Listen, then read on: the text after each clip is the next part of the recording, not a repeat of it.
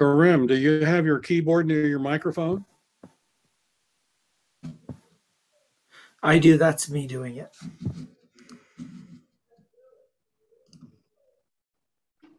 Trying to piece together all sorts of things for the. I understand.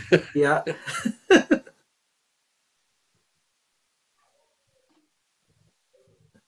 David, what's that? Well, this is a new little uh, astronomical device I'm going to display today. I did its first light last night.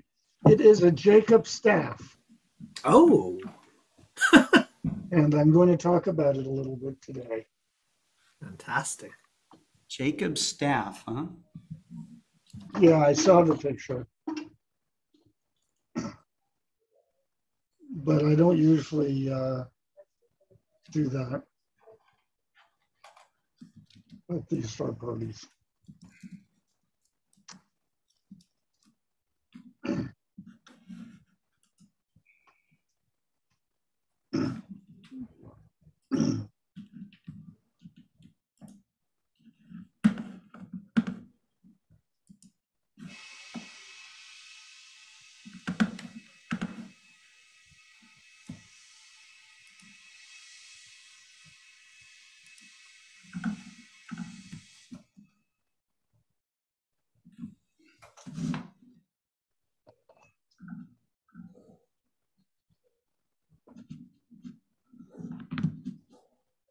I'm just going to test something here. Let's see.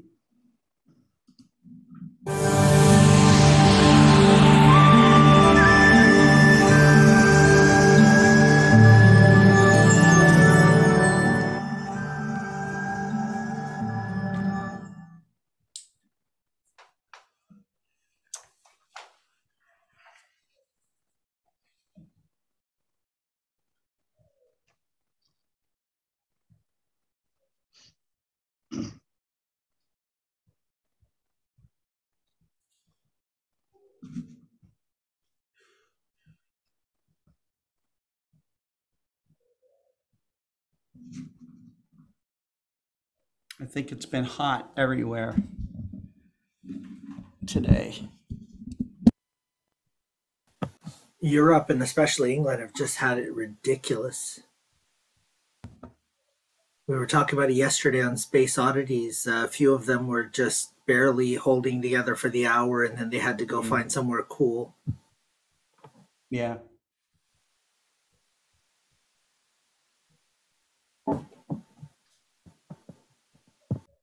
It's hot everywhere except here in Arizona. It's pretty cool today. It's 90, Is it? 96 or so so far, and uh, it's not that not as hot as it usually is. Wow. Is it dry? Uh, there's some humidity, but certainly not as much as you guys have.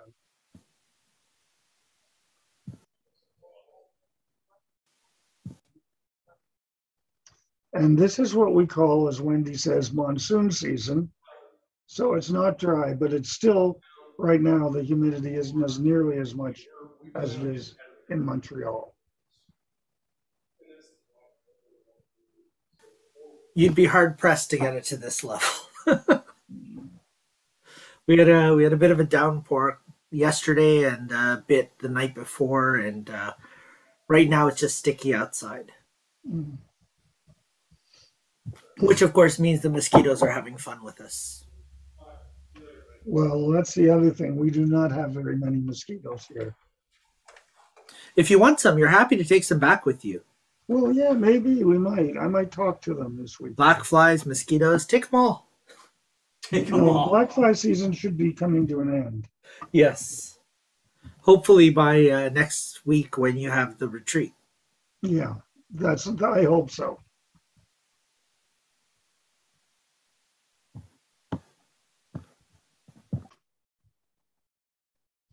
This is extraordinarily exciting. A hundred global star parties we've had. There we go. Hey Norma. Hi.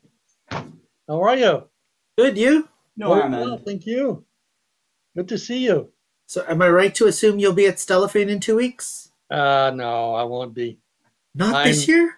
Overload with work, and um, Oh. I'm already planning to go with uh, the group with Scott Roberts at uh, in Armenia for the Starmus. yes. Planning to go, so uh, my time is limited, Oh, I understand. I understand. and I have to choose uh, where to go this year. And uh, I would love to go to Stellafane. It's my favorite place to go every year, but this year I will have to skip it. So, I was talking to Ray in Toronto at Con, and he was saying that Constantine must be, you know, he's he's having a tough time, but whenever he Huh? thinks about the fact that he'll miss Stellafane, it must be Okay. just that much worse for him at this yeah, point. must because he's been going for the last 50 years, I think, or more. close to doing more- well over 50 years. 65. Yeah. Oh wow! Oh wow! Yeah. Amazing. Yeah, Constantine is quite a number. Yeah. yes. He, he's he's stable though, which is which is what's important. His Oh, you yeah. know Okay. his health is what's important right now. Yes. Well, and especially in these times, oh, we've been ha- we haven't. Well, uh, gentlemen, I logged on briefly to wish you all good luck. Hey, that's Adrian. Very first, uh, yep.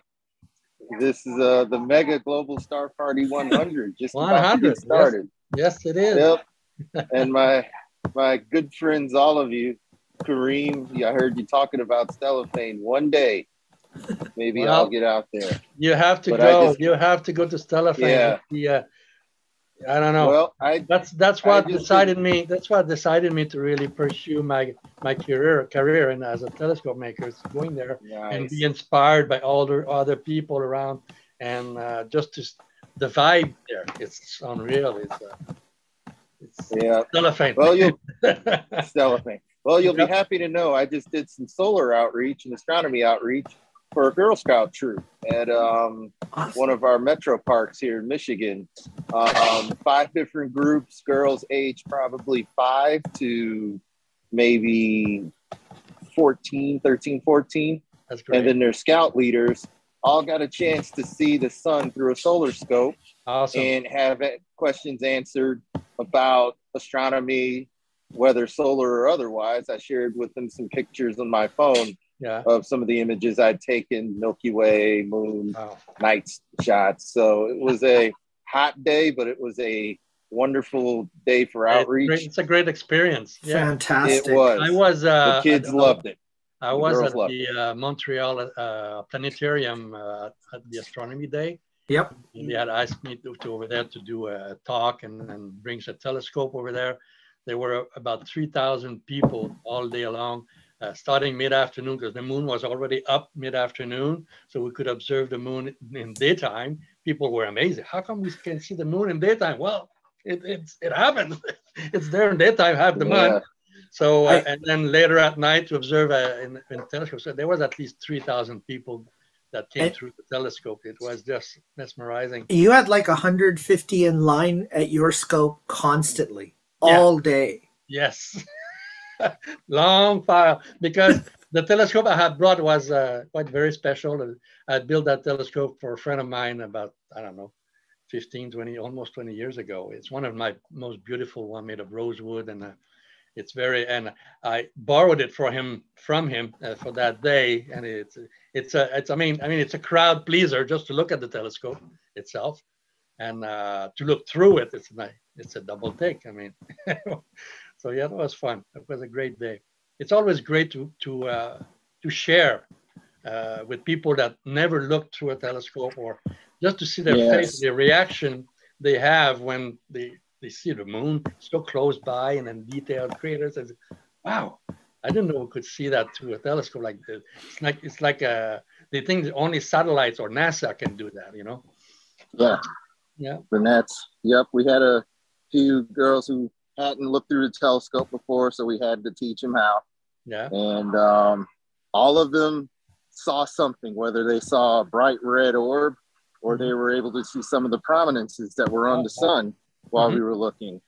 We had the uh, telescope out, the um, HA telescope, uh, Coronado. So it was it was great, and my tracking worked, so I didn't have to move it much to um, get it in line for the next group. Yeah. So it was a wonderful time. It is always. All right. Well, good luck, Thanks, gentlemen. Thanks very much, will- Adrian. Yeah. Yep, I will go on mute and let you all kick this thing off. Okay, sounds Thanks, good. Adrian. We will see you later tonight. All right. Yes, we will. Well, we will go ahead and, um, hey, Michael, you showed Well, up, hello. showed up anyways. I did. I a missed few for a minutes here. That's good. That's Yeah. Good. Michael. Yeah. Hello, good to see all you Michael, guys. thank you. So you said, I, I thought that you wouldn't be able to come on at all because of uh, your, you have um, a family thing, but uh, yeah, it was, uh, we have, we have like 25 speakers or something like that uh, today. So It's an awesome lineup. It Yeah. really is. Oh, I wish. I could stay for the whole thing. Yeah, well, that's good. So um, I will, I think I will go ahead and, and kick this off and, uh, but, um, so here we go.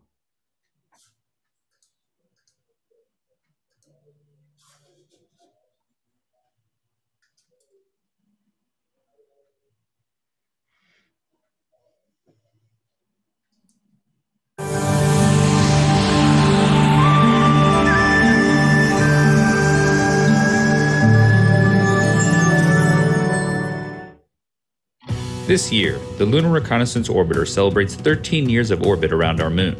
And in that time, it has collected over a petabyte of data, the largest volume ever collected by a planetary science mission at NASA. Due to its success and continued operational abilities, NASA has awarded the spacecraft an additional extended mission phase so that it can continue gathering critical information on the moon and help pave the way for future lunar missions. Going forward, the LRO mission will have four main areas of focus. The first is the study of volatiles, which are chemicals that easily evaporate or vaporize, such as water. In terms of lunar exploration, volatiles will be useful for things like creating rocket fuel and making oxygen to breathe, so they are a primary resource that future astronauts will depend on having. LRO will continue to provide new data for identifying which areas are rich in volatiles and for cluing us in to how they may move around the lunar surface. Current LRO data suggests they may be frozen in permanently shadowed craters, in areas that receive some sunlight, and may be chemically locked in minerals on the moon. This is helping pave the way for future missions like Viper, which will send a robotic rover to explore an area near the lunar South Pole, and ultimately, the astronaut led Artemis missions. The second area of focus is on the moon's interior, volcanic features, and the tectonics of the moon's surface, because understanding the lunar surface requires knowledge of what's been going on underneath.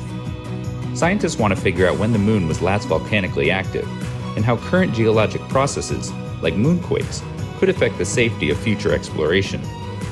They'll do these things by studying lobate scarps, as well as deep crustal and mantle composition that are exposed at the surface. Studying the moon's history of volcanism and tectonics will also inform us about other planetary bodies in our solar system and beyond. The third area of focus is on the moon's surface, its regolith and impact craters.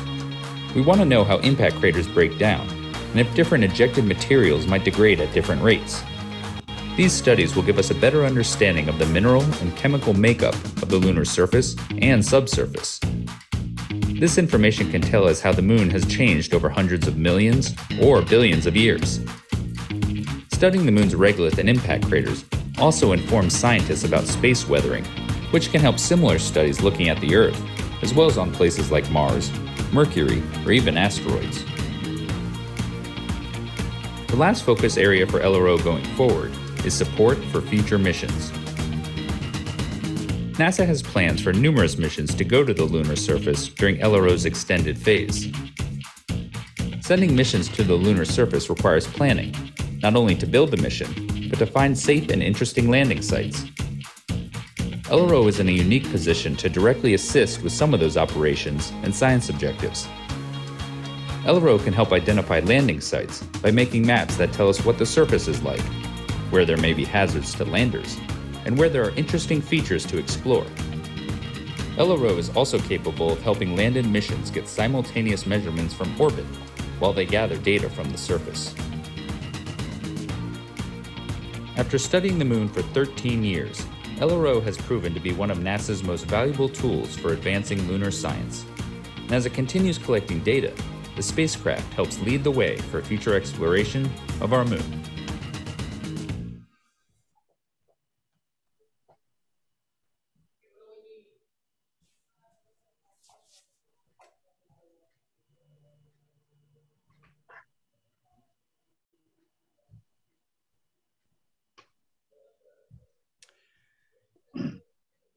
This visualization doesn't have audio, but it's um, it's the Bennu uh, mission, and uh, it's just incredible. Um, the uh, visualization of the you know the spacecraft coming down, uh, you know, gathering a sample and coming back up. I just really needed to share that with you guys.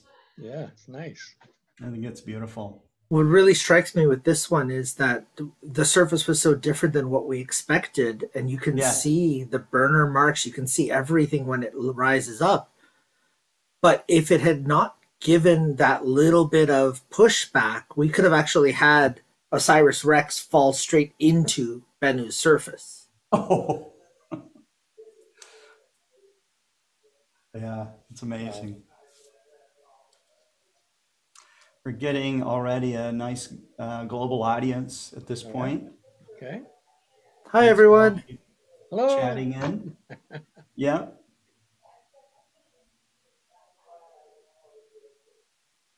Need to find my mouse. Forgot my mouse.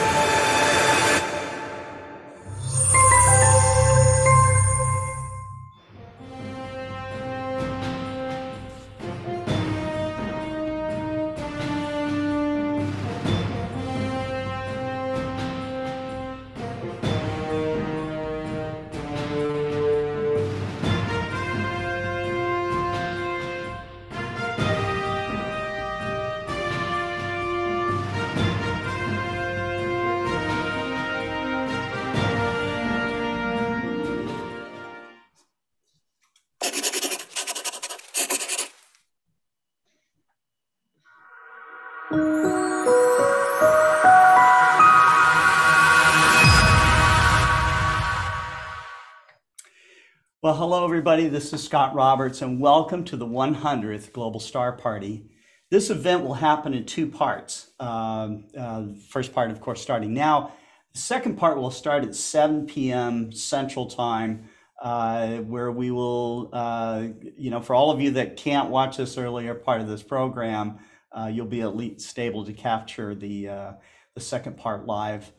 Uh, we had a tremendous uh, turnout for speakers, and I just wanted to kind of um, talk about each one of them just a little bit before we get started. Uh, uh, David Levy is here uh, here doing this double star party with me. Uh, he is he's agreed to do the commentary and poetry that he, that he always does to kick off these programs. I'm very very indebted to him for his friendship and his uh, mentorship and uh, all the inspiration he's given me all, all through these years.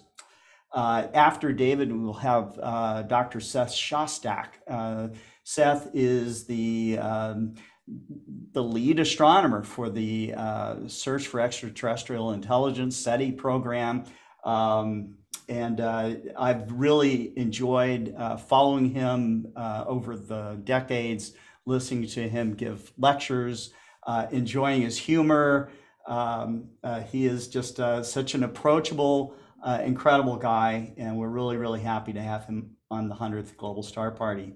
Following Seth will be Bob Fugate. Um, uh, you'll you'll find him on the internet as Robert Q Fugate. Uh, he is uh, someone that has given astronomy, and I mean, he put astronomy on steroids with his work on adaptive optics and. Um, uh, you know, but he puts uh, us amateur astronomers on steroids too with his incredible uh, personal work he does in astrophotography. So he'll be talking about, you know, seeing beyond with ELTs and adaptive optics today. The Astronomical League joins us in this first section as well with Terry Mann. She'll be doing the door prizes. We're going to have some special door prizes instead of the regular door prizes that we that we have. Um, we will be uh, uh, upgrading them to uh, some of them to the uh, iEXOS 100 uh, mount, a, a, computerized go-to equatorial mount that you can put your camera on or a small telescope. It'll be perfect for the upcoming eclipses happening in 2023 and 2024. Um, Terry Mann will also uh, have her own program with us as well, so you'll want to stick around for that. Uh, Karim Jaffer and Lou Mayo are also joining us. Uh, Karim is from, he's a professor of astronomy at John Abbott College, and Lou Mayo is at Goddard Space Flight Center. So it's wonderful to have them both on tonight. Um, and they'll be talking about their own uh, perspectives on seeing beyond. Uh, Charles Ennis, uh, the president of the Royal Astronomical Society of Canada, will also be uh, turning in, you know, and letting us all uh, know about uh, about the RASC, which which we all love. Uh, Marcelo Souza joins us from Brazil. Uh, Nicolas Arias, uh, uh, you know, the amazing astrophotographer who literally pushes his Dobsonian by hand, okay, and makes deep sky images that will blow your mind. So, Normand Fullum finishes up, wraps up the first segment with us on reflections on music stars and the telescopes that he builds. So, but uh, I'm going to turn this over to my dear friend uh, uh, David Levy. David, thank you so much for uh, helping us put together uh, the 100th Global Star Party. Well, thank you. Thank you so much, Scotty. This is uh, this is a um, let me try to unmute here. I'm. Uh... We can hear you just fine. Yes, we can hear you, Dave. No, be. No, no, I'm really unmuted. Okay. um, I remember over a hundred start parties ago getting a phone call late one evening from Scott, and he said that he was planning to do what is called a global star party. And would I be interested in coming to the very beginning of each one and doing a little bit of a poetical reading. And I've done that for every one of them, except for one that I f- forgot about. But I think I'm going to make up for it today. You're making up two. for it today. That's one, right. One will be now, and I will do a second one at the second part of the start party later on today. I wanted to show you something new. I have, as you know, my telescope, Minerva, right next to me. Minerva is one of my favorite telescopes and I use it a lot. I really love it. But yesterday I built one of these. And uh, this is not a telescope.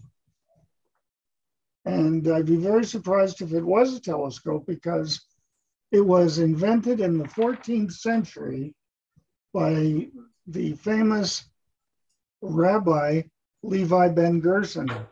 Gersonides. And uh, it consists, it is simplicity itself. This is a Jacob staff invented in the 14th century. Uh, there's a meter long piece of wood here, and then a crossbow on the top. And you hold it this way, and uh, you have you have you sort of point at the horizon, and then you move this until you get to the object you're looking for. And it will measure the, uh, it'll measure the um, distance in, ele- in elevation above the horizon. And uh, I had its first light last night, as all my telescopes do, on Jupiter. And it was at about uh, at the um, at the six meter, six point six meter part of the uh, thing, and I had it like this, and this long-ended part went to the horizon, and Jupiter is sitting right on top of this this cross part. Anyway, I just wanted to share this with you a little bit. And uh, what with the final thing is that this, the long piece is a solid piece of wood. I was wondering if Gersonides would have thought to hollow out the solid piece, a hollow piece of wood, and uh, put a lens at one end if he would have invented the telescope in the 14th century. But that was not to be. He left that for Hans Lippershey and uh, Galileo, who first looked at a telescope, and boy, did Galileo rewrite astronomy. And Galileo's global star party would have been something else to see. Hmm. And maybe Scotty will be able to get Galileo and Gersonides at one of our future star parties. Anyway, for my quotation for today, uh, Wendy and I are going to do one together. It's by Ralph Hodgson, and it's called "The Song of Honor." And it um, it begin. It, it is a very long poem, but we are only going to quote the final stanza of it.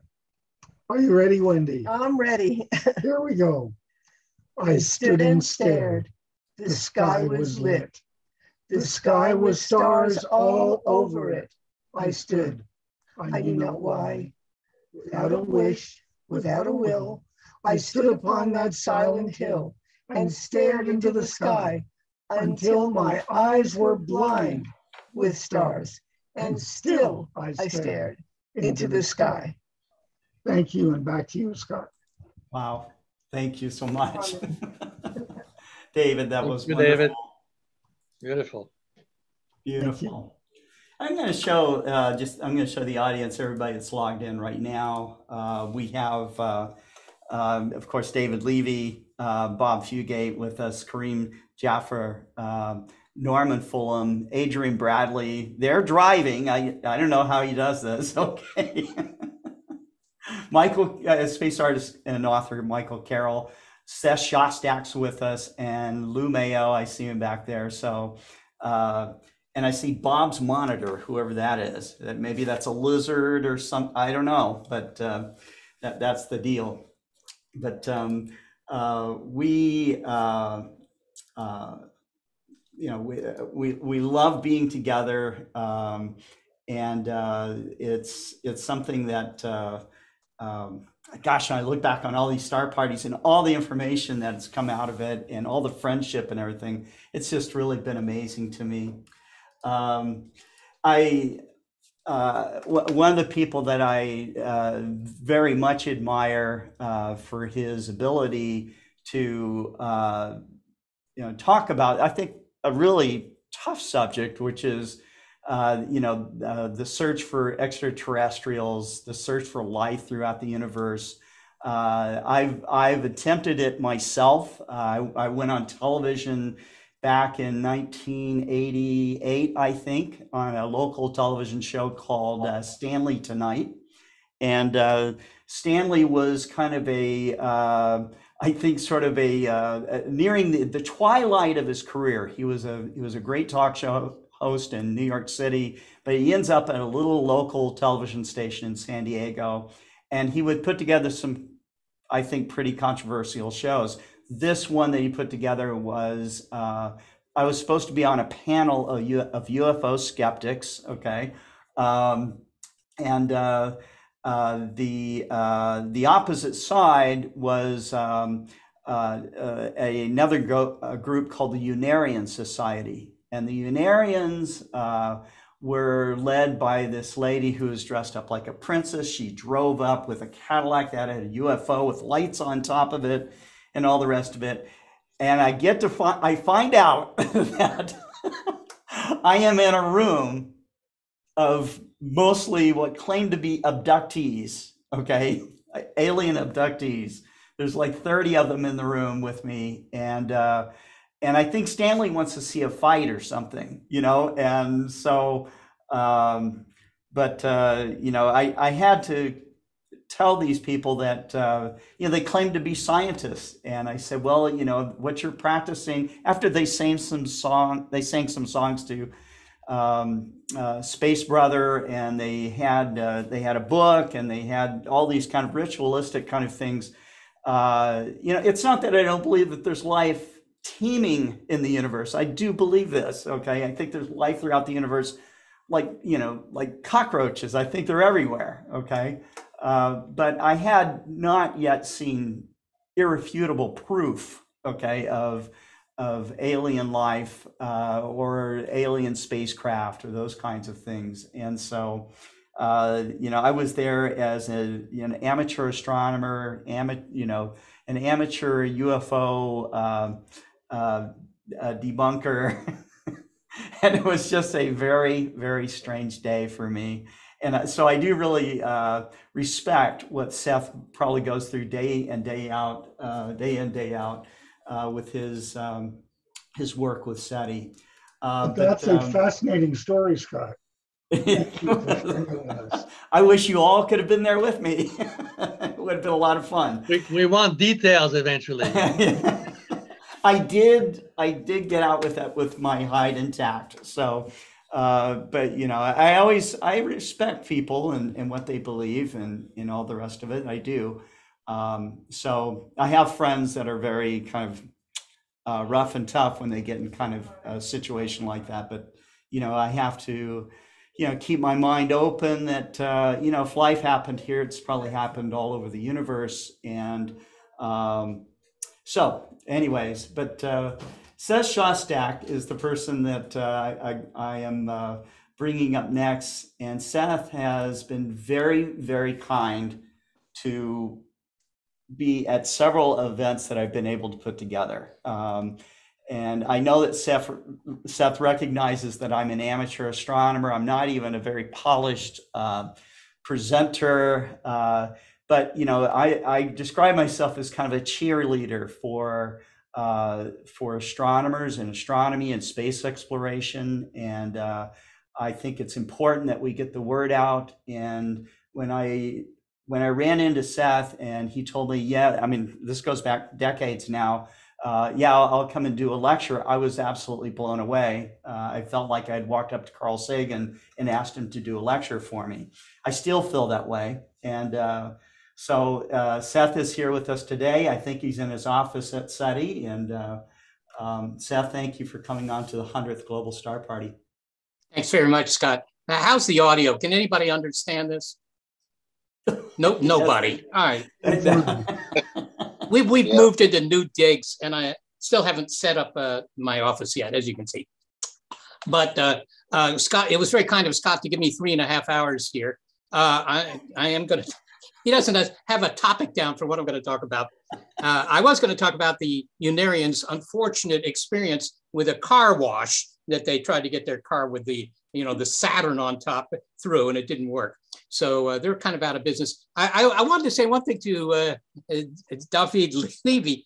I, I'm not a Gersonides, but that is my first name, Gerson, believe it or not. Relatives.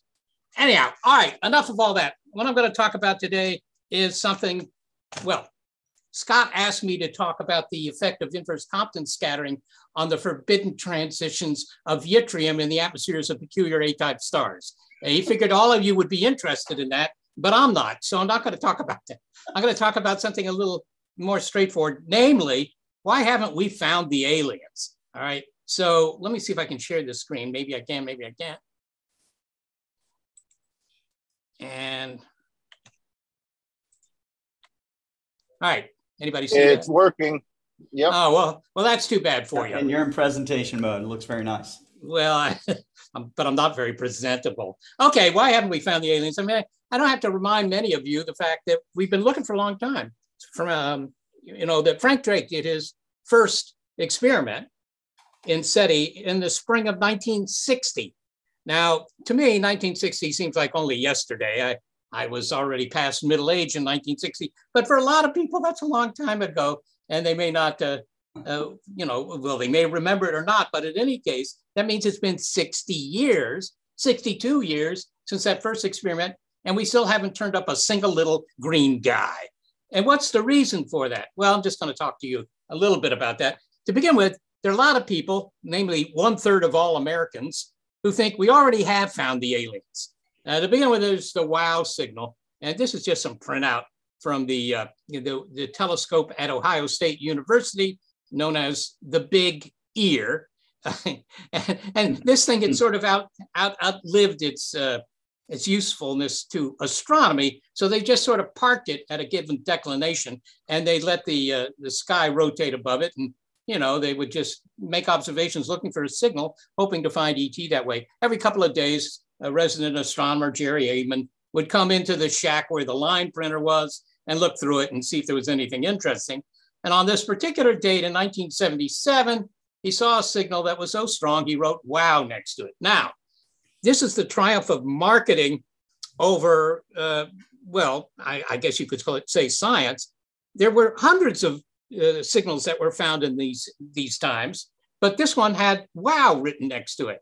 And so there you go. I mean, if they called it Bob or something like that, I mean, maybe nobody would have noticed. But calling it now uh, "wow" is really good. Now you see on the uh, right hand side of the screen here, sort of a blow up of that signal CF, sorry, 6FQUJ5. That's just the encoding of the level, the strength of the signal right? Otherwise, they, they would be limited from zero to nine, but then they could go to 10 that they call A and 11 was B and, you know, and so forth. So they could get more levels encoded in here. Now, I can't tell you, I think it's on the order of 50 or 100 emails I've received over the years by people who spend their weekends and evenings trying to decode 6FQUJ5. And uh, they all succeed at some level, so they say. And uh, you know, there, there are interesting things in there, such as uh, the cure for death or the next lotto numbers or stuff like that. The, the, facts are it's just a method of encoding the strength of the signal. But when I write them back, they never say, oh, thanks for explaining that.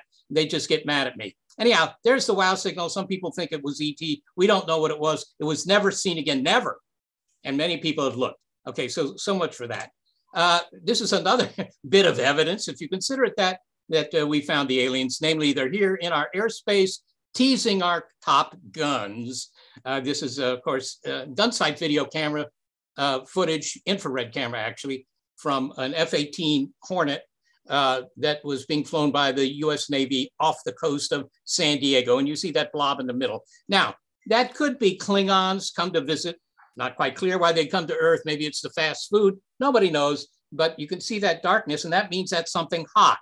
And it's been pointed out by many people, and in particular, Mick West is, uh, has pointed this out several times, that that could just be an airplane, you know, 50 or 100 miles in front of the Hornet, right?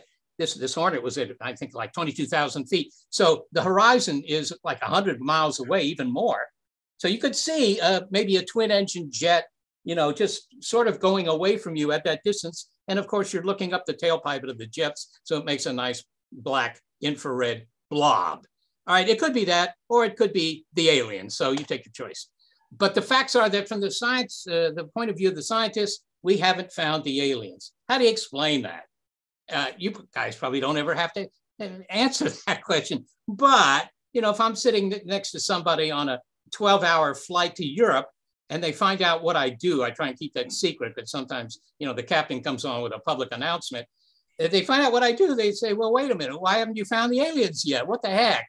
You know, it's costing me all these tax dollars. Well, to begin with, it's not costing them any tax dollars because it's all privately funded. But beyond that, that means I don't get to sleep or read a cheap novel on the flight. We haven't found them, but here are some suggestions about why we have this awkward silence.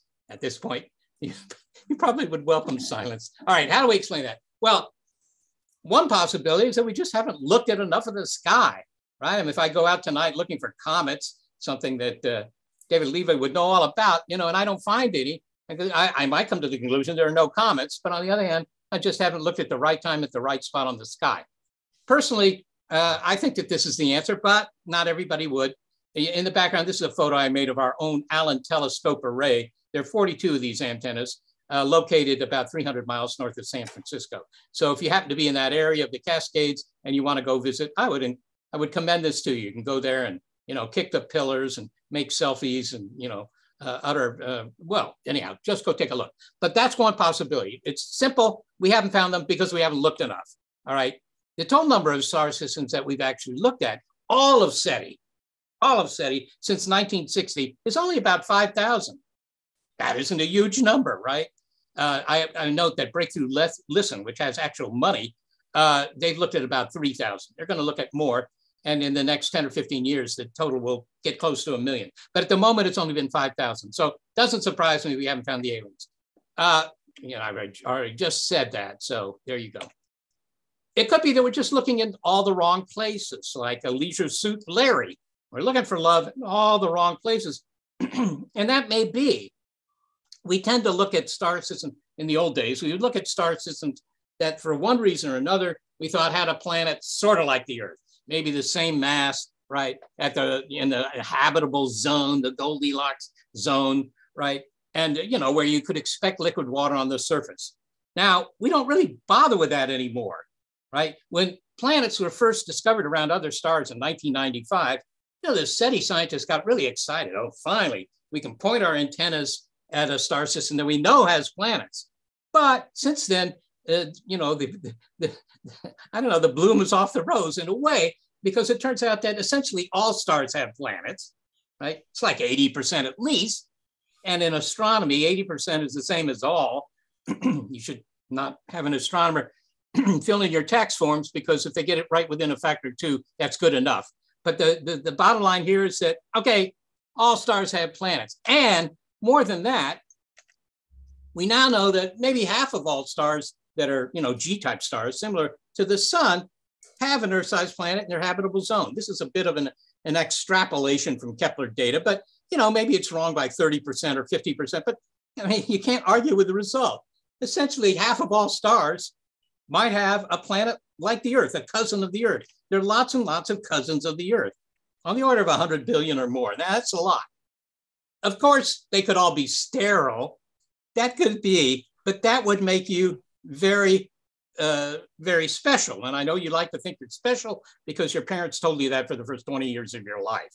But you know, anybody who studied science knows that if you think you're special, you're not going to get your paper past the referees. So, uh, you know, with all that, with all with all that real estate, it would be astounding if we're the only kids on this block. All right, now everything I've said up to this point makes an assumption about ET if you ask astronomers, well, what does ET look like? You know, they probably don't even have an answer for you. Right now, I get asked that question fairly frequently because of consulting for movies, right? And they always want to know what ET looks like, as if I know. I don't know, but there is this.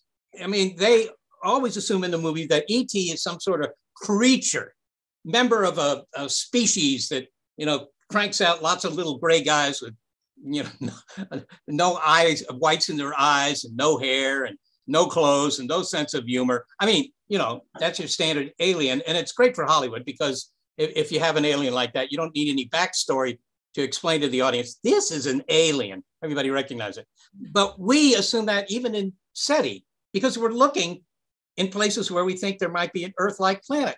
But what if the, the ETs are not actually biological? That they've gone beyond that.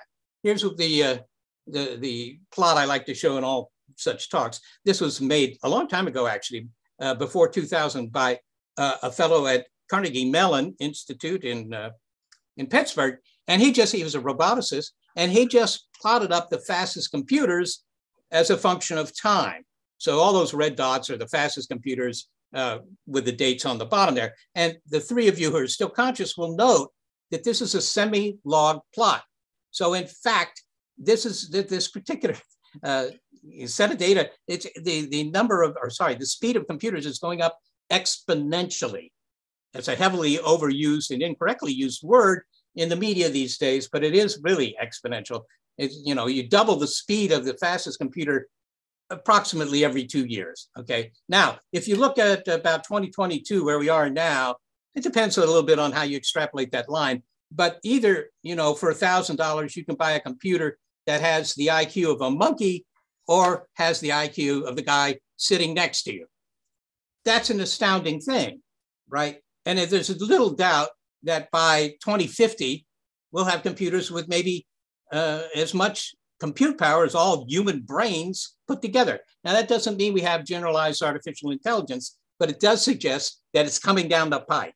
So if we're going to invent our successors, I think it's only reasonable to assume that the aliens have already done this. So looking for biological aliens is, you know, it that's so old school, right? Because once you have artificial intelligence, then you don't have to stay on a planet with a lot of water that'll only rust uh, rust out your innards, right? You can be anywhere. You can even be in, in interstellar space. Sure, starlight is pretty weak, but if you have enough space to put up tremendous, you know, solar panels or whatever you're using, you can get the energy you need to survive. There's no reason why you'd want to stick on a planet which has plate tectonics and weather and other things that are detrimental to your uh, synthetic lifestyle. There are sources of energy everywhere. I just point that out. I mean, they could be hanging around black holes. They could be hanging around the black hole in the center of the galaxies. You can get a lot of energy out of those things. And, uh, you know, you're kind of centrally located, which is always a good idea. So you don't have to commute. Now, the, uh, the third possibility is that we haven't found the aliens because we don't have enough sensitivity. This guy is a very sensitive guy. Now, let me just tell you what the sensitivity is. If you just consider your average SETI experiment, they need to have a lot of power on the order of 100 trillion watts, uh, assuming they're 200 light years away. I, I only picked 200 light years because only the order of a million star systems within that distance. But that takes a lot of power if they're just, you know, trying to light up the whole galaxy or their part of the galaxy at a level that we could have picked up. In other words, unless they're deliberately beaming to us, they've got to spend a lot of money on their uh, electric bills in order to be able to make a signal that we find. And maybe that's why we haven't found them because they say, hey, look, you know, those humans, they've only had radio for, for uh, you know, 100 years. We're going to only talk to the people that have had it for 100 million years or something like that. So they could be just as uh, a sensitivity problem. I, I, I'm going to skip through this because you don't care about that. These are big telescopes. Or you have this possibility that there really are no aliens. And, uh, you know, that's anathema for anybody working here at the SETI Institute. But, you know, you might consider it a good idea because it makes you the smartest things in the universe. Or it could be that there's some sort of great filter that applies to all intelligent species. They get to some point in their development where they get wiped out, right? And I talk to millennials occasionally, and, and they're very big on this idea because they think we're going to wipe ourselves out you know, whether it's going to be climate change or pandemics or nuclear war, uh, any of these things. Uh, eventually, when anybody gets to our level of technological development, we disappear. Now, I've done some back of the envelope calculations, and I hate to disappoint the young folk, but the facts are that this is, isn't going to happen, right? You can't get rid of everybody. The worst thing you can do in terms of getting rid of a lot of people is to let loose all the nuclear weapons, right? Just aim them all at big cities the biggest city. They're like 14,000 nuclear weapons, I believe. And just aim them at the 14,000 biggest cities and worked out how many people die. It's a lot. It would be a bad day, hmm. right? Mm. But it doesn't get rid of everybody. It only gets rid of about one third of the population. So there's just no way. I, I, I, don't think that this can work. All right. It could be that the reason we haven't heard, heard from ET is that intelligence is not something that's particularly favored by nature. These guys here now, this was a bad day for them, but these guys were around for 150 million years. That's a long time. Homo sapiens has been around for 300,000 years. So these guys were here for far longer than we are, and they never got smart. Go to your local library and look up the uh, dino literature, and you won't find much. So it could be that intelligence, you know, as attractive as you may find it in a mate or, or somebody sitting across from you at Denny's, is not in fact favored by nature and we just happened to luck out. So the bottom line of all those arguments is indeed that you are the smartest things in the galaxy, that you're some sort of miracle. Here you go. The smartest thing in the universe is just your average Joe. Okay. Uh, the final thing is that indeed, as I've said before, maybe we're just looking for the wrong kind of alien. This is again a similar plot as what you uh, saw before, although this one's by you know Ray Kurzweil. But in any case, it's the same thing. The fastest computers are now incredibly fast, and their their their computers big enough that they have um, more compute power, you know, operations per second than your brain does. So I, I think that, that that kind of argument leads to this inevitably. The conclusion is that ET is not a little gray guy with big eyeballs. ET is some sort of machine. Sure, they're, you know, little guys with big eyeballs, but they eventually lead to the machines. And the machines have most of the intelligence in the universe, and we may be just looking for the wrong kind of thing. So what do we do? Well, I don't know. We could just keep on trucking. Another suggestion is to look for artifacts, something big that a really smart machine might build. Maybe it has tremendous energy requirements and build something like a Dyson swarm, Dyson sphere, if you will. Uh, and and we, we might find that by just doing astronomy. So uh, it, it's a little unclear, but the bottom line is the fact that we haven't found them may be simply due to the fact that we've been looking for the wrong things. Okay, I'm gonna shut this down. And if any of you are conscious and have a question, I think we have a few minutes, so. Well, the people uh, wanted to say congratulations uh, to you from Colombia. Uh, that's Carlos Galeano uh, on Facebook. Um, and uh, there's a question here, uh, and this is coming from Connor Bradley. he says, Is it possible a war of the worlds scenario could happen if extraterrestrials develop interstellar travel to reach the Earth? well, I, I, I, don't know, the War of the Worlds scenario is that they come to Earth and flatten Los Angeles. Now, honestly, I live in Northern California, and if they want to flatten Los Angeles, okay by me. But uh, sure, I, I, think the real question is would there be aggression, right? Could they, right. in fact, take, you know, just decide to wipe us out? I mean, I, I don't know what the motivations of the aliens are, but it's hard to think of a reason why they'd go to the expense, and it would be quite expensive to wipe us out. What's in it for them? Uh, you know, and I was on a panel many years ago at British uh, Royal Society, actually, panel where we were trying to discuss why would the aliens even come to Earth? Why are they here, as so many people think, right? Mm. What brings them to Earth? And in the movies, it's often things like water, but there's water all over the universe. You don't need to come to Earth. There's a lot, twice as much water on one of the moons of Jupiter than you'll find here. So go there. You know, don't don't don't bother us here. Uh, it's very unclear why they would come here. There's nothing here that they don't have except for our culture. I mean, they might come for the rock and roll, but I don't know that they've flattened Los Angeles in order to get it. Right, right. Um, Can I have a I, I, go ahead. Well, go ahead. No, I I, I agree with uh, with uh, Seth on um, on the uh, uh aspect of uh, you know that if we have extraterrestrials that they're machines, you know, they could I, I personally think you know we also we have artificial intelligence, but we also have nanotechnology. Things are getting very very small that can do some pretty amazing things.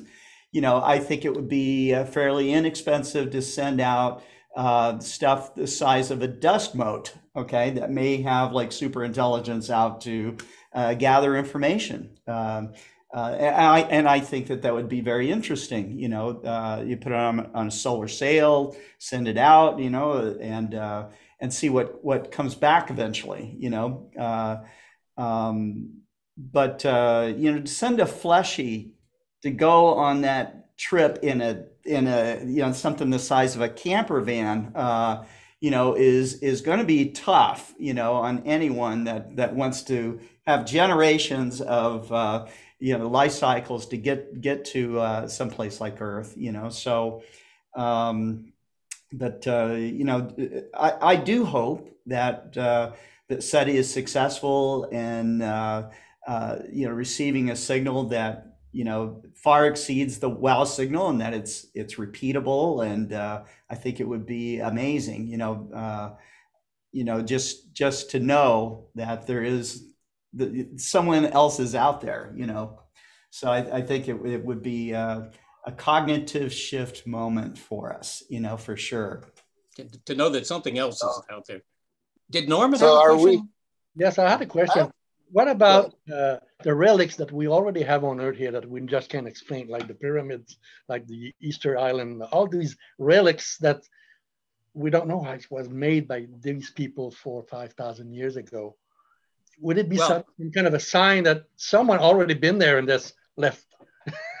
Well, Norman, I hate to disagree with you here in a public forum, but Okay. I, I think we do know how East. I've been to Easter Island. I've Yeah. been to the pyramids several times. Yeah. And uh, somebody asked me actually, I was a talk in Australia years ago, and at the end of the talk, this guy raises his hand and he says, "All right, my question is, who do you think built the pyramids?" And you know, I said, "Well, I, personally, I think it was Egyptians." Right. But he didn't like that idea, as if the Egyptians were too stupid to have built pointy structures. But there's all sorts of evidence in, uh, about how they built these things, right? And in fact, you can find other pyramids they built before the, the famous ones at Giza, where they didn't get the angle right and they had to start over, right? If they were if they, if they were using alien help, don't you think they would get it right? It turns out if you just take a bunch of limestone and stack it up, right? And there's plenty of limestone there. I, I, it's just a Yeah. question. Yeah, don't don't underestimate the Egyptians. They were not stupid. Okay.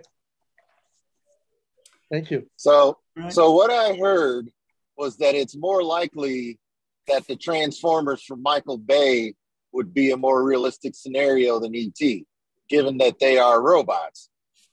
Although, They're not in our necessarily treatment them. robots. Yeah, they're not necessarily robots. There's a difference between robots and AI, right? AI could be a machine that Yeah. just sits in the corner of your office. It can't serve you coffee or make the bed. I mean, robots would have AI, I suppose, you know, very sophisticated robots, but the aliens might or might not require, you know, being able to walk across the living room, Hmm. unlike the or, Daleks. tra- Right. or transform into cars. Yes. Makes great entertainment, though. Seth, Yes, thank you so does. much for coming on to Global Star Party, and um, I'll uh, look forward to the next time we can do uh, a program together. It's wonderful. Thanks. Thank you so much. Man, excellent, excellent presentation. I loved it. And I did not go comatose. no. It was a great presentation, Seth. Thank The you. speaker went comatose.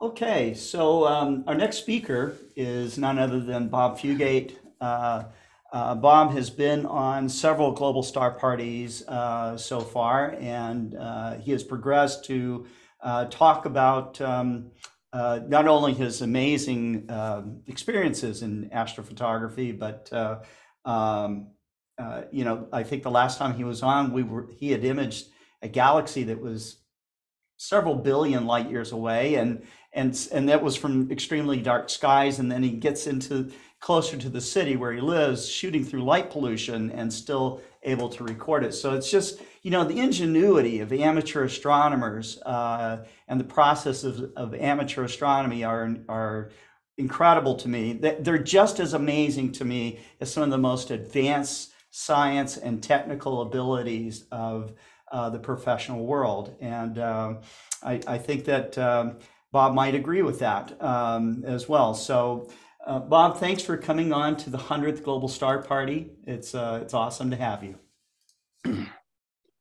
Okay, thanks, Scott. Uh, the first thing I think is um, I'd really like to congratulate you on 100 global star parties. That's just an incredible achievement. And it's um, also a testament to all the people that have participated in all those Yes. star parties. So Yeah, I'm, a, them. I'm a latecomer, but uh, I've, I've learned so much um, in the attending that I've that I've done so far, and so I'm very appreciative of everybody's efforts in doing this. So today, uh, let me try to share my screen here. Um, today, I want to talk about uh, extremely large telescopes and um, their potential and their synergy with the Webb telescope. But first, I want to uh, I want to get started with the little story. Let's see if I can uh, get this full screen here.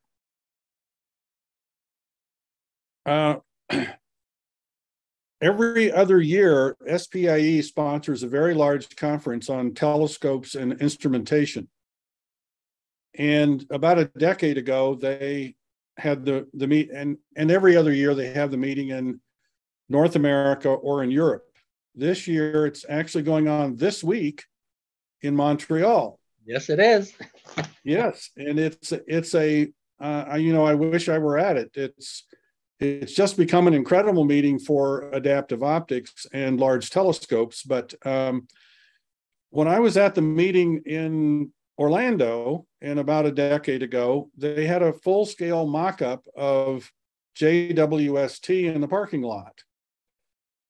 And um, there were two fellows out there from ESO who were working on, at the time, a 100 meter telescope they called the OWL, overwhelmingly large telescope. So they were walking around. I, I didn't want to get them in the picture. And in hindsight, it would have been a great thing because it would show the scale better. But um, I waited till they were gone before I took my picture, the one I'm showing here. But they were walking around, uh, looking at the placards and reading it and looking up at it. And finally, one of them said to the other one, But it's so small. I mean, okay, folks, that's supposed to be a joke. Um, you know, they were working on a telescope that's 100 meters in diameter. And here is a six and a half meter one that they consider to be a really small telescope. So the question arises why, why are astronomers wanting bigger and bigger telescopes? And the answer is sensitivity.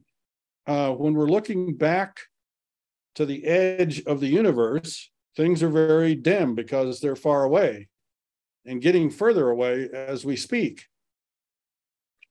So if we look at uh, sensitivity, and by sensitivity, I mean sort of the inverse of the time it takes to reach a certain signal to noise in your image or in your spectra. Um, so as you as you build a bigger telescope, of course, there are two there are two conditions: seeing limited or um, diffraction limited. And if we look at an unresolved source like a star, for seeing limited conditions, limited by the atmosphere, the sensitivity increases as the square of the aperture diameter because it goes as the area. But if we have a diffraction limited telescope, it increases as the fourth power because the image gets also smaller as the square of the diameter, as the diameter increases. So if I compare the sensitivity of a 10 meter telescope with the six and a half meter telescope, you can see you can see it's you know better, but not significant. But as I build bigger and bigger telescopes, especially if I can maintain diffraction limited, it's it's an enormous gain. So what this means is I have less integration time to get to the same same level of quality in my image. And as it turns out, if we didn't have adaptive optics, and in particular laser guide stars, it would not be worthwhile to build larger and larger telescopes. So I think adaptive optics is the key enabler for you know what what's going on now with extremely large telescopes. So there are four on the horizon. I've, I've included Keck here because they're revamping their adaptive optics. They have 10 meter telescopes, so that's nothing to sneeze at.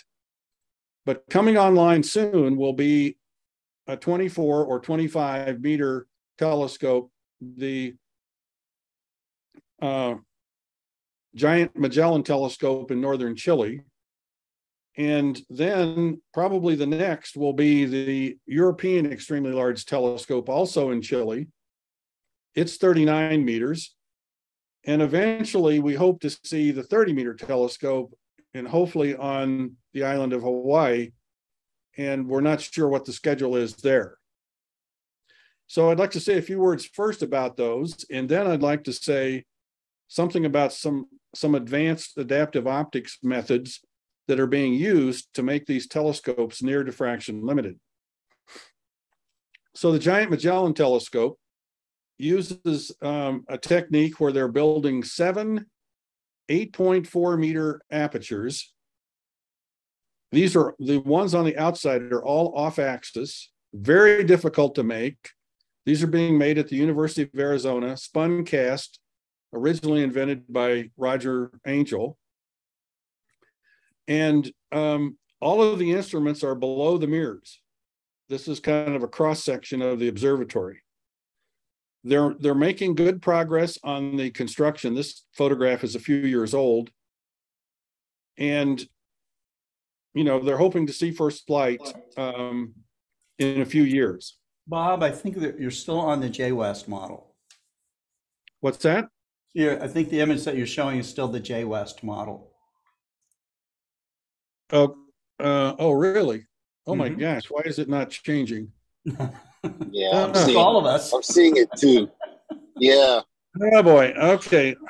Why is this so hard? Uh, do I need to stop sharing? Maybe. Yeah, stop sharing and then go back in and Okay. Let's see. I have to find Zoom. Okay. Maybe I'm sharing the wrong screen, but I don't. I have definitely done that before. Okay. Let's try. There we Oh. go. That's it. That's it. Okay. I'm sorry. I No problem. the reason I put the reason I put the monitor up was to make sure I was working properly, and then I didn't. I failed to look at it. Okay, so here is uh, the Giant Magellan Telescope. As I said, it has seven 8.4 meter mirrors. These are being made at the University of Arizona. It will, of course, use laser guide stars, and all of the instruments are located below the mirrors uh, in the base of the telescope. This is a Okay, now why didn't it change? I don't know what's going on. Oh dear. Uh, maybe I can show it this way. Um, yeah. If all else fails, that you can, we Yeah. can Take a see picture on the left. Take there. on the looks left. like the ELT right there. Okay, so this is um, this is the European ELT. This is the 39 meter telescope in in uh, northern Chile, and um, let's see if I can just.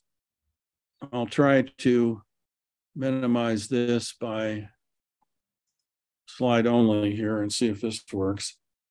And here is a um, rendering Yep, of that work. primary primary parts. Um, the primary consists of 700, almost 800 1.4 meter segments. And um, the secondary is up here, it's four meters in diameter. And the tertiary is down near the primary. And the fourth mirror is actually a deformable mirror. And then there's the relay that gets light into the instrument packages on the platforms on either side. So this is a different configuration than GMT in that the instruments are up on Nasmyth type platforms. Now, what I found interesting was this is a rendition of the secondary, uh, sorry, of the deformable mirror. The deformable mirror on this telescope is 2.4 meters in diameter. So if you have a person standing next to it, this is sort of what it's going to look like. Um, the face sheet of the mirror is in six segments. I don't know if you can see the lines between these segments. And it has 5,000 actuators that are voice coils, each one able to move the surface 50 microns. And it operates at one kilohertz. So this will this is what will be used along with the laser guide stars to correct for atmospheric turbulence. Uh, this is the Keck. This is an old drawing. but you see it's very similar to the European ELT in that it has two very large Nasmyth platforms, and its primary is a measly 492 1.4 meter segments. I thought it was interesting that um, the 30 meter telescope and the EELT both used the same size segments. Maybe they're planning to interchange them, although all these segments are not the same because this is not a sphere, this is a paraboloid. So they, they have different shapes and different figures. And here's a drawing of the um, structure of the 30 meter telescope. Uh, this is uh, the laser guide star facility for the 30 meter telescope. It has nine lasers and they mount on the structure down below here and they're plumbed up to the center of the telescope um, where they come out of a central aperture to form asterisms in the sky. The instrument on the side is called NFIRAOS. Um, a fellow that used to work with me, Brent Ellerbroek, is the one that came up with the name. He he was the principal for the adaptive optics for TMT until he retired. Um, but TMT uses uh, two deformable mirrors in what's called multi multi-conjugate adaptive optics. One of these mirrors is imaged at 11 kilometers above the telescope, the other one at the ground. And all of these optics are in a minus 30 degree C container in a near vacuum. And there's a, a mirror over here on the side that feeds um, instruments that are attached below uh, the adaptive optics component. So they use for the different instruments, they use different asterisms in the sky for the laser guide stars. And I thought this chart was very interesting. This this was put together by Brent actually, and it shows how the 30 meter telescope has a strong synergistic effect with space telescopes, JWST here, and ALMA over here. So you'll see in general, if things work as they are planned, um, the 30 meter telescope will have uh, additional capability in terms of angular resolution and a lot more capability in terms of spectral resolution. But they're complementary in that they kind of fill out these charts for, for the science cases. So what I wanted to do briefly then was describe some of the techniques that astronomers have invented with laser guide star adaptive optics to cover various situations. Um, at the heart of most of what they're going to do with these extremely large telescopes is tomography. The idea is to put up an array of laser guide stars and view the turbulence through different directions. So it's just like MRI or CT scan. When you when you collect data with diff- from different directions, you can reconstruct a three-dimensional model of the turbulence. And this is this will be done at like a thousand times a second. So you need multiple sensors and a very strong computer to do this. But we have the computing power. That's generally the thing that um, is the least limiting is our is our ability to do the computations. So uh, this has already been shown to work uh, back in 2013 at the um, Large Binocular Telescope in Arizona, where they used six Rayleigh laser guide stars. They were only trying to correct the ground turbulence layer because the Rayleigh has a limited altitude. But uh, all the simulations and so forth for the EL, ELTs show that sodium laser guide stars uh, are going to do the job when they're employed uh, for narrow field of view systems that are trying to achieve a high Strehl. Uh, the next concept that's being worked is multi-conjugate adaptive optics, and this is, as I mentioned, for the case of the 30 meter telescope, this has already also been demonstrated on Gemini South in Chile on the eight meter telescope there, where they have three deformable mirrors, each of which is re-imaged at a different altitude because the turbulence over Paranal or, or the turbulence in Chile is typically, this is not at Paranal, the, but the turbulence in Chile has typically been, been known to work in three layers. And so they've picked those layers and the optics to image the DMs there and that produces a wider field of view. And in fact, they've they're getting really good correction over two arc minutes. And here's an image that I think is 0.9 arc minutes of a globular cluster, and it's essentially diffraction limited at high Strehl throughout the field. So this is this is complicated. All of this stuff is complicated, but people are willing to sign up for it because they want large aperture diffraction limited telescopes. So another aspect of AO on big telescopes is extreme adaptive optics. And the, the primary uh, targets here are looking at exoplanets and in fact doing spectra of their atmospheres. And the typical arrangement is to have two deformable mirrors that act like a woofer and a tweeter. So the coarse mirror corrects all of the large spatial frequency aberrations caused by turbulence, and the fine deformable mirror, which in the case of, of the GPI or the Gemini Planet Imager, has 4,096 actuators.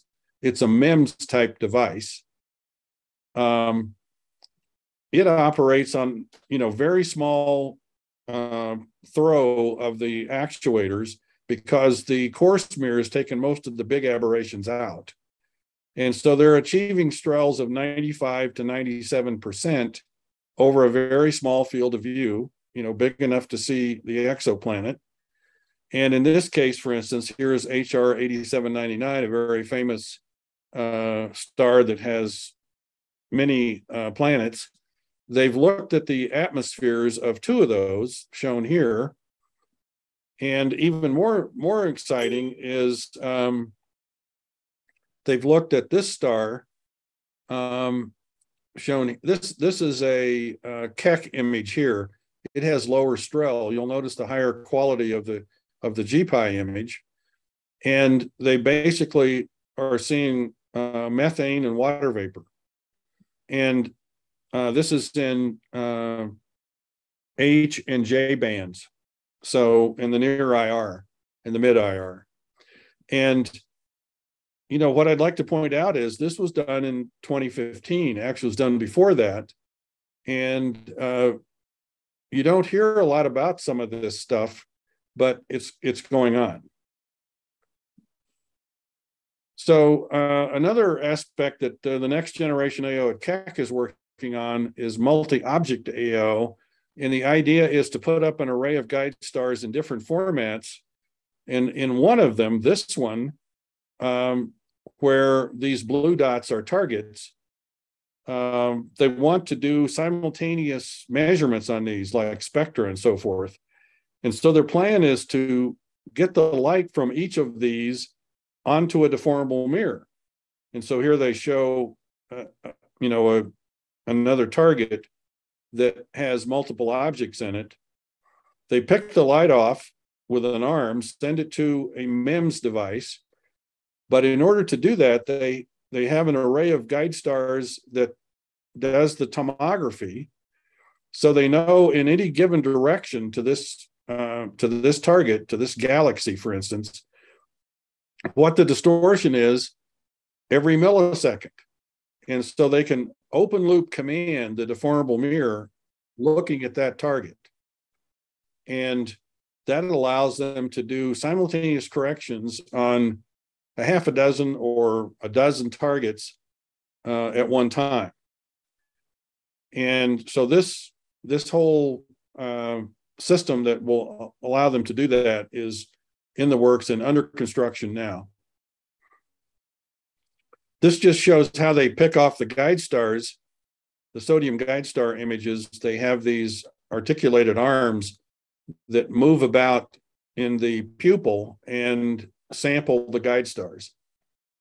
So again, all very complicated, but worth the effort. So finally, I'd like to talk about uh, a, a new project at NASA. I don't know how many of you have heard about this. This is at Goddard, and um, the principals are uh, Eliad Peretz and John Mather. John Mather and I worked way back. Uh, I was actually on some of the early review committees for the Webb telescope, and John Mather and I are longtime friends. But uh, the idea here is to put a, a low powered laser in a very high elliptical orbit and use it as a guide star for Keck. Um, what this does is it enables Keck to operate more toward the visible at very high Strehl.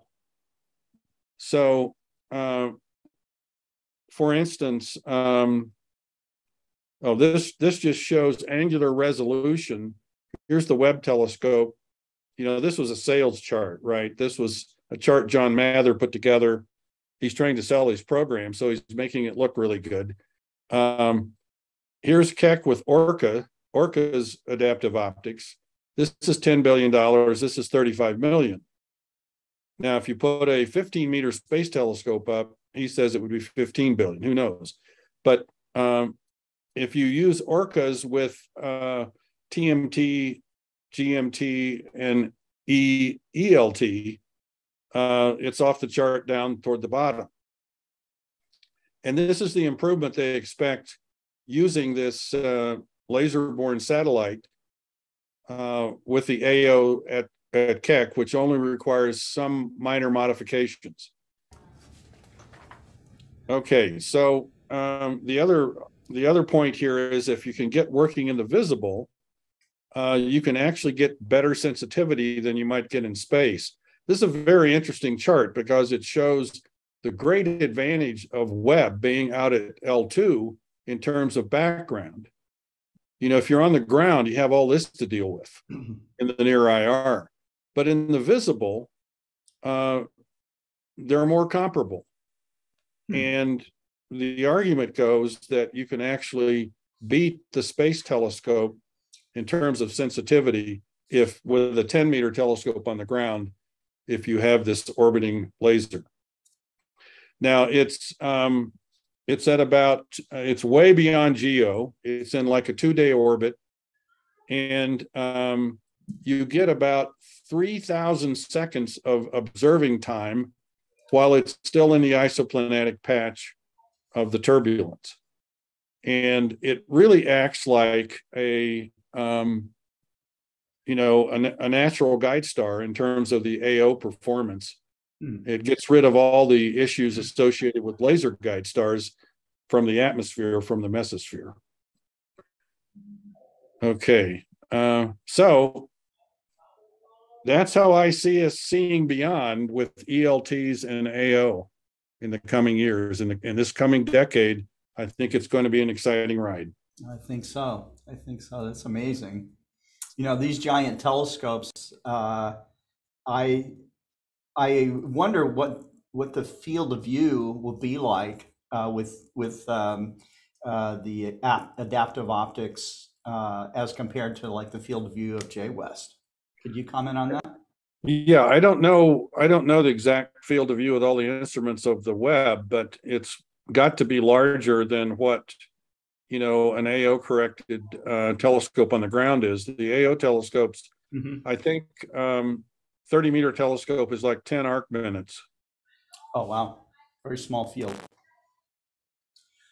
Excellent. Uh, you know, every time that we dive into adaptive optics, it makes me want to. Uh, put one on my telescope. So.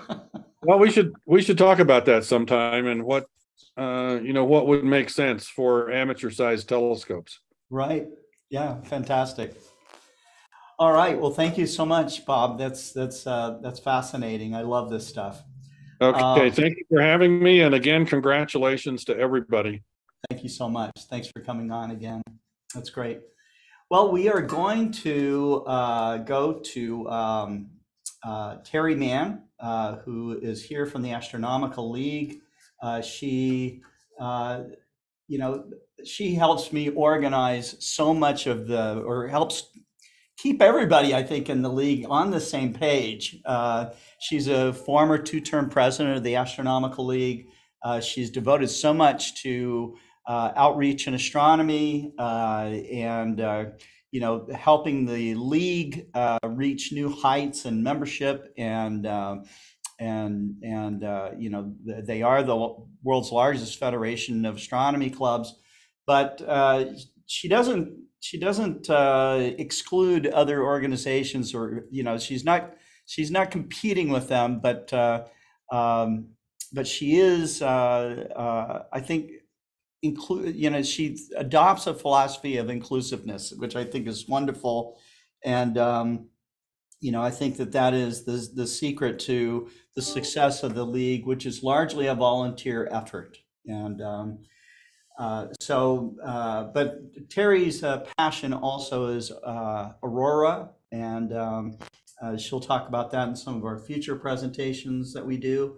Um, but for now, she's going to do the door prizes, and I mentioned that we will be upping the the you know upgrading the the prizes themselves. We're not changing the way that we uh, do the the door prizes, um, but for this particular hundredth anniversary, we're going to include a uh, iEXOS 100. This is a uh, this is a computer controlled equatorial mount that's wonderful uh, in its precision uh, and also its uh, its compactness. This will be, I think, one of the uh, most desired pieces of equipment for those of you that aren't don't already have a portable equatorial mount, but want to have something to prepare for these eclipses that are coming up, and for, also for those of you who want to do nightscape photography and that type of thing, or if you have uh, what are called grab and go telescopes. Uh, everything from about a four inch refractor on down works on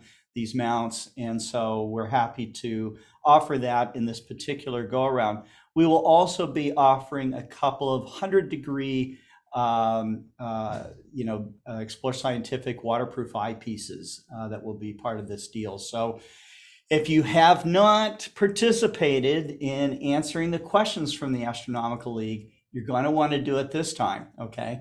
Um, Terry Mann will explain how it all works, but uh, she is uh, she's with us, and um, uh, you know I'm really happy to have Terry on with me here on the hundredth Global Star Party. Terry, thank you for coming on. Well, thank you, Scott. It's always a pleasure to be here, and congratulations! I can't believe it's been a hundred. It's been a hundred. That's right. It, it's hard to believe. Yeah. Maybe that technically this would actually be hundred and one, but being that it's happening on the same day, we're having it. We're calling it part one and part two. We had so go. many people that wanted to talk on the hundredth Global Star Party. I'm very grateful to all of them, and uh, so it's uh, it's it's been a huge honor for me to uh, interact with all the people that have been on Global Star Party from our meager beginnings, uh, you know, uh, and, and the forgiving audience. I mean, we had, oh my goodness, the mistakes I made in learning how to broadcast uh, oh. were, were numerous and huge, and uh, including one that where I just had to like throw the towel in and say, okay, guys, we're not doing it tonight. But um, but we didn't even count that one. So it was called Virtual Star Party when it started. I quickly changed its name to Global Star Party as I realized that we could have amateur astronomers and professional astronomers, some of them uh, logging in from anywhere in the world, and uh, and the audience also was uh, watching from around the world. So that's that's how it got the name Global Star Party.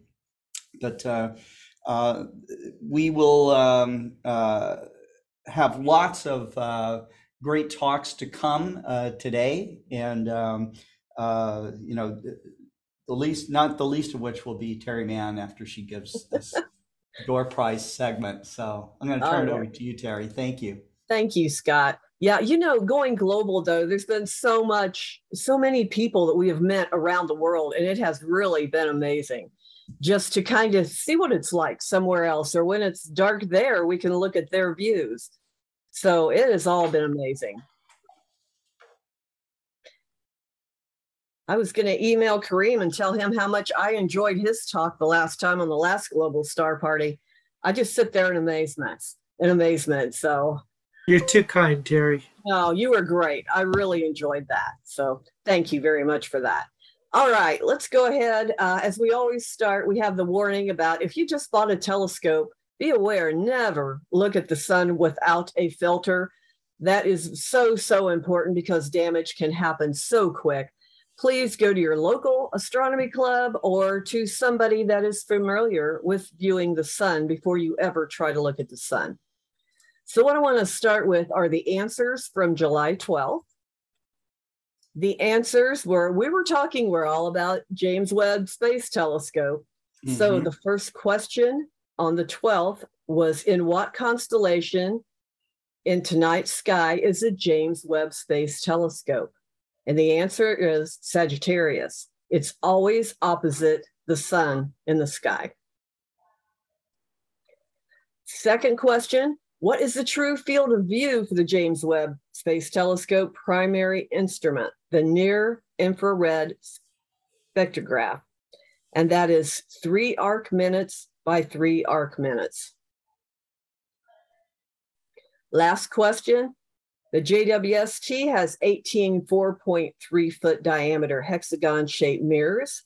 How much does each beryllium mirror weigh on Earth? And the answer was about 20 pounds. Wow. So, what we do is we award prizes once a month. And so we put everybody's name on a list that has answered that question. And that is what this is. Uh, the next, what would be the next global star party, we will all be at Alcon. So uh, for July, this this will be the last star party in July. So it will be, I believe, August second will be the mm-hmm. first Tuesday. So that will be when we will award all of these prizes plus the ones that Scott has mentioned today.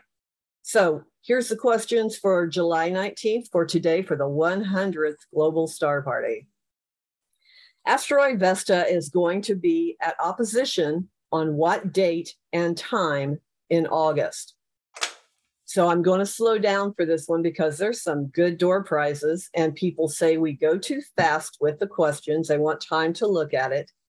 So what ast- I mean, asteroid Vesta is going to be at opposition on what date, and time in August.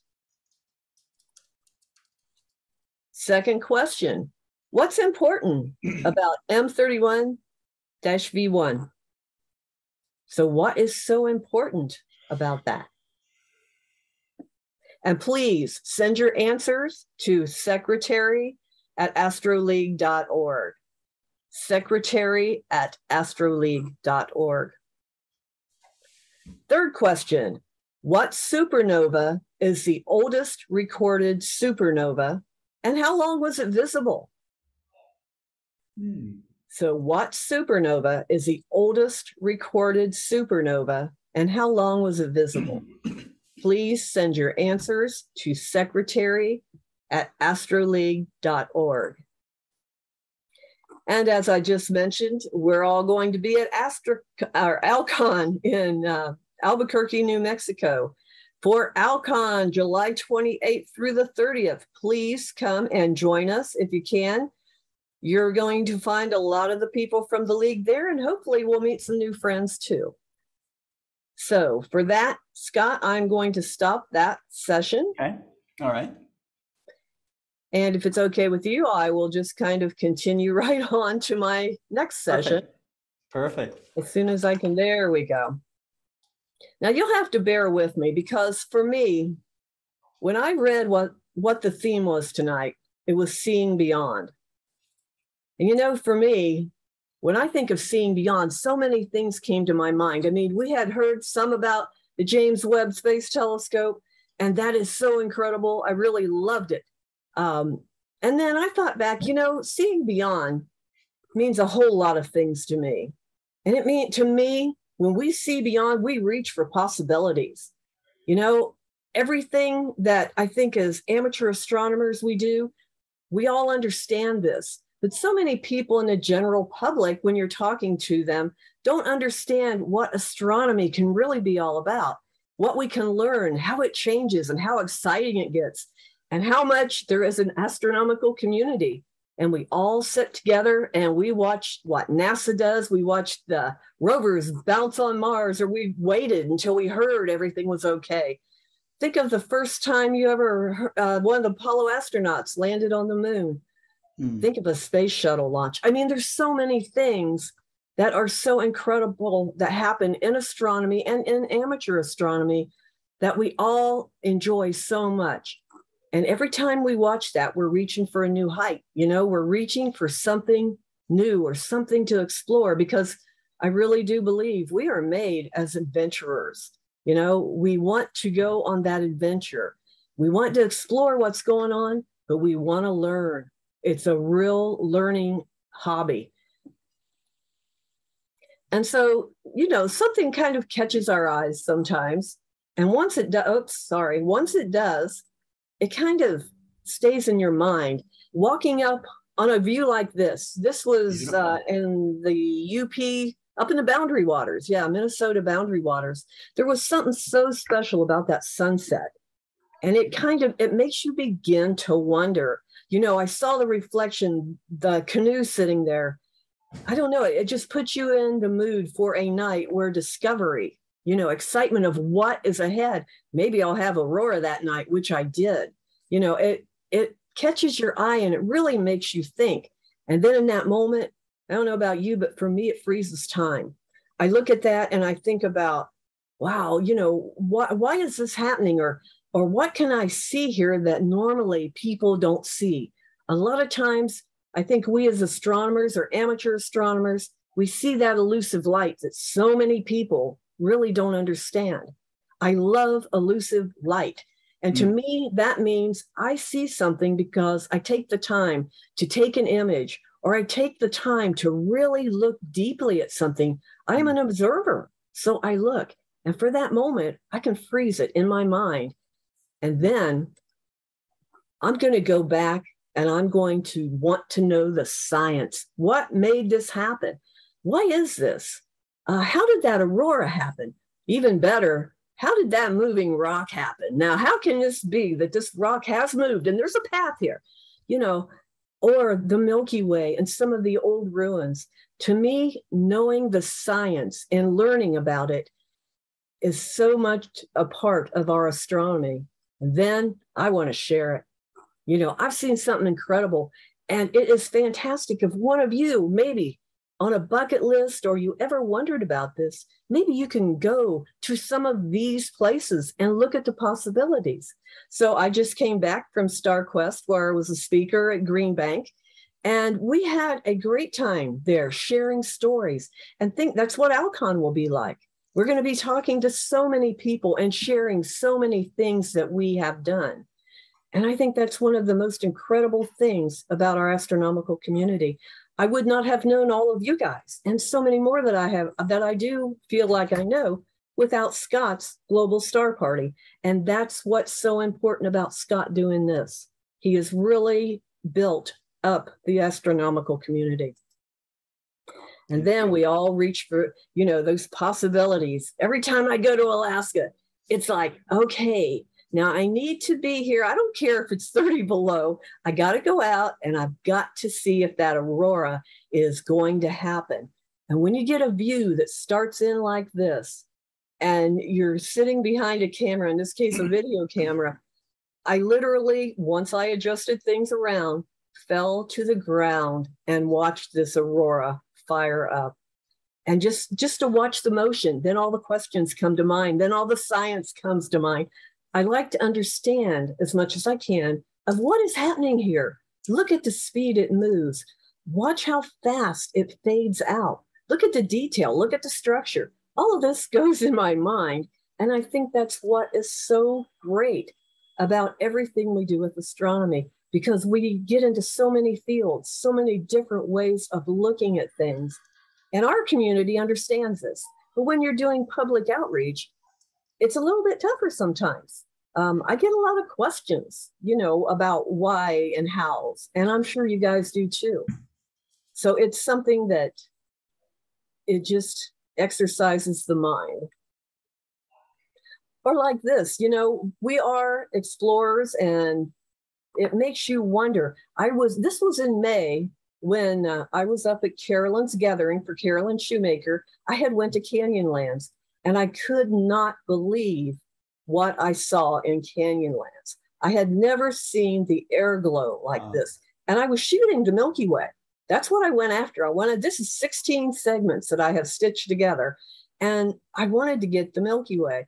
And I took the first shot, and this green came up in here. And I said, Oh my gosh. And as I stood there, I could really see a white haze kind of with this shot. But then all of this air glow came out, and it was just, you, you stand there in awe. I did. I mean, to me, it, I've never seen anything like this. So and it, yeah, I've never seen it like that. I've seen it in the sky and around, but I've never seen it arch like that, just like the Milky Way. Mm. Um, so I, I, immediately just I stood. I bet I was there for two hours just watching this because it was so incredible. But again, I think as observers we learn to see beyond. I granted now I did not see. I saw the Milky Way, but when I took this image, I knew something else was there. And then your eyes begin to adjust and you can see what is going on. And it was amazing. And again, that's what is so amazing about this hobby. You never have time to be bored unless that's your choice, I think. And then when I, this one, I was giving a talk and I had used one of these slides as a background. And uh, at a break, kind of in between, you know, some of the slides, somebody yelled out, Where did you take that? And how did you do that? I had never seen the zodiacal light before. This was an incredible again a night for me. I had never seen it. And I remember looking at the person next to me and saying, Do you know what that is? I was just blown away. And you've got the Northern Milky Way and the Northern Arch. So it there is so much that we can learn and so many questions. The times that I've worked with the scouts, they really they've not seen stuff like this. So to see something like this it makes them want, want to learn. They're excited about it. Why is that? And they'd like to go see it themselves. They're probably telling their parents where they want to go on vacation by now. But it's an incredible thing to see. And I I'm sure every one of you can stop and think about this. Now, this is a Hubble shot, granted, but I was probably eight years old when my dad took me to a college observatory. And they had a nice refractor in that observatory. And I looked at Saturn and I remember looking at my dad saying, It's hanging on velvet. And I was hooked. Mm. That's what it took. You know, a grant, I took my first astro photo shortly after that when I stole my dad's camera and went out and took a picture of the moon and he caught me. But this to me was what it was all about. In my mind, this is how I saw this as a child because it was so inky black behind it and the rings just glowed. And it got me wondering and wanting. Everything I did in school and science fairs was always astronomy. And how about the total eclipse? I don't know about you guys, but wow, last year was or 2017 was great. I mean, and I'm I love the diamond ring. That is something that always intrigued me. Uh, but the questions when people see this image or any image about you know a total solar eclipse the questions the kids excitement uh, we're gearing up around ohio because the center line is going to go right over my house but i'm not going to be here i'm going to be in texas i do believe um, and so so many questions and that's great because i think it really encourages the science and the science programs and the teachers and the kids and what can be seen. And i'm sure you guys can all, all remember back to what you first saw that got you excited about astronomy because it's it's a big thing or it was to me. But then i started the adventure. I started saying every thursday night i was at that observatory that that college was, had open. Every thursday night my dad would take me to learn the constellations to learn everything that i could in that short time about astronomy. And it is a great adventure. And it doesn't matter if you've got a telescope microscope camera whatever it is you use whatever has drawn you to your hobby or your career. And you learn so much and you share. And i think that's a big part of it learning to share and learning so much because my dad was a rock hound. So when Dave Eicher does his talks about the rocks, you know, I'm sitting there because my dad made beautiful jewelry and he would go out rock, he'd go out rock hounding and bring back tons of rocks. And I mean, he would saw them up. Everything he did just amazed me. So I think, you know, the adventure or the curiosity that you feel or the passion that you feel for what it is you do really reflects. Uh, how about the Mercury transit? Can you find Mercury? Can you tell I had clouds? this was mm-hmm. a Mercury transit from, ah, I don't remember, the one before last. Here's little Mercury right here behind the clouds. Oh. Um, yeah, at least I got it a little bit. Or you know, the belt of Venus. I mean, all of this just the first time I, I saw. I like it, the clouds on it, though. I think it, it gives some drama to it. You know, it, and it filters. It helps filter a little bit.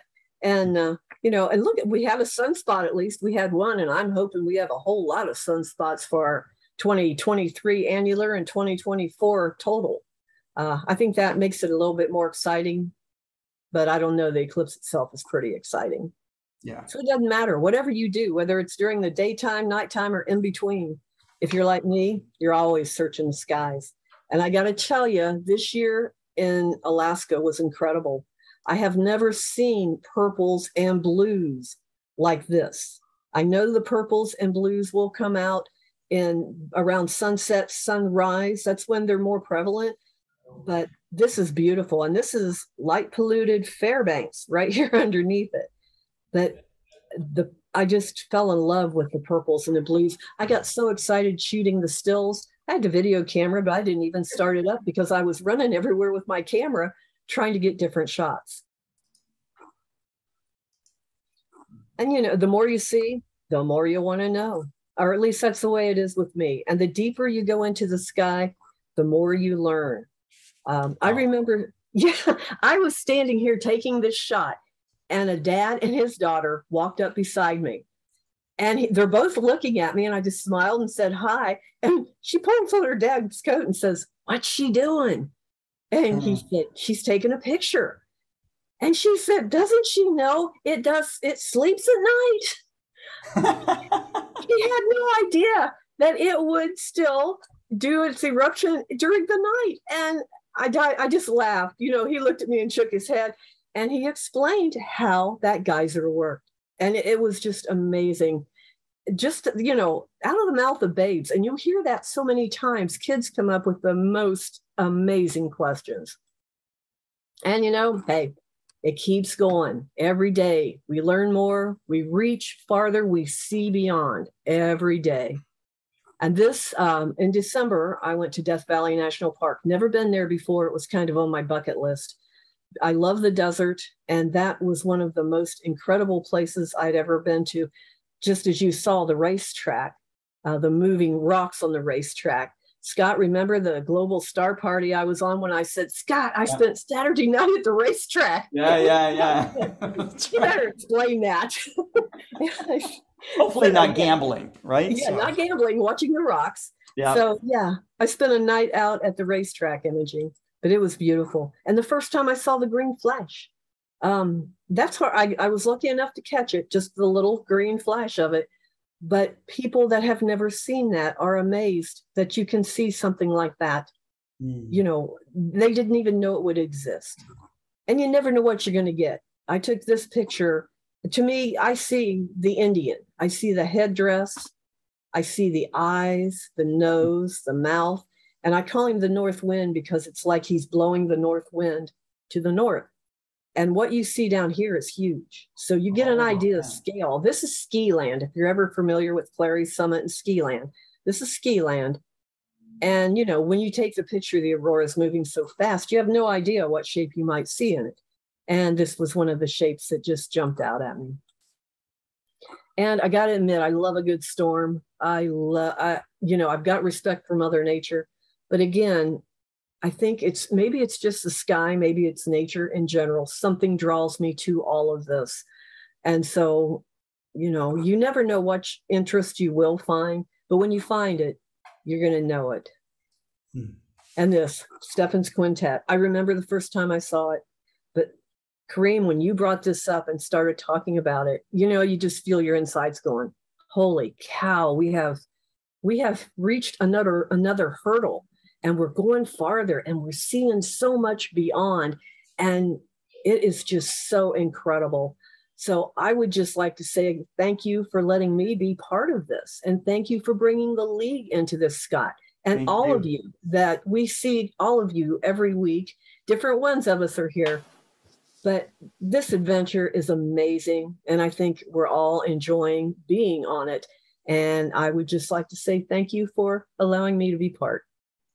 Well, we are very, very thankful that you are uh, participating in the way that you do. I'm really, I'm pumped right now. I'm, I'm ready to go. I want to forget too. this. I'm going to go outside and look at the sun or something. Actually, so That Hey, was I just can- incredible. It was like it was it was breathtaking. All the the story and the way you wow, wove together all of those images. Ah, Well, I gotta you. go. I gotta go aurora hunting with you. This is now on my bucket list. Hey, yeah. Yes, definitely. I'd love to. You guys have got some good aurora up there. I need to come up your way. Well, Lou just brought to my attention that the KP number is really nice and high tonight, and I'm looking out and I'm seeing clouds. I'm like, no. I, yeah, that's the one thing I think all of us would sit around a campfire or sit outside looking at clouds, waiting to observe, going, "Oh man, you know, bring on the s'mores, get order a pizza, do something." Yeah, but uh, yeah, I the aurora is something that's always attracted me, but I really, I think like a lot of the sciences, that yeah, I definitely want to head to Canada sometime. Anytime, you're welcome. Thank you. I'll take time off of Terry, work. We'll go a- out. Yeah, and I'll probably be with you both, Terry. uh, That's on my bucket list too. Um, I love the way I love the way that you wove your stories together. As someone who does that sort of imaging myself, um, I think the one thing when you said point it, point the camera north and take a picture because you never know what you're gonna get. Yeah. Uh, I have an aurora picture from that. I pointed it, didn't see anything. Was getting bit by mosquitoes. I was there to shoot the Milky Way, and I said, "Why not?" And the aurora showed up. So, you know, thank you. That presentation reminds me why I love to do it. And yeah, when you're out there immersed in the sky, you're just bringing some of it home with you to to remember it by, and and you want to go out and do it again. right. Always. So, uh, I'm always ready to go do this again. Yeah, it's great. Yeah. So, Thank you, thank Terry. you. Thank you. Okay, well, um, so we are going to um, transition here. Our next speaker, Terry, again, thanks so, so much for getting us so pumped up here.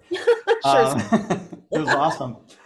Uh, our next speaker is uh, Lou Mayo. He is a professor of astronomy at Marymount University.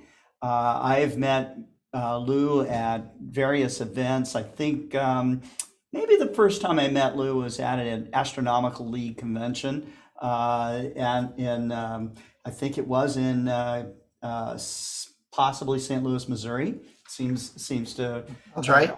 yeah, is that right? So Right. Yeah. yeah, and so, um, uh, but I, I had a question for you, Lou. I, I saw someone, I mean, of course, I can only see in the back, but, uh, you know, when Joe Biden was presenting the first image of uh, the James Webb Space Telescope, I saw someone taking pictures and I go, is that Lou Mayo t- in the corner taking pictures? Hmm.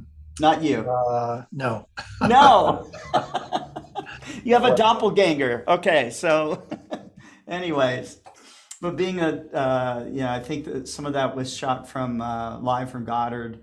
Um, not still not sure of even that, but um, but wow, what an amazing time! And uh, it- it definitely, I was thinking of, about. Uh, I was thinking that you were there, so maybe you were in spirit. Oh, in spirit, yes. yes, Definitely in spirit. Great.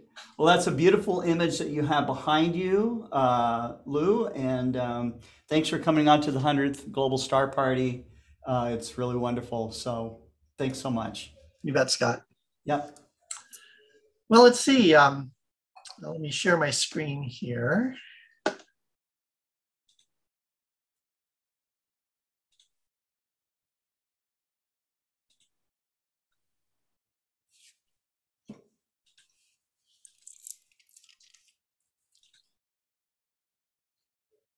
Okay. And Terry, I wanted to tell you um, those pictures of Aurora were stunning, absolutely stunning. Yeah. And reminded me of my trip, I think, uh, gosh, 10 years ago to Barrow, Alaska for first polar sunrise. We got a van, it was 30 degrees, degrees below, just like you quoted, Terry. And um, uh, we went out looking for polar bears at night where you scan the uh, Arctic Ocean, the frozen Arctic Ocean, with a searchlight looking for the reflectivity in their eyes. We didn't see any polar bears, but we saw the most incredible aurora. So I got to check that off my bucket list. Um, today, I'm going to talk to you all about uh, a favorite topic of mine, and that is Titan, Saturn's moon Titan.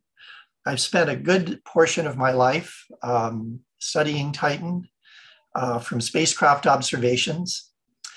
And I found it to be the most interesting place in the solar system, uh, perhaps beyond Earth.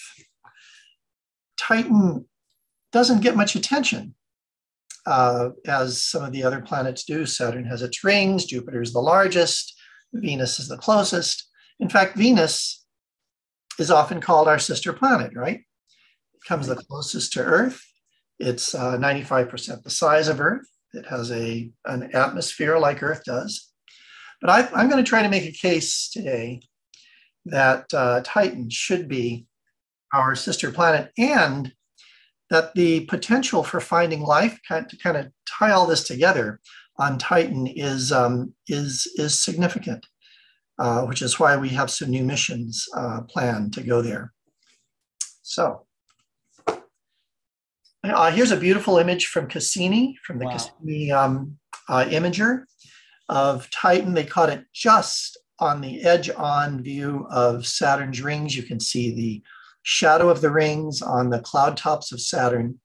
And you can see Titan and even kind of get a sense of its little bit of its orangish hue, which is due to the photochemistry. Uh, it's a kind of long chain polymer smog that, in, uh, that envelops the entire moon. In a sense of uh, you know size, uh, Titan is actually bigger than uh, than Mercury. If it wasn't orbiting Saturn, it would definitely be a planet. Uh, it has an atmosphere, a nitrogen atmosphere, pr primarily nitrogen. It has um, a tropopause where the temperature turns over just like on Earth. It has seasons, it has rain, it has clouds, it has lakes, it has rivers. It even has what we will call today prebiotic uh, chemistry. So it is an incredible uh, place, um, little over a billion kilometers from the sun, but you know who's counting that? Um, and I think it would be um, widely acknowledged as Earth's sister planet for all the reasons I just gave, except that the surface temperature is about 94 Kelvin, day in, day out. Not much variability between um, the equator and pole because its atmosphere is so thick and extensive. Its surface pressure is 50% larger than Earth's. It is the only moon in the solar system with um, a substantial atmosphere. So it's really quite an amazing place. So amazing that uh, we've sent a number of spacecraft and have some planned um, to go to Titan. Uh, it's been known since I think the 1940s. Uh, Gerard Kuiper discovered methane in the spectra of Titan. So we knew that there was methane in the atmosphere, which can often be a biomarker. Um, and so Pioneer 11 uh, to Saturn uh, took some initial images of, of Titan. Uh, the two Voyager spacecraft uh, took images of Titan. And in fact, Titan was such a high priority item for the Voyager mission that Voyager 1 was redirected to fly as close as it could to Titan to get very high spatial resolution images, uh, which, um, which meant that it couldn't go on to Uranus and Neptune but it got some of the most incredible high resolution images that were uh, only superseded uh, 20 years later uh, by Cassini. And of course, Cassini with its Huygens probe, uh, built by the Europeans that uh, parachuted down onto the surface of Titan, which I can't even fathom how you would how you would um, thread that needle over a billion kilometers away, and they pinpointed uh, the landing. So, from those missions, here's a little bit of a, an idea of what we got. Pioneer 11 had a fairly fuzzy image of Titan. Remember, we're not seeing the surface here. The surface is um, clouded in visible wavelengths uh, from us by uh, um, uh, an atmospheric haze that is built up through the photochemistry, uh, the photodisassociation of uh, nitrogen and methane in the upper atmosphere. And so we don't see the surface there. Um, uh, HST through their wide field planetary camera took images of Titan. I remember the I remember the age before we before Cassini, where nobody had seen a very good image of the surface of Titan. Um, but we figured out that uh, in the one to two micron range in the infrared, there are four methane windows where the methane absorption is, is minimal. And you can actually see to the surface of Titan. And that is the case with the Cassini VIMS instrument, visual and infrared mapping spectrometer in, uh, down below in the middle. And there we are seeing through one of those um, methane windows to the surface. And what we're seeing are uh, lakes uh, in the dark, uh, dark regions, um, uh, probably a methane cloud in the lower left there. Uh, I remember when we didn't know if there were methane clouds and we were having a debate at Cornell University when Bob Samuelson and I were making our presentation and uh, Carl Sagan and his team were making their presentation and a group from Canada who uh, name escapes me now, and we were kind of arguing over methane clouds, methane supersaturation. Um, and of course, now we know the answers to all of this. Um, in the lower right, we see uh, a Huygens image from their downward pointing imager as it parachuted to the surface of Titan. And this image we see, well, we call them, we, we used to call them fluvial channels. I think we can call them rivers now. Um, clear evidence of that. Uh, the, the darkish area on the bottom of the image um, uh, covers about half of the three images that are stitched together there. That's a, that's a hydrocarbon lake. We now know that's hydrocarbons. And the whitish features we see over the lake are in fact methane clouds. Um, going right up from there back to Voyager, you notice that the top portion of that image is different than the bottom portion. The top portion is darker than the bottom portion, right? Northern hemisphere is darker in that image than the southern hemisphere. That is not uh, a sun angle effect. That is real. Um, on on uh, Jupiter, we see um, uh, six Had Hadley cell circulation centers from equator to pole, which result in the beautiful uh, banded structure of Jupiter. On Earth, we have three Hadley cells from equator to pole because our rotation rate is a bit slower than Jupiter's. Titan's rotation rate is very slow. And so depending on the season, you have uh, uh, half of the Titan year, you have simple transport of material from the southern hemisphere to the north and back again. So it's a fascinating object. Well, um, here is the closest up image we have of Titan at this point. This was taken by the Huygens uh, uh, lander as it, par it, parachuted to the ground. You saw uh, an image from above the surface just a few moments ago. This is now on the ground looking at the surface of Titan. And we anticipated that uh, because we understood the, we, we, we, had been able to model the atmosphere before Cassini, and we understood that it was raining on Titan, that the hydrocarbons and the nitriles uh, were precipitating out and probably making it to the ground.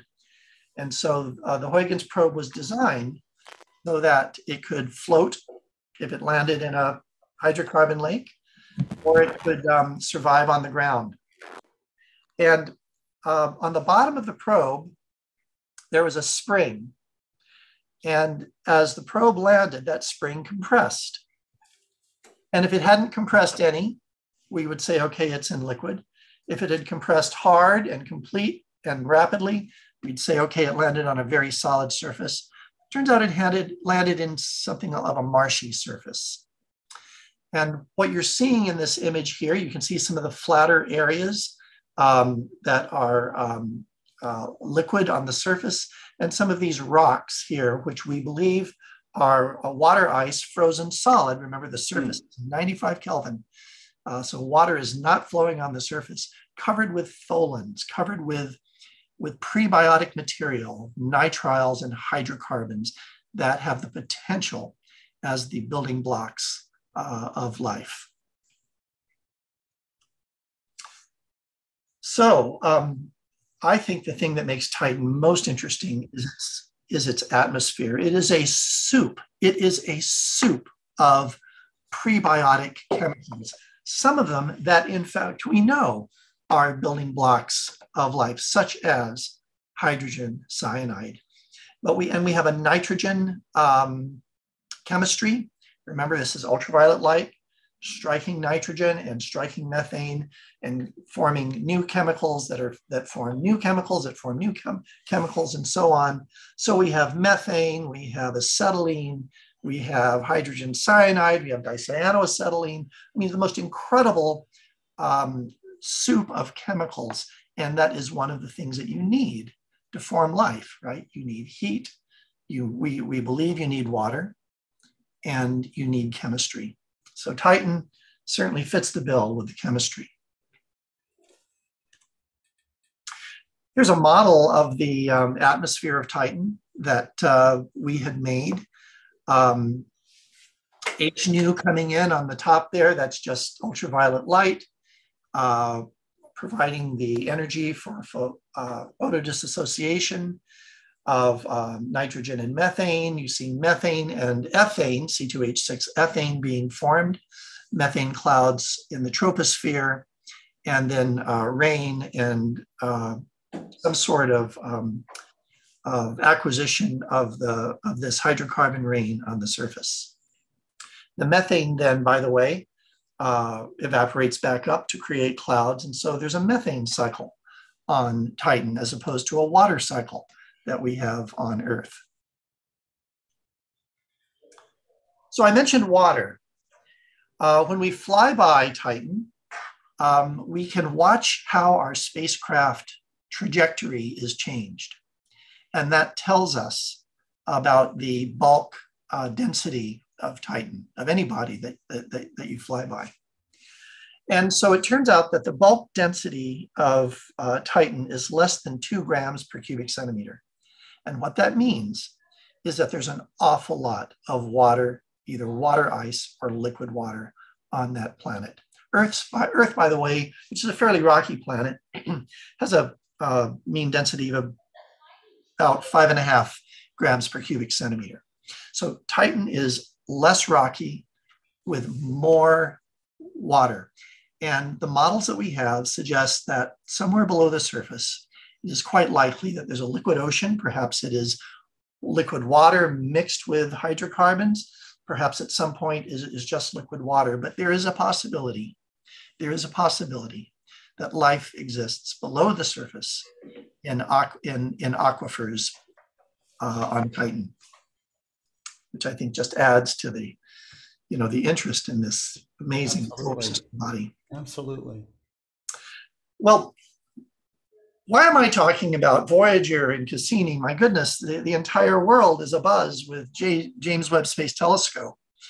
Um, and what we generally think of James Webb as is a, an, an, instrument that's going to show us the beginning of the universe, or very, very soon after the beginning of the universe, the first galaxies that have formed and how galaxy evolution happened and what is dark matter and all of these big, big questions. But in fact, uh, there are um, uh, scientific objectives for James Webb in our own solar system. Uh, we recently saw, I think it was an engineering um, uh, instrument that uh, took a picture of um, uh, Jupiter in the what was it, maybe two to three micron range. So um, uh, what about Titan? And it turns out that um, here are the four instruments that um, James Webb will use. Uh, NIRCam uh, camera, which also has uh, spectroscopy capabilities, the near, uh, near infrared spectrometer, and a mid infrared spectrometer, and then the, then the um, engineering or, or um, navigation camera. And uh, if you looked at the graph down below here, you can see uh, each one of these little squares is a pixel on the on James Webb. And so we can get at least eight, depending upon uh, how you define the surface, maybe 10 or so pixels across the disk of Titan, which means we're going to have spatial resolution. Uh, Titan moves less than six milliarc seconds per second across the sky. James Webb can slew at 30 milliarc seconds uh, per second, so no problem there. With a pointing stability of 0.05 arc seconds, and uh, Titan's diameter is uh, 0.7 arc seconds. And so um, we can get some very nice data from James Webb looking at Titan. And I'm so excited to see some of the first uh, images and spectra uh, to see what James Webb can do. I, I, don't know when that's going to occur. I haven't heard about Titan being targeted yet, but I, I know that that will be in the, um, in the solar system package. Well, looking a little further into the future, uh, Dragonfly, the um, uh, Johns Hopkins University Applied Physics Laboratory, uh, won the contract to send Dragonfly to Titan. This is a drone that they're going to land on the surface of Titan. That's cool. They'll use um, uh, parachutes here. Remember, the atmosphere of Titan is very thick. It's not only denser at the surface, it's much more extended than Earth's atmosphere. So parachutes make a lot of sense. And once it, you get to the surface there, um, this drone will actually fly around and sample the atmosphere, fly to different places, sample the surface, be able to sample some of the liquid hydrocarbons on the surface, give us a lot more information about that. Dragonfly is going to launch in 2007, and uh, it's going to take uh, about um, seven years uh, cruise, cruise phase until it reaches Titan in 2034. So um, we have to be patient, but that's going to be an exciting time. Um, and finally, I just want to make the point that uh, even though Titan is very cold right now with, with an atmospheric haze that obscures the surface and uh, uh, obscures a lot of the sunlight that does, the little bit of sunlight that does reach the surface, um, at some point in the not too distant future, well, six billion years from now, uh, our sun will become a red giant after it uses up all of its hydrogen fuel and, and has um, uh, started converting helium to carbon in its core. And as it does that, it will expand. You, I'm sure many of you all know this and engulf the, um, uh, the orbits of uh, Mercury, Venus, Earth, and possibly Mars. So it's going to be a bad day for us. But the ultraviolet flux from the sun will will uh, drop significantly, which means the atmosphere of Titan will, will clear up the sun will be much larger, pumping out uh, photons from a much larger surface area, hmm. which means that it's going to be much warmer in the outer solar system. And I'm thinking, uh, and here's a, this is a paper by um, Ralph Lorenz, uh, Jonathan Lunine, and Chris McKay back in 1997, Titan under a red giant sun. Perhaps all of that frozen water on Titan will become liquid water at that time. The hydrocarbons and nitriles, which exist um, can exist in liquid form on, under the cold temperatures we have now, they will go back into the atmosphere. And maybe oceanfront property is where you want to be on Titan in six billion years. If you're interested, see me after the talk. So in summary, um, wait, I thought I had a, here we go. Okay, Earth has poles and polar processes, right? seasons, lakes, rivers, lots of water, clouds and precipitation, smog, and biotic chemistry. Titan has poles and polar processes, Uh, in fact, you can see on this image here, it's slightly darker at about the, about, about the one o'clock uh, position. That's called the North Polar Hood on Titan. Um, it has seasons, lakes, rivers, lots of water, clouds and precipitation, smog, biotic in parentheses, perhaps prebiotic chemistry. So I think I can, I think, I hope I've made the case that um, Titan is not only a fascinating world with um, uh, real opportunities to find life, at least um, microbial life, um, and, is, and is a better sister planet for Earth than uh, Venus. And I'll stop there. Absolutely. Yeah, it sounds like uh, it's the logical next uh, next great leap, you know, for us. Titan, Europa, Mars, very high ticket items, which is why we're NASA is spending millions of your tax dollars to go there. Right. I'm trying to figure out how I can't I can't plan a vacation in two weeks and lose planning a vacation in several billion years. trying to think ahead. That's right. Well, Lou, thank thank goodness there's people like you who are thinking ahead, and uh, you know I think that uh, you know a, a, um, a life search mission to Titan is is certainly where I would spend some of my tax dollars if I could just choose where it goes. So. Um, Thank you, Scott. I, I, Scott, I forgot to say I'm very much looking forward. I've, I've got a, a an observatory, backyard observatory. It's going to be delivered in a month or so. Oh, great! I'm very much looking forward to putting my five-inch Explore Scientific EDF oh, thank you, Lou. out to um, thank you. To, uh, look at the sky. That's awesome. That's awesome. Well, thank you. I hope to see a photo of it soon. So that, that's great. I think that every telescope deserves its own uh, uh, home. It's a little observatory, whether it's your, you know, your balcony, or if you are lucky enough to have a backyard where you can build something. Uh, you know, it definitely makes um, all astronomers uh, much more productive because the scopes are ready to go, you know, so, right? That's, that's the whole idea. Go out, push a button and observe the universe. And away it goes. Lou, thanks again. Thanks for coming on uh, once again to Global Star Party. My pleasure, Scott.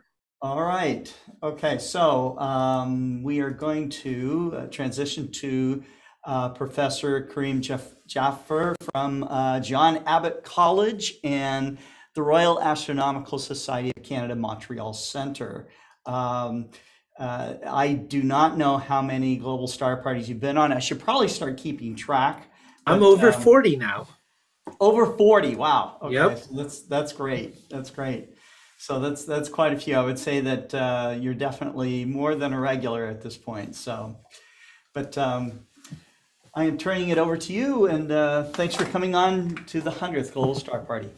Thanks, Scott. It's a pleasure to be here. And uh, as usual, I'm going to try to stick to something sim- close to the theme. But I'm going to start off with a few little bits that I wanted to chat about. Uh, I'm really happy to be here to celebrate the 100th.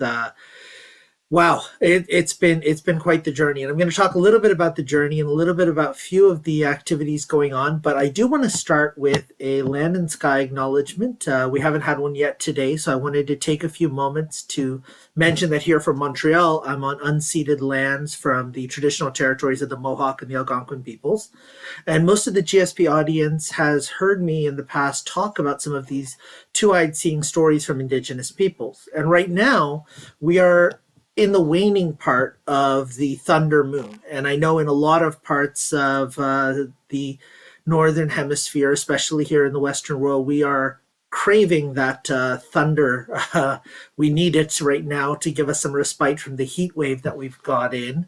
But we are at the waning gibbous. This is a picture from Roger Hyman from Space Oddities from yesterday in the UK. And we are at the third quarter moon tomorrow. And so it's a wonderful moon to watch, but it also gives us the dark skies early in the evening. The other thing for us to keep an eye out for, of course, is the sun. And Roger imaged the sun yesterday. And the reason why I want to share this with you is to share with you some awesome news that I've been putting on Facebook, which is that my son, Ilyas, is currently at Mount Wilson Observatory. He was one of the nine students chosen for the SOAR program, the Summer Observational Astrophysics Retreat. And yesterday he sent me his first observation, which was from the Snow Solar Telescope of the sunspots, and they match so well with a slightly rotated version of what Roger had posted earlier in the day. So I was just really happy to see that that he was starting to do that type of observational note taking. And he wrote to me last night saying that he finally understands RA and DEC. So I asked him to explain it to me when he gets back. Um, but it's a lot of fun to hear these experiences that youth get to have. And we got to do a lot of that over these last couple of days. Uh, Adrian gave us a talk this past Saturday, and several of my students actually watched the YouTube afterwards and sent me questions about wide field astrophotography. And one of them has already gone into the college today and borrowed a DSLR camera for a week so that they can go out and try a few exposures and a few different time settings without a tracker but just to see what they can get when they go out to dark skies. And that's the type of thing we really love to see. And these last few days, one of the big things that we've been doing here in Canada is we've been supporting SHAD Canada with outreach from the RASC. So the McGill campus of SHAD Canada opened up in 2018 and our Montreal Center has been supporting them since day one with one type of an observational outing with some informational presentations at the start of the evening. And we got out on the field and we set up telescopes, and unfortunately, the clouds won. Uh, but towards the end of the night, just as they were heading back to the bus, they got to see the ISS pass over top. They got to see the Summer Triangle. They got to see a little bit of the Big Dipper. And then the waning, uh, almost full moon rose just as their bus was leaving the campus. And last night, I was reached out by uh, Shad New Brunswick, where they had a speaker cancel and they asked if I could do a talk on Indigenous astronomy. So I did a two eyed seeing talk for them. And it was a lot of fun to hear a little bit of the perspective from the students. But one of the things that we talked about was the role of light pollution in limiting what we can see of the night sky. And I was I, I, was enjoying today. I got an email from the organizer there, Ian, that on their walk back to the campus, a lot of the students were looking at the lights on campus and analyzing which ones were friendly to the observing of the night sky and to the migration of birds and which ones were not. And so it really does start to show you the impact that our outreach can have. And a lot of that outreach that we've been able to do has come from these global star parties. Now, my own history with the Global Star Party started in December 2020 when I helped my daughter put together her presentation. Tara gave a presentation on observing the Great Conjunction from home. And she talked a little bit about using her telescope in the driveway and what she would see. And Jenna had recruited her as a youth speaker. And since then, I've kind of been really enamored with this this venue of reaching out to a global audience. And when I pitched the International Astronomy Day for GSP 45, Scott was absolutely gung ho and even kind of gave the reins to myself and Russell to just go with it. And we ended up with this amazing eight hour program right. that was just wonderful. It, it really just, I mean, it, it let us showcase a little bit of what makes the Montreal Center special, but it also let us bring in people from all over the world and even meet so many new friends and the GSP regulars. We followed that up. I stayed online from then and I, I've stayed a regular participant. But as a center, we also hosted the 45 degree star party with Dunedin in New Zealand. And we had such a wonderful time sharing the 45 degree north and the 45 degree south uh, skies. But at the same time, the youth movement was really taking off in the GSPs as well. We had so many youth presenters coming in. Tara came back on to do the Creation Station presentation.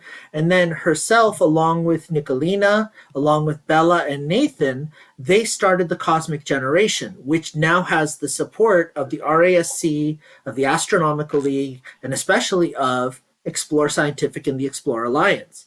And so when the next Skies Up issue comes out, you're going to see an entire section by the Cosmic Generation. And so I love seeing that type of a connection with uh, the global star parties. And as Terry mentioned, last week in the global star parties, I talked about these first five images from the James Webb. And we talked a little bit about the science of them. And I know in the second section tonight, there's going to be a little bit more on a couple of these targets. And I'm looking forward as an observer, as a viewer, to watching those.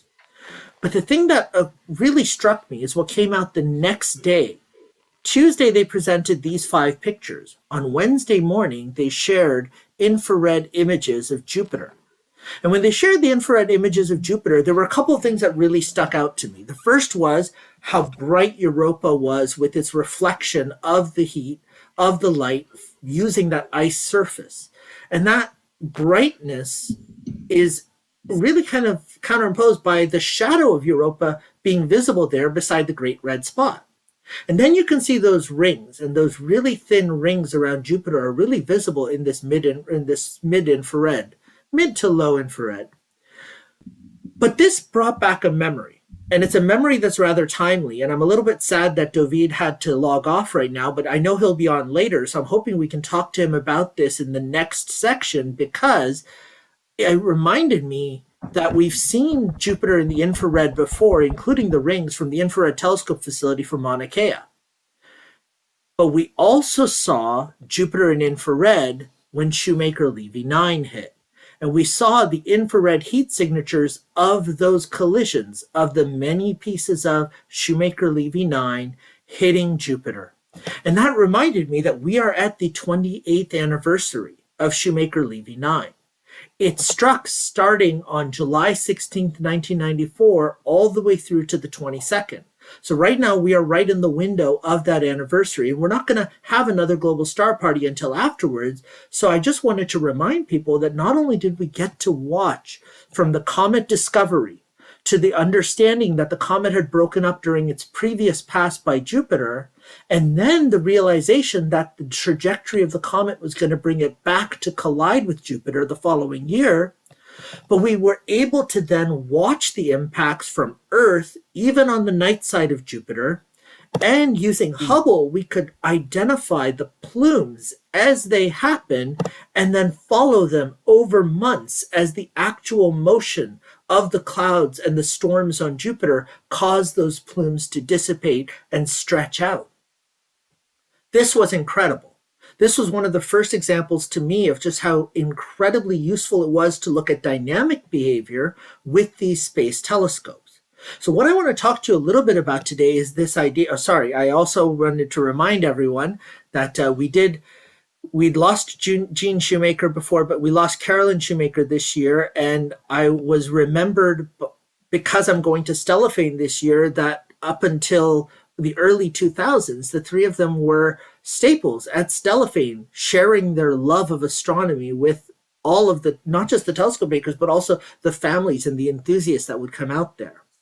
Uh, so, what I wanted to mention to you is realizing what Hubble allows us to do in real time. And now with James Webb up there and all the attention that it's been getting, I wanted to talk about seeing beyond, but look at it in terms of seeing beyond what we can see here on Earth, but then also the importance of using your own instrumentation and your own naked eyes here on Earth. So I thought I'd start off with what my devices are, how I do astronomy here at John Abbott College and in my driveway. And I have a couple of Dobs that I use, both a tabletop as well as a base Dob, a nice truss one that's a 10 inch mirror. And then at home, I have an 8 inch and a 6 inch. I have a Nexstar that I can use, including for solar photography, like we did for the 2017 partial eclipse. Mm-hmm. And then I have access to a Coronado, I have a DSLR camera, and I have binoculars. And bringing all of those things together, I can just get out there and enjoy a little bit of what makes the night sky special. And one of the things I love sharing with students is just watching the moons of Jupiter and Jupiter itself over the span of a few minutes or a few hours or an entire night and watch that orientation of the different moons and see it change over time.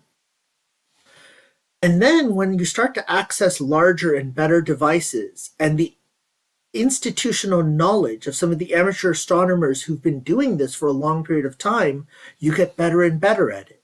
When Mars was in opposition, using our telescope there, we were able to actually get this view of Mars where you can see structure on the surface of Mars over a long period of time.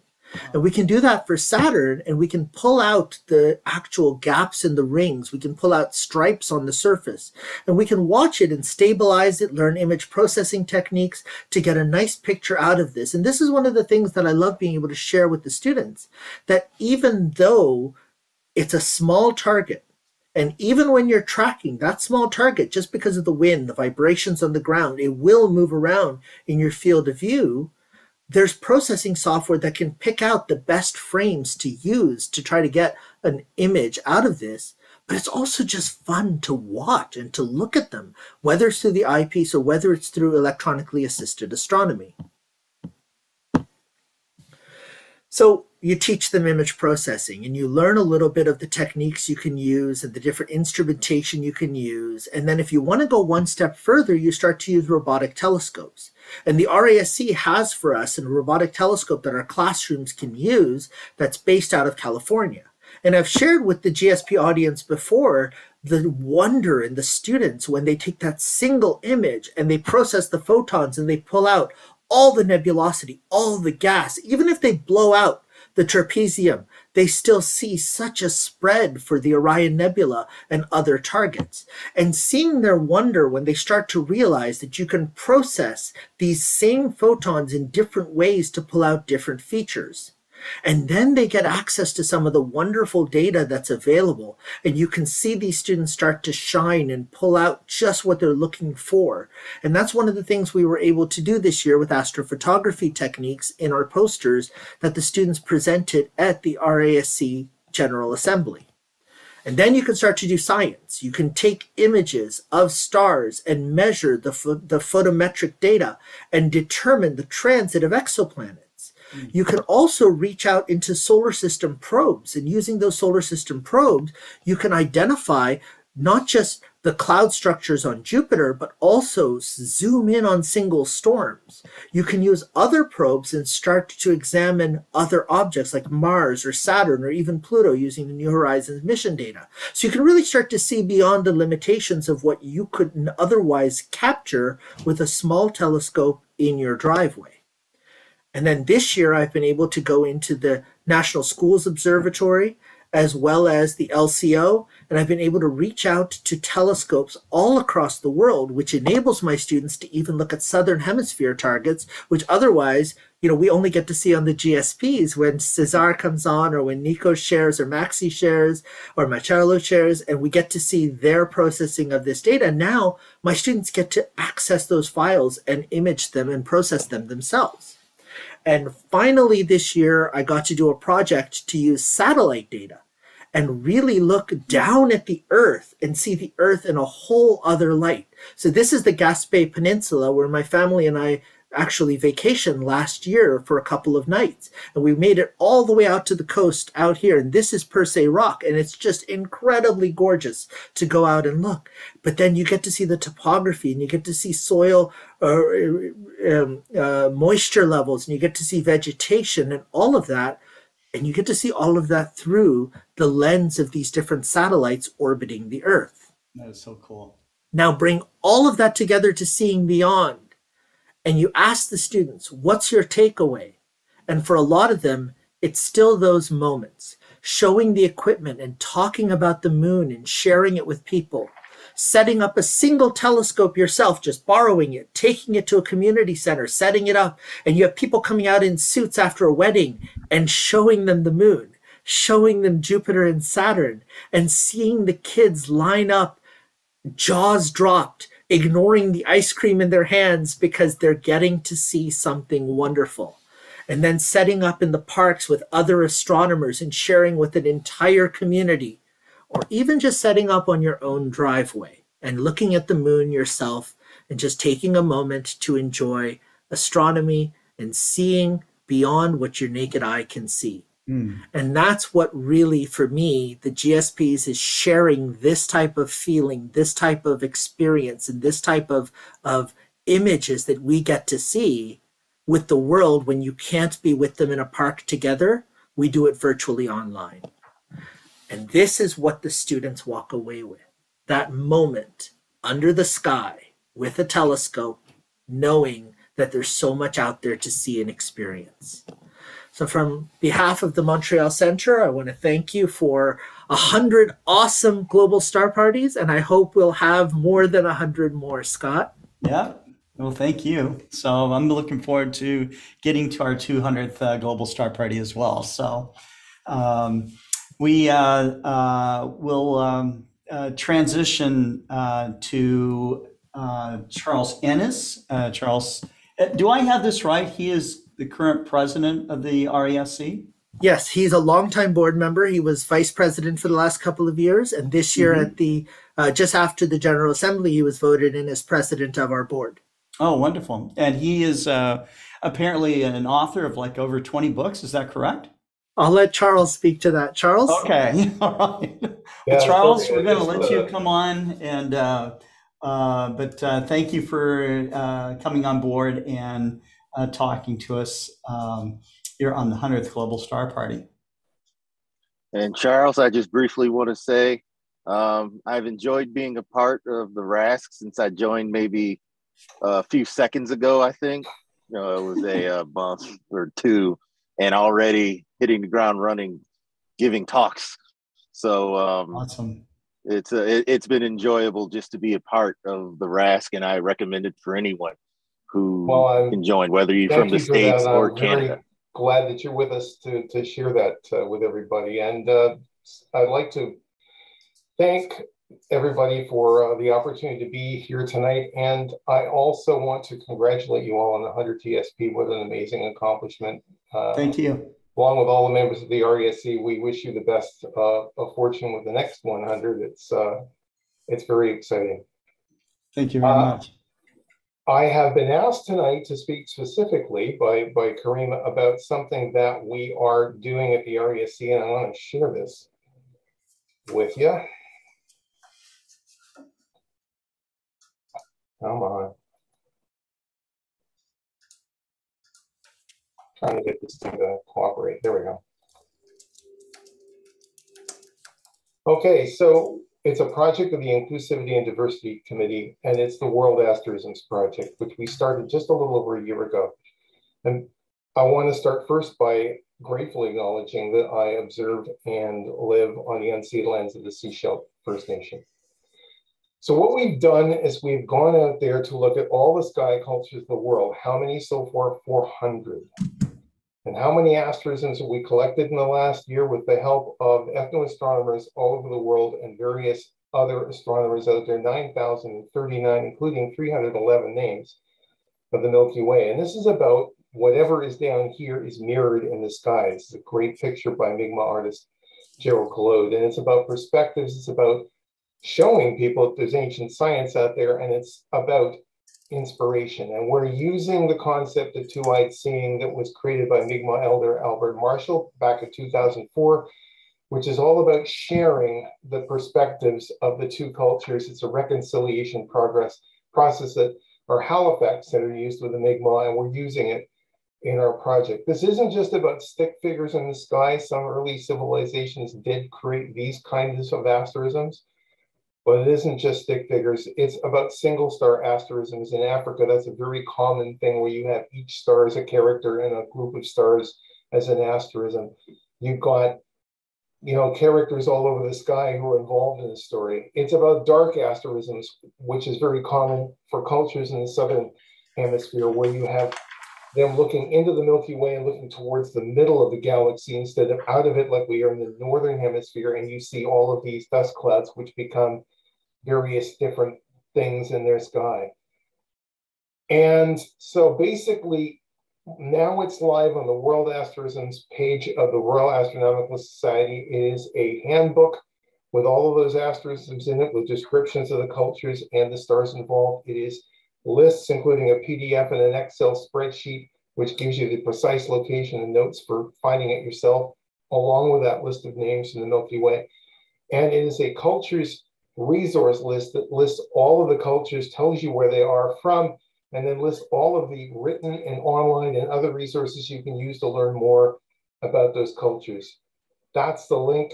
Or you can just go to the RASC website, search box, put in World Asterisms Project, enter, and it'll take you to list free download. If you're a researcher, get a hold of me because we have a Google Drive where we share this stuff live, where we can work on this project together. And this is a living project because we are constantly making partnerships with First Nations and other groups to help them recover their skies.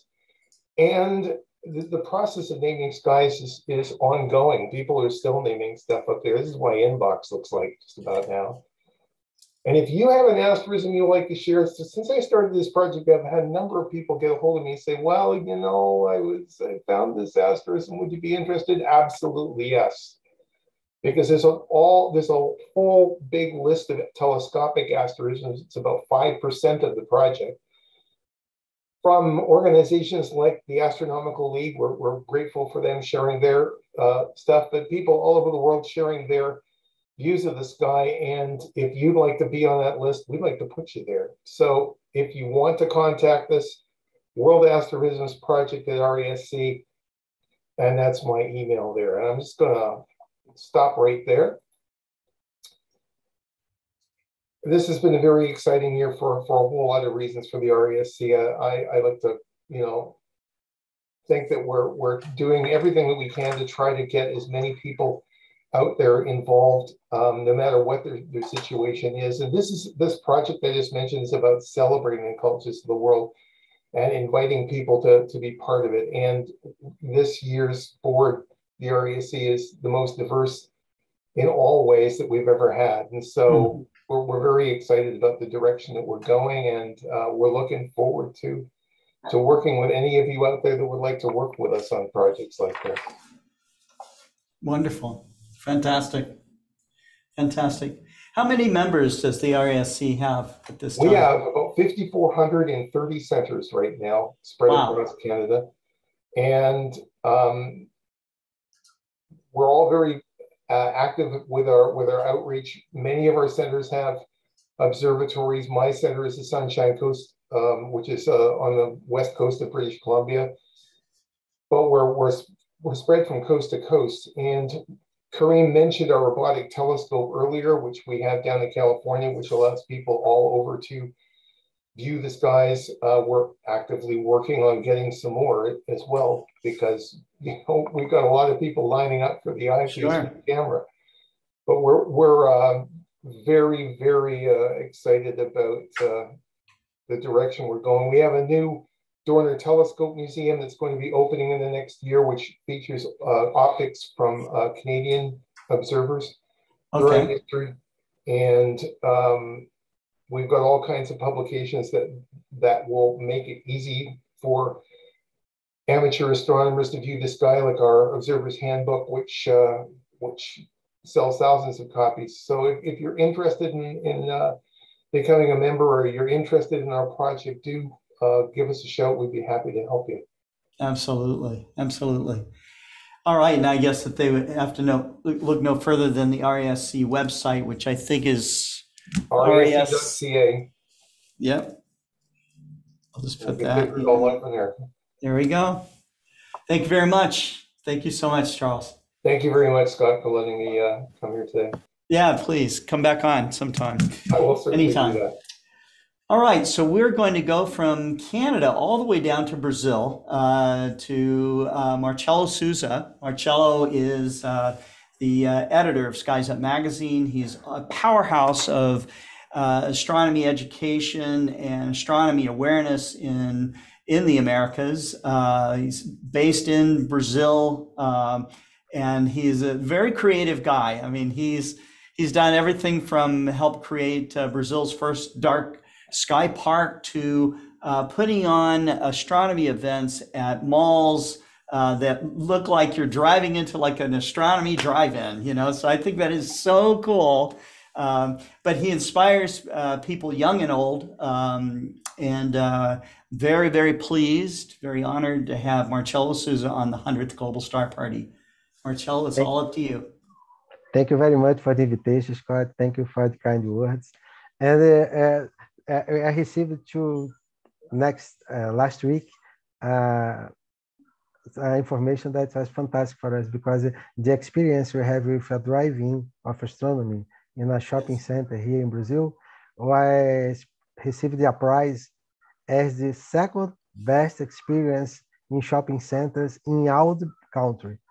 Oh, then wow. something fantastic, you know, that science can win a prize uh, uh, uh, Eh, eh, with uh, outreach activities in shopping centers. Né? The other prizes were associated with shoppings and the activities that help to, to sell more things. And we received the, the prize to because we developed a, a project. We not the shopping center that received the prize. That's so awesome. That's for this project, that is something fantastic for us. Yes. I as it is and the congratulations, Scott, for the uh, same 100 yeah, Marcelo, everybody keeps congratulating me, but it's it's really all the people that pulled together to make Global Star Party happen. You know, so I'm just the guy that connects the wires together. So but, but you are the responsible for that. Thank you so much. Thank and, you. and uh, I I have today I wrote a script to uh, not to be a, a long presentation, and uh, I have a script here okay. to help me. Uh, I will share my screen. Okay. Only to illustrate what I'm saying. Yeah. This is the links for our astronomy group here in Brazil. Yeah. And the, since ancient times, humans being have been trying to develop ways to obtain images that accurately reveal their observations of the sky. Images of the sky of the observed phenomenon stars recorded for posterity. In ancient Greece, there are already reports of knowledge of the technique for produce, producing images by directing the passage of light through a small hole. The orifice camera obscura. However, they were images only to be observed when observing the landscape. Here is the only illustration that I have for this Arab, that is Al Hazen. Uh, his full name is Abu Ali al Hassan ibn al Haytham. Uh, he lived in the 10th century and presented a way of observing eclipses using a camera obscura. In this case, the camera obscura consists of a room with a small hole in the window. The image informed on the wall. This method allowed the magnification of the image of the sun and a comfortable and safe observation of the solar eclipse. The records of the observed images, however, were still made through drawings and paintings. Here is Galileo. Galileo Galilei released the image of his observation through uh, drawings. That way, it was possible to get an idea of his observations. In the drawings he made, he showed the position of the Jupiter moons, the phase of Venus, the tails of the moon, and Saturn. He couldn't get enough resolution to observe Saturn's rings. And something that's fantastic for me were, were the ancient maps, sky maps. Né? Sky map with representation of how different civilizations saw the constellations, are records that were left by many people. In the West, during a long period, great artists were responsible for representing representing the constellation. Beautiful maps of yes. the sky were produced, works of art, with creative and beautiful designs for each of the constellations. These are some of these ancient sky maps that uh, were made by fantastic artists.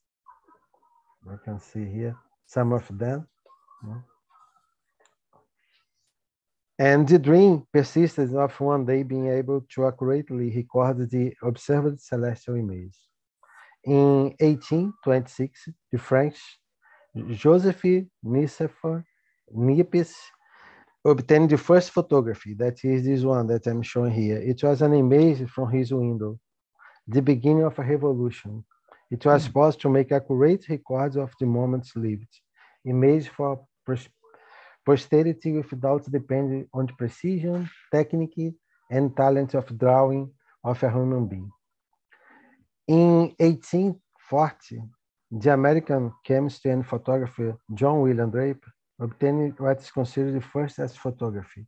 That is this one here. He recorded for the first time in a photography the image of the moon. In 1880, his son, Henry Draper, first obtaining a photography of the Orion Nebula.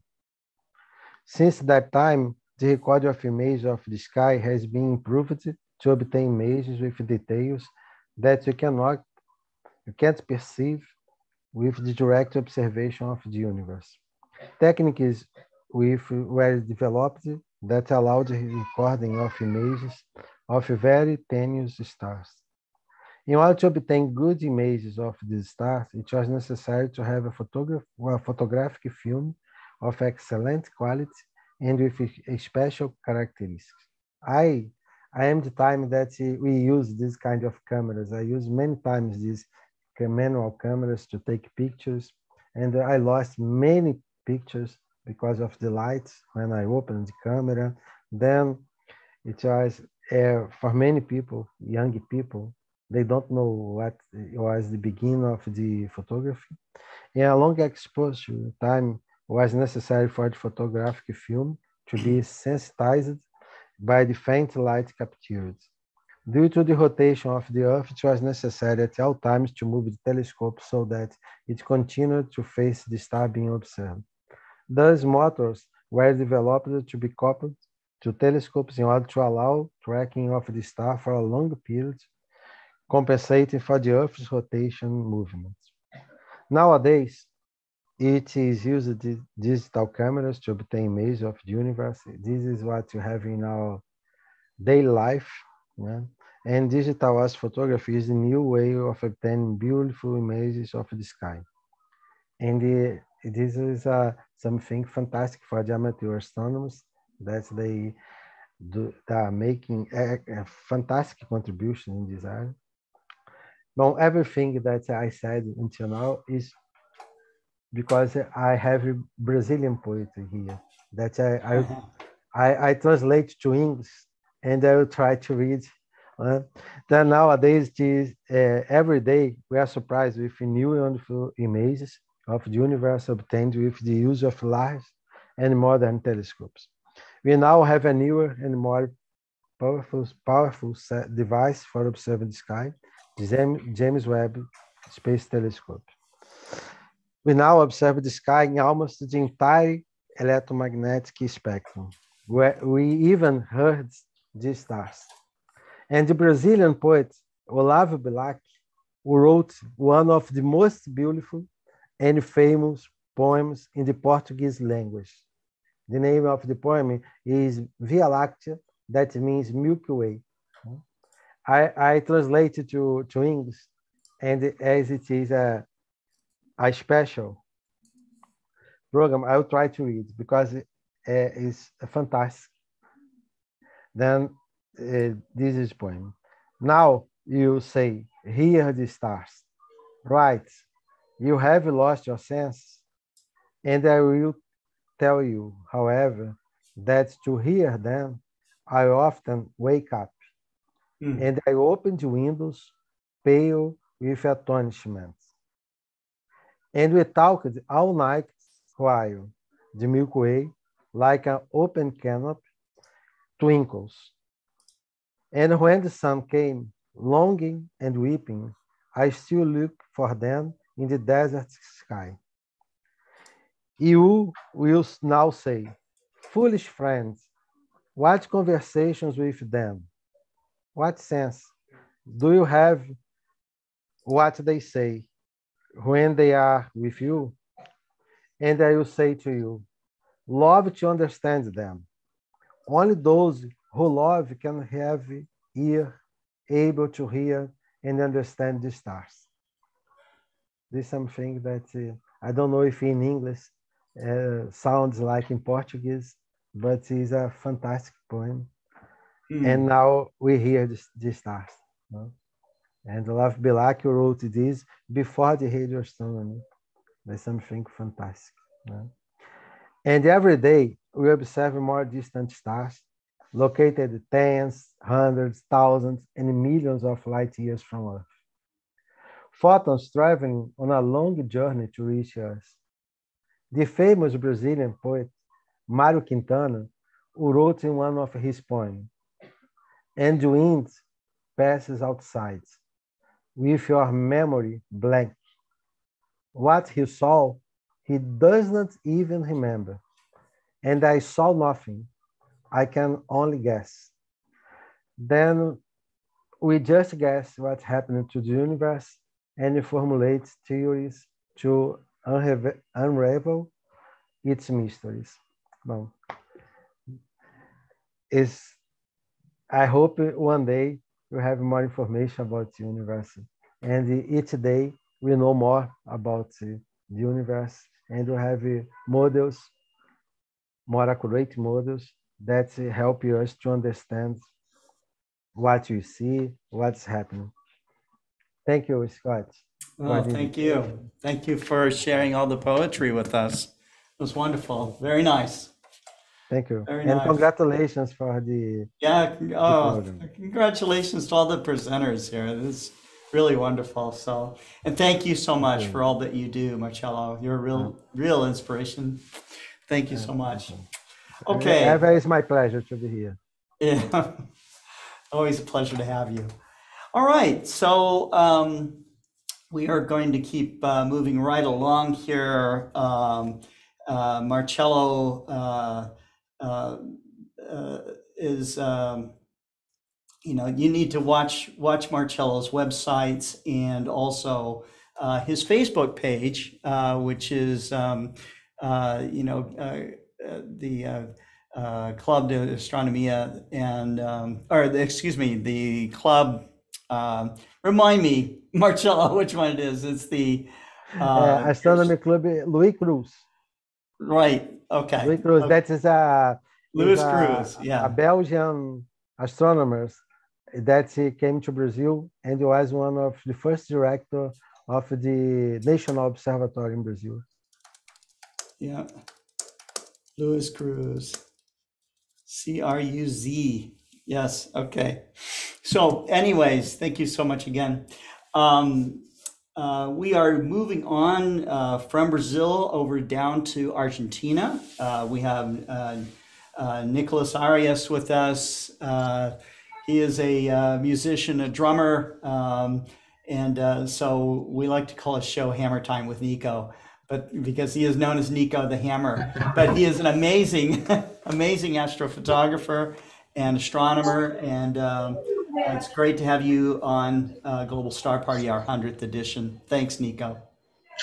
Hi Scott, thank you so much. Uh, happy 100 GSP Yeah, for for It's everyone. you on. It's uh, it's uh, really nice to be here with you, and uh, uh, this was a, a from the beginning to now a really nice GSP, and I think that all the presentations uh, converging that the the the, the main thing that bring us here that is to share the experience to, to show uh, about our equipments uh, or the humanity equipments and, and, and share this patient and show how we do the, the photograph, the observations, uh, the studies, everything. And, and this is really, really nice. Uh, let me share my screen. Okay. Here we go. Can you see it? Yes, we can. Okay, okay. Well, uh, I think that there was a, a- lot of things to, to share in these past weeks. I I wasn't in the GSP, but the James Webb Telescope. Let's uh, move on, guys. Here I am. so I, I I I will try to, to share some personal things and and to talk about the the James Webb. Uh, at first, I, I want to share with you that uh, my patio, Cielos de Banfield, uh, finally gets the observatory code from the Minor Planet Center. I am really happy with this. Uh, a few weeks ago, I get the, the confirmation. Uh, so we have a new observatory here in Argentina. Uh, so this is uh, really a, a really nice uh, thing for me. And uh, as I say, I with with the James Webb Telescope images, one in particular is about a dying star that is the planetary nebula NGC 3132. Uh, that it's a, a beautiful planetary nebula that here in the southern hemisphere, uh, we, we, we have this particular nebula really high in the sky uh, uh, for the, I think that from beginning from the winter here. And this is an observation that I made from my house. I have a Bortle 9 sky here, but with the Dobson and using a filter, uh, the oxygen 3 filter, uh, you can see this nebula. It's, it's stunning to watch this nebula because as you see, this is a sketch, an observ observational sketch I made.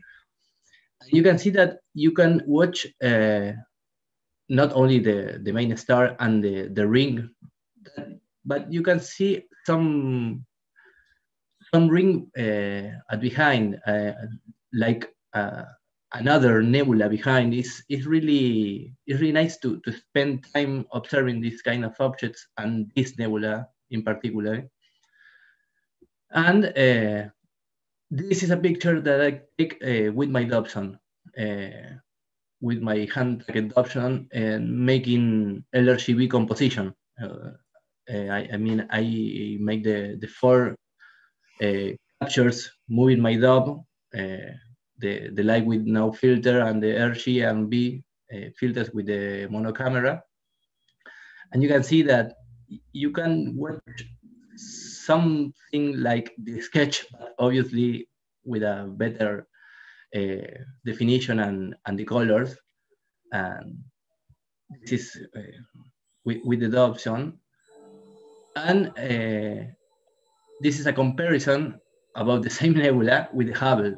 Uh, I mean, this is this image is, stunning. When I watch the nebula, I, I always remember this Hubble, this Hubble image. Uh, but now uh, we we reach a new glasses and and we can watch and observe this amazing image from the James Webb Telescope. And uh, when I when I saw this picture the other day in the live transmission of NASA, I was shocked because it's it's amazing. Not only the the details on the nebula, the the galaxies around the image is is stunning, and it's really nice that uh, they pick uh, objects that you can observe and you can capture from your house with your small telescope and and the comparison it, I, I love to to do that comparison. As it okay this is the stunning image of the James Webb telescope the Hubble image telescope and this is our image at the same object. It's really there. It's it's amazing. And of course uh, the, the Saturday night, I, I get my, my Saturn bonus track for the GSP. And I, I want to show, this is a, a video that I captured from Saturn that you can watch the hand tracked uh, movement. And uh, for every planetary capture, I need to do uh, these videos that one and a half minutes four times because I have a mono, monochromatic camera. So I take uh, this shot with no filter and then I make the four extra videos with the R, G, and B filter to get uh, these four images. Was a, a, a nice night. It wasn't the better night, but was really nice.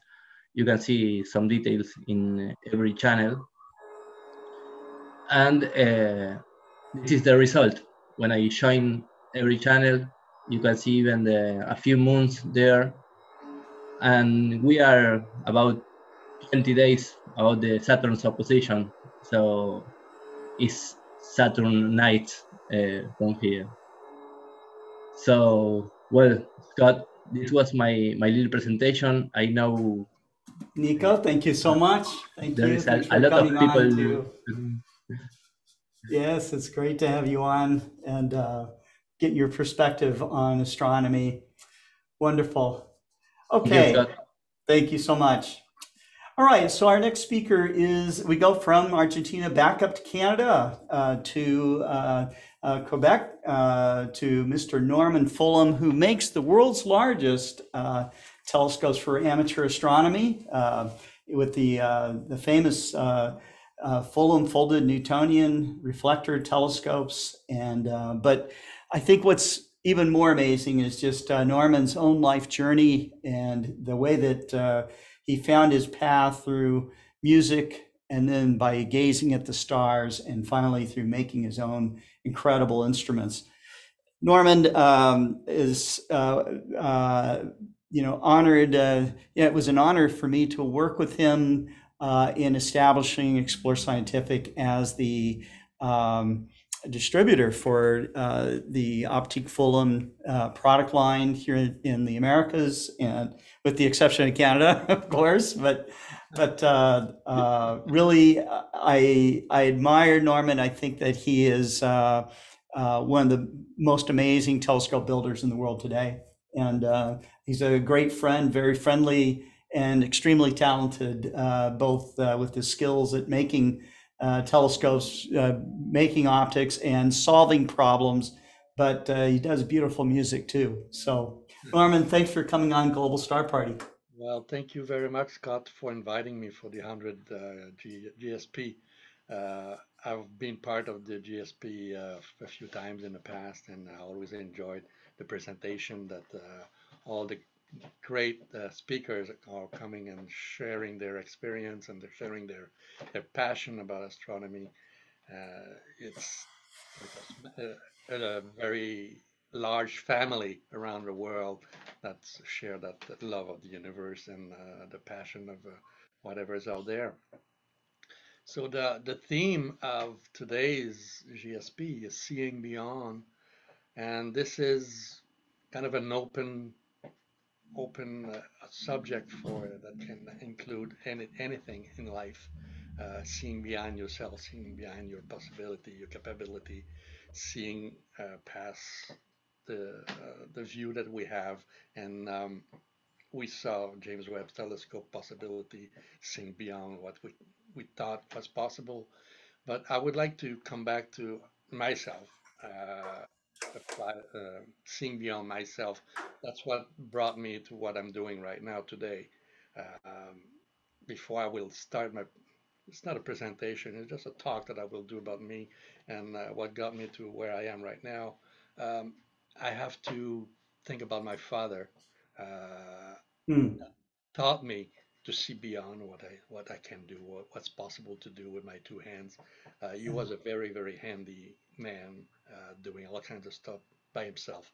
Uh, he was not a, a, mechanic, he was not a, a, woodworker, but he was able to do all those things that we just looked at him and said, how did he know what to do in that situation or this part of the uh, of a mechanical part of a, of a car or whatever. So he always amazed me when and uh, he passed away many many years ago. I was still in my 20s, very early 20s, but when I was very young, like uh, from 10 years old up to 20, uh, that's the part that we was building a new house, and I really got to, to see uh, how intense it can be, it could be and how uh, his imagination got him to do crazy things very amazing thing that you wouldn't think that was possible at those days. So when I think about that, I think my inspiration, my, my the way I see beyond when I first started to make uh, telescopes was I was thinking about my father. Uh, he said nothing is impossible. You got two hands like everybody else, and if someone makes something, he's got two hands too, so he can do the same thing. Uh, before I will, I will go any further, I would like to. Well, you, everybody knows pretty much that I'm a I'm a music maker. I, I play guitar and I sing. I would like to sing a song uh, for my father. For that, ah, pretty nice. sure everybody knows that song. It's a Cat Stevens song called "Father and Son." So. I brought my old 12 strings here today and um, just wanted to know if the sound is good, it's not too loud. Guitar sound is okay. Yeah. Okay. So mm-hmm. here it goes.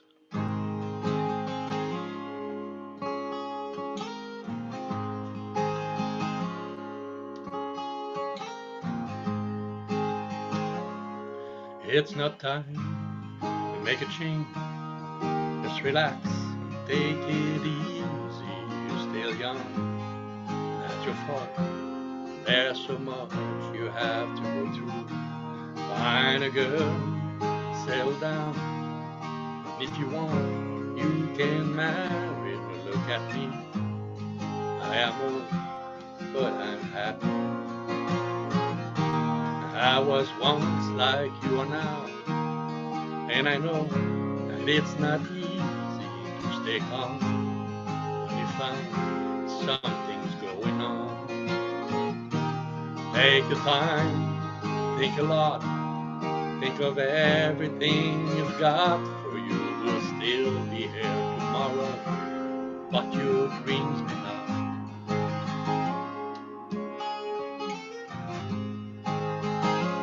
How could I try to explain? Cause when I do, it turns away again. It's always been the same, same old story.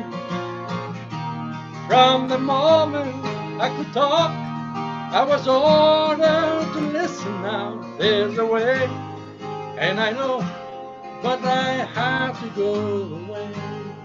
I know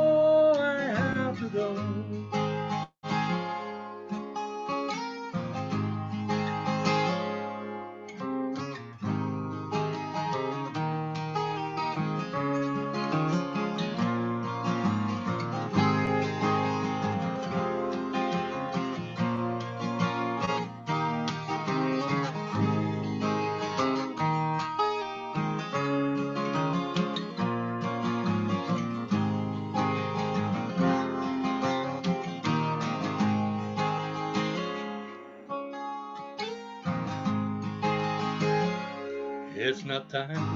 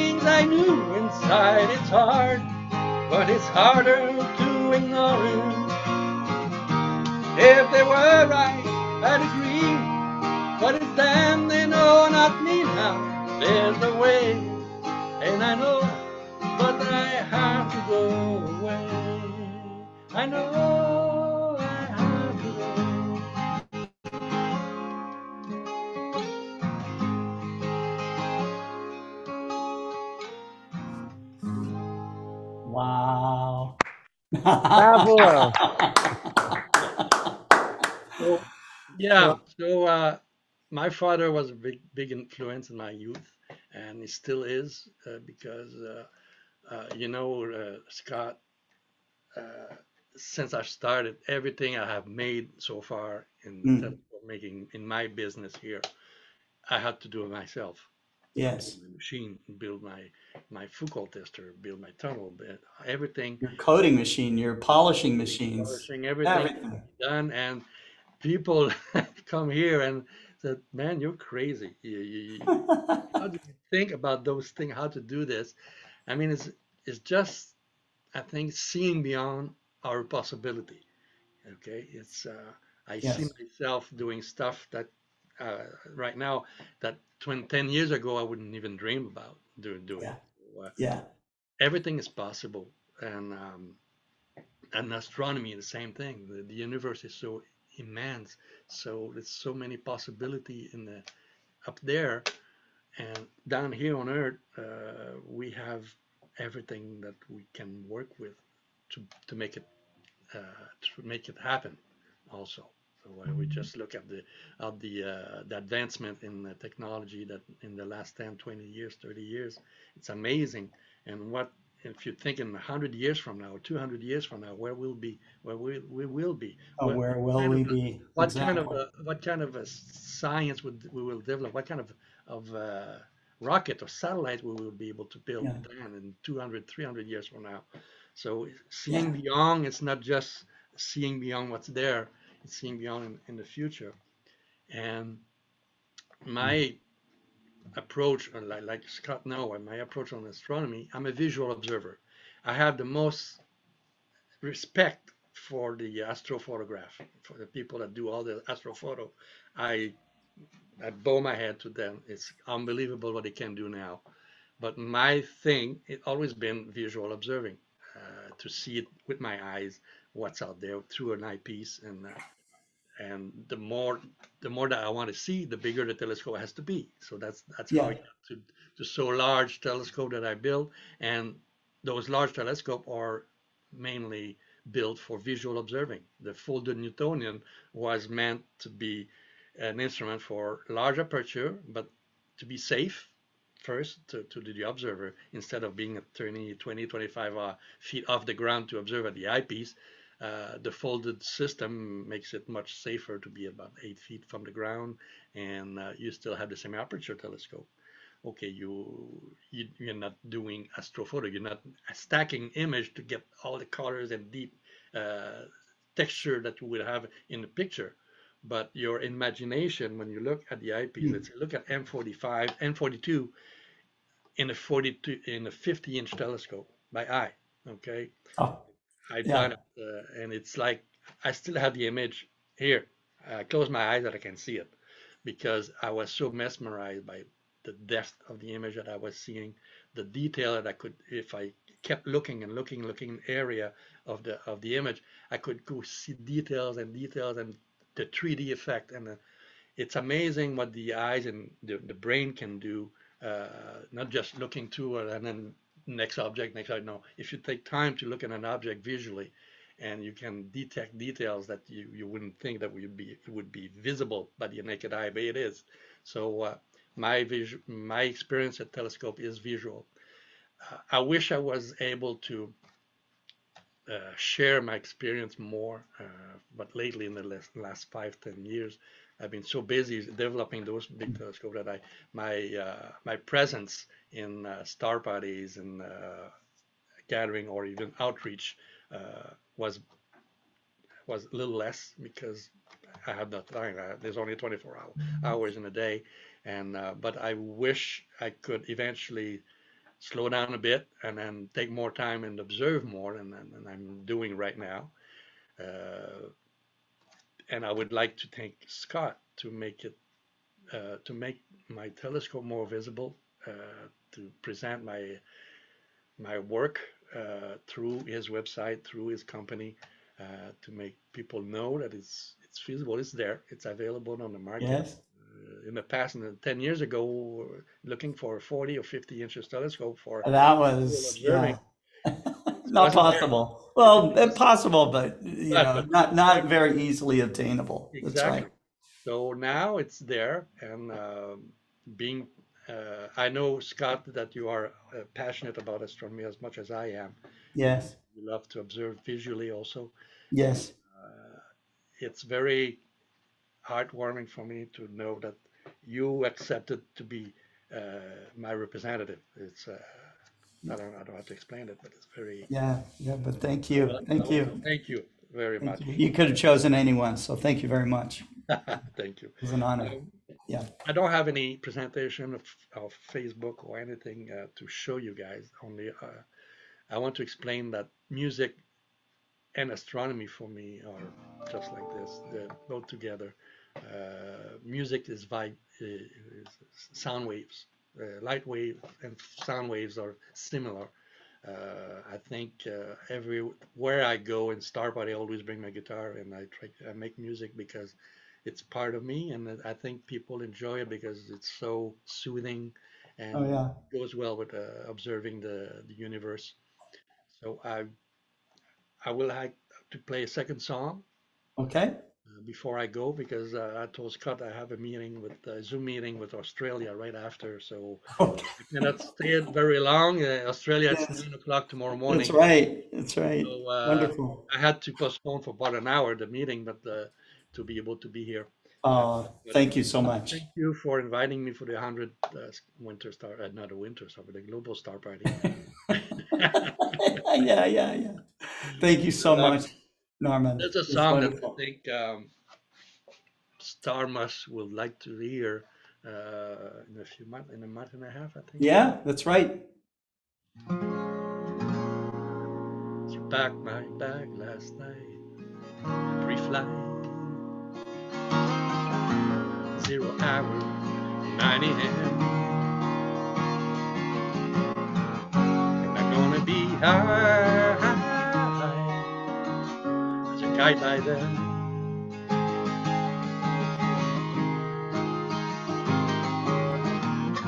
miss the earth so much, I miss my wife. It's lonely out in space. On such a time, let's fly.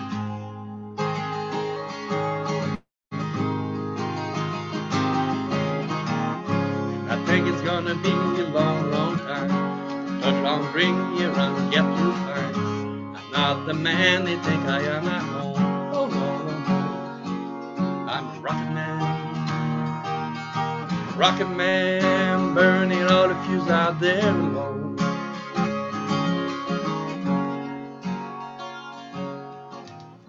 Mars ain't the kind of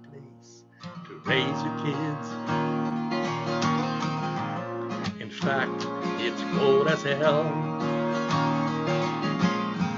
And there's no one there to raise them if you did.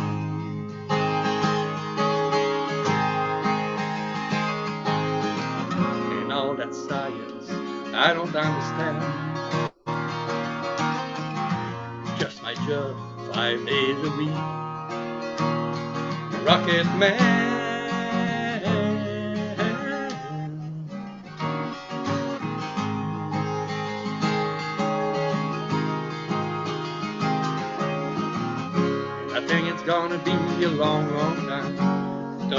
Bring you around, get you fine. Not the man they think I am. Oh no, I'm a rocket man.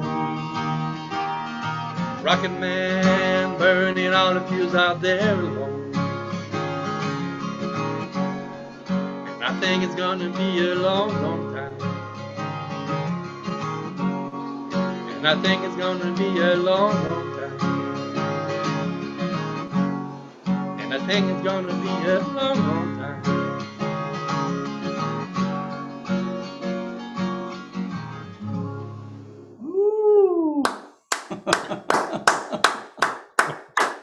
So with that, Thank you. guys. Thank you. I'm observing, and um hopefully uh, we'll see each other live eventually. Yes. Yes, we will. Observing together. Thank you very much for having me. Thank you so much. Thank you. Normand, that was great. What a wonderful way to end uh, the first part one of the Global Star Party.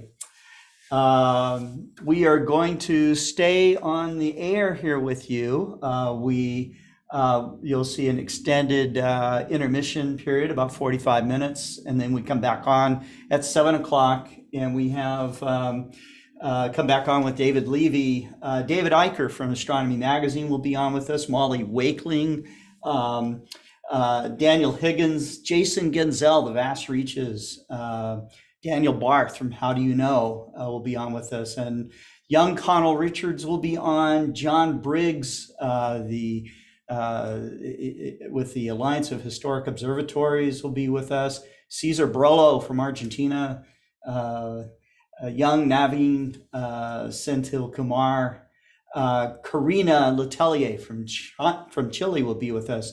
Deep Tea from Nepal, uh, Adrian Bradley, and um.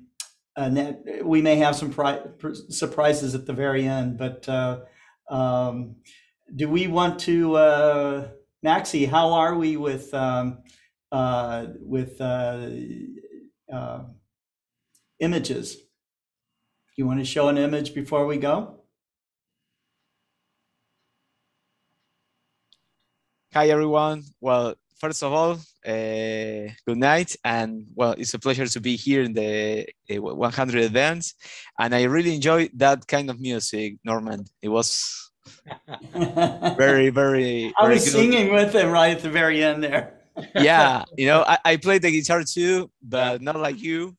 Uh, I, I- it's more like a, a- like I do astrophotography too, but I think in the astro is going me well. But uh, you know, I I really love that sound of that guitar, particularly, and of course those songs, those, those uh, yeah songs that you played. Uh, uh, I know and I also uh, when you you play the, the first one, uh, I and well, uh, well, what I, I actually the deep song. yes, it's a really deep song. Yeah, uh, here in Argentina we have another two. Uh, the last month we had the the Parents' Day, and I I don't sing. I play the guitar, but I asked to my father that I song, uh, sing with me uh, a particular song. is It's a particular song here in Argentina uh, because it's dedicated to your old man, your tu viejo, for example. But well, it was like a, I, I, always wanted to do that, and well, uh, it was very emotional. Right, right on. So, well, I'm struggling with my network connection. I had my Wi-Fi going on, then goes off, and well, I was pointing to. Let me share my screen for, a- for a moment. I think now the connection is stabilized. So, let me. Okay, do you see it? Hello? Hello. Ah, okay. No, I think because I was sharing the screen, the connection goes off.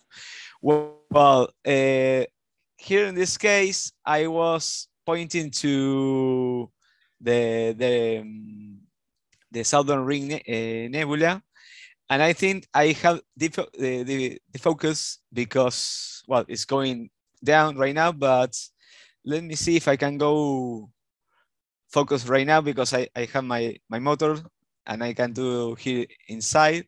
So let me show you how I do it. You can see here is the is very bubble the star. So here in the option of the focuser, I do some steps and then it will go into to get more pointless, I think. And let's put it more fast. Let's see. Oh, there you go. And a little bit more. I think now. Yeah, uh, I was configuring and I set up, and then, the connection goes really bad. But let's see in there. I think now it's okay. At 0.5 seconds, it's okay. So let's stop this. And now we're going to take a, a, a one minute picture of the Southern Ring Nebula before it goes off in the horizon here. So, well, basically, uh, now I have my setup uh, in, in my backyard in Chivilcoy in Argentina. Uh, but I'm controlling in this software plus tax uh, um, to to do everything uh, except the polar alignment because I had to be outside. But then to the the, the go to the guiding, the focus, and the the the the, the um, here. So uh, well, uh, like I told you more early, Scott, it's a pleasure to be here. You know, Thank you. It's it's a long, very long Tuesdays that we passed, and it's like it was the last month.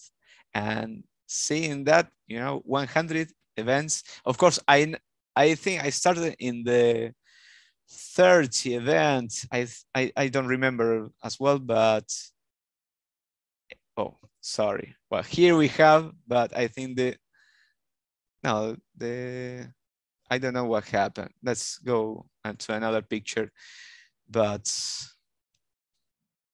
I think this was the the the yes the motors. Maybe my dog passed through the one leg of the tripod. I have three outside, so maybe that happened. And well, like I said, it was it's, it's really an honor to to be here for a couple minutes.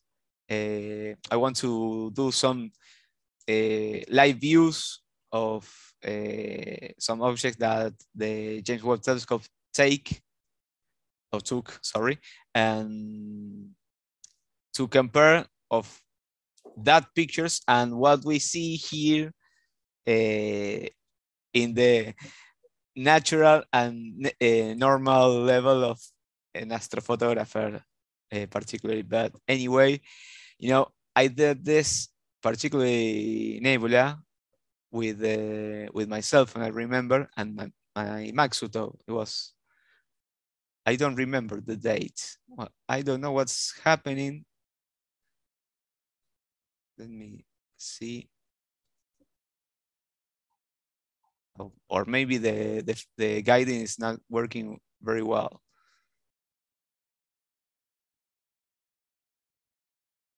Now you know it's the the guidance system something's wrong. Could, could be wind. Stop oh maybe yeah. Uh, it was it, it, wasn't really too windy. I i didn't went in a half an hour but maybe it's the wind. Here's the the guiding system. Uh, is uh, based in PHD2 and of course, it does the multiple stars following and the principal star that select random. And here we have the, the graph, you know, uh, maybe maybe it's too low and now the, the telescope is pushing down. Maybe that's also too, that's like it's a 30 seconds picture. Here in, in the five seconds, you know, it's a lot of field of view for that single star and the shape of the ring nebula, but do you remember the picture of the James Webb Telescope and also the picture that Nico showed you? Yes. A, a minutes ago. So yes, it's really stunning to even watch that picture that has that particular galaxy that remembers the needle galaxy, but it's maybe in there, I think, in and I and I could, couldn't even see it. So here we go. Now, now that's not now it's getting very good. So, well, um, and also if the if the audience is watching and want to see some southern objects right now, let me know it and let's see if I can find it and let's see what we can do. Okay. So Scott, I, I come back to you again. Okay, okay. Well, we will take a break. Um, so, for those of you who are watching, um, please, um, uh, you know, get some some uh, dinner. Uh, we've got a whole night ahead of us of uh, of Global Star Party, our hundredth event. Uh, uh, you know, as I mentioned earlier, we're coming up on part two, so we've got about a little over half an hour and we'll be back at 7 p.m. Central, but we will still be on the air here with this intermission. So hang in there.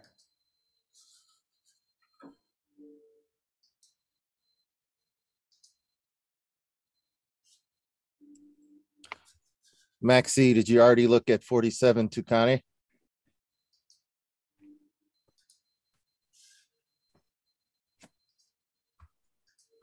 Um, sorry, I op open the. Uh, do you hear me, Adrian? Yes, I just unmuted. Yes, I can hear. Okay, now uh, I have the this issue in, in the internet. Uh, if I can point to 47 Tucana, let me see, but I don't think so because it's really low at the east right now. But let me show, let me see if, if I can find it. Uh, ah, no problem. Uh, so what's up, man? How, how you going? How you doing? I am hanging in there. Uh, did a little outreach today. It was fun. We had a young Girl Scout troop. Um, we had five different groups, and we pointed the uh, solar scope at the sun. They all got to see it. Some of them were able to see the prominences and the uh, the uh, sunspots that were on there. So it was a really good day. Oh, excellent. that's that's really cool because you know also uh, the sun right now is having activity that two years ago it was nothing of course if you have this uh, h alpha telescope it's great but yeah it, Yeah. it doesn't it doesn't see much if you're using a Baader filter only um I'm searching 47 Tucana, but I think it's really low. Now it's it's pointing to the south, and maybe it's uh, almost uh, 50 degrees above the horizon. So maybe let's see more more later. Uh, no, Yeah, that's okay if we can't see it. It'll at at mid at midnight maybe. Okay. Um, I, and and I can't even point to the this particular galaxy galaxy cluster. I, I cannot uh, point to that area, but Okay. because it, it's also it's very low. Um, maybe I can go to the Carina, and and you will see this region of the um, Gabriela Mistral Nebula that also show in the, the James Webb Telescope. But That sounds good. yeah, maybe I, I think I'm going to there to to see, or maybe some galaxies. You know, I have Omega Centauri also too, uh, two two points right now. Um, the M83. Well, I have this NGC 5367. Uh, I don't know. I, I couldn't open the um, the YouTube. I don't know if the audience asks so for some objects too. Mm-hmm. What's up? Uh, uh, let's check it out. Oh, there he is, the man. Ah, the, Daniel. the legend, What's going on, fellas? coming from New York City. How you doing? Astro ¿Qué World onda, TV. How's it coming going? from Arizona, just as important. We have the return of the noble David. There he is. Come Hola, back David. Chat with Hello, us. Adrian. Hi, everybody. What's going on? Happy anniversary of the the the uh, the comet that was the a couple of days ago for Jupiter. You know, I, I remember that, and I, I say, oh, I had to to say uh, my greetings to David in the next GSP. Yeah. and it's uh, yesterday was the 25th anniversary of Gene's tragic death, Gene Shoemaker, in a car accident in Australia.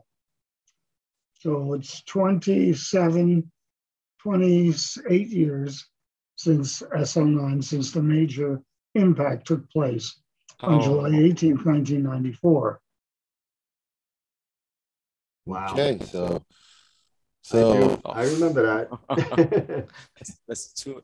yeah, so a little little bit of tragedy, but also um fond memories, I'm sure, of uh discovering the comet and realizing what it was going to do before the rest of us would see it uh, covered. And if I'm not mistaken, was Hubble the telescope that covered or that was used to see the impact site or Hubble was, impact the, sites? Hubble was one of the first telescopes to see the impacts. And it was certainly as the best telescope we had at the time. The fact that it was concentrating on Jupiter during that entire week was really, really something. And we owe, I owe a debt of gratitude to NASA for collecting all of this wonderful information about what a comet can do when it hits a planet. Awesome. So we we should say to Wade Prunty, who uh, chatted in from Facebook, "How are you doing, Wade? We see you. We see you out there." Yeah, lo- looks like only the Facebook is getting the uh, the messages tonight. Yeah. We'll probably get more later on. I'm Yep. actually going to step away for a bit because my my presentation is much much later in the night. So I'll be joining in. I'll be joining in remote, watching all the uh, presentations, enjoying the poetry, and eating something. I hear you. Preparing for preparing for the evening, finding a few images to share for the uh, 100th. Uh, this 100 double winged global star party. Got it. Giving it to him in two shifts. Che, Daniel. Sí, loco, ¿qué pasa? ¿Cómo va? ¿Cómo estás? No, you know, I todo bien. Eh, listen, I, I upload the a picture in in the Astro TV website. Yeah, I saw it. Uh, Eh, 253. Yeah, but I didn't see it in the the last week. I I, I didn't uh, enter right now, but uh, Really? Yeah, I, you know, I I I, I was going to write him, but I think you know that maybe he's really busy. So No, not really. I, I, I know I put it up there. Um, let me see. I'll go in there right now and look. Mm-hmm. Because if we switched them today uh, to the to the other ones. We had so many. We had 22 submissions. Oh, for um for That's last week. great. I mean, it was it was crazy. My my website's gonna explode because it, it just takes like an hour for the. Let me see. Um, let me see. Astro World. Uh, let's see live site. Let's see. Pictures of the week. Hey David, do you want to see the the comment Uh, uh, You know, it's up there now, Maxie. I put it on for this. Okay, so you are in the second group. Oh, okay, So you're up there now. great. So yeah, because it was so it was so many pictures. I, I couldn't do them all once, or else the web page would never load. So uh, so th- this round we have so we're picking we're we're picking two pictures of the of the week in this set because there were just so many entries. so so we got one, two, three, four, five, six, seven, eight. Oh yeah, I 10, see it. 11, 12, 13. I got 13 in this round.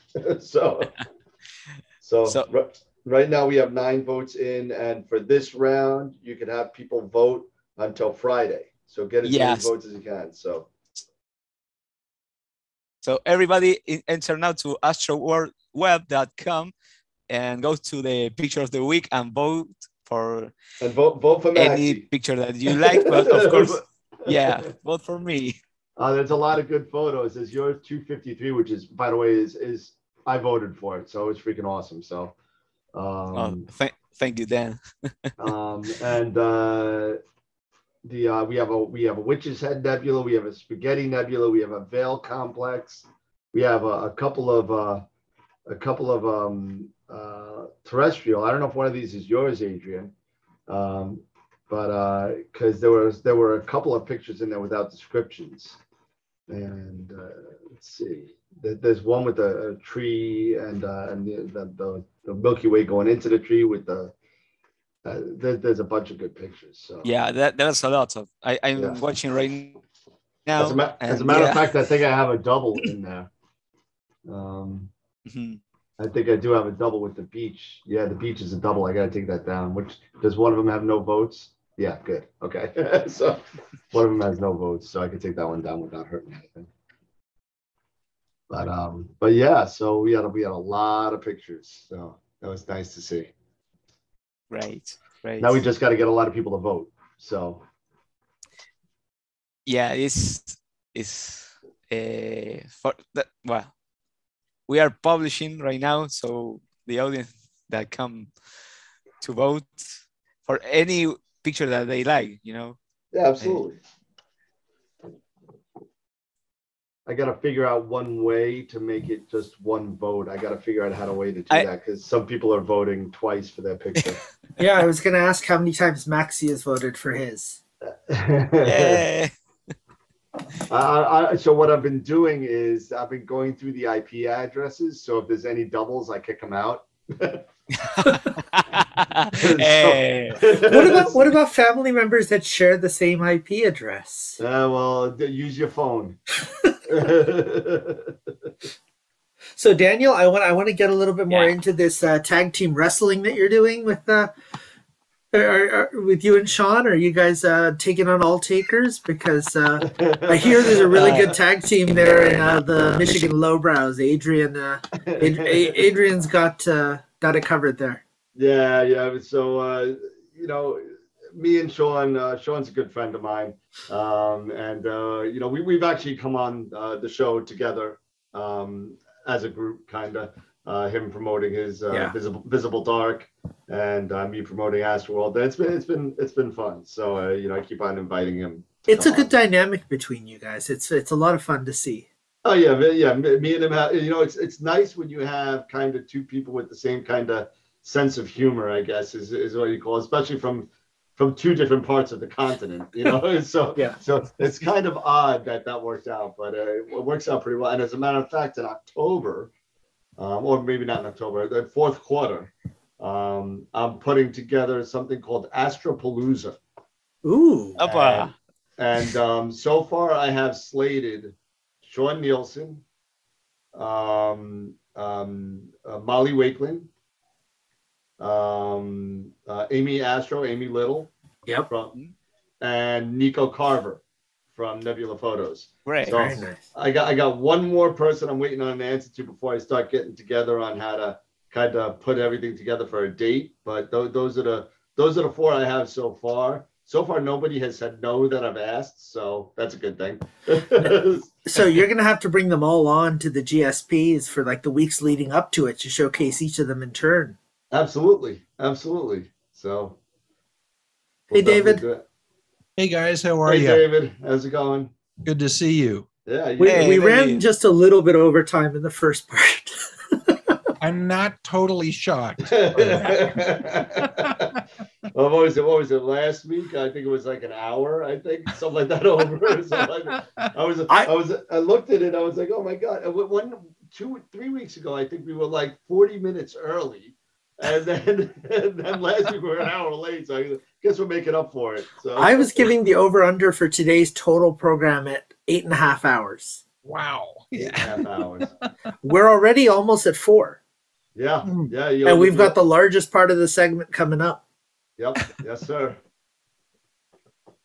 It's gonna be Uh, fun. David, you missed uh, you missed the part of my presentation I dedicated to you and uh, the shoemakers because it's the 28th anniversary of SL9 Impact. So I wanted to I wanted to uh, mention that, and I showed a few pictures.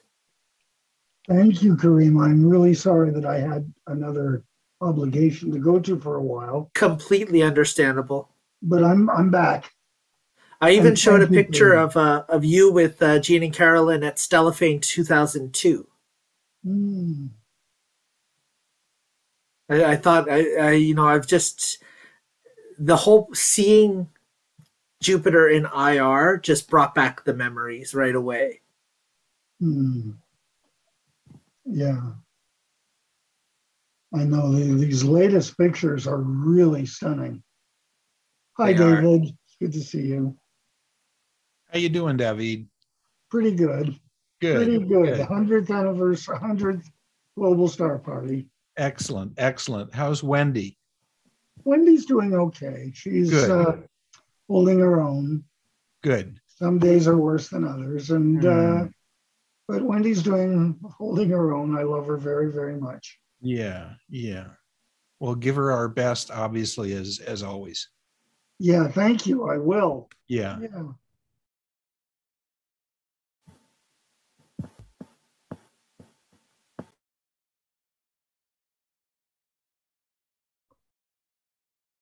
So, Karim, what you're saying is don't feel compelled to cut things short with each talk here, huh? That's not for me to say. That's for Scott, and I think he's happily having some dinner at the moment.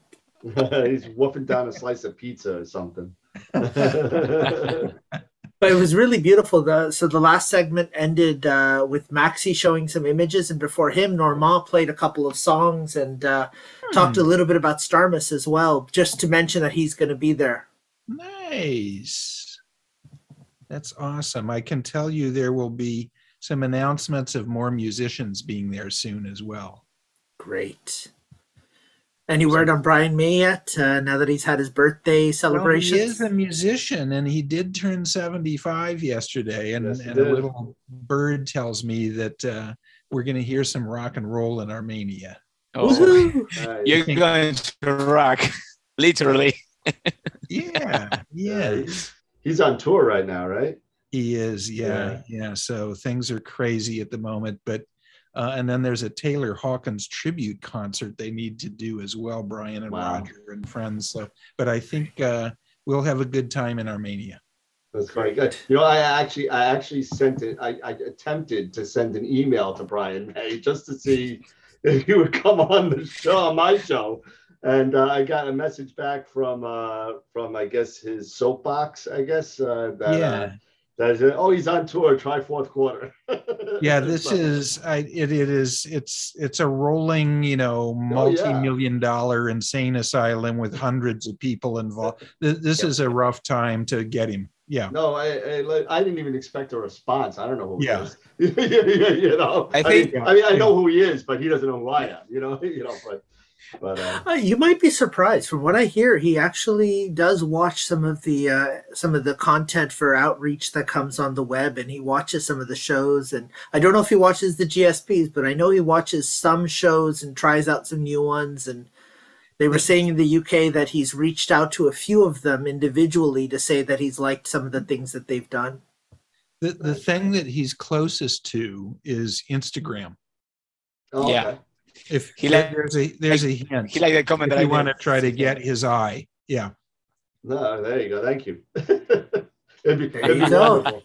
You know, and, and I'll try. I'll try very much not to bring up Queen. So I mean, it's just me photography. So He- he's so- not one of the you know you know many many years ago um uh, Neil Young came to Sure. our company and and he's a our company publishes a bunch of trains magazines believe it or not as well for real trains and model trains and Neil Young is a huge model train guy Oh wow. and there there was sort of a there was a seminar beforehand of his people who came in and said don't say anything at all about his music at all he'll Yeah. walk out Yeah. brian is not that way at all brian loves talking about music um you know and and stories and freddie and everything it's, it's just that it's an overwhelming time right now for, for I am sure. I am sure. I Yeah. saw. I looked at his schedule. I was like, oh my god. Yeah. You're in the mid seventies too. I'm like, oh my goodness. I mean, uh, and to go out i mean they're almost almost every night they've got a Yeah. show you know and that that's you know two and a half hours of running around it's it's i hope i'm doing that when i'm 75 you me as well. Yeah. yeah. You know. But uh, if you got the energy, keep on going. yeah yeah You know. I don't know. By seventy-five, uh, you you missed it earlier, but Lou was talking about what Titan will be like in a few billion years, and I think Hmm. a property like that, if I could find it, you know, just sit and enjoy the sky and yeah come onto a GSP every Tuesday to share a little bit. yeah Scott will still be doing those, right? Yep. yes, you will. as, as long as my man can talk, he's going to be on in front of this camera. So, you know. Excellent. So right now I'm pointing to the K2 comet Pan-STARRS. So Oh, nice. I I don't know if How close is it to M10 right now? see if, if I Actually, Uh, uh, excuse a, me? uh, a How close is it to Messier 10? It's it was it just had, had its conjunction uh, a couple of days ago, right? Yeah. Two days ago. Yep. yeah, M10 yes. I I missed it up. I Yeah. It's I a little bit away now. Clean skies that the weather says not. Yeah, it's really far. Uh, with my field of view, I couldn't I couldn't take it, but well, you know, maybe next time to another one. Let's see if it's centered. What do you mean? Let's see if it's centered. Play it soft, man. Come on, let's go.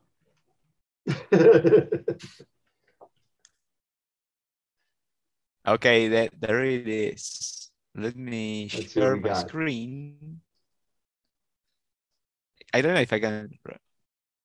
Yeah, Oh, there you go. and there it is. It's uh, Uh, five seconds. And let's do.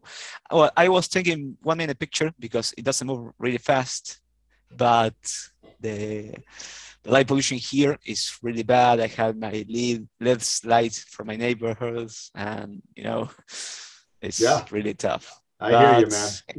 and anyway, to do some animations and and do some stacking only with stars is good, but this kind of uh, object is you have to do it in really clear skies.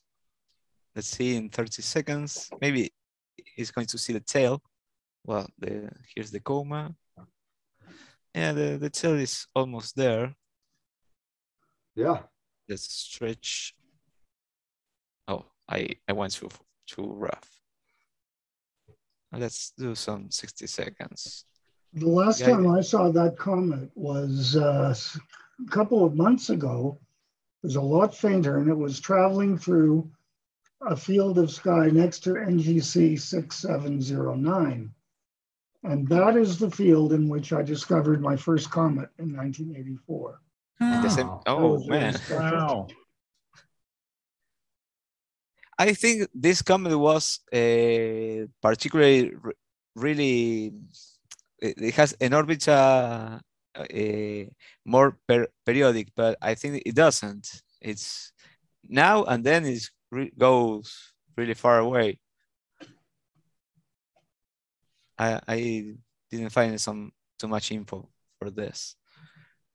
Let's see, ten seconds.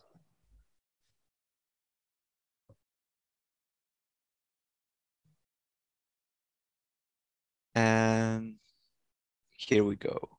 Slow down.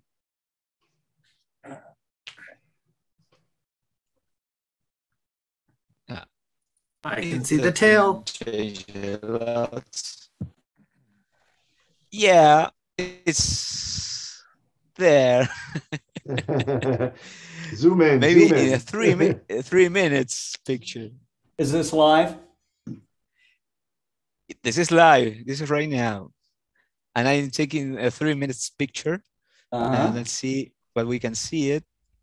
Uh, you know, last week I captured the also the comet, but it was those tiny little galaxies.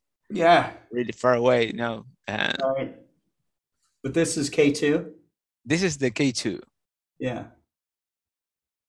Um, What, what constellation are we in right now? Um, Ophiuchus, probably.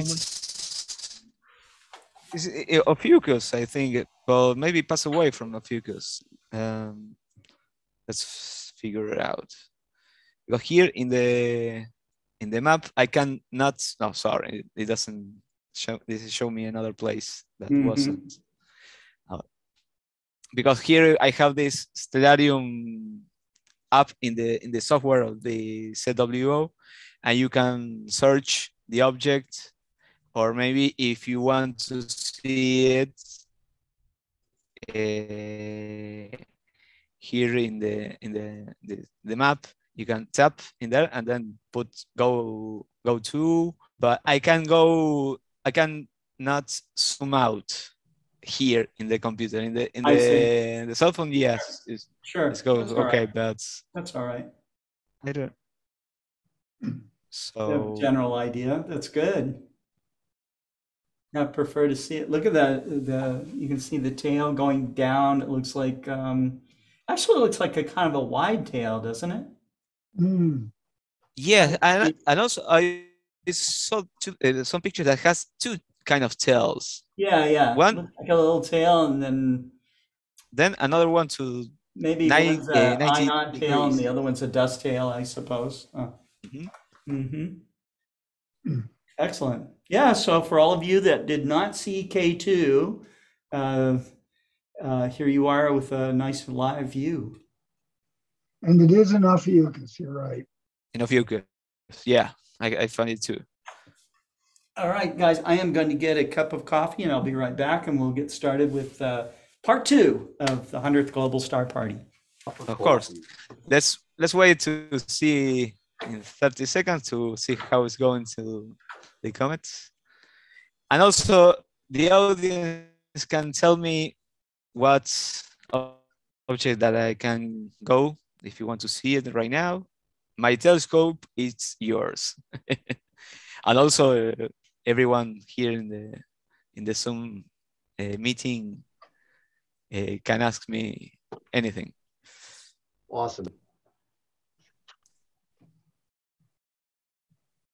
Okay, let's see in three minutes.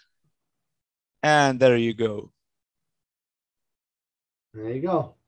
Now the tail is is like there, but you know it's it doesn't it has this coma more besides than this place. It's really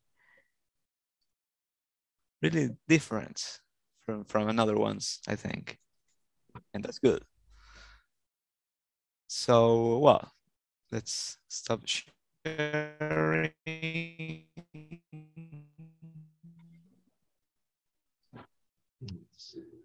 Okay. There you go.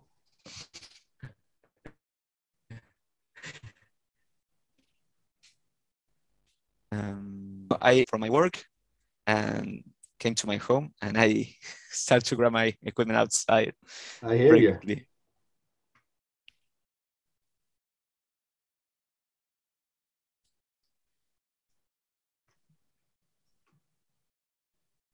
Okay, so mm,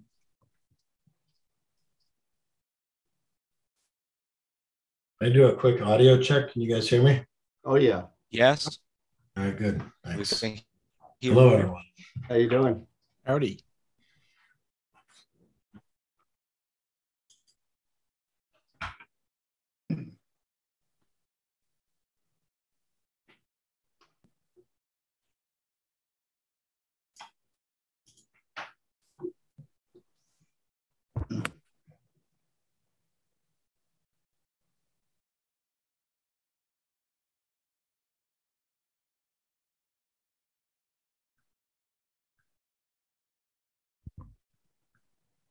Hey, Daniel, you want to see Centaurus Hey.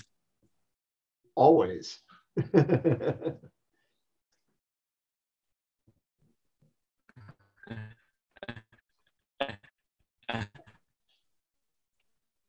here I am just trying to take a picture of the Veil Nebula again. and again. And again. Too many too many telescopes, too many cameras. you go to the same ob- too many, go to the same too many object. webcasts, too many star parties, Oh my goodness, over and over again. the too same much picture. space. It's crazy. You know, I've, I've been taking pictures of the Veil Nebula for 20 years and Uh. I've yet to be happy.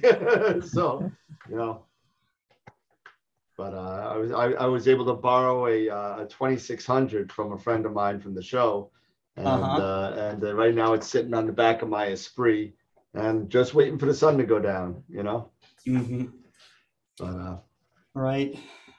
but I was just I was able to procure a um, a Astrophysics Starfire 130 EDF Gran Turismo. Uh, so, Gran Turismo. It sounds like a sports car.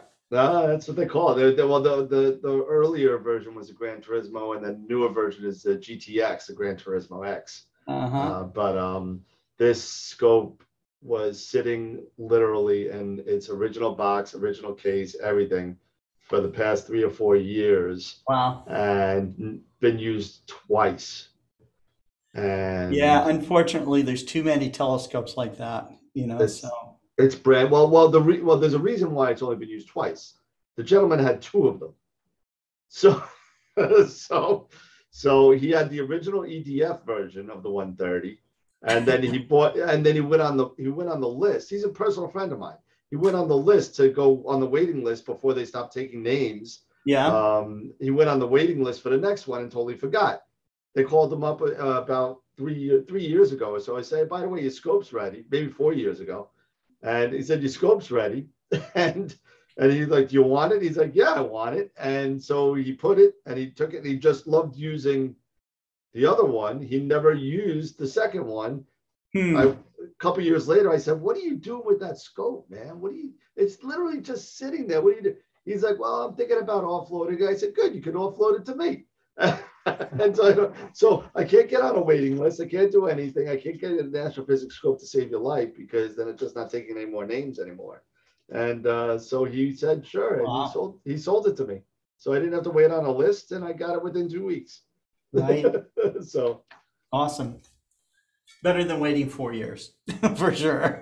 uh, four, almost nine or eight. It was it was, it was Oh a my long, long time. Yeah. And uh, you know, I, you know, I, so I called up, I called up George over at Astrophysics. I was like, George, um, how long for the flattener for the 130 GT? I'm scared to ask.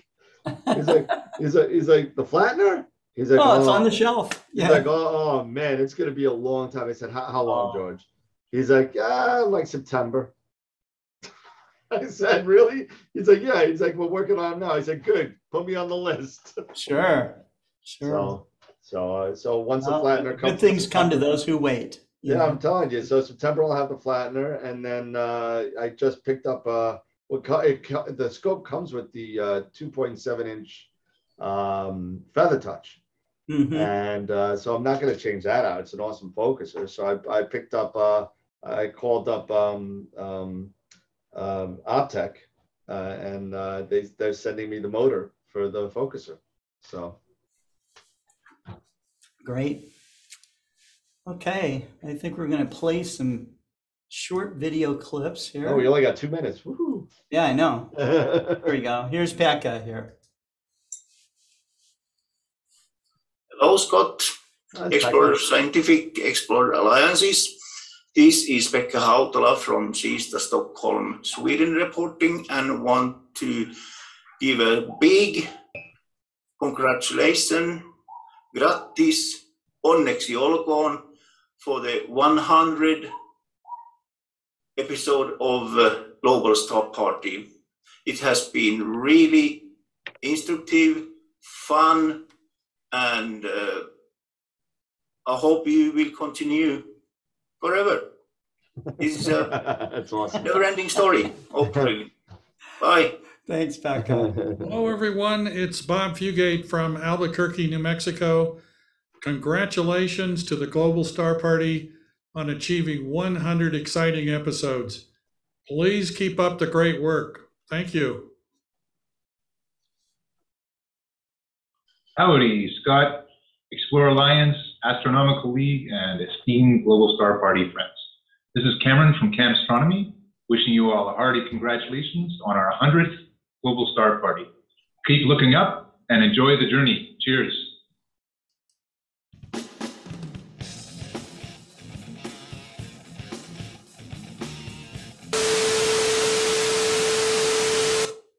Hi everyone, Dan Higgins here from Astroworld TV, and as one of the newest presenters of GSP, I'd like to send a congratulations to Scott, Explore Alliance, and all the presenters of Global Star Party for 100 episodes of the show.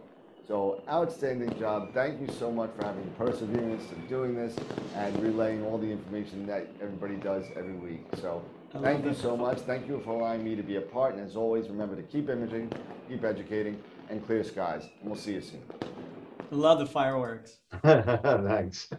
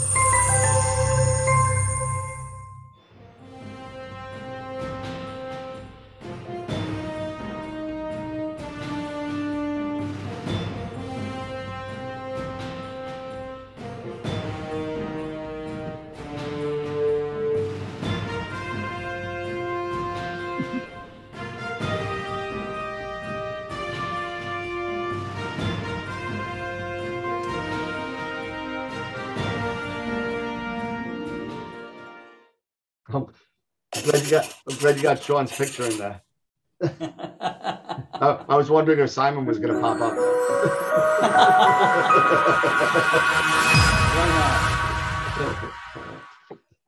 oh, thank you, Well, uh, hey everybody, Scott Roberts is back uh, with part two of the Global Star Party, our 100th episode. Uh, I really want to thank all of you who have uh, been watching. Uh, you know, we've been burning up the uh, the wires here since about uh, three o'clock uh, central in the afternoon. So we're now uh, four hours into broadcasting, and we have a whole second show for you. Uh, and like all of our programs, uh, we have David Levy, who starts our programs with, you know, the com- inspiring commentary, beautiful poetry, and but um, I want to take a couple of minutes to thank all the people that were on the part one uh, program, including David. Uh, so he he gets he's in here twice, which is great. Uh, we had Dr. Seth Shostak from SETI on, uh, who uh, gave us the latest updates on their search for ET. Uh, uh, it's very interesting. the guy's hilarious, and uh, you know I love his take on on um, uh, life in the universe. Uh, Robert uh, Fugate was on with us. Of course, uh, the guy is pretty, um, what I would say is modest, uh, because this guy is the uh, father of uh, laser guided adaptive optics. And that technology has really rev- revolutionized professional observatories. Uh, and he showed us why, uh, you know, that there's a reason to continue to build ever larger telescopes. It's not because, you know, they- they're all limited by our atmosphere, but the techniques and the equipment that's now used on them allow them to get, you know, high Strehl ratios and, uh, you know, diffraction limited performance over incredibly large apertures. And so uh, we are going to see some amazing stuff through the new ELT and other large scale, you know, hyper uh, scale type of um, telescopes that are out there. So it's really it's really neat uh, to listen to someone like uh, Bob tell us kind of the uh, you know the, back, the backstage process here. Uh, we had Terry Mann on from the Astronomical League, uh, who did door prizes for us. We did that at the beginning of the program. We're not doing it in part two because we've already done it. But Terry gave us a really inspiring talk. Uh, I hope she repeats that um, or carries that on as uh, we get closer to Alcon, which I'm leaving for next Tuesday. Uh, we're going to Albuquerque uh, and uh, we'll be there at Alcon. And so uh, I will be broadcasting live from there too. And so you, you'll want to still tune in. Um, we had Lou Mayo on who gave us uh, a fairly technical talk, um, but uh, I think that you know, it's certainly worth a second watch. Uh, Karim Jaffer from John Abbott College was on, um, and I think he's still in the background here somewhere. but anyways, Karim, you know, gave us kind of an overview of what his experiences with Global Star Party, uh, he's been on, I think, almost 40 times, something like that. So, Charles Ennis, who is the new president of the Royal Astronomical Society of Canada, joined us tonight. Um, uh, he's a uh, you know incredible uh, astronomy author in his own right. Has uh, devoted much of his life to educational outreach in astronomy, and uh, is a force in the Royal Astronomical Society of Canada. Uh, Dr. Marcelo Souza was on. He doesn't like to, me to tell people that he's a doctor, but he is a he has a doctorate in cosmology. And uh, Marcelo's uh, uh you know mission in life is to inspire youth uh, through astronomical education and space exploration education. Uh, the things he has done in in Brazil and throughout South America is really remarkable and um, you know he's he's just a and he's just a wonderful friend so uh, Nico the Hammer, Nicolas Arias was on uh, earlier as well, uh, uh showing us, um, you know, the things that JWST is doing for us and uh, talking about his, how he has been inspired from the James Webb Space Telescope, as we all are. We finished the uh, first part with Normand Fullum, who shared a couple of songs with us, shared his uh, some aspects of his life and why he is so inspired to build the telescopes that he does. You know, he, that guy builds telescopes with equipment that he made because you know there was no place that made the kind of equipment that he need, uh, that he needs for to make his massive telescopes, which go up to in production up to 65 inches. The guy can make 72 inch Newtonians. So uh, if you're looking for a giant telescope, you know where to look. Uh, come to Explore Scientific, we'll help you out for sure. In this program, we're going to have uh, David, as I mentioned, David Levy joins us once again. Uh, David Eicher from Astronomy Magazine will be with us uh, uh, talking about wall, water soluble. That's a mouthful. That's I got like marbles in my mouth trying to say it. Water soluble minerals, okay, which is really cool. Molly Wakeling, uh, will be joining us. Uh, we've got Dan Higgins on, uh, Jason Guenzel, The Vast Reaches, Daniel Barth from How Do You Know. Young Conal Richards will be with us. John Briggs uh, will be sharing an image, I think he did, of Stephan's Quintet. So he, everybody's like comparing that image that JWST did, you know. So young Navin Senthil Kumar uh, is joining us uh, around 10 o'clock tonight. Um, I'm not sure if he's uh, coming in from India or not. He, I know that his family was vacationing there. Uh, Karina Letelier from um, Chile should be joining us. Deep Deepti Gautam from Nepal. Adrian Bradley uh, from uh, uh, Michigan. And um, uh, I had Michael Carroll on there. He did, he was backstage with us earlier, but had another commitment tonight. So so let's go ahead and get started. Um, David, thank you, my friend, for coming on. I think that you are officially at really 100 global star parties now. Yeah. Thank you so much. Thanks so much, Scott. It is an honor to be here. And as I look over uh, my screen, I'm seeing friends that I've known for years. And I have interesting and maybe not so interesting stories from almost all of you.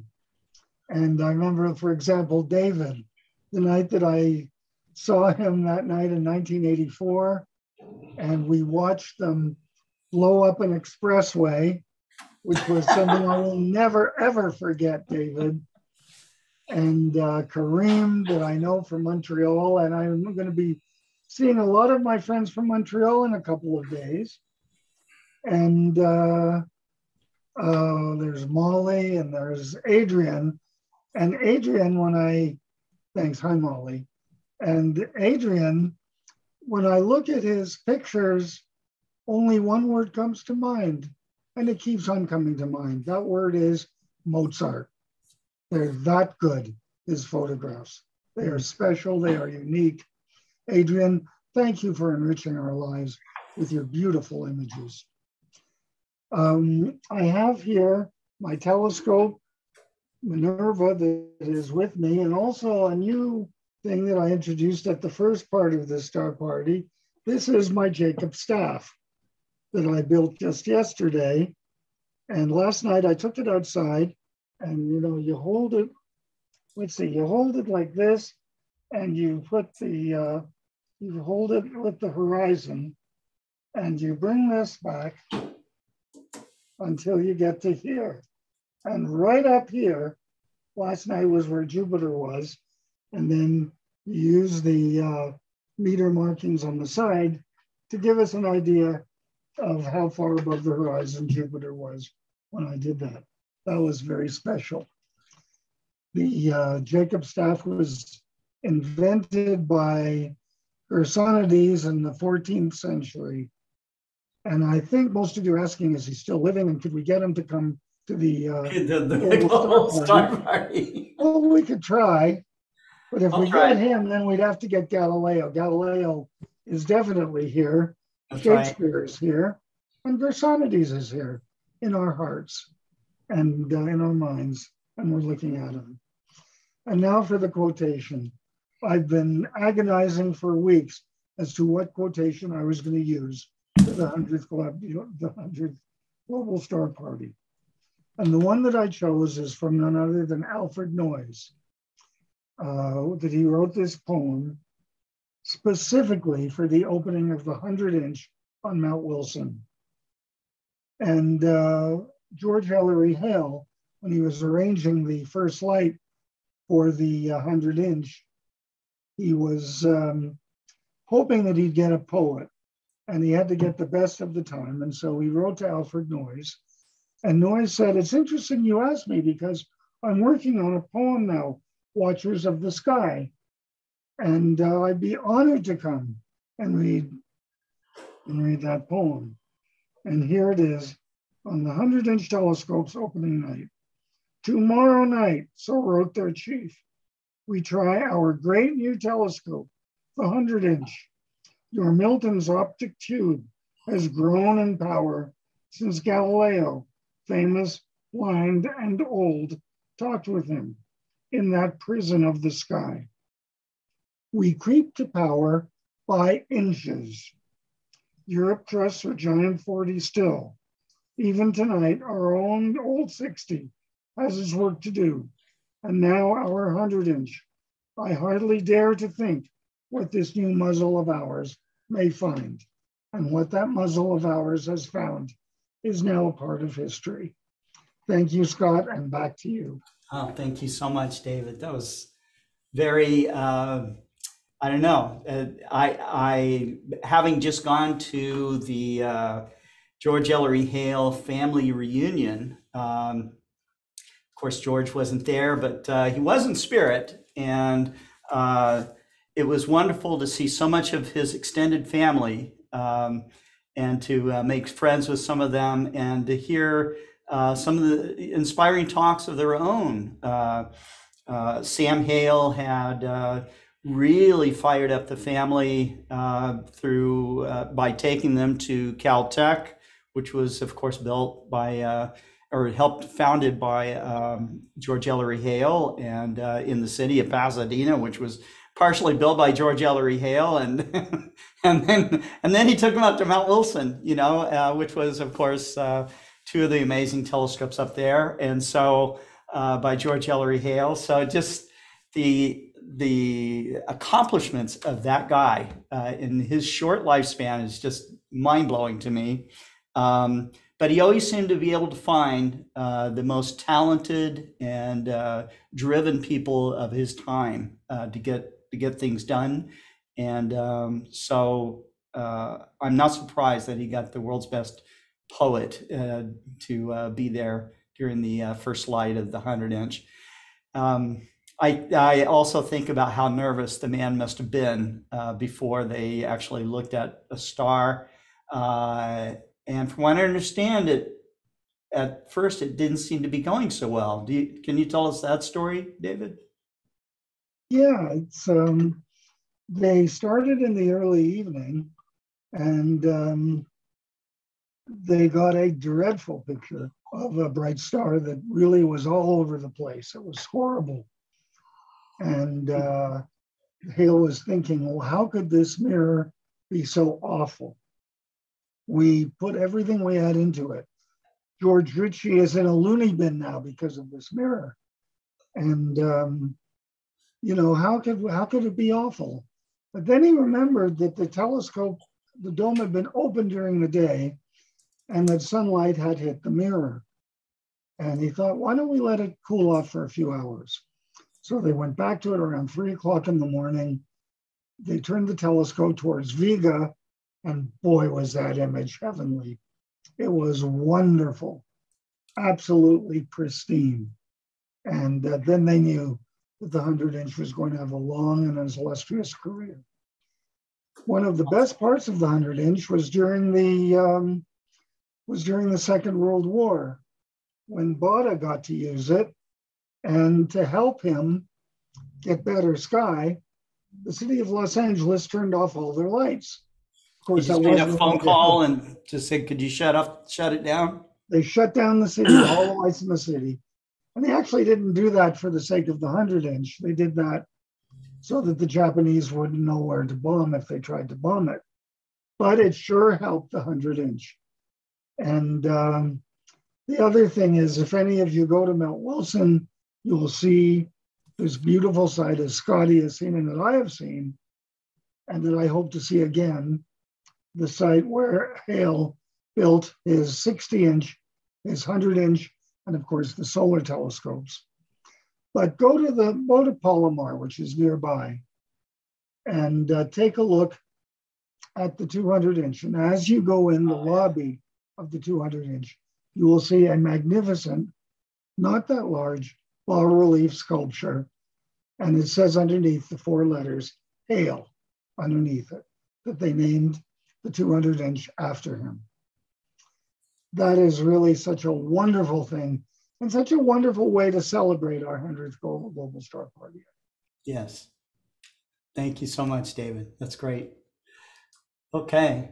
Well, coming up here in the not too distant future, I'll be heading around the world with one of my great friends, David Eicher. David is, uh, you know, I've, I've every time that he comes on, I want to say something different about him, but uh, uh, he is, I mean, he's absolutely uh, extremely knowledgeable. Uh, he is absolutely inspiring. Um, you know, he is everything that you would hope that an editor of the leading astronomy magazine in the world would be.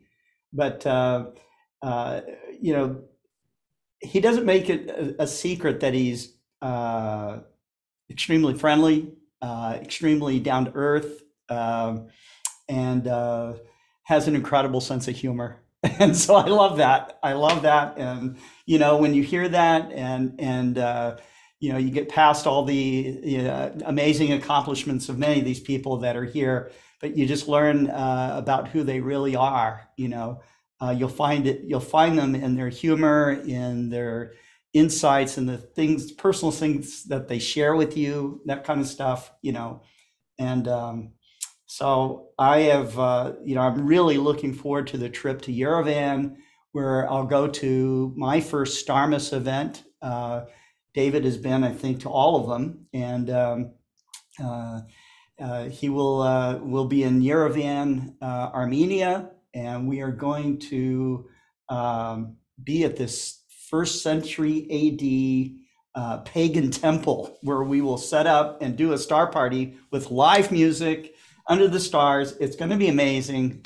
Uh, and the best part is, is that you can go too, and it's not it's not so expensive. So, but I'm going to turn this over to uh, David Eicher. He has been showing us amazing stuff that comes from our own planet, planet Earth, uh, with the minerals and crystals in his private collection. Here we go. Thanks, Scott. You know, somehow doing our first star party together in a long, long time at a first century pagan temple seems really appropriate, doesn't it? I, am not going to say anything more. Yeah, that's but, uh, right. they look, they scoured the planet, the, the earth, for, you know. The... Just if there are stories afterward, we'll report on them, and maybe we it just needs to all be forgotten. I don't know, but anyway, we'll see how it turns yeah, out. That's right. So, so thank you, though, Scott, for having me again. And we're working oh, our way through great. the mineral world, and we have not run out of species quite yet. We're getting there, but I will see if I can share my screen and start a slideshow. And can you see a mineral? Yes. Okay, that is smithsonite from the famous uh, sea green uh, variety uh, Socorro County, New Mexico, the famous Kelly Mine, which is very, very close to the Very Large Array, one of our favorite uh, radio telescopes left on this planet now. So tonight we're going to talk about an unusual category, but first I'll start off by quoting uh, one of the founders of this country, Thomas Jefferson, I believe in a divinely ordered universe. Even before that time, talking about structure and analysis and understanding empirically how the universe works, uh, Isaac Newton um, said, "Truth is ever to be found in the simplicity and not in the multi, not in the multiplicity and confusion of things." The universe is ordered, and minerals show us this really well, not by supernatural design, but by the principles of physics. They demonstrate this because their atoms are assembled in precise ways by the electrochemical attractions that are inherent uh, in them. Uh, that make them come together and guide them into assembling into what mineralogists call a crystal lattice. So we don't need magic, as Richard Dawkins like to say, even likes to say, even when we talk about life. Uh, uh, um, speaking of Starmus speakers, by the way, Scott.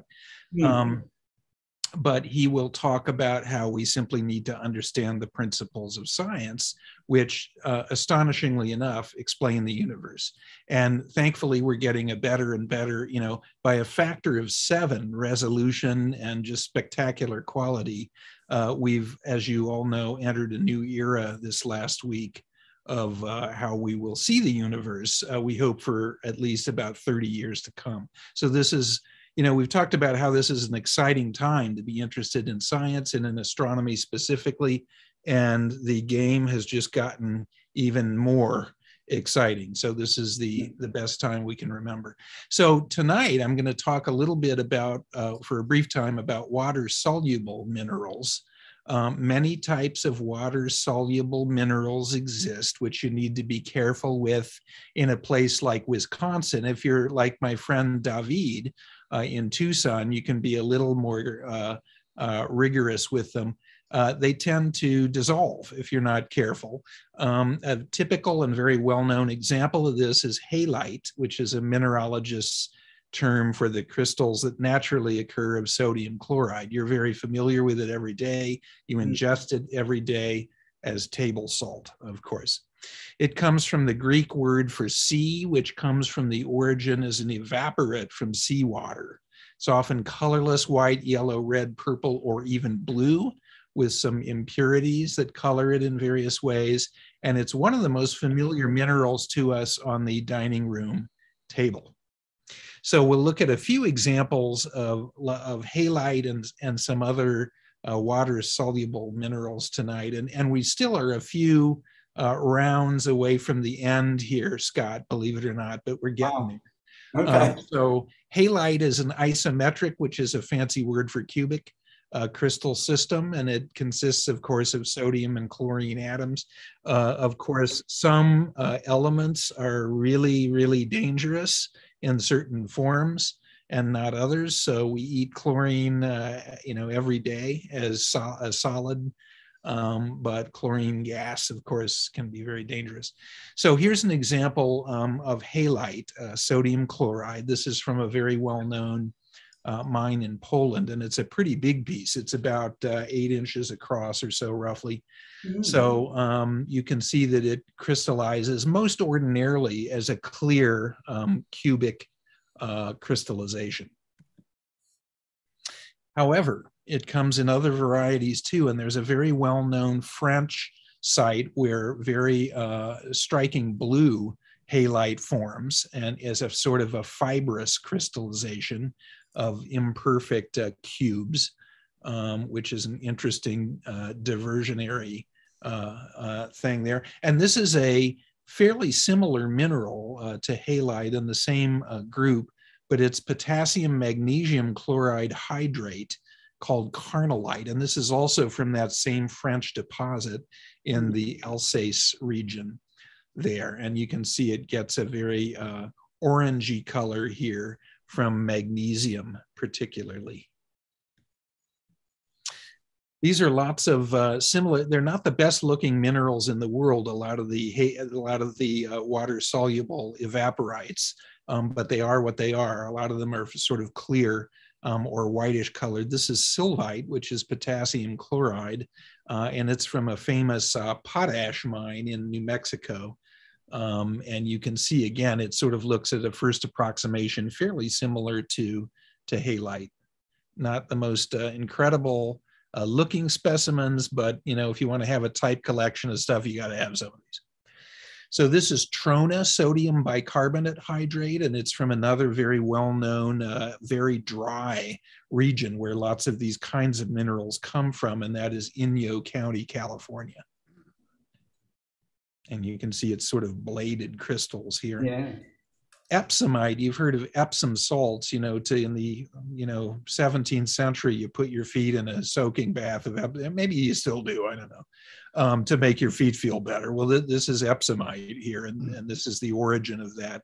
Magnesium sulfate hydrate, and, and it's from a very well-known potash mine in Germany. This piece as well, which is a reasonably large crystallized plate.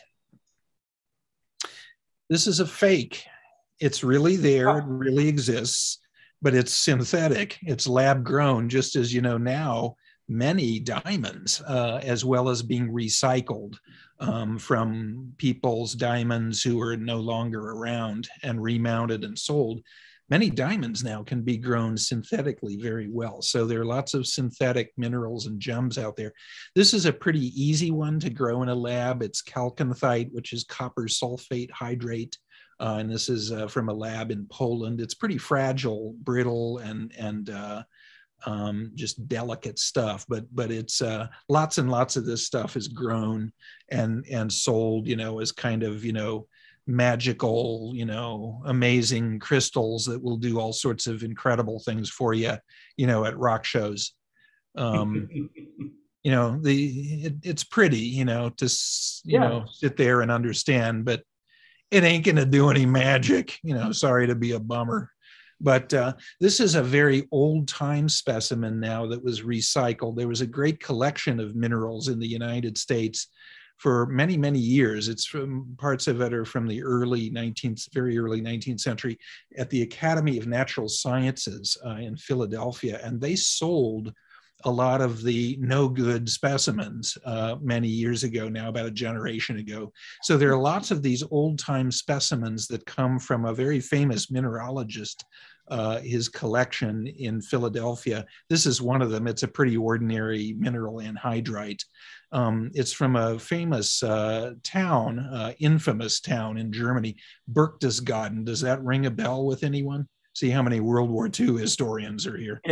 Okay, there was a really oh, bad. I was going to raise my hand, but then no, I don't remember a really bad guy lived in this town. Well, oh, and all of his associates as well, you know. But that's oh. okay. They they we, we we bombed and then blew up the rest of his house. but but this piece is from the same town as as that guy who you know tried to overthrow the the world um, 75 years ago. Um, but it's an interesting but fairly ordinary specimen here.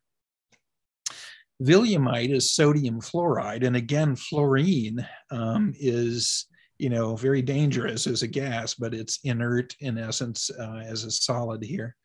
Um, and this is from an interesting locality in Namibia. And this is kind of interesting because you can see it's a little bit gemmy here, which for a water soluble mineral is is a little bit unusual here. This is uh, sometimes called cuprian, although it's really just plain old melanterite.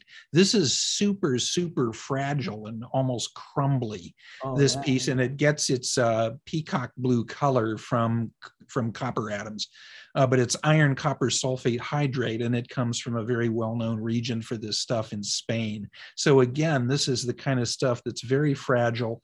And ideally with these kinds of minerals, you're kind of renting them uh, because, you know, about after a generation or so, unless it's really in an airtight compartment that is molecularly sealed, this stuff will essentially degenerate, uh, Wow. you know, uh, uh, and decompose uh, over some years.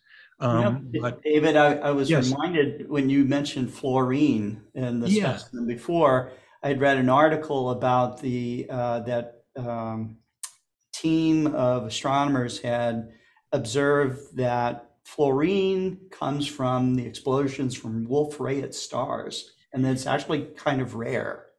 Wolf Rayet stars. Yeah, you know, one of the things when I run out of minerals, that's one of the things that is high on my list of 300 astronomical things to talk about again, mm-hmm. because we know a lot more now, you know, in the last 10 to 15 years about the origins of the elements. That's a very good topic, Scott, you know, and many, many elements, aside from hydrogen and helium big and Big Bang nucleosynthesis early on, the majority of the heavier elements, you know, owe themselves to the um, deaths either of low mass stars or in many cases supernovae and, and the end of high mass stars or the collisions of high mass stars like neutron stars as well. So that's a really, you're right about that. And that's an interesting thing to talk about um, that I'll horrify you with in some detail later, I hope, you know, it- when, when I get back to astronomy. But that it's amazing, you know, this era again that we're in, you know,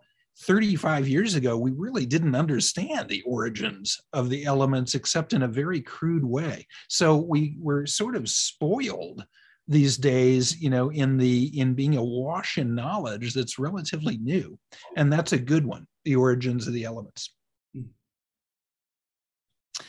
This is kröhnkite which is sodium copper sulfate hydride. Again getting this uh, you know sky blue color if you will from copper atoms that are spread liberally throughout the crystals. This is from a very famous mine, and as you know and can imagine, several regions, you know, including the Atacama as well, of course, are really good for um, really dry minerals in Chile. Um, that's a really rich region for this kind of stuff as well.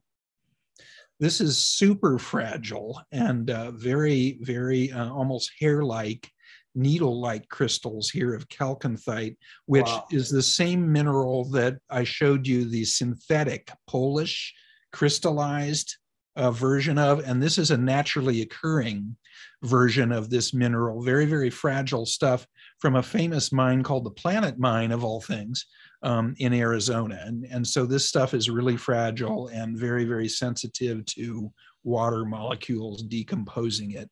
But it's it's pretty though, from thanks to copper. This stuff, and that is the colorless, uh, you can see there's some sort of modified dodecahedrons here. It's a little hard to see the way this is photographed, but uh, of this uh, transparent or, or crystal clear, almost looks like rock uh, crystal quartz here. Um, but that's salammoniac, which is an unusual mineral. It's ammonium chloride, relatively rare, and one of the better places to find it is this place in in area of Bohemia in, in the Czech Republic. So this is a very unusual mineral and very sensitive again to hydration.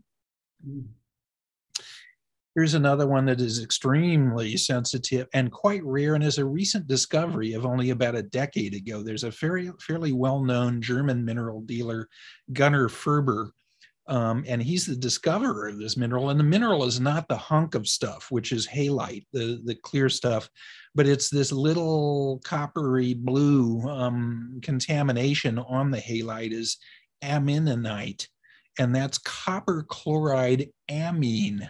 So that's a very unusual um, chemical here and, and is a mineral that's only about a decade old.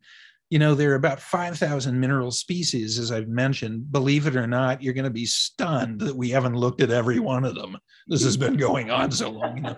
But, but uh, th- there is still quite a number and several dozens, typically at least, of new mineral species that are discovered each year, which is pretty incredible. So the, the number is slowly growing. Here's another one. These are these little uh, bluish and greenish bladed crystals, euchroite, which is a Slovakian uh, specimen here. This is a quite an unusual mineral.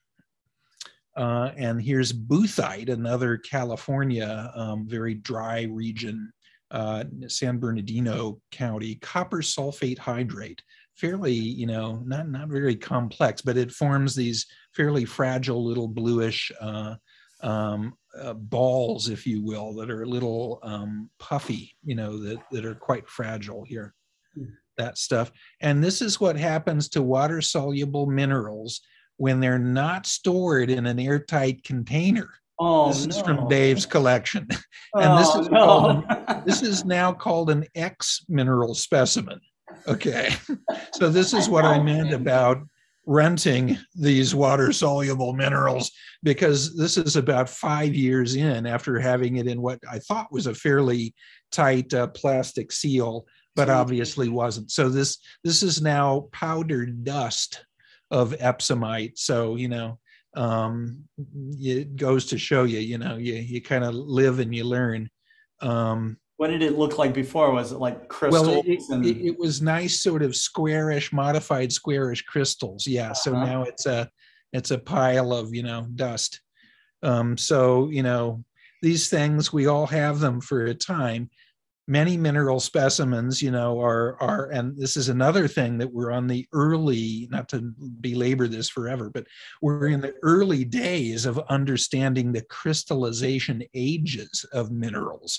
So we mm-hmm. now know that some localities and some kinds of minerals crystallized, say, about 8 million years ago, let's say. So here's one that didn't make it that far, you know.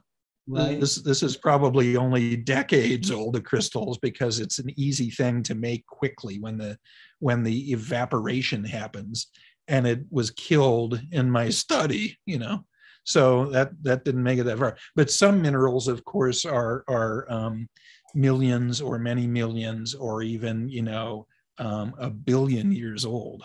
Um, so so this is a contrast and again scott we're on the cusp now of going and i can't say anything super specifically but i can tell you that there will be music now and we will be in the company of some rock and roll and some famous guitarists who I know will be there now. Oh, really? Um, so we'll have a star party and we will have uh, astronaut speakers and Nobel Prize winning physicists and Oh, chemists that's and so other fun. speakers. And uh, Seth's boss, Jill Tarter, will be there. Um, so it's a good thing Seth behaved himself today. Um, and we're going to have some rock and roll as well. So we're going to have a good time, and we will. We hope we'll report maybe a little bit, Scott. I don't know how much we'll be able to do this. Maybe we'll be able to do a little bit of live reporting from Armenia. We'll see. Yeah, we'll certainly try. Yeah. But if not, we'll have a lot to report on when we get back in September. Sure, sure. Wonderful. Okay, well, thanks so much, David. I'm super excited about all this, as you well know. So, Yeah, yep, great. it's going to be fun. We're going to have a blast. Oh, um, Daniel Barth wanted to ask you a question. Uh, Go ahead, Daniel. Mute here. Uh, David, fascinated. I've got a, a really cool big halite that a student brought me from Death Valley, but I wanted to know, have the rovers discovered, you say six to 10 new minerals a year? Have the rovers discovered Mars unique minerals yet? No, well, no, they're, they're on Earth. The on Earth. Oh yeah, some No, no. some dozens of minerals, you know, are being discovered. Each The, year. the rovers have discovered uh, some unusual and I think new minerals.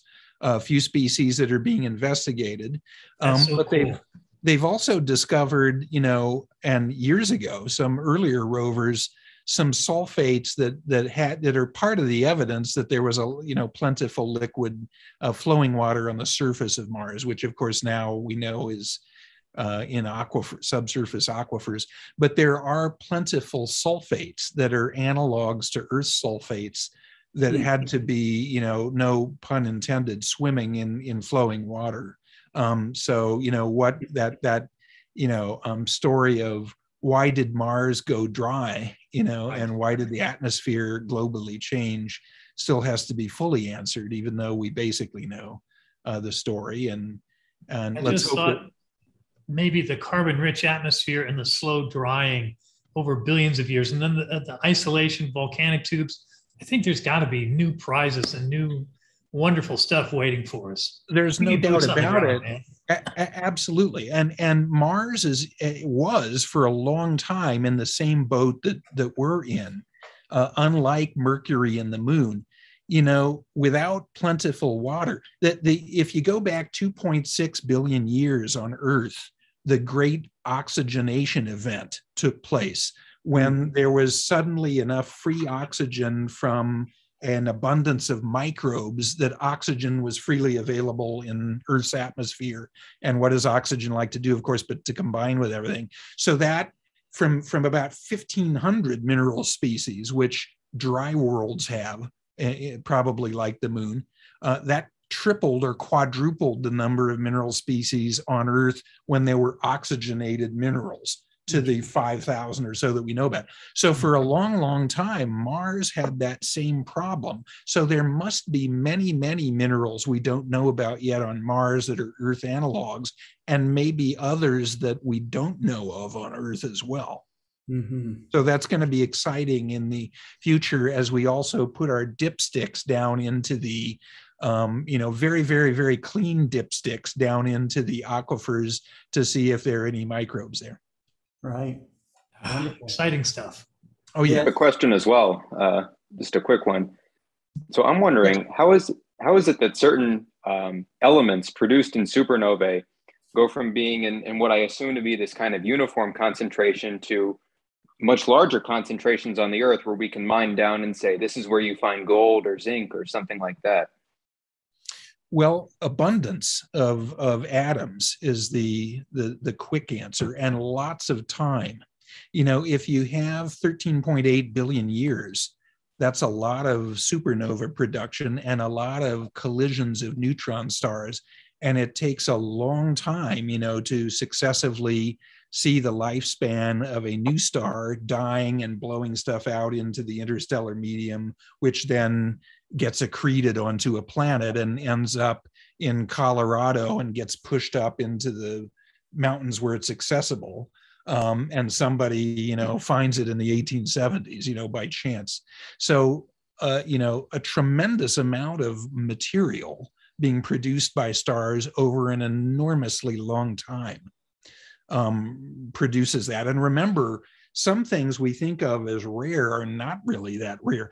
Diamonds, if we could find things, uh, kimberlite pipes below ground, which we can't easily, would be plentiful. They were one of the first dozen species to exist in the solar system, uh, uh, you know, elemental carbon. Um, and if we could extract gold that's dissolved in seawater, it would be worthless there's so much of it that is much. dissolved in the oceans you hmm. know but we can't you know so so we have to find it by sheer dumb luck in mountains that you know that get pushed up and make western movies you know after a hundred years you know. Right. um so so you know but a, a, a tremendous amount of material. Remember how many stars are in the universe now? We think at least 10,000 billion mm-hmm. billion and an enormously long time gets enough of that heavy stuff into a planet like Earth that's 4.6 billion years old. Yeah. Oh, thank you. Right. Mhm. Right. Okay, so we are going to transition to Molly Wakeling, but uh, before we do, Maxie's got his telescope aimed at a uh, beautiful nebula. Maxie, you want to give us a peek? Hey guys again, How- are you? And yes, I pointed to the Liberty Statue Nebula, but the light pollution is really, really tough. So I pointed now to the Swan Nebula. Let me share my screen. Um, okay, this is a of uh, two minutes, Mhm. and th- this is uh, the, how it looks like. You can see here is the shape, but when I do auto stretching, you have the information. Wow. So here, it's only yeah, it's it's a really good. I only using 100 gain at uh, minus 10 degrees Celsius, and you can see even because I went outside uh, a couple minutes ago, and I barely could see almost Scorpion, the Southern Cross, and maybe Arcturus. That's all the stars I can see. I think we have a wind in the up scales on the sky, so we have a lot of dust, and this is this is not a really clear night. But anyway, I can see uh, all these objects. So uh, again, if you want to see something uh, from the southern skies, well, this is from the middle. You can see it also in the northern, but uh, let me know it, and I will point my scope for the for the next uh, break. Okay. I guess it's worth mentioning that um, in our view, if we were to shoot it here in the northern hemisphere, that would the swan sort of shape would look upside down. So um, it's still Yeah, be the it- sea things. Remember, y- I- uh, you you can change the field of view of the camera, so you can rotate, and you can Right. see here the spikes are not pre- precisely um, um, horizontal and vertical; they are more inclinated. But yeah, anyway, uh, I'm using uh, a Newtonian, and maybe also the the image is uh, different, like when you see it. So Yeah, you're using a Newtonian, so they're made so something is flipped. So Mhm. exactly. Well, thank you, maxi Thanks for showing us the live view here. That's wonderful. No, thanks to you. Okay, okay. So now we're going to go to uh, Molly Wakeling. Molly has been on many Global Star parties. Uh, she um, uh, is, uh, I think, uh, might have been called an amateur scientist before, uh, but I think that she is uh, getting her uh, PhD and will be a professional scientist here in the not too uh, distant future. Maybe I, she's uh, uh, working for money now. I don't know. I uh, passed my candidacy exam today, so. Wow! Wow! Congratulations! Congratulations! Yeah, that's perfect. You're on your way. That's perfect. Wow! I'm Very well tired, deserved. But I really want to give this talk, so. Excellent. Molly, thanks for coming on to the 100th Global Star Party. yeah, thanks for having me back on again, Scott. It's been a while since I've been on here. I've been very busy studying for my exam, so um, glad to finally be back on here for a little bit uh, before I dive into writing my perspectives. Um, but uh, yeah, I really want to come on to the 100th show, and I also want to come on because, of course, of the incredible release of the James Webb Space Telescope images. And I want to talk about one in particular and about um, what it like um, how, how it's a good example of the kinds of things that we'll be able to learn from James Webb and cool science that, that's a part of it. Right. Molly, your your voice sounds a little thin uh, right now. I don't know if there's anything you can change on your microphone. Let me make sure I have the correct microphone selected. Oh, I had the wrong mic selected. How's that? Way better. All right, apologies. Way better. Okay, gotcha. Thank Yeah, you. so the, the cooler on my on my de- the CPU cooler on my desktop died yesterday. Uh-oh. Uh, so I've got my laptop hooked up temporarily, and I've so I'm trying to get all my stuff rewired. And Sure. uh, yeah, so yeah, Understood. now I've got it back on my good microphone. I'm actually amazed you picked it up at all because the microphone on that computer is about five feet away underneath my desk. It sort of sounded like that. It was just kind of, it sounded like you were in a tunnel. So, yeah Apologies. No Uh, all right. Thanks for thanks for letting me know. Um, I will share my screen. Let's see. Yeah, I'll just do that and then that. Yeah, so I also don't have my normal second screen today. So hopefully, yeah. Mhm. Um, how's that look? Does that look okay? Looks great. Looks good. Cool. Um, yeah, so uh, I want to talk about that incredible deep field image, the first one that was released of the few first few images released from the James Webb Space Telescope that focuses as, as pointed at the uh, galaxy cluster SMACS 0723. Uh, astronomers are really good at coming up with really funny shorthand names for things, and we really like to name things like uh oh, I should have had some examples handy, but uh, like like uh, ASAS-SN, for example, is the name of a survey that looks for things like comets. The ASAS-SN survey. yeah. Great. So uh, and sometimes uh, the acronyms are stretched quite thin, um, but we're really good at that. So Yes. um, all right.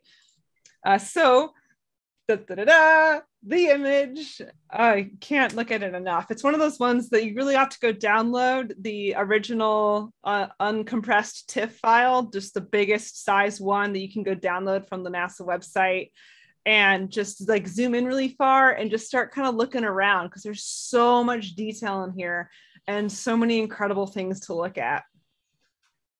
So uh, let me point out some of kind of the main features of the things going on in this image. Um, so first we have foreground stars, very much like we were used to seeing in Hubble images. Uh, it- they're obvious by their diffraction spikes. And in the case of the James Webb Telescope, it has six diffraction spikes instead of the normal four that we're used to because of the hexagonal shape of the mirror. And then the horizontal uh, uh, uh, diffraction spike in the middle is the one that's actually from the struts. I thought it was the other way around, but I went and looked that up. And yeah, so that horizontal one is is from the strut that's holding the secondary, and then the um, uh, hexagonal spikes are from the hexagonal shape of the primary mirror. So expect to expect that to be a uh, uh, an identifying feature of James Webb images from here on out. Uh, so in addition to the foreground stars, we have lots of background galaxies, everything from ones that are easy to spot with really cool spiral shapes uh, when the image is zoomed out, all the way to really tiny dots and really a lot like just like the Hubble deep field that that really kind of moved me to get into physics in the first place. Every single dot of light in this image that's not one of the foreground stars is a galaxy. When you zoom in really far and you see a little fuzzy dot, that's a galaxy that is really far away. and so it's really incredible to see just the depth that that James Webb was able to go to in this one image. Um, now, the target of the image is uh, SMACS, uh, shorthand SMACS uh, 7, uh, 0723, but the full long name is J0723.3-7327. Uh, ways of, uh, of cataloging all of these things that there's too many to name. Uh, so um, the light travel time is the number is the number that you've been hearing a lot for the distance for this galaxy cluster uh, of 4.6 billion light years. Its proper distance is 5.12 billion light years, and that has to do with the way that um, space between us and that galaxy cluster has stretched since the light has left. So its proper distance is actually farther away than the light travel time. And I'm going to dig a little more into that when I talk about cosmological redshift later on. Uh, in addition to that, we have, uh, if you looked around the galaxies, you might notice that some have very odd shapes, these really stretched out looking galaxies. And those are actually gravitationally lensed galaxies that are being lensed by this heavy galactic cluster in the middle, the SMACS cluster. I'm going to talk about what that is and actually what that can do for us scientifically as well. So first, um, Babak Tafreshi, uh, the Nightscape imager, put up this really great video on his Instagram showing where exactly this deep field image is taken. So uh, we have a shot of the southern sky. We can see large Magellanic Cloud, and briefly to the left of the Magellanic Cloud, it showed two arrows. Um, so look to the left and zoom in on that little box. That is the area of this deep field.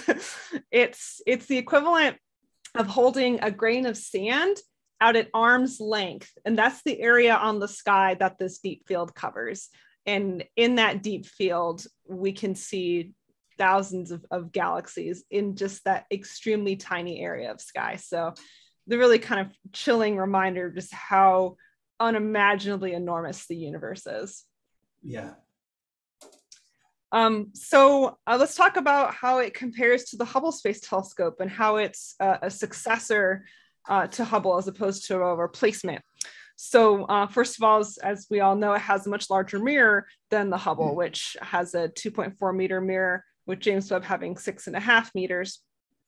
And this larger size allows it to be 270% sharper because that, that larger size allows us to have higher spatial resolution and 730% more light gathering power. And we actually end up being able to get even more light gathering power than that because of the instruments that are on it and, and the quality of those instruments. That's kind of the value from, from the mirror alone. Uh, in terms of that deep field, it would take Hubble weeks to capture that same deep field that James Webb was able to catch in 12 and a half hours of exposure time. If y'all remember the, the Hubble deep fields that came out in the 90s and 2000s that got progressively longer exposure times, those were exposure times of weeks. And we were able to probe deeper already with just 12 and a half hours of exposure time on the James Webb telescope. So it's just, just a glimpse at what we're going to be able to do with it. And it's truly incredible. Um, so uh, here's uh, actually uh, a comparison image of Hubble imaging the same field that James Webb imaged. And the Hubble image is a shorter exposure time. It's about three and a half hours total exposure time um, compared to James Webb's 12. But you can see already the difference, uh, not only in, of course, the amount of light gathered, but the quality of the image. We have newer cameras on James Webb with lower noise and we have a lot higher spatial resolution. And so if you were to zoom in on the Hubble image, a lot of the galaxies get kind of fuzzy where they become sharp in the James Webb image. Um, so in addition to, uh, to those things, it, uh, the James Webb Space Telescope is in a totally different orbit than, than Hubble. So Hubble, Hubble is in an, an Earth orbit, uh, and that actually limits its exposure time on any particular target because it can only image one spot on the sky 50% of the time because then it goes around behind the earth and it's blocked from view and then it has to reorient when it comes back around to look at that target again.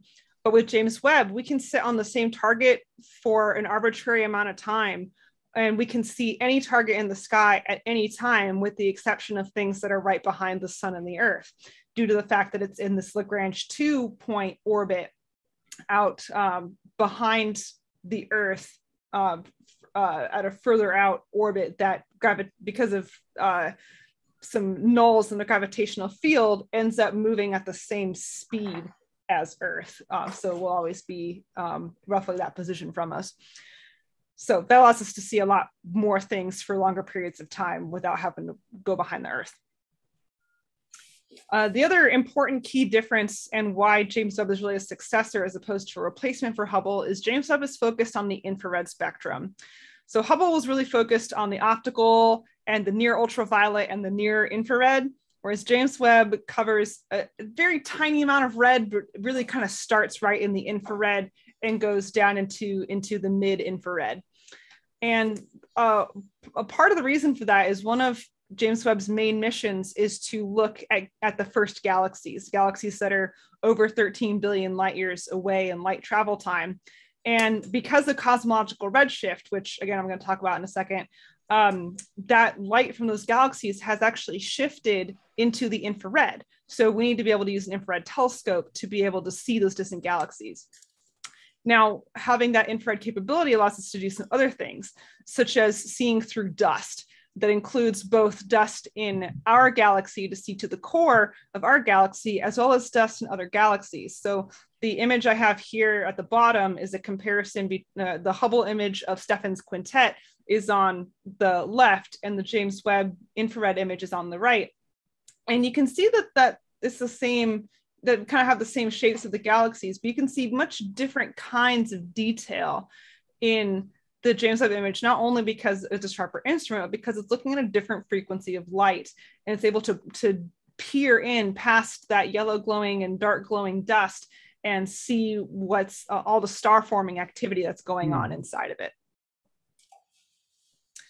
All right, so let's talk about gravitational lensing. So the thing that causes this lensing is when you have a large distribution of matter, in this case, a galaxy cluster, between a distant light source, such as a galaxy, and an observer, which is us, which bends the light from that light source ar- around that that uh, source of mass, that galaxy cluster, as it travels towards us. This effect was actually predicted by general relativity before we were able to observe it um, uh, pr- principally with with uh, with Einstein really cementing in that theory of general relativity. And one of the outcomes of that light bending around the gravitational field of the of the galaxy cluster is that it can stretch the image of the galaxy, and it can also make multiple images. So um, uh, I think the the one shown here the one on the right side of the galaxy cluster um, that I'm not showing is definitely the same galaxy showed twice. I think this one is also where it's a very hmm. stretched out image of the galaxy, but uh, I might be wrong about this, but this might be the same galaxy that we're seeing two images of um, because of the way the light bends around it. Crazy.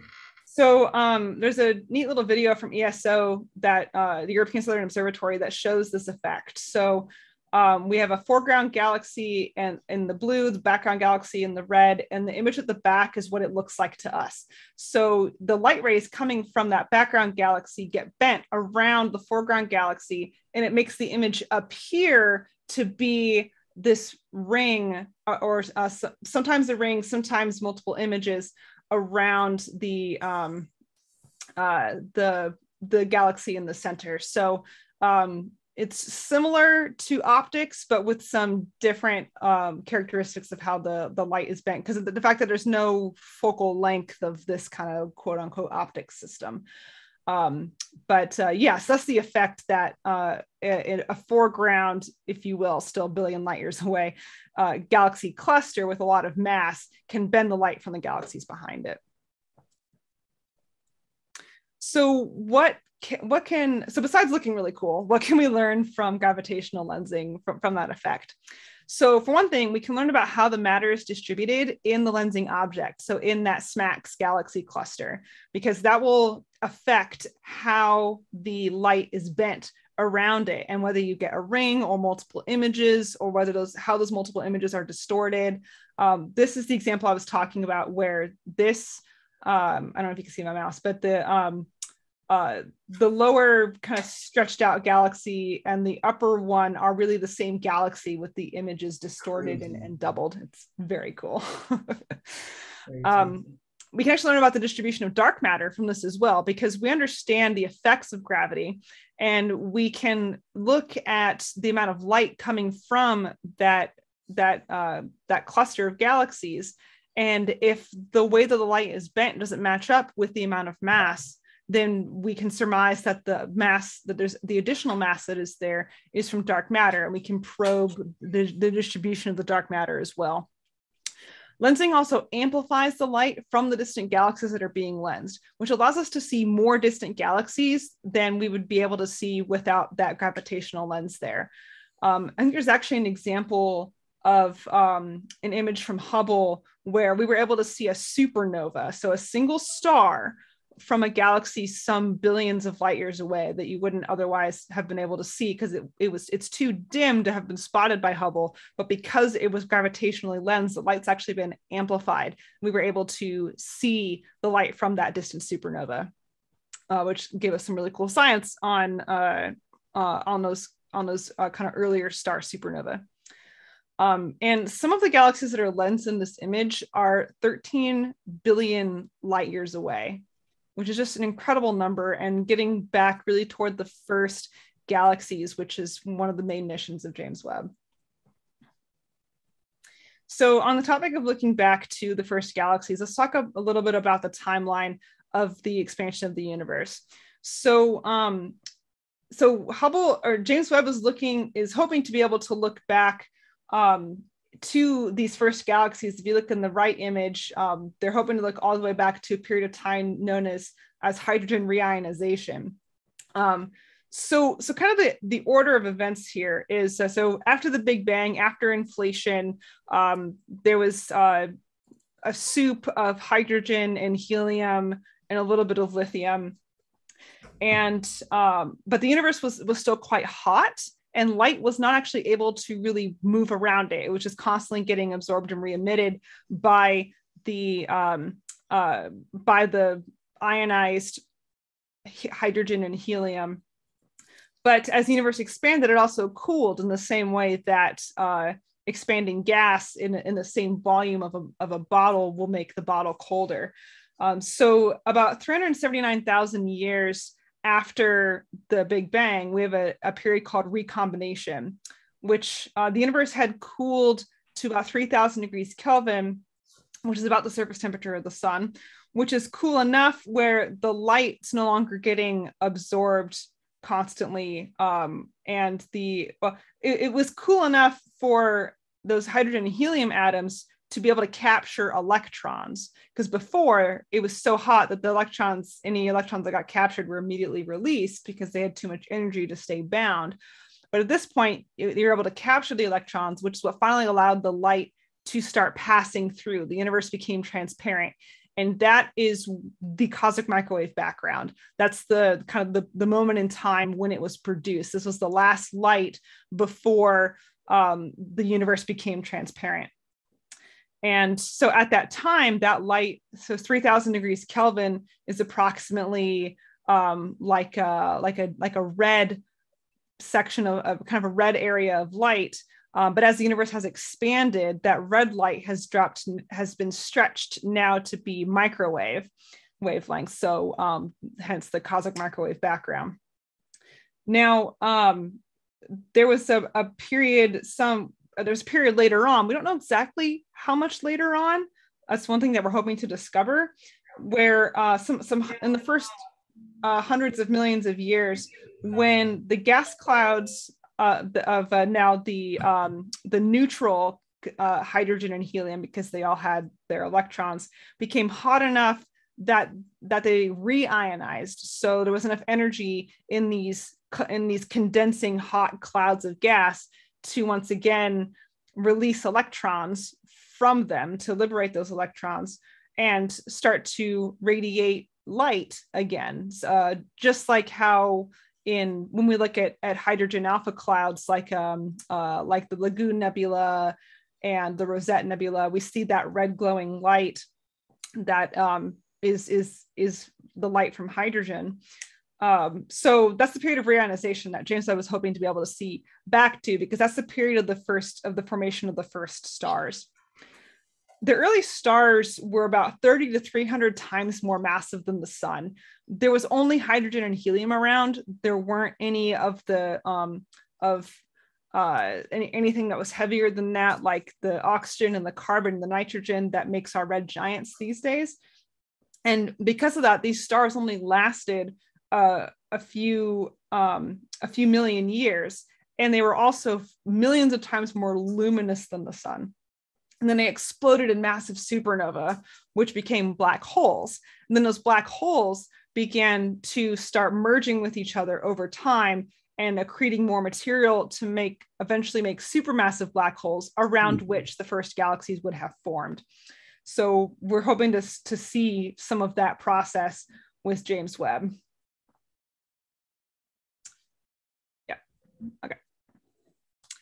Um, so uh, looking at looking at the the most distant galaxies in this image, the I've zoomed in on another portion of of that deep field, where um, and again I want to emphasize these little dots of light here and here and here. Those are a whole galaxy. Yeah.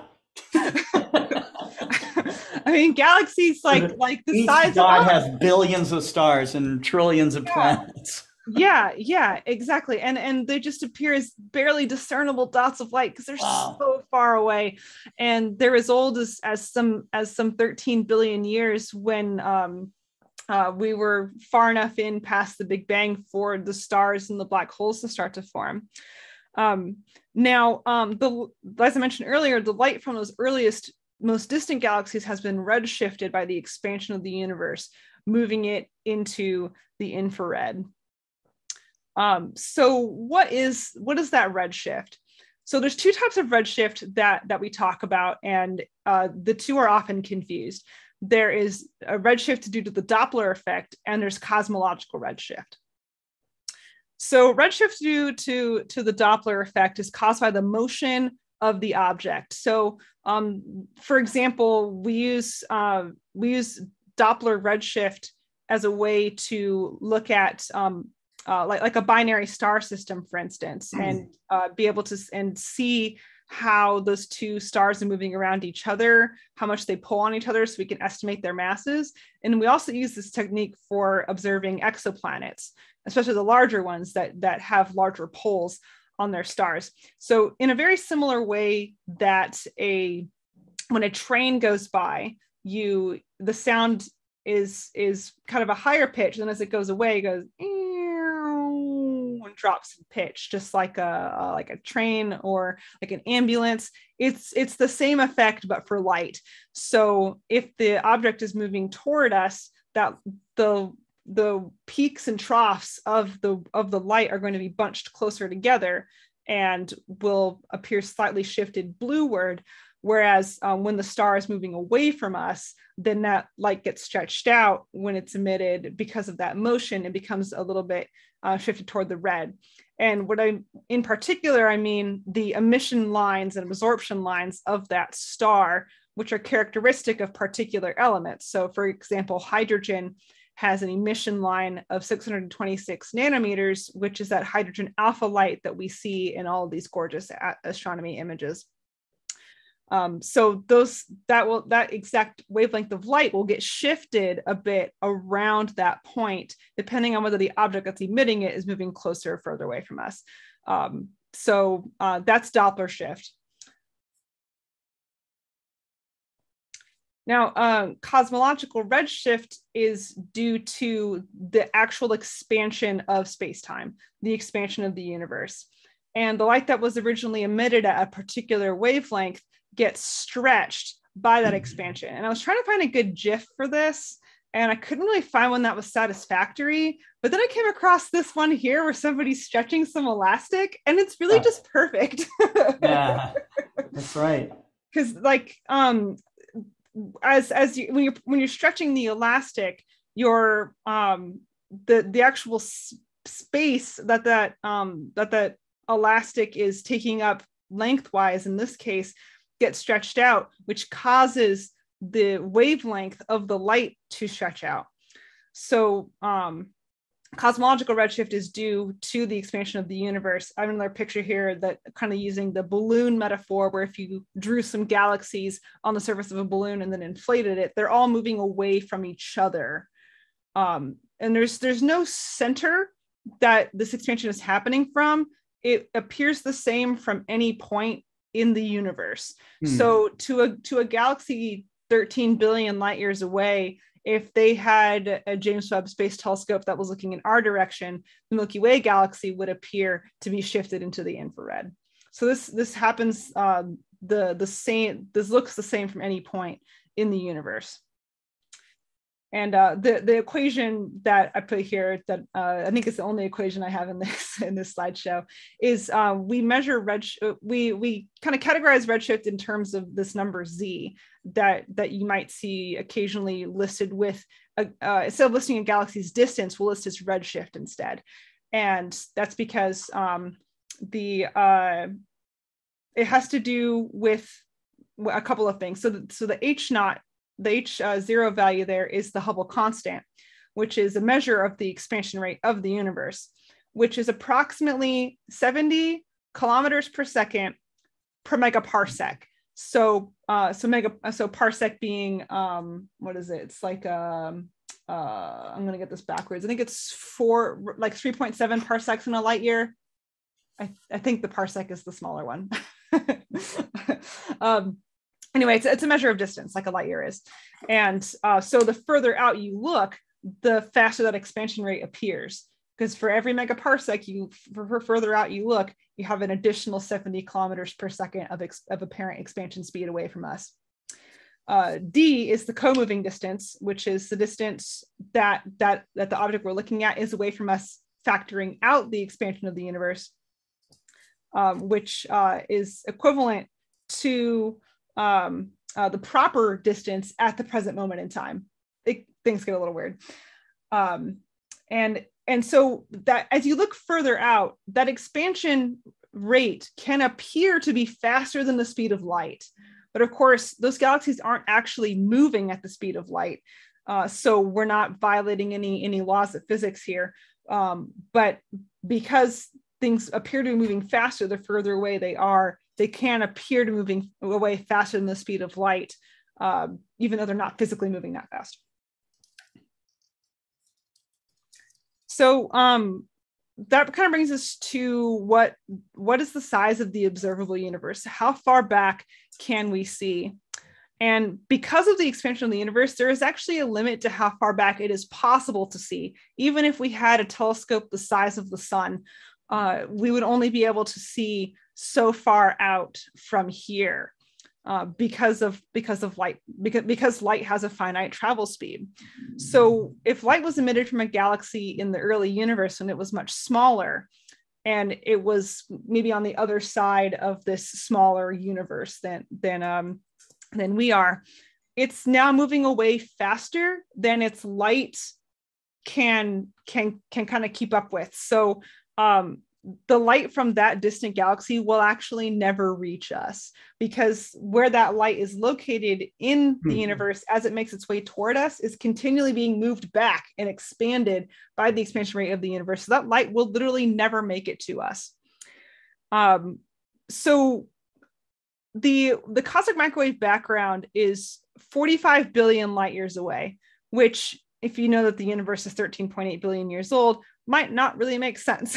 uh, but you have to remember that because it's expanding at an accelerating rate, um, it will, it the actual point of recombination when that light was emitted is now 45 billion light years away because the galaxy, the universe was so much smaller when it was emitted. Mm. Um, but it still only occurred um, 13.4 billion years ago. Mm-hmm. Yeah. So um, with all of that all that taken into account, the diameter of the diameter of the observable universe estimated to be about 93 billion light years. Um, so that's the picture that's shown here. The diameter is 93, meaning the radius is 46. And um, but based on characteristics of the cosmic microwave background and what we know about the Big Bang and inflation, uh, we can estimate the size, the actual size of the universe, which is unknown and may be infinite. But um, some estimates, based on what we know about uh, the early universe, put it at 23 trillion wow. light years. It might as well be infinite. It might as well be infinite. Yeah. there's actually there's some really interesting theories that um, are not they're not fringe theories even they're they're um, depending on the geometry of the universe. It's possible that we're kind of in this in this hyper hyper um, what's it called this this hyperbola where if we were able to look back to look far enough out, we would actually see ourselves again uh, because it wraps around, sort of like uh, like if you walk around uh, on the 2D surface. Mm-hmm. Imagine you were an ant uh, living on the surface of a sphere. And you're imagining you're a two dimensional ant. And so you don't know about up and down, you only know about left and right. And you uh, are walking around and you, you think you're walking in a straight line. And then after you walk a really long time, you end up back at the point where you started because it the the space that you live in is a dimension higher than the space that you experience um, so it's kind of this 4D hyperbola idea where um, we might actually be able to see our own Milky Way galaxy billions of years ago if we can look far enough back, which um, is the, the geometry of the universe is something that, that is under active research, but it's a cool kind of, it's a cool theory. mm. Um, yeah, so getting toward the end here, um, what are some questions that the James Webb Space Telescope will be able to answer for us? So we'll be able to see the first galaxies and stars and um, be able to actually measure uh, the conditions uh, of those first galaxies and of those first stars where we've only been able to conjecture with models before. We'll be able to understand galaxy evolution because we'll be able to see those early galaxies and then closer to us, galaxies at a later point in evolution, and then closer to us, galaxies at an even later point of evolution, we can actually watch the timeline of formation of galaxies uh, from our singular point in time because we can look back in time by looking further out in space. Uh, because of its infrared capability, we can peer through clouds and watch stars form where we can't look through those clouds with our optical telescopes. So we'll learn more about star formation. And something that I'm really excited about, we'll be able to probe the composition of exoplanet atmospheres. Mm. So we can do infrared spectroscopy on these exoplanet atmospheres where we can look at uh, basically it's like taking a, a picture but with every different wavelength of light being its own image instead of red green and blue we have for every um, let's say uh, every nanometer of wavelength of light, we get a different image. So you can, and you can see where the emission lines and the absorption lines are that are characteristic of elements and gases and compounds. So we can actually look and see what's in the atmospheres of these exoplanets. So one of the uh, one of the first images produced was actually this plot here of uh, WASP, um, I should have written down the number, WASP 69b, I think, or something like that, where we were able to observe there's water in the atmosphere. So uh, where there's water, there's chemistry uh, of the biological type. And um, so there could be interesting things happening on that world and lots of others that we'll be able to probe. So um, yeah, it's going to be an incredible capability. Uh, scientists are already crying about how amazing it is and how it's exceeded every expectation that it was designed for and giving us even better views than than we could have hoped and um, where where we where we went wrong with hubble in the optics the first time it was put up everything just went right with james webb the launch was textbook the orbital insertion was textbook the unfolding had a few glitches but we got those worked out and everybody's just like crying happy tears of amazingness. So are there any questions? Uh, I've got one, but if there's someone from the stream, they read that one first. let's see. And i'll go i'll go hop on the chat uh, after this and and go answer some questions in chat too uh, on the youtube chat. I am not seeing it uh, you want to read it off adrian Well, no, I, I just had my own question. I wasn't looking. Sure. I wasn't looking at the chat.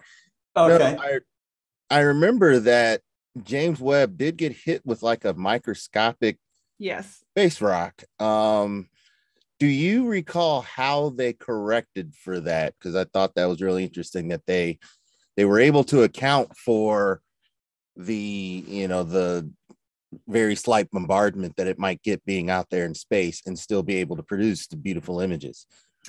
Um, I'm trying to remember what I read about it. Um, I think instead of, um, I think it's something that that they kind of assessed and realized wasn't going to be a problem, as opposed to something that they corrected for. But I might be wrong. Um, uh, yeah, I have to go read about that again because I can't remember what the what it ended up being. My brain's been flooded with uh, with this exam. So. That's understandable. You've you've got something important, but this was a great, this was a wonderful presentation, and yeah, yes, we were there's- very, we were all excited about James Webb when it when it uh especially when those images uh came up. I was Yeah. happy just hearing that the every target that it reached, it got into its point, it made it here, there, everything was you know, everything went well and it didn't unfold inside of a rocket that didn't let it go or something tragic Yeah, like that. yeah, oh, exactly. You know, that's Uh, early go ahead. I get- deployment yeah that's right Yeah. And I think these, so like, even though um, these are infrared images, which I was kind of afraid were going to look a bit like the Spitzer images that have really weird color palettes that just don't look good. Like, I, they've, it looks like that they're actually choosing color palettes that make it look more like the optical images we're used to seeing out of Hubble, even though these are infrared images. And I'm really glad that they're doing that uh, at least for the for the images that that we all get to look at um, because hubble Hubble did for my generation what the Apollo 11 launch did for for the generation before That's me. right. And James Webb is going to do for the current generation what Hubble did for me, which was inspire me to get into physics in the first place. So um, those images, like um, I mean, there's a lot of science science that's going on in the unprettified version of those images, but the release of those in a kind of a prettified, false colored format is so important, and uh, for, for that public outreach bit and Right. for inspiring both people who might eventually become scientists and just the general public to think about what's out there outside of our little our little home universes so um yeah it's we're just it's all just we're at the beginning it's all just getting started Yeah, I think I agree. And I think what you just said helps me to realize kind of the outreach of what JWST is doing. You do have folks that that are content that are content producers who see the images and then sort of liken it to JWST, a big fat camera in the sky, as if someone shot out a Sony Alpha One on steroids and took pictures of space. But then again, the outreach far, I guess, exceeds the maybe the thought that it's just a camera and it really isn't, it's a science instrument. But that's still reaching a group of people who otherwise may not care about the science that James Webb would do. So Yeah, I think you're, I think you're really right on about that. yeah nasa and esa understand that really well and in fact um, the the juno mission to jupiter one of its cameras one of its instruments is solely for public outreach it has no scientific uh, purpose although science has been has been done with it uh, because the images that come from that are, are so incredible. But all of those images that you see from, uh, from Juno of Jupiter with its highly detailed clouds and Yeah. um, that's from a camera that was designed for public outreach explicitly. Yeah. And so, so NASA and ESA deeply understand how important having public facing pretty images is to having people stay interested in in science to, to grow the next generation of scientists but also to get money so they can keep making Yeah, that's right. Our tax dollars fired at work. So that's right. yeah yeah Yep. I, I uh, th- there was lots of um, controversy and arguments about the billions of dollars that it took to keep uh, Hubble in good working order and to produce the kind of images that it did. But when you you know you you spread that out over uh, the uh, 300 million people that live in the United States, it ended up being something like the cost of a movie ticket or something. Oh, I you know, did hear this you couldn't even get yeah. popcorn and a Coke. You know. yeah yeah and and highly worth it even just for for keeping the public inspired and inspiring future scientists Um, That's right. but we got so much science out of hubble and there's a there's a lot of things that that we want to learn for the sake of understanding them. There's also a lot of things that uh, when we look out to these other galaxies and these other and these exoplanets and even within our own our own galaxy and our own solar system then we can learn about the formation of our own planet.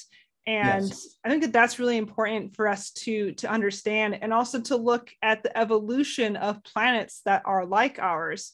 And kind of get a glimpse of what different possible futures are. Um, and and maybe start to clue in a little bit about how life was able to take root on this planet which i think is a question that everybody is interested in in, in one way or another. Um, so it's not all just kind of pie in the sky like we want to we want to see that galaxy because it's there which is part of it. But um, uh, the things that we learn will teach us about ourselves.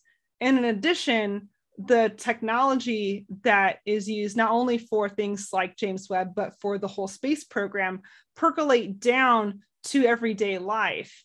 Um, lots of nasa technology used in the in the apollo program and all the subsequent programs are now everyday parts of our existence that we take for granted nasa actually publishes a report every couple of years about how their technology has has percolated out to the masses um, Sure. so it, it really it really pays dividends uh, even if it feels like a big expense for having a big camera in the sky sometimes Right. be on the lookout. I, I've heard or read from an astrophysicist from uh, the UK um, Dr. Becky Smethurst, she shared the next targets that uh, JWST Ooh, coming out. Messier 74 will be one of those targets. So we're getting an open face galaxy as a part of our uh, next uh, science target. So looking forward to that. Excellent. Yeah. Um, and we're just going to be seeing these images for the next 30 years. It's uh it's it's it's fantastic. Um Right.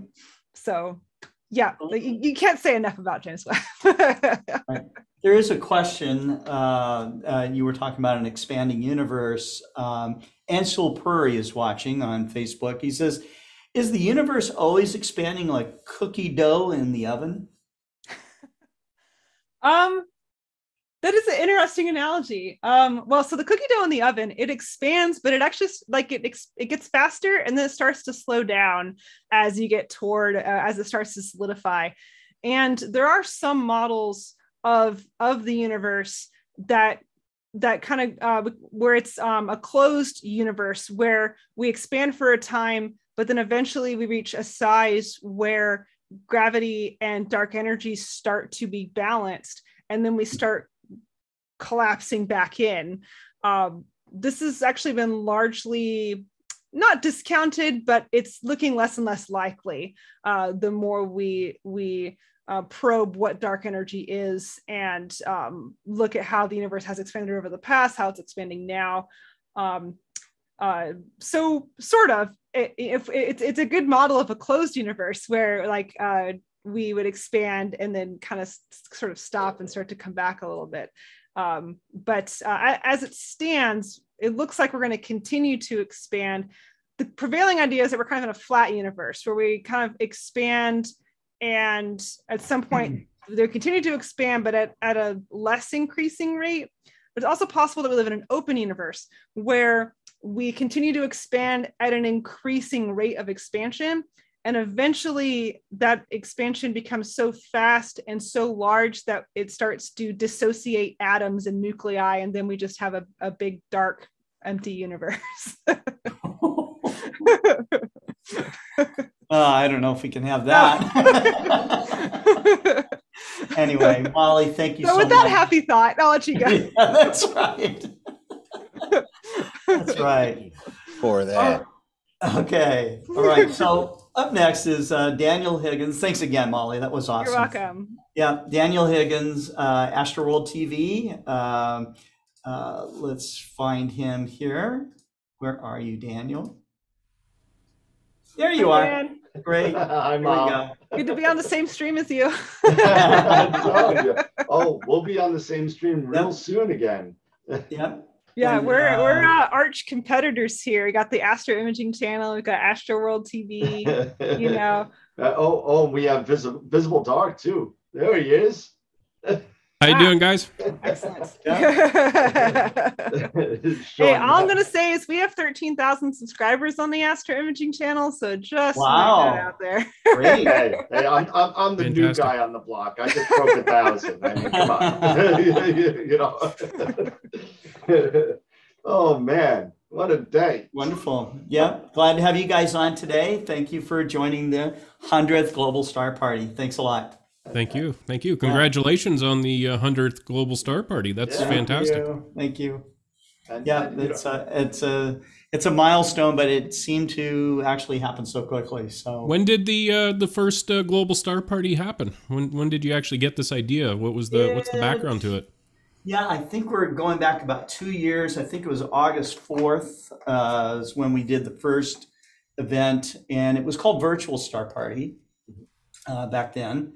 Uh, I didn't really know quite what to call it at that point. Um, uh, you know, people said, well, is it going to be a real star party or is it a virtual one? I said, okay, you know, virtual because we can't get together because of COVID, right? So, Right. um, and I really, I, I kept hearing uh, amateur astronomers lamenting about how they couldn't go out, they couldn't do anything, you know. And I said, well, good lord, we have all the technology right here, you know.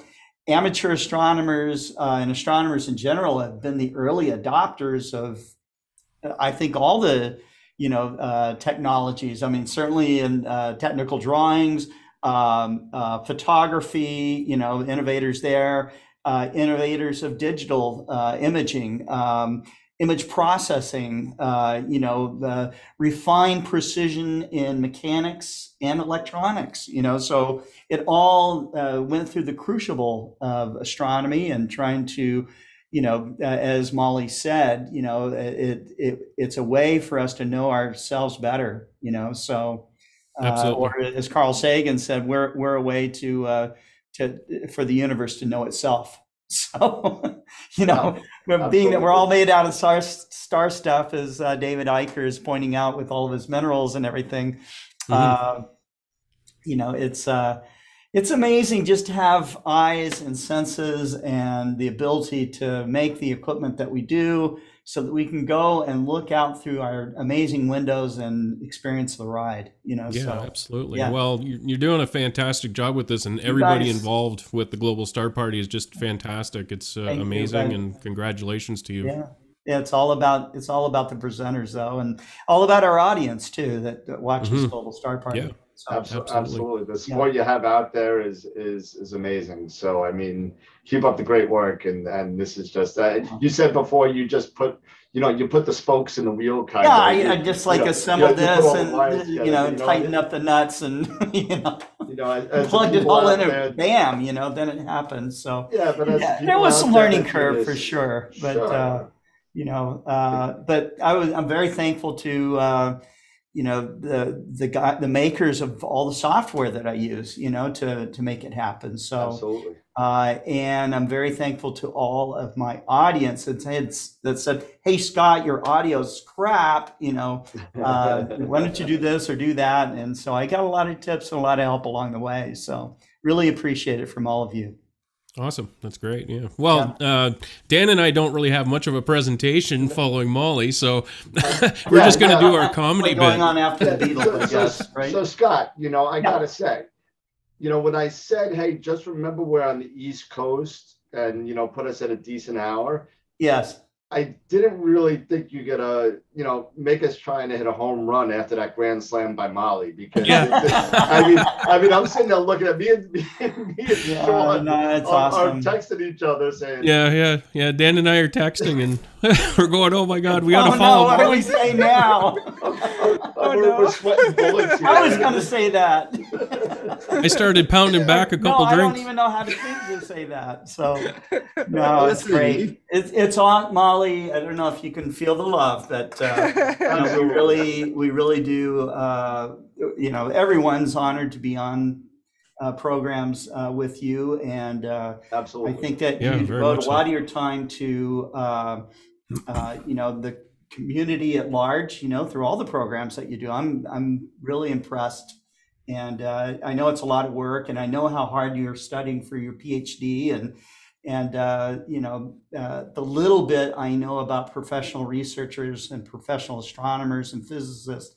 It's kind of a a sausage factory. I mean, the scientists are really tough on each other, you know, and uh, you know you really have to work hard to get the little bit of funds and stuff from uh, you know the grants and stuff that are out there, and really are expected to uh, produce, you know, in, in this way. So it's it's uh, my hats off to you. And uh, but uh, again, we're in the golden age of astronomy and discovery and exploration. We have this incredible, beautiful J West telescope, you know, without and, and still have you know the amazing Hubble Space Telescope that's still generating uh, incredible data and you know all the all the productive telescopes, including some telescopes that somebody told me once about 15 years ago that the 200 inch Palomar was like uh, an antique. You know, it was, uh, you know, and it was somebody at when I was on Mauna Kea told me that, and I go, I don't think so. You know, because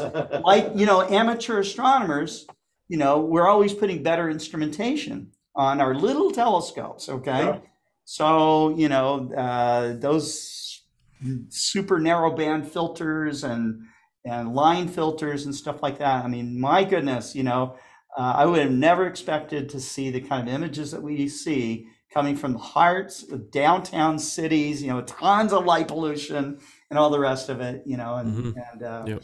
you know, Yeah. the- all three of you know this very well because uh, you you've all been faced with this, and and uh, you're you're living the cutting edge of uh, amateur astrophotography. And you know, if you take, I think if they if professional astronomers take the ideas, the creative ideas that amateurs have, and apply it, you know, can you imagine if they had like giant narrowband filters for the 200 inch telescope and and uh, you know uh, do all the the techniques that amateurs do you know like 100 hour exposures with the 200 inch telescope Amateurs i wonder what you would get participate in a lot of a lot of science that is being done even with our pretty modest instruments. Yeah, Um, absolutely. I've, I've i know i've talked on here before about um, and on the astro imaging channel and some other places about uh, uh, variable star observations.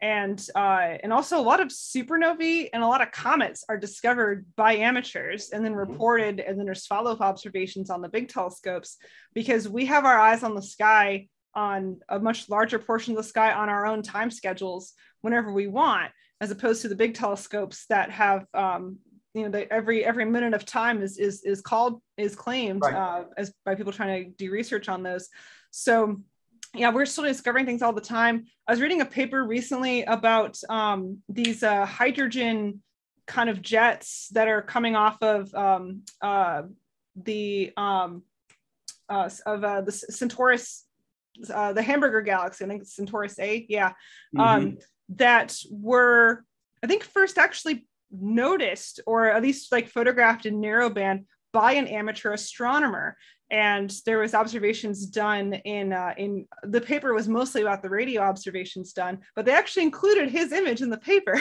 that's so cool uh, I try to remember who who it was. Um, uh, I, I can't remember, but uh, yeah. And then one of one of my other friends, Terry Robeson, actually also imaged those, and they've been imaged by very few people, but it is possible with amateur gear to observe these really dim features. Um, there was a talk at the 2019 Advanced Imaging Conference about an amateur astronomer who was imaging the uh, tidal streams coming off of galaxies because he had a nice dark spot and a nice big telescope and actually was in a lot of papers uh, contributing to to that research. So uh, yeah it- astronomy is one of those incredible places where amateurs can contribute a huge amount to the science uh, w- alongside the professionals. And actually somebody who's a professional astronomer can also be an amateur astronomer. So uh, Yeah. it makes it really unique. Yes. Yeah, absolutely. And you know that, that that's something that I talk about quite a bit on the show with my other co-hosts. That you know you don't have to have a 200 inch telescope to do science and to do legitimate stuff with your with your with the stuff that you have. Um, you know, you could sit there and you could you could go buy a, a you know a, a 80 millimeter scope and start doing some variable star observations or or uh, get, get, spend a little extra money and start doing like occultation imaging and all that kind of stuff. You know, all this stuff that we could do um, because the technology has gotten so much better and the learning curve isn't as frightening, I guess, is the word that I'm, you know, you know, it, it used to be frightening that, oh my God, I can't do this. It takes forever. I can't, you know, it, you know, it takes 30 years to learn. But, you know, people are starting to do real science with less time invested now than ever before. And, Right. uh, that's it's- right It's, it's really yeah and there's more and more pro am projects going on too uh, Absolutely. than ever before so uh, you know we've got um, you know not only uh, seasoned amateur astronomers can get started but uh, young people like nicolina uh, nine years old you know who's got all these um, you know asteroid candidates uh, from her work you know uh, in, in research science so it's uh, it's awesome you know um, Yeah, it's just in- fantastic. yeah, it, we're just really in. It, it, no matter what level you want to get started, no matter how far you want to take it, uh, there's really no barriers, you know. So, Yeah, and I think yeah. that's always existed in astronomy. You know, Mhm. Someone um, uh, uh, gave a little prodding uh, uh, to David about um, the fact that he was an amateur astronomer uh, working at Palomar. You know, uh, but I see David as kind of like. Um, you know, um, his, his you know, his his distant cousin being, you know, not li- literally, but uh, Humason, you know, Milton Humason up at, at Mount Wilson, you know, uh, he only had four, you know, at 14 years of age, I think he stopped going to school. Okay. And uh, became one of the world's greatest astronomers, you know, so, Mhm. um, Yep. you know, working Yeah, with, yeah, uh, no. Hubble. I, I I remember you know when I was young and how I got started in astronomy and it's just fascinating to me how things have progressed. And like we were talking about the, the technology um, I got started uh, my dad had a little pirate scope. It was uh, I think it was like a 30 millimeter Tasco or something like that. Yeah. yeah it was Uh-huh. yeah yeah. And I, I would actually look at the moon um, from the kitchen through the window. I would look at the moon, and it just fascinated me. And I, I, I started reading about the planets and the moon. And uh, um, they bought me my first real telescope, which was a four and a half inch reflector. Wow. And I, I started building my own telescopes at that point, an eight inch and a 14 inch reflector. Yeah. Um, I actually imported uh, for the 14 inch mount. I imported um, uh, uh, for the the 14 inch reflector. I imported a mount from Tucson, Arizona, um, which I when I was calling. I don't know if anyone remembers. Do you do you remember the Bigfoot mounts? They were wooden. Yes, I remember. There were You wooden. remember those?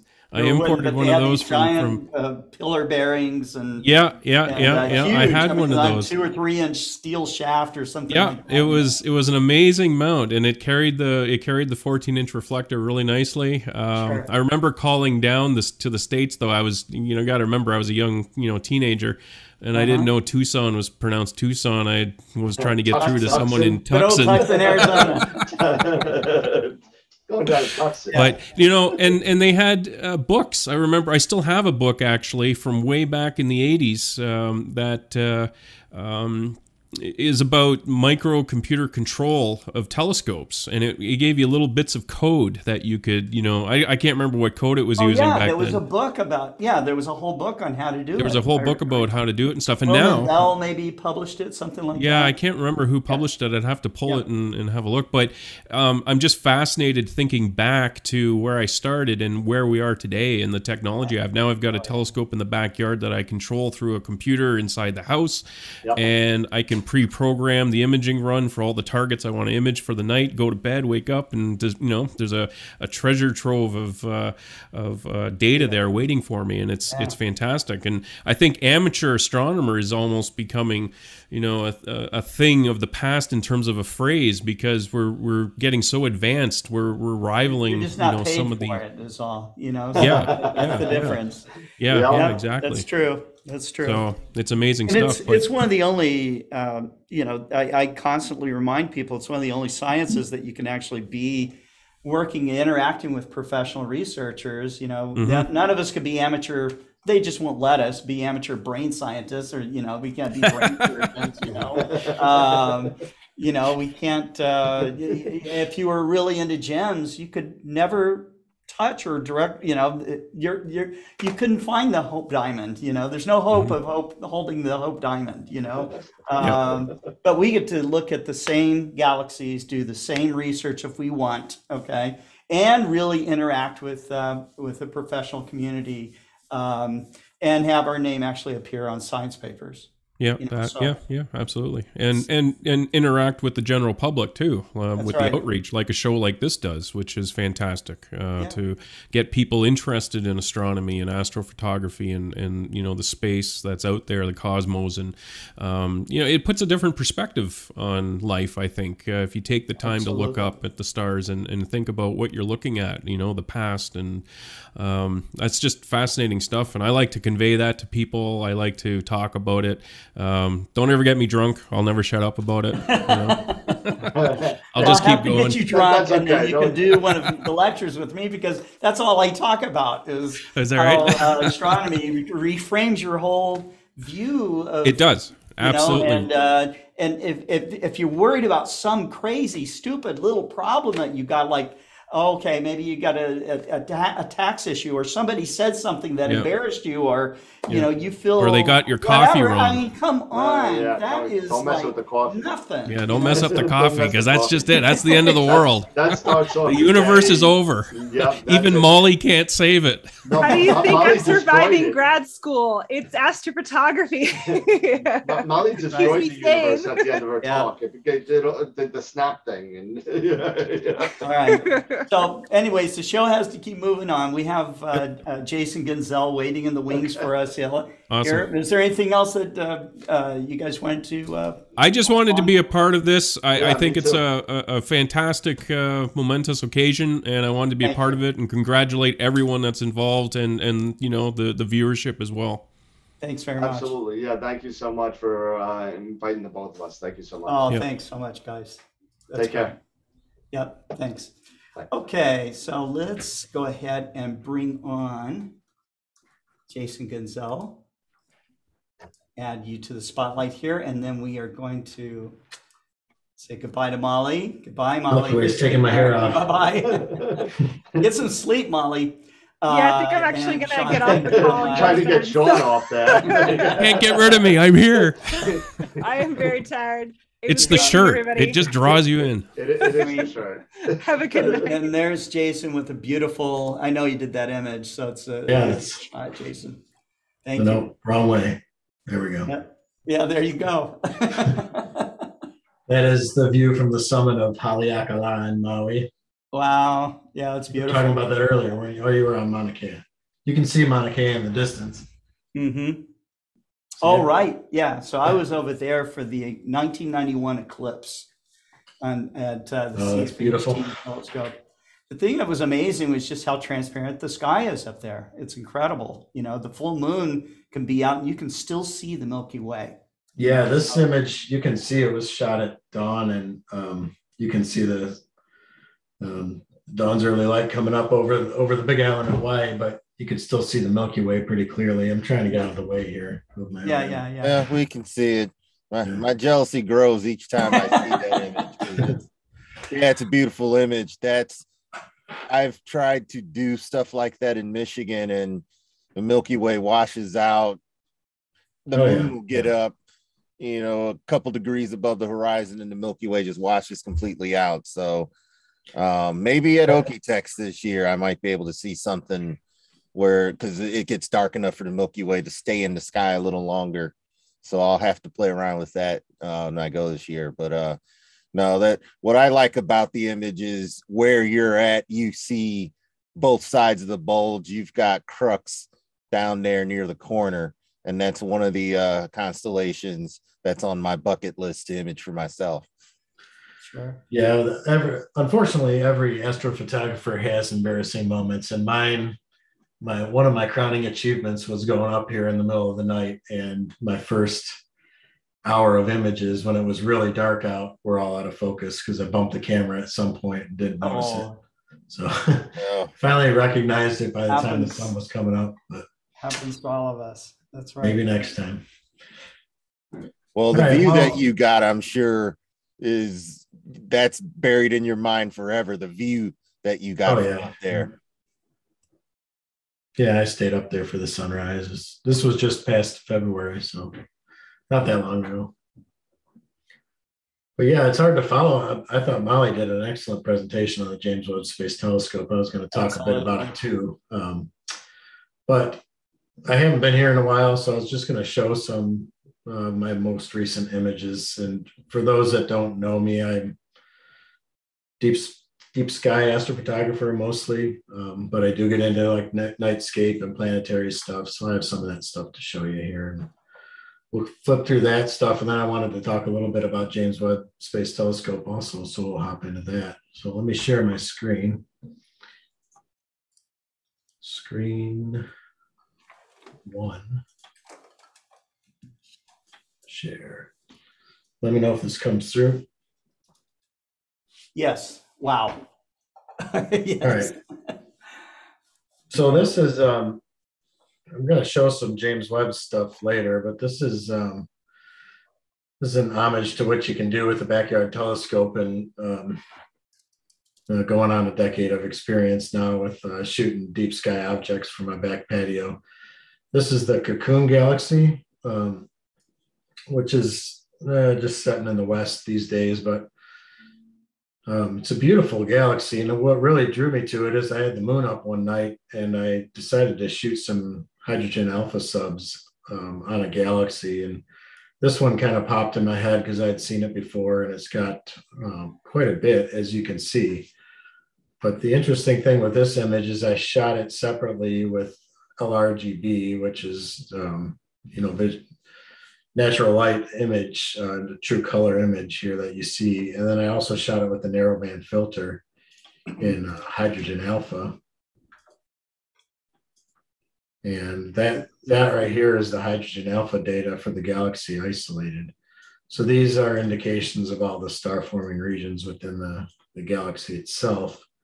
And you can see that there's almost a bridge forming between these two. And if I turn on now the uh, natural light image with that hydrogen overlaid, you can really see oh, wow. the, uh, the gas clusters just uh, basically clinging on to the outside of these, these two galaxies, which had just uh, passed through each other in recent history by cosmological standards.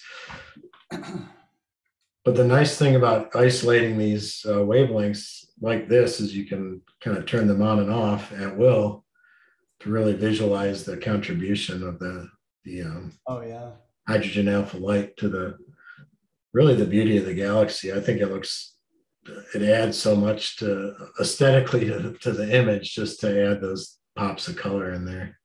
Right. You know, and there's lots of galaxies in the background I can also see. Yeah, it's it's pretty well littered with uh, galaxies. None none very huge in this field, but there is a big cluster. Uh, where is it here? Maybe I'm thinking of a different image, but yeah, most of these fuzzy dots are are uh, background galaxies and smudges and things like that. But this is shot from the backyard through an eight-inch uh, SCT telescope. Amazing really amazing. And then uh, also working on uh, getting back into planetary imaging for the summer. And this was my best shot at Jupiter this season so far. Wow. And uh, this is through a 12 inch Newtonian telescope. Worlds. I was pretty pleased with the clarity. Yeah. planetary is tough, especially from northern latitudes and uh, with smaller telescopes. So this was shot in near infrared, which helps calm down some of the atmospheric turbulence for the luminance layer and then colored in, in RGB shot with a monochrome camera. You can just see the great red spot here peeking around the corner. This That's what I was going to say. That's a, it's a unique view of the great red spot just appearing. Oh yeah, right on the edge. That's cool. And it's uh, it's on its way rotating into view. Interesting thing about viewing Jupiter during this season is we don't see ever see Jupiter in phases, but we do see the shadows creep in um, mm. when we view it from an angle. And so what we're seeing here on the on the right hand side, you get uh, the darkening because of the the uh, sun is illuminating it from the left in this image. So I got a couple other views. Um, I shot on different nights, and these are animations. And uh, this was shot with a one-shot color camera, so the clarity is not as good, and you can see as I, I shot it as the dawn was was uh, brightening. So this is uh, Ju- rotation of Jupiter over the span of just over an hour. It gives you an idea how fast Jupiter rotates, and that's a challenge when you image it because you're trying to to take um, a lot of frames and the longer uh, you expose for the more frames you take the more the rotation becomes a factor. But there's software for everything so you can uh, you can correct for this rotation effect um, if you so choose but sometimes it's fun just to play the cool to see it back like moving. this to see the rotation. That's right I got another one here that I shot into the dawn.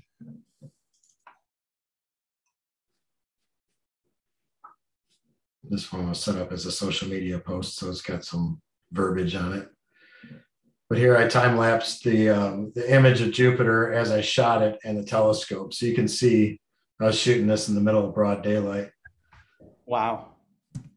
And the interesting thing here is you can really see the quality drop off as the video progresses. And that happens just as the sunlight lands on the telescope tube and starts to expand the tube, pushes the focus out and messes with the Oh, collimation. That's an issue you don't Wow, have to deal with uh, during the nighttime. Yeah. That's the moon Io uh, transiting in front of the planet. All right, so I promised we'd talk a little bit about James Webb Space Telescope, and uh, Molly, I can't really uh, compete with that presentation she gave uh, regarding the telescope, but I've got a little bit of a different angle on it um, because a lot of people in this room are astronomy enthusiasts and/or astrophotographers. I wanted to talk a little bit about um, how to get a good look at this data um, outside of the mainstream releases that they make to the public. Because this telescope data, as far as I can tell, is uh, I had thought that it- there was going to be science embargoes on a lot of this data, but they're they've released 40 terabytes of raw data now to the general Jeez. public, and anybody can go in and access this stuff. And I just poked around just a little bit, and uh, there's some amazing targets and data out there, and uh, it really hasn't seen the light of day. I know, Adrian, you mentioned M74. That data is out there right now for anybody to grab. They've already shot it then. Okay. Yeah, it's um, it hasn't been. There's not been a mainstream release that I saw of the of the images, but yet you can go in there and, and pick apart the data. So I wanted to show people just how you can go in and look at this stuff. Um, really, the home base for everything JWST is the Space Telescope Science Institute, and this website uh, manages data from pretty much the, the telescopes we have in space, but mainly uh, the Hubble data and the, the James Webb Space Telescope data is all searchable here. So if you go over on the right hand side um, and you click on James Webb Space Telescope, it'll take you to this landing page. It's got all kinds of information about the James Webb Space Telescope, uh, press releases, um, user documentation, which I'll show that's pretty interesting. And the data here is mostly stored in, let me see if I can find it now. Where did she go?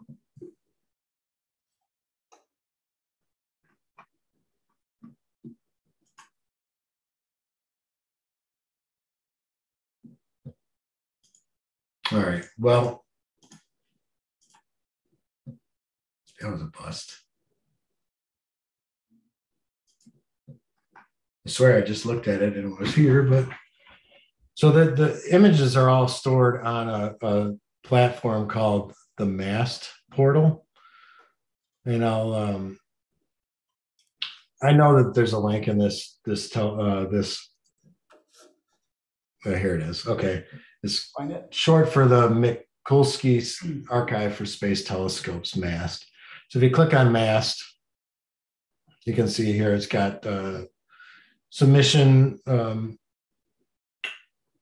highlights. And you can click on each one of these and see a little bit. Um, it's got some high level science projects, uh, uh, products which are um, more polished material you can look at. But What I'm going to show here is the MAST portal. Okay, now if I click on this, um, if you don't have an account, it will ask you to, uh, it won't show you all the information. So you got to go in and create an account. And if you don't already have an account, it'll be over here uh, where my mouse is hovering um, to create an account. Mm-hmm. Well, there's a number of different ways to search through here. Um, and Uh, significant cost for that? For what? The account, or is it a free? No, no, it's all free. It's all free. Well, I mean, you pay if you pay taxes. Actually, if you don't pay U.S. taxes, you can still get it. Yeah, it's, but- le- it's less than free. yeah. Um, so there's a number of different ways to go in here and search okay and and it can get pretty overwhelming because there's probably millions of uh, database files in here um, but one one quick way to go in here and look is the uh, the jwst instrument keywords that allows you to pick an instrument the main imaging cameras on um, at least for pretty pictures on jwst are this near infrared cam, the NIRCam, and then the MIRI, which is the mid infrared instrument. NIRCam though is uh, is what most of the uh, most of the published images come out of. So if you click on search there, you can um, you get this splash page that pulls up. Um, and I don't want this to get too complicated, but down here in this target name thing, there's there's a bunch of ways to search, search for targets, but this just shows a list of 105 targets that JWST is imaged. Um, so I'll just click on one of these, I, and I know from already searching through this, the NGC 7320 is part of Stephan's quintet. So if we go in there, we'll see the Stephan's quintet data. So if you click on search, it pulls up um, these are basically all the files available for that target. shows over here on the right, it shows a graphical overlay of each one of the frames that the JWST took and where it sits over top of Stephan's quintet. You can see the galaxy cluster in the background. So you can see they pretty much carpet bomb this entire area with pictures. Hmm. Well, what you really want to see here um, are the fully calibrated images. And those are images you can take and open up in a in an image viewer, and they're already fully calibrated. They're already um, basically ready to go, ready to process. And those are product level three. 2B is not a fully ca- calibrated image. So you can sort this column here to see the level three images. So that took the list down from whatever it's whatever I said, 105 down to just three, uh, a handful of level three images. Mm-hmm. And these all these images are shot through different filters. Okay, so the number here after F is the filter number. So you can look at each filter that these images were shot through when I was on this other page and I pointed out that JWST user documentation, I'm going to go in here and show everybody a little bit about that camera so we can get an understanding of what files you may want to pull down.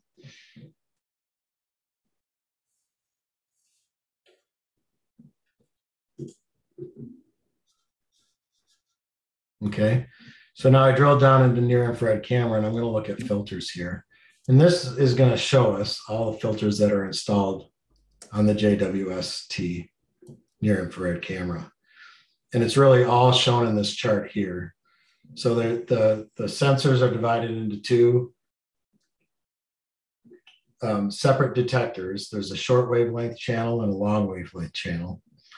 And you can see all these filter names. Um, their name naming convention is based on the wave, the center wavelength of the filter. So this, these are infrared filters in microns. The visual spectrum ends right about 7.7 uh, microns. So right about here. So all these filters to select from are all infrared. But you can see the way they color coded them from the red end of the spectrum, the further infrared end of the spectrum to the closer infrared end of the spectrum. And it shows you basically how they colorize these images essentially is when they select from these filters um, they map the colors to rgb for a visual presentation that's um, in the same order as they appear in the visual spectrum that's pretty common unless there are some narrow band images where they do false colors but i'm going to hop back now to this and show you and i've already looked into this as far as what these two files mean. You can ignore this SEGM file. The one that has this tail that's I2D is what you want. So this right here is a 4.4 micron image. That's what the F44 means. Now down, download that. It's a FITS file. Um, if you do astrophotography, you have no problem opening FITS. If you don't, there's um, NASA sells, not sells, NASA provides some free Yes. um, converters to go from FITS to like a TIFF file or something you can open. And that's called uh, FITS Liberator for anybody who's interested in downloading that. FITS Liberator's been around for a long time. Yeah, yeah, it still still works. hmm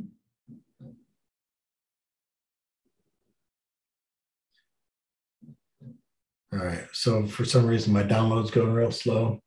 I've got things open here in uh, inside PixInsight that we can look at. Since I was just I- I- downloading the that stuff. Question I have, uh, is it better to use a, a, a PC running Windows to get at a bunch of this stuff? And to use a lot of the. I don't think it matters. I mean, it's all web based. So I, I think Mhm. as long as you've got a, a viewer capable of looking at FITS files, Right. you should be good.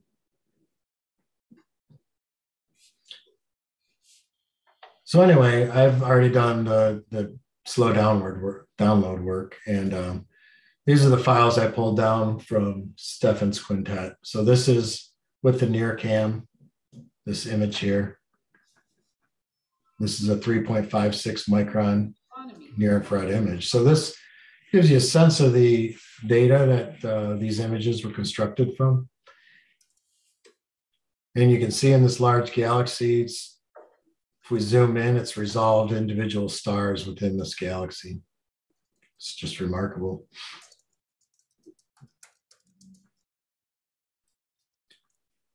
And this is a near infrared camera picture. You can also do the same type of searches for the mid infrared, and these are the mid infrared Im- images. This is a smaller detector. So you can see that if you assemble these kind of images, you have to mosaic them together. But they kind of fit right here if I overlay them. So you can see that's Stephan's quintet, and this is 7.7 microns. So this is deep into the mid infrared now. And you can see all the dust within this galaxy. These are kind of oriented the same. I see. Wow. You can just see all the all the dust lanes that pop out in the mid infrared. So now the images were released, and I'm noticing. I think the the whole thing was flipped around. Was that to was that so that the view that they presented to the public was matched a direct face on view if you were to if you were to use your superman eyes and go look at it yourself the galaxies would appear at a certain place and not not where they appear in these uh in this data Well, I mean, there's a couple things that happen here. I mean, once uh, one one aspect is is the uh, the JWST, like like a lot of reflective telescopes presents an image, or like a lot of telescopes with complicated optic op, optics presents an image that's not upright or image correct. So, I think the JWST raw data needs to be flipped.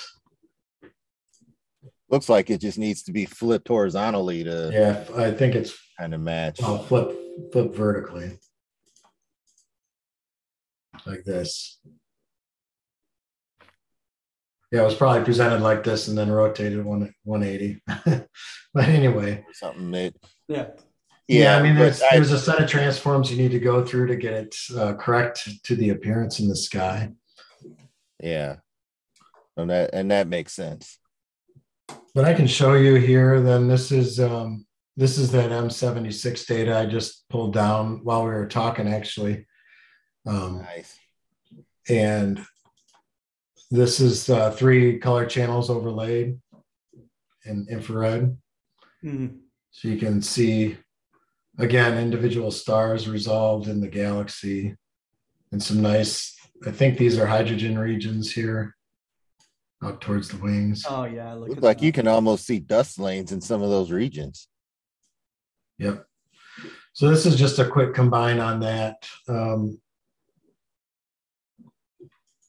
yeah i recognize the there was like one six pointed star somewhere in the middle, and the rest of that was the rest of that was what we're gonna so so we're basically we're getting a sneak preview of if they release this image to the public there's the star that i would i would suspect is in the milky way that six pointed one.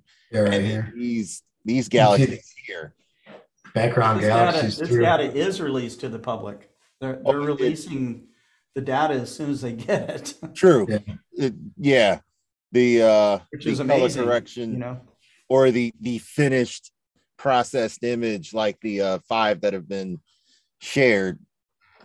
Um I wonder if we're you know we'll see something similar, but just looking at the raw data and uh seeing you put it together for yourself, um, Jason, it's you know, it's just really cool to kind of see we're seeing even more of what JWST is already imaged. So Yeah, one thing that surprised me, and I, I think anybody who goes in and pokes around at this data, it's not for the faint of heart. Uh, if you look at how actually messy this is from a from an imaging standpoint, um, with this banding and um, you know patchwork quilt of assembling frames, it's it's a challenge to work with. And I have to give a lot of credit, a lot of credit to that science team um, for putting out images as beautiful as they did because it is a ton of work to get uh, this data into shape that that's uh, presentable in that format. And I don't know if that's more because this, you know, they're these are more designed to be science Im- uh, instruments, and uh, these little defects don't matter as much. But I was a little bit surprised at, at the, how rough the calibration looked at, on some of this data. Yeah, I, I think that that might be it. And just coming from an amateur myself who shoots way wide field, but um, I imagine that the data is being pored over, you know, for scientific reasons, but you still have that science team, like you talked about, that cleans that data up for public consumption. Yeah. So it's like you, there's two different two different things that NASA wants to do um, as JWST gets more images is continue to drive the public interest in it, even if the public thinks that it's just a one shot color Sony cam on steroids, it still gets them interested in objects in space. And you know it's uh it, it's it's an exciting time and i think someone mentioned it also drives up the uh, willingness to spend money for even more missions like this by seeing the uh beautiful pictures alone can sometimes do things like that Yeah, so this is one of those uh, images I pulled down and did a um, just a quick edit on. Um, by edit, I mean take the files, um, combine the color bands, and present a um, you know a full color image, kind of like the the uh, the SMACS Galaxy cluster, the, the initial release. This one is Abell 2744. It's one that Hubble has imaged before also. Um, but it's just a just basically a deep field. It's there's not many uh, gravitational lensing uh, instances here. It's just galaxies and galaxies on top of galaxies as far as you can see. Uh, some real beautiful spirals and uh, you know like this one with a nice uh, hydrogen alpha regions highlighted. Just some twisted messes Wow. of galaxies. and, uh. But I, I didn't see that this one was even released to the uh, public as a as a finished image. So I just kind of grabbed it and did a quick edit on it. But I was pretty pleased with the outcome here. uh, it looks good You know, I was looking at the uh, the, the MAST um, website, and it's it is the Barbara A. Mikulski uh, uh, archive, and she was a um, uh, politician, and uh, apparently really championed uh, the Hubble Space Telescope as a politician. So that's the background there. So one more cool thing with uh, James Webb Space Telescope is it can do planets too. And um, the image that they released of Jupiter, I thought was Stunning. not. I don't know. It just wasn't uh, wasn't balanced as far as the exposure. Like the the center band of the planet was blown out, and Hmm. when I when I went in there and looked at the data, I was uh, pretty happy to see that the original image from the telescope was properly exposed. And so I went in there and I grabbed a few of these, um, and not all of them were properly exposed, but these two narrowband channels um, were, and this is 2.12 microns and 3.23 microns. So I grabbed both of these. Um, they look dramatically different, these two channels. Mm-hmm. Um, the 212 is super sharp, and this other one is just kind of funny looking. But the um, cool thing about this is you can see the ring of Jupiter within these images. And I believe this is Ganymede here um, in front, and it's got a mask over it, so you can't see the, the face of it itself. But you can't see its shadow here, which is landing next to the Great Red Spot. Hmm. I think that other that other one showed aurora. Yeah, I don't know if that, is that showing aurora at the poles on Jupiter or is that? I don't know. There's definitely a glow. I don't. I don't know if it's aurora or not. Um, but I took these two color channels and combined them. You know, just using those two channels into into um, color information. So here's kind of a colorized look at. Um, You can see now both channels at once, and you get a, a better sense of uh, how they interplay and I pulled down this other channel, which um, was a, a wideband channel, and this. Oh, there are the rings. Yeah, this exposure really showed the rings nicely, Oh, it sure does. but it was taken at a different time. I think even on a different day. So this is a different moon in a different orientation. So I kind of hacked my way through this, and I lifted the ring out of that picture and inserted it on this one. So now it's kind of a composite, but now you can see that the color mix and then the and then the uh, ring. the ring also. So I haven't seen the public release of the Jupiter data, but I imagine the uh, if the image of Jupiter with those channels is released, they will probably do something similar, having showing Jupiter with its ring is gonna have that would have a pretty big impact on seeing Jupiter kind of in a different light. Yeah. And I wouldn't be surprised if what you've already done with the data isn't something that's going to be publicly released if NASA scientists get on it and kind of do their version of what you're doing and then colorize it. It's very well, the image very well will look something like this. Yeah, I mean it's completely false color image, but the the point of doing this is to kind of get that color contrast, um, so your eyes can see those different uh, features. I, I, you know, honestly, I mean, whether you look at it like this or you look at it like this, I mean, the black and white is a really nice uh, view of it. Yeah. Yeah. Beautiful. I really like the I like seeing it with the rings. I, I we do too. Has I do the too. rings, but I think it's been a while since we've looked at it and you know with its little thin ring around it. Yeah. Yeah, I thought it's cool. You know, the the exposure is such with this.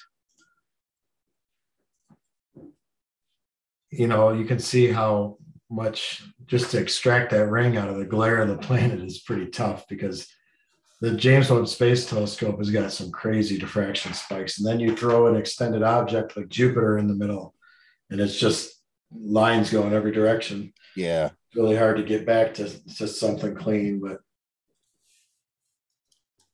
amateur astrophotographers deal with a lot of bad data, so we've got tricks. Yeah, it's it almost it almost begs the question um of being hired by NASA to do this for money because you are you already know the tricks to get that little ring out of all of that data and then recombine it with other data. I'm sure. Yeah. Some, yeah. I, I wonder Yeah, if there's they're watching opportunity the Global Star Party 100. yeah. Well, Scott, thanks for having me on. I really appreciate Jason. it. Congratulations on making it to 100. And um, Yeah, thank you so much. Thanks for opening the door for a lot of uh, for our audience who did not know that uh, you could get at this data um, and showing them. Yeah. I mean, I I hope it wasn't a mind numbing, um, you know, look at the the bowels of the the archive, but really, my main point is you can yeah anybody who makes an account right now has access to this, and Yeah. it's really phenomenal to look at and to have such immediate access on it. I mean, the dates on that M74 data, um, I think was just those observations were very recent. So they're, it's they're pretty much handing it right off to the public, which is pretty cool. That is very cool. Yeah, there's Hey, going to be Jason, discoveries Jason, made I have, I have a question for Jason. Yeah, go ahead. Hi, this is Bob Fugate. Um, Hi. how dark is your backyard? You showed that first picture from your backyard. So I'm just wondering how bright your sky is Uh, there. yeah, I- mine's Bortle five, six. Depends on the Okay. season, really. but, but yeah, I, I generally pack a ton of exposure uh, on images Yeah. like that. The, Okay, all right, That- thanks. Yeah, that cocoon galaxy is probably probably got 20 out more than 20 hours of exposure on it. Okay.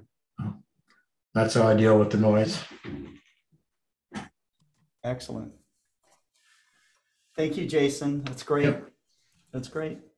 Um, okay, so we are going to uh, bring on uh, Daniel Barth. Daniel uh, is a science educator, has been for decades.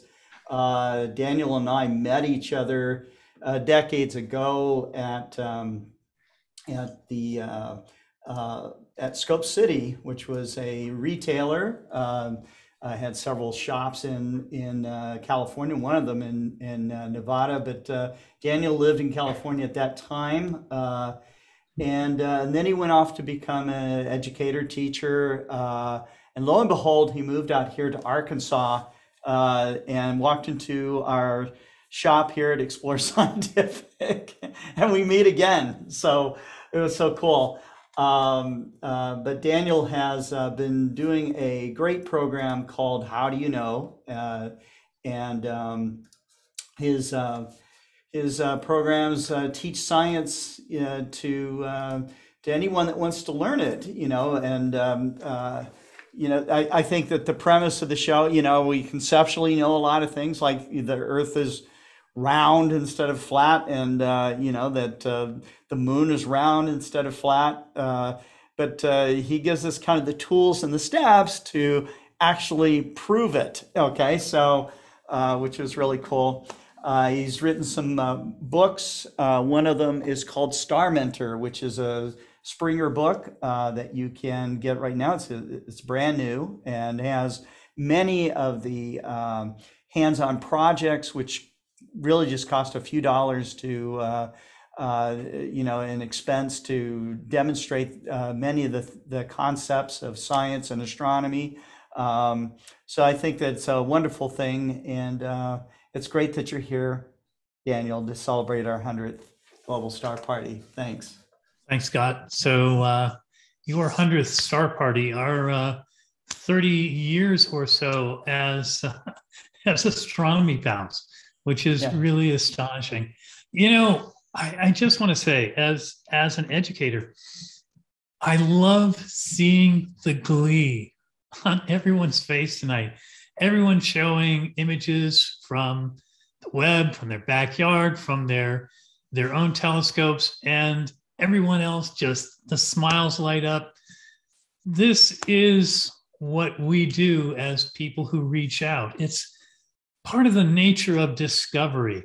We all want to participate in it. People who weren't there kind of wonder how in the world did they get a billion people to watch uh, Neil Armstrong and Buzz Aldrin step out of the capsule on the LEM and walk on the moon? How did they do that? Everybody wants to participate in the discovery. we think of discovery, scientific discovery, as one person somewhere in a laboratory out in the jungle or out in the dark with a telescope going, aha, eureka. But it's a much more social process than that. And I see this, I see this with all the people tonight. I heard it when Molly was talking about, and Hubble excited me so much. It, it's changed my life. It's changed the path of my life. I decided to study science and astronomy. This kind of thing, Scott, is true of all of us. And whether we had mechanical mentor like Hubble, or we had an actual person who mentored us who said, Yeah, sure, come have a go at our telescope. What they were doing is they were giving us an opportunity to discover for ourselves. As an educator, as someone who does outreach, and that's really my life, is what I do. Really, what we want to do, I, I use a fishing metaphor. we want to set the hook hard, like we just snagged a trout in the stream with a fly rod.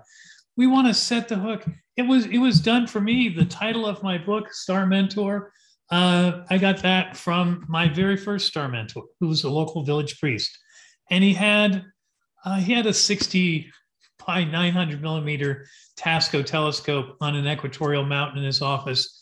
Mm. I bugged him relentlessly. Can we please, Father? Can we please? Can we please? Can we look at the moon? Can we try the telescope, please, please? I, I was I'm I don't know why he didn't reach for a mallet. I'm sure it was horribly annoying. But when he said sure, and he called all the parents and I uh, said, "Bring the kids over. We're going to take the telescope out in back of the rectory." And we saw the moon, and we saw some different colored stars. And after a while, a lot of people drifted away, but he and I were out there, and I said, "Ooh, what's the yellow one?" And he said, "Okay, go ahead and move it. You know how." And it was Saturn, and the rings, mm. and it was glorious.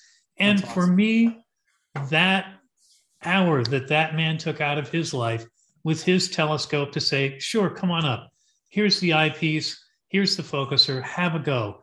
Discover for yourself. That event changed the course of my life entire. Webb is doing that right now for millions of people. That's right. And I have to I have to degree, disagree slightly with one of the things Molly said she said, Oh, there's an instrument on the Juno spacecraft that has no scientific value. It's just there for outreach. God bless you, ma'am, but you're wrong. That camera that's only for outreach, that is maybe not discovering anything new about Jupiter, but that's not what it's for. It's discovering new scientists and astronomers here on Earth from a billion miles away. Mm-hmm. That's pretty awesome. And that's always been my point in astronomy. And we talk about, I, I my hat's off, and I really, I bow, and I just, I'm astonished by some of the imagery some people, some of the folks here bring to it. Just stuns me. Uh, some of you may remember the movie 2010. The year we made contact with Roy Scheider was released in 1984 or 5, and it was about going to Jupiter. And they had images of Jupiter if you go look at the movie and you look at the these images of Jupiter and you go, geez, why did they use such crappy imagery? I could do better than that with my telescope in my backyard and my Sony, my Sony Alpha camera.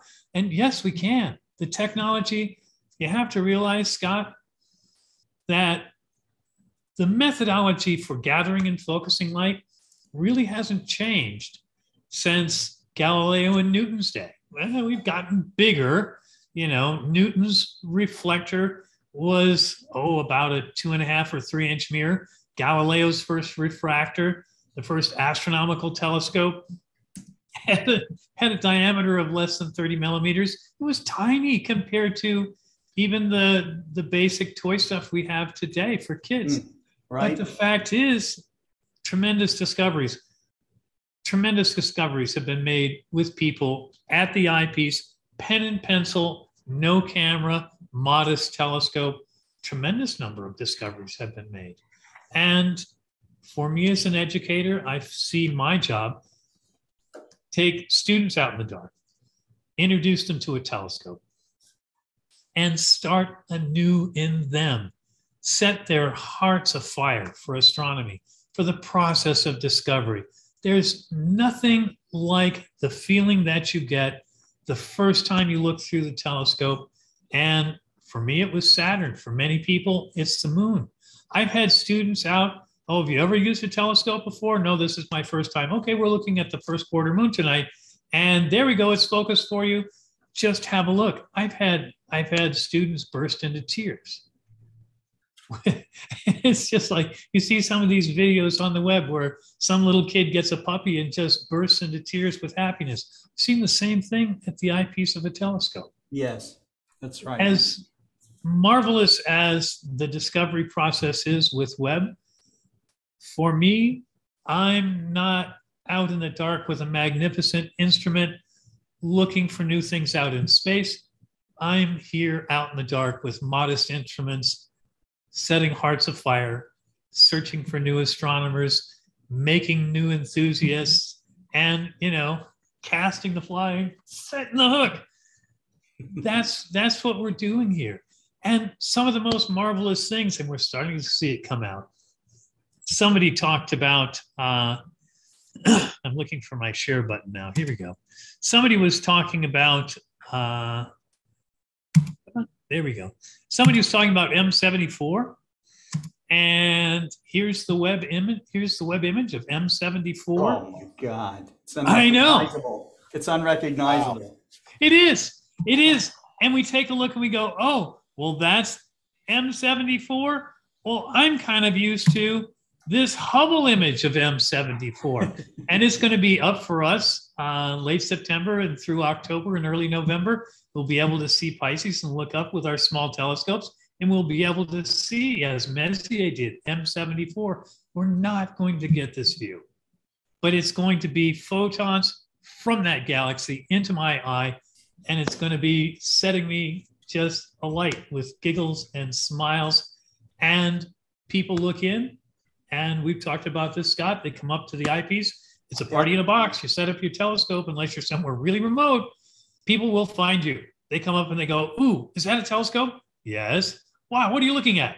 Uh, it's M74. What's that? It's a galaxy. And this guy discovered it. And it's not a comet, but it kind of looks like one. Can I have a go? Sure. They step up to the eyepiece, and the first question is, Now, what am I looking at? Explain this to me. And now they have their eye on the eyepiece.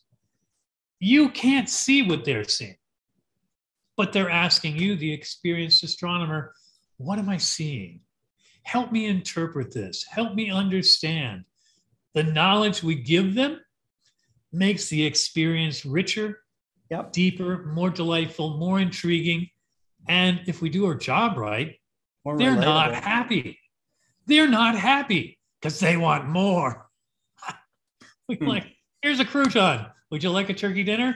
You know, we we we give them a taste, and we go, oh, well, of course there's more. Wow, can I operate a telescope like this? Where can I get one? Can I do it with binoculars? I have some at home in the garage, and you you start them off, and everyone here tonight, this this marvelous adventure, the 100th Global Star Party, and I just that that makes me smile every time I say it. Everyone here had someone take them out in the dark and say, "Here, have a go. Have a go at the eyepiece. Here's the focuser. Turn it this way. Tell me what you see. Now here's what you're looking at." And it's it's like standing on top of a big hill and throwing rocks and hoping to start an avalanche. And we do. And we do.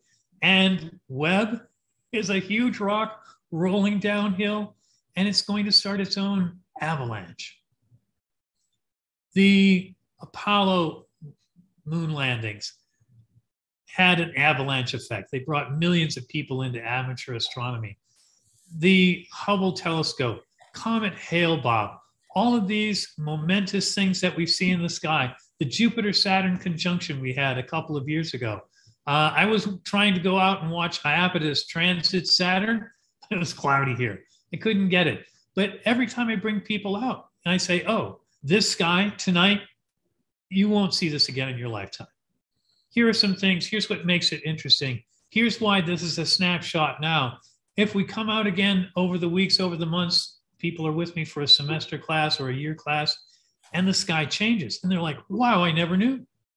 I never knew the sky changed. I thought it was eternal. And in a sense, it is.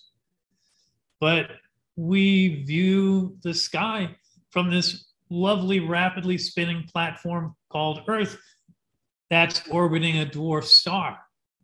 And the view we have every night is a bit different.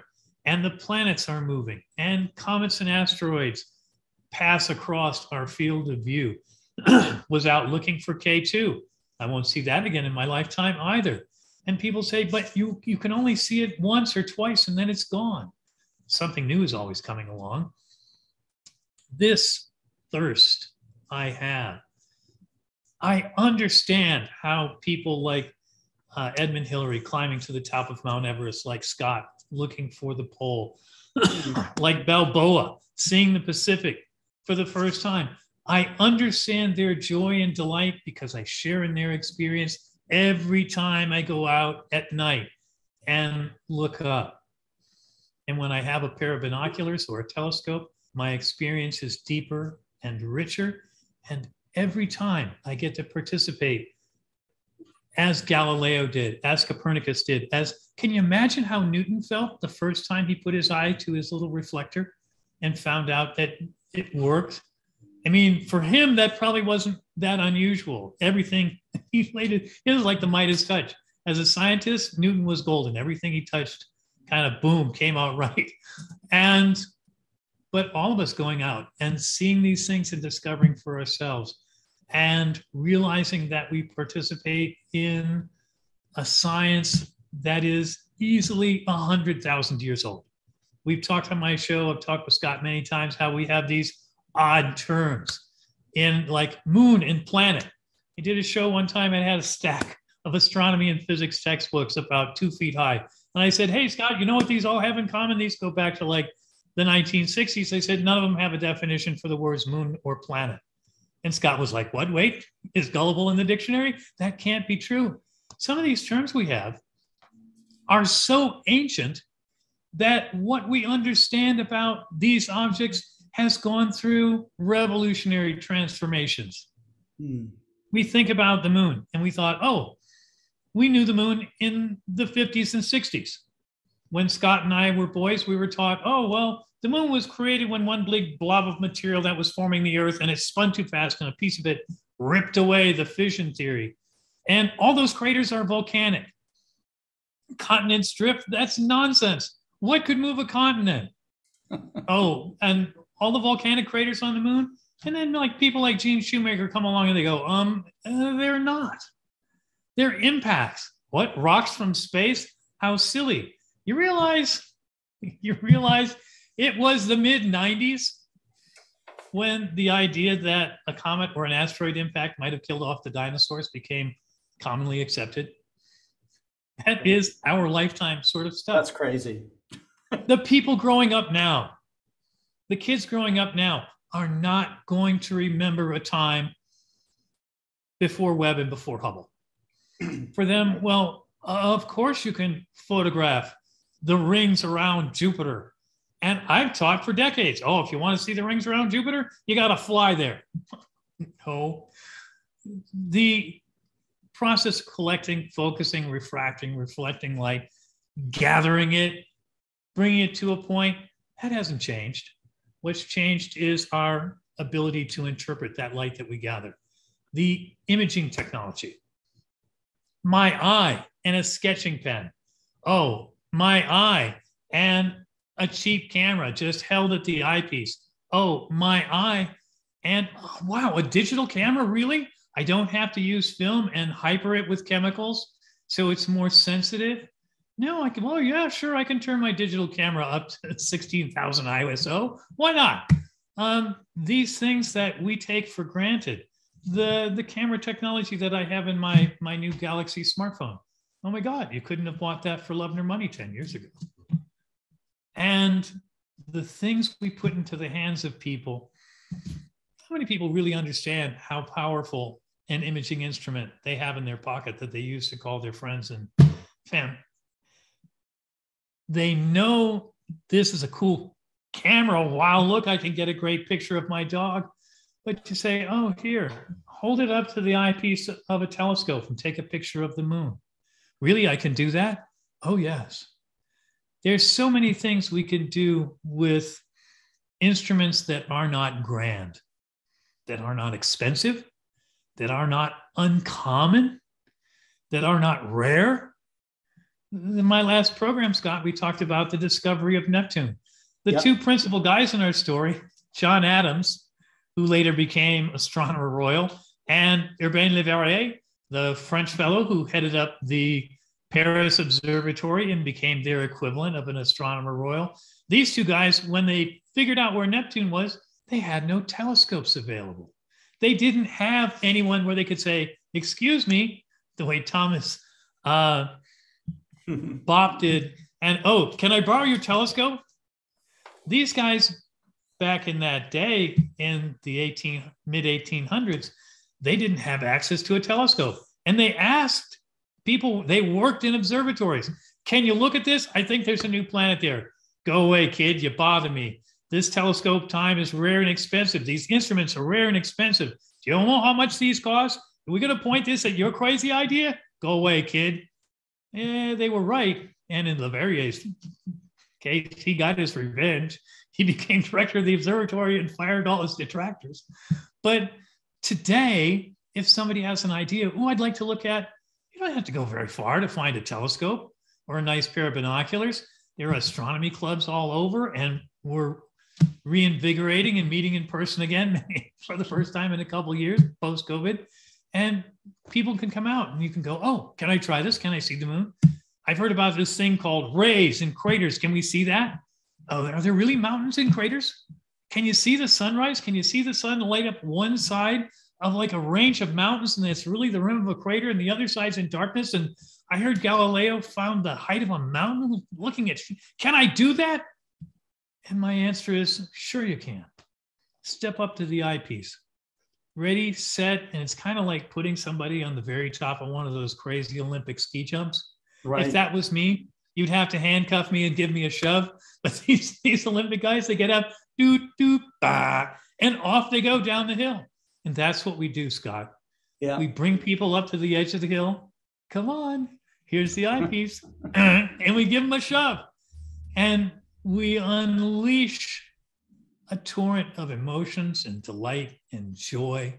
And by helping teach them and train them and helping them to understand what they're seeing, you know how many people saw Neptune, Scott, and didn't know what they saw? So Right. it didn't get any credit. Right back to Galileo. Right. And before that, it's naked eye visible if you've got really good skies.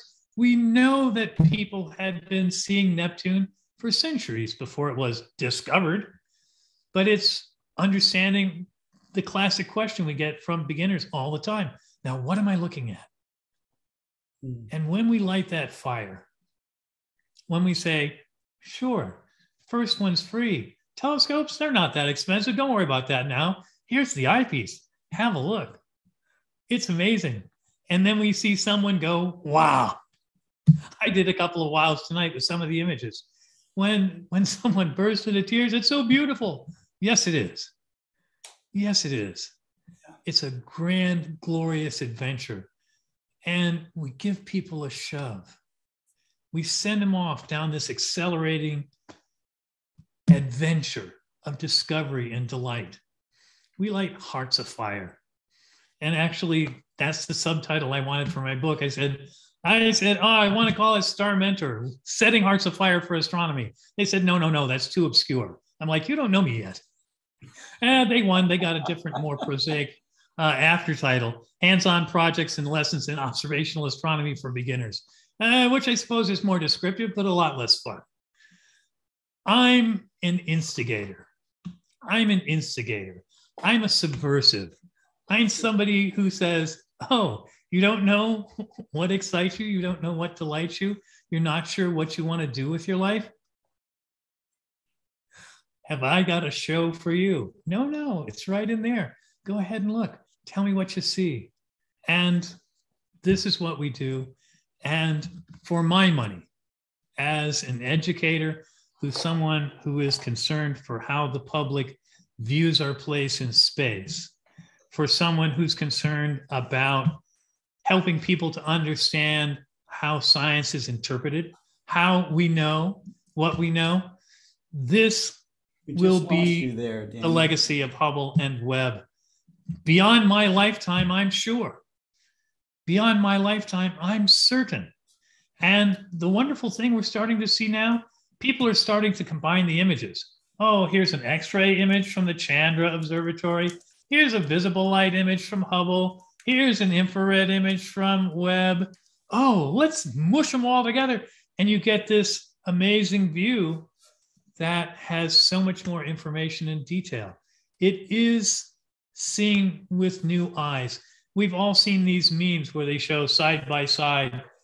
Uh, here's what the Hubble sees. Here's what the Webb sees. Wow, how much better? Gee, that old thing, it's an antique now. Well, maybe. Still pretty badass if you ask me. But we are literally looking anew at the universe and creating day by day a new understanding. And bringing to the public an amazing appreciation for how we know what we know. When we do that, we help we help develop interest in science. Somebody said, "Are you trying to get people to trust the science?" I said, "No. Science isn't about trust or belief, it's about data." But people have to understand if somebody says, How do you know? The real scientist will give you an answer and the limitations of it. Well, I know within these parameters, here's what we're seeing. Here's what we don't know. Here's the uncertain part. And some people are, you mean you're not sure? And s- we need to help people understand. Science isn't sure, science isn't done, the science isn't settled. That that's that's a bounder. That's a fraud. That's that's the nigerian nobleman trying to get you to help him with a financial transaction. The science is settled? No. Webb should tell us all the science is never settled we could always look a little deeper find a little more and we say oh what we know all these things so well uh, there have been a number of times when people have come out and said um, physics is finished all we're going to do is being adding a few decimal places. And you young people in physics, that's I think it was Helmholtz who said that. Oh man, was he wrong? That was right on the the dawn of the quantum revolution. Science is always going to be revolutionized because our understanding is and our understanding is imperfect. Webb can be a tool not just for the scientists, but for the everyday man and woman in the street to come, to delight, and to understand how we know what we know, what the limitations are, and to learn what real science looks and feels like. If somebody's sure, they're not a scientist. If somebody's certain, they're not really playing fair with the data. If somebody says, "Oh, absolutely correct. This is the true fact," and you know the um, contrapositive of that, here's the secret stuff they don't want you to know. Well, you know what? We armor people against that kind of flim flam, pseudo uh, pseudoscience and you know phony astronomy. We armor them by delighting them, by engaging them, by helping them improve their understanding. All of us can become better astronomers. All of us can look into the eyepiece and fall in as into a well, and we can dive a little deeper. And I'm sorry if I'm mixing my, my metaphors here. Excuse my joy, glee, and delight, but I am so excited. And you know what? This fall, I start my 46th year in the classroom. I still love my job. And events like this with people like these remind me every time of what kind of experience and delight and joy I'm trying to bring to my students. And uh, I, I think it's just as much a special talent to be able to take stuff from Webb and Hubble and take it to a brand new astronomer, a brand new citizen scientist, and say, here's what you here's the essentials to be able to give them an honest and fair introduction without watering down, without distorting, without phonying up what we're absolutely sure of, to help whet the appetite. this is what I do as an educator, and it's my joy and delight. And I'm not done yet. 46 years in, I'm not done yet. So I, I just, my hat's off to everyone here. And by golly, I, I love coming to these things because for me, it's a chance for me to be a student again. And wow, y'all rev me up. So I'm going to turn it back over to you, Scott. Thank and- you, and Daniel. thank you. Congratulations on the 100 star party. Thank you so much. Well, well, Daniel, I want to rev you up even further because you're gonna love to know. You're gonna love to know a couple of things, and I'm gonna go into it more when I finally close this down. But um, you reminded me of just today the uh, five-year-old Girl Scouts that were among a group of girls between age five and maybe 15, and then all the Girl Scout mentors as well, that all got to see a uh, all got to see the sun today from a solar telescope, um, the uh, a Coronado, and um, I saw some of that excitement on their faces. Even better is the excitement on the faces when we uh, the moon was out for a brief period, and some of them got to see it through uh, a spotting scope, and still others got to ask questions. And I was able to use images that I had taken to explain some of the answers. This is what we know. This is what this image is showing. And I was thinking to myself, how many of us take these beautiful images of the Milky Way or landscape and we post them on social media and we look to see how many likes and uh, things that we get.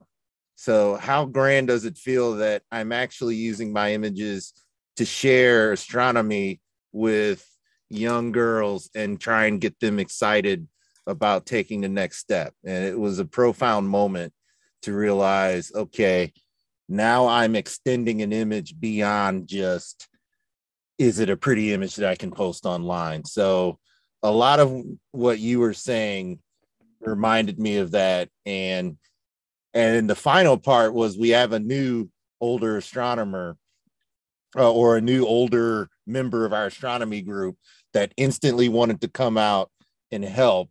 And so i invited her out. So she was there basically newly minted astronomy member older woman who was there with the girl scouts very first time out doing outreach. So it was uh it was a good day for me even though my foot my left foot hurts but it was all worth it to bring the equipment out and share it with those uh, with those girl scouts on a on a really beautiful day and all of them got a chance to see the sun through that telescope so uh so your your words resonate with what i was able to do today and then jump right on global star that's where i was scott i jumped on global star party on the Yeah. way home from that event Yeah, yeah. so Great. um Great. so thank you for for reinforcing in me and perhaps all of us the uh, real reason for i- our enjoyment of astronomy, passing it forward. And I told those little five year those five year olds, the, the young daisies, I said, you all are going to be the next scientists in Oh, line to help figure things out. And um, you know, they of course they looked around, looked at each other, but I said, Don't worry, you'll get it as you get older. So Yeah. um so yeah thank you for for that inspiring uh straight from the heart no it, there was no script No filter. was- you, you just came from you came from how you felt so thank you for that Great. That's great. Thank you, Daniel. Thanks again. Thanks for your comments there, Adrian. Okay, our next speaker is uh, Conal Richards. Uh, Conal has been, how many global star parties has it been now, Conal? Do you remember? Uh, it's been quite a few. I want to say we're up to maybe 17 or 18 that I've been on. I remember the first one I was on was the 51st. Oh, okay. Here we are uh, quite a bit later on. And I have to thank you for putting together not just today's program, but uh, the several dozen star parties that have come before this. It's really been a wonderful program. Yeah, it's it's been a lot of fun, and and I I, I really enjoy the uh, the communication that goes on between uh, the the people that participate uh, in Global Star Party. A lot of you have become friends and formed bonds and stuff like that. Shared a lot of great information with each other. Um, you know, uh, just just here on this side of the uh, of the broadcast. So, but uh, uh, everybody is excited that you contribute to Global Star Party, Conal. You have a very polished uh, demeanor, and you know your stuff, and you are inspired. Uh, so we all get that. And so thanks, thanks again for making Global Star Party what it is. Thank you very much. It's been a great pleasure doing these programs. I hope to do many more. Yeah, we'll be here. All right. All right, it's all yours. I'll get started here. Um, can you see everything okay? Is my audio good? Yep, audio's good. Good to go? All Yep, right. You're in presentation mode. Looks really nice. Yep. Good. I still have the Zoom window here, and let me minimize that. Uh, all right. Well, I think it's interesting that Dr. Barth brought up just a moment ago um, how so many discoveries have been made through small telescopes and people just scanning the skies in their backyards. Some of those discoveries have been personal milestones, they've changed one person's view of things. Uh, some of those have changed the face of astronomy and cosmology. There's really uh, quite a big spectrum there of how influential these, these instruments can be. And when I think of these outreach events, and I, I usually reflect on how I felt about astronomy and what my experience was. And probably the first year or two I was engaged in the hobby. And I had a lot of questions, of course, as many beginners do, uh, all kinds of things I wanted to know. And I, I tried to think about what some of my, my biggest questions were and what some of the uh, biggest resources I would have wanted to know about there, and, and uh, hopefully some answers to some of those questions. Now, as a beginner, a lot of that relates to uh, smaller apertures, binoculars, and small telescopes that so many of us use. Uh, there's a picture of me there observing the uh, total solar eclipse of 2017 with a solar filter on my six inch Newtonian. And that's been the telescope I've used for over six years now for just about everything I've done. And it's been quite a great instrument. And along with using that, my skills have grown.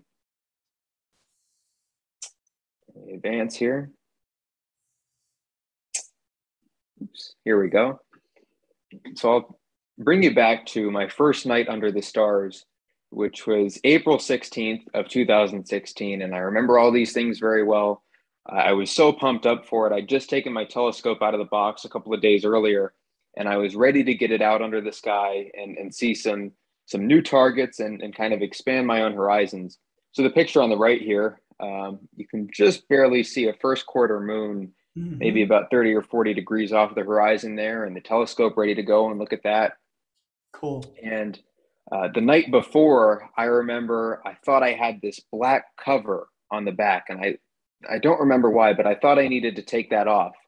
So these three screws here, I turned all of those as much as I could and pulled them in and out. And when I got my telescope under the stars to start using it, I look at the moon and it was impossible to see anything. And of course, I didn't know this then. I know this now. I'd messed up the collimation completely and had wondered how I would get that back into order.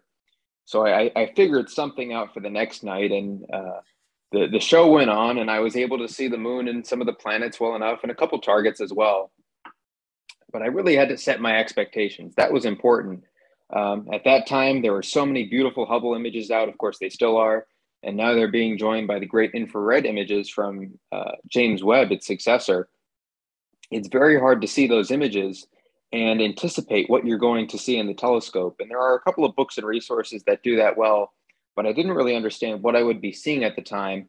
I just knew that I could see some things in the telescope, and I kind of left the details of that to uh, whatever I might find. I, I kind of made it a discovery, you might say. And uh, after that, I wrote some of my first observing lists. I have one of them on the next slide. And it's it's kind of interesting to see what I wanted to see, what I was really excited to see, uh, what I thought was the limit of what I could observe. Um, there were some things I was right about, some things I was wrong about, and I think that might be a common theme with many beginners, kind of setting your expectations and knowing what you can look at. And after I looked at this for some time, of course, I remember the date. It was April 16th. I started keeping a journal, and it was really, I think it's been a very valuable tool for me to journal and sketch and photograph uh, so many of the objects and phenomena that I've seen, they serve as a wonderful record of my observations. And I'm sure everyone else in this program and, and many of the audience members would attest to this. Uh, keeping notes of your observations, whatever that might mean. Maybe it's details of the structure you saw, who you were with, uh, what equipment you used. All of those can be very valuable uh, tools in uh, not only documenting your observations, but it's also simply fun to just go back and see what you were doing at the time. And in making this presentation, I was able to do that, and it's it was certainly a fun exercise. And with keeping my own documentation, I really wanted to share it with others. And astrophotography is, of course, a great way to do that, but it's very challenging to get into uh, when you're new to astronomy. Um, in fact, you can see in the image here, uh, I didn't even have binoculars at that point. Here I was using an equatorial Newtonian telescope, which I now love and, of course, use very frequently. Uh, but it, it kind of steepens the learning curve for new observers. And I would encourage those who were in my position at that time to go back and start with binoculars and work their way up to telescopes. And then once they've mastered the visual side of things, they can work more with cameras and sharing it with others. And that can happen through either photography or outreach events. I'll talk about some of the ones I've been working on later uh, both with high school outreach and younger people as well. I'm working on our program right now for uh, kids 7 to 11. That's been a really fun program to do. And it's kind of fun to uh, really see this the scope of people's interest in astronomy, what they want to see, what they want to do, and being able to guide them into this hobby and helping them enjoy the night sky a little bit more. There was a great tool I came across when I was first starting out uh, there's a wonderful book called The Backyard Astronomer's Guide by Terence Dickinson and Alan Dyer. I think they just came out with a new edition, but for, for so many years, that's been a great introductory book for this hobby. And I remember I had, it was a 1992 edition, I think, and I read it cover to cover. And it talked a little bit about film cameras in the astrophotography section, but just about everything else was uh, pretty relevant to what I was doing. And in the first chapter, this is the thing I remember the most. They had something called the ah factor that they outlined. And the authors essentially said when you're going out doing any kind of observing, uh, you might look at the things you see on a scale of one to 10, one being, I suppose, the, the simple pleasures, and 10 being the biggest events with the wow factor. So you see one here is a faint meteor. That's an example they gave, with 10 being a total solar eclipse. And something in the middle would be something like seeing surface detail on Mars. And I've now had all three of those experiences and many more. And regardless of where they fall on that scale, they are very pleasant experiences. And I fondly remember them. But going back to my first night, this is what I saw. I remember the first object I pointed at in the sky was Jupiter. And that was actually the first thing I'd seen through a telescope a few years ago I was on this Cub Scouts trip to a local observatory that had a 10 inch Clark refractor. And I'm sure I'd love to look through that instrument now. It has to be a wonderful instrument on the planets. But I remember the view on the left is, is pretty much what I saw. I remember the moons the most, four little dots, two on each side, and the, the big disk in the middle of Jupiter.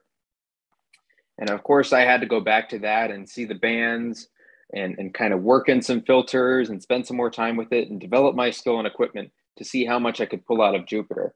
But I think that makes a great first target for many telescopes. Oh, yeah. Uh, as well as the moon here on the right. Uh, you can see Copernicus, that's just fallen on the right side of the Terminator. Uh, still a little bit in shadow. There's Clavius down at the bottom, Tycho, a bunch of the really famous craters. And the moon is a really fun tool to, to start to learn uh, one very tiny piece of the sky and get more acquainted with this hobby. Now, I talked a little bit earlier about my observing list. If you remember, April 16th was my first light for that telescope. And about a week later, I was already working up things that I wanted to see.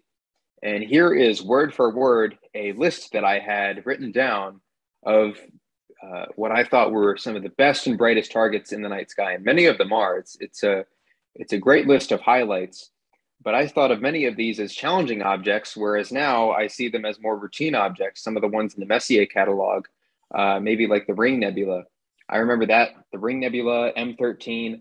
I, I had the hardest time finding them. I didn't know the sky very well. I was still trying to learn that, and tracking those objects down proved very satisfying the first time. And now I can go back to them in, in just a matter of minutes and enjoy them all over again. On the left here, you see I, I wanted to see the Eagle Nebula, and I actually saw that in my telescope for the first time. Uh, I want to say it was two or three weeks ago, though I'd seen it in binoculars much earlier than that. And I, I wrote on the side there that I wanted to see the pillars of creation, which in a six inch Newtonian telescope from suburban skies visually is a very, very challenging feat. I'm not sure if anyone's done that, and I don't know if anyone will. Um, so that was kind of out of bounds for my expectations. But at the same time, I thought it'd be really cool to see Jupiter and its moons and Saturn's rings. And those, of course, delivered very well. And I always go back to them as favorites. And in the middle there, you see a couple deep sky objects. Albireo is a visual double star, the Andromeda Galaxy. Uh, little did I know I'd also be able to see the two dwarf galaxies there, uh, which are quite bright. Other things like the Pleiades, uh, M13, they were all some fantastic objects that were challenging for me at first, but I think they made some great targets uh, in the end as I was starting out. And on the right there is a picture of a project I've been working on recently for the Astronomical League. It's one of their observing programs for globular clusters. And the observing list looks completely different. On the left, I have a couple of uh, targets highlighted and scratched out as I selected and observed them according to what my telescope could uh, could handle. Uh, some some clusters in the eighth and ninth and maybe even tenth magnitude. Those were pretty dim, I recall. But on the left here, I have Messier objects, and then I'm getting into the NGC catalog a little bit more, some of the Herschel objects. And I think it's kind of fun to notice that I was using the same telescope all along, but my skills and experience were developing alongside that. I'll go to the next slide here. And like I said, it's really important to keep a record of your observations, uh, not just for uh, very practical aspects of seeing what you observed and looking at times and dates and what equipment you used for future reference. Uh, but it is really fun to go back and just uh, read documents about what you saw. And on the left, this picture of a, of a description I wrote about Saturn was the first written description of, mm-hmm. of any object in the night sky I ever created. And on the on the right in that picture, there's a little sketch of Saturn. Uh, no Cassini division in there at all, just the rings and the, mm-hmm. the ball of Saturn. I had a couple reference stars nearby that I must have seen on some astronomy program and Titan as well. That was quite exciting and unexpected. And just a brief note that I saw things were getting a little bit dimmer in the night sky as the moon was rising at that time. And on the right, I have a sketch of Mars. It was the first dedicated sketch of any object in the night sky I made a couple of years later during one of its oppositions. And uh, it's a little bit rough around the edges. It looks kind of like a pen sketch. I was using some pencil, kind of scribbling things in to see what surface features I could reference later. Uh, but this sketch, I think, falls in a really nice um, uh, metaphor for how my um, experience in amateur astronomy has progressed. Uh, because I remember in 2016, I set up my telescope on, on the deck of the house and I was waiting to see that opposition of Mars in, in May of 16. I was really excited for it, but I didn't know what to expect or what I was doing.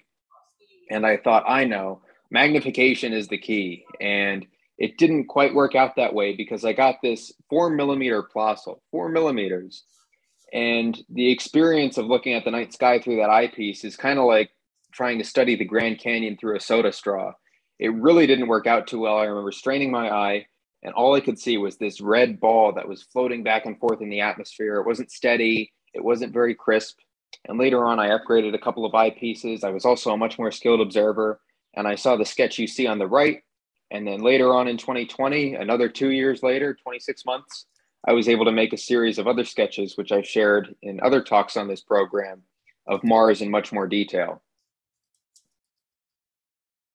And here is one of my favorite highlights. I finally hit 10 on that scale that I referenced from the book oh, earlier. Yeah. There you go. Here was uh, a really nice side by side of the 2017 eclipse. Uh, you can see on the left here, the horizon's all dark. I'm looking at the sun and I don't seem to be complaining too much. So it must have been during totality, or at least near it before I took that solar filter off. And on the right was a picture I got just through my phone, held it up to the eyepiece, and there it was. And I could finally share that experience with people. Uh, I live in Pennsylvania. and we took this road trip down to a rural part of Georgia. The band of totality passed right in that northeast uh, part of the part of the state. And it was, oh, I want to say 21, 22 hours in the car each way. The traffic was ridiculous with that event. I'm sure we all have uh, our own little stories from that eclipse, but it's a memory I'll cherish for a long time. Uh, certainly one of my favorite moments in my developing experience in astronomy. And the reason I share all these is I want other people to understand what they can expect going into things. Uh, there is a certain progression from looking at that first uh, view of Jupiter or the moon, and then going to see an eclipse, then learning how to use a telescope instead of binoculars. There's a nice progression uh, that that you can lay out for yourself to kind of make that learning curve less frightening and and really get into the hobby without much trouble and, and enjoy it a lot more. I think. Uh, now, we were talking earlier about how much the, the cosmos is changing, especially our solar system. We see it as a very eternal and static thing, but that's not always the case. And I have a series of images here that uh, certainly represent that. Uh, the top one at the center is, is the most recent lunar eclipse in the clouds. And I remember taking that image, I guess you could say live on a global star party when we did the eclipse special I was running mm-hmm. in and out of the house and sticking my card in and out of the computer and pulling those images off. And that was the final processed image of uh, the shadow starting to leave the moon as some clouds were coming in. And it adds a lot of drama to that image, I think. And there it is, uh, framed by some images of sunspots, a partial solar eclipse, comet Neowise. Uh, on the bottom here is the conjunction of Saturn and Jupiter, and then a meteor I was fortunate enough to catch on the right. So they all highlight how our cosmos and our solar system are changing places. And you can observe these with very modest equipment. Uh, pretty much everything here you can see in binoculars. Uh, of course, I should note with the solar observations, uh, you should use the proper protection and solar filters in those cases. Uh, but they're all very uh, visible and, and, readily apparent to those who are looking to get out and, and see what the night sky or even daytime sky has to offer. After some experience with my own telescope, I wanted to push those boundaries a little bit. I remember my first trip to a dark sky site, which was Cherry Spring State Park. And it's in uh, north central PA, which is one of the darkest parts of, of the country for sure. Uh, but they say it's the darkest place east of the Mississippi, Bortle 2 skies. It's about 2,000 feet of elevation. And that night we had some clouds rolling away just in time uh, for a, a, night sky to clear up. It was during the Perseid meteor shower in 2018. And that was a very memorable night. And it's a long story, but I wasn't able to bring my telescope that night. So I had some binoculars with me. And I thought, oh, you know, I'm kind of complaining I can't bring my telescope out to this dark sky site. And it turned out to be one of the best things to ever happen to me because it was one of the best nights of observing I ever had. I saw the Eagle Nebula for the first time, Trifid, uh, the Lagoon Nebula was stunning. I saw all these meteors from the Perseids flying overhead. Uh, even though it was August, I was even able to see the zodiacal light with the naked eye. It was just incredible observing with very modest equipment. And it's certainly something I'd suggest to any new observer uh, looking to get into the hobby. And I think it was also fun to look at some of the history of, of astronomy. On the left is a picture of a telescope called the Leviathan of Parsonstown. And I was fortunate enough to, to visit that telescope. That's it's cool. in the middle of Ireland. And as many of us know, it was built by the third Earl of Rosse, who was trying to figure out the structure of what at that time they called the spiral nebulae in the sky. They were face on spiral galaxies. And he made some very famous sketches of M51 and M101 uh, with the telescope you see there. It looks like this giant barrel cannon kind of thing. And he was able to move it um, in terms of azimuth about 10 degrees. And then, of course, he had the full span of altitude and all these uh, works and scaffolding on the sides of those stone walls to get up to it. So it kind of shows how far people are willing to go to uh, extend their own experiences of discovery. Uh, but all you need, like the, the picture on the right suggests, is some good dark skies and your naked eye, or maybe even a pair of binoculars. You can see quite a lot with that and have a wonderful night of observing. And what would observing be without sharing it with others? Uh, a couple of years ago, uh, I started this high school astronomy club at my at my school, and it was uh, one of the only junior societies within the Astronomical League as, as an astronomy club. So I think high school students are a really important group to reach right now as they're going off to college. They're looking at their futures, they're learning new hobbies, they have this time. It's, it's a great opportunity to share astronomy with people and get them involved. And you can see there's a sky chart in the middle of the projector there, and some of the students who were with me who were interested in it. Uh, we really had a great time doing that program. And on the right here is a program for a much younger audience. This is one I started recently at the local library. And there's a chart of what the phases of the moon look like. And you can see it looks a little unconventional for what those charts look like. You might just see a half lit moon orbiting around the Earth in different positions. Uh, but the reason I made the chart like this is I first instructed the kids okay, here's where the new moon happens, here's where first quarter happens, here's where waxing gibbous happens, and so on. And when I shut off the lights, I held up a flashlight next to that orange cutout for the sun, and I had this uh, rubber model of the moon, and I moved it around the earth while shining the flashlight on it. And they were able to see that the moon remained half lit no matter where it was, but it matched the paper cutouts you see on the poster. And that really helped them to understand uh, what the lunar phases look like. And after that program, this girl came up to me and she had a shoebox that she made, this little craft. And inside was a, a, a hanging styrofoam ball of the moon.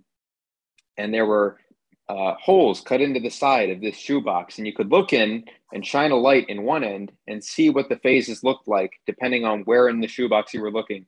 And she was like i made this moon box. And she had all these decorations and stars on it and she was really excited to share that so i think kids really find an interest in this stuff uh, they like the solar system the moon they want to know everything about it and there's a lot of joy in bringing it not just to adults and high school students, but also younger audiences as well. And there are a number of ways you can do this. On the left here is an article I wrote for the League's Reflector. And that was uh, meant for a lot of people in the amateur astronomy community who were kind of wondering how they could reach high school students and use the new technologies that we have now and use that to their advantage for outreach. And on the right is an Instagram page. It's one of many uh, social media platforms I utilized, uh, especially throughout the pandemic, for sharing my outreach in astronomy. I talked about the images from Pluto that came back from New Horizons, anniversaries of certain events like Yuri Gagarin becoming the first person in space. And it also uh, worked out as a good avenue for communicating club information.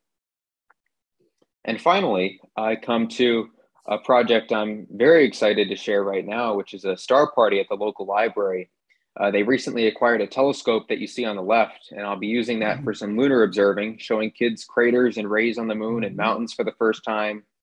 And I've actually never been to a star party. I'm looking forward to getting around to some very soon.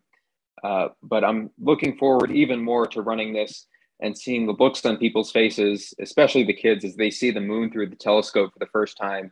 I think that'll be a really special experience that they'll remember and I certainly hope to inspire more of that younger audience and people new to the hobby to continue and keep pushing the boundaries and discovering even more.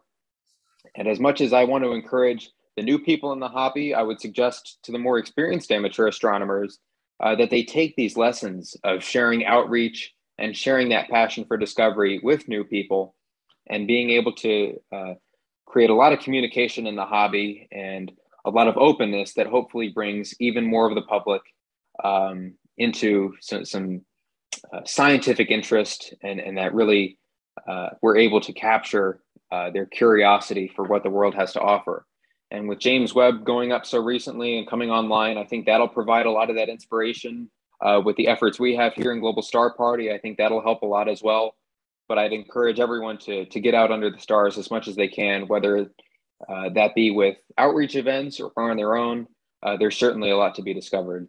So thank you for letting me share that tonight. Thank you very I much. I wish you all the best in your discovery. Thank you very much. Thank you so much. That's great. That's great. Well, okay. So um, another great presentation from Conal Richards. Um, uh, we are uh, now uh, up to the point where we can uh, bring on John Briggs. John Briggs is currently the uh, acting secretary of the Alliance of Historic Observatories, Um, but if you've been to any of the uh, the beautiful old observatories, or been in the Antique Telescope Society, or just hung around amateur astronomers, uh, when you bring up the name of John Briggs, usually a big smile goes across people's faces because uh, you know John is uh, definitely someone that is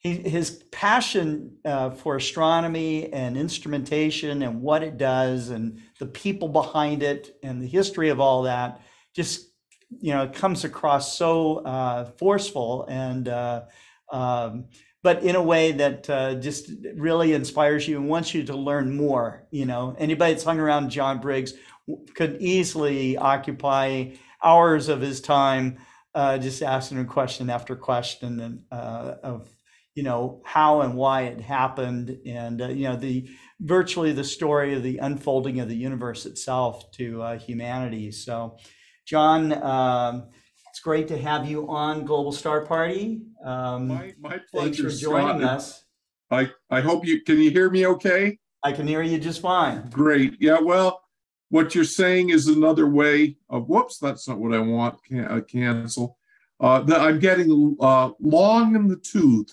in this interest, and that is true. And I'm proud of it. I'm not the only one, and um, and I have a lot of fun like everybody else. And it's a, it's a great pleasure to be a part of your 100th. And Thank you so uh, much, It's a lot of fun. Now, I just have uh, something very quick to share here. And uh, because let's see, the theme was Seeing Beyond.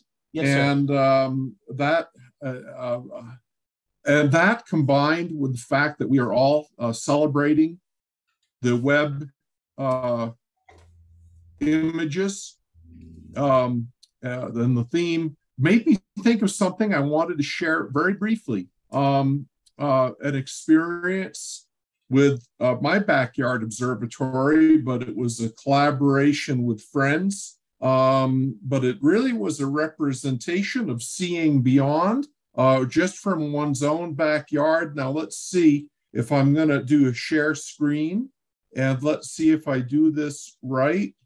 Um, that's this, I think, is the way I want to do it. And um, I'm going to try to make this small. So can you see the picture there, Scott? yes sir Good.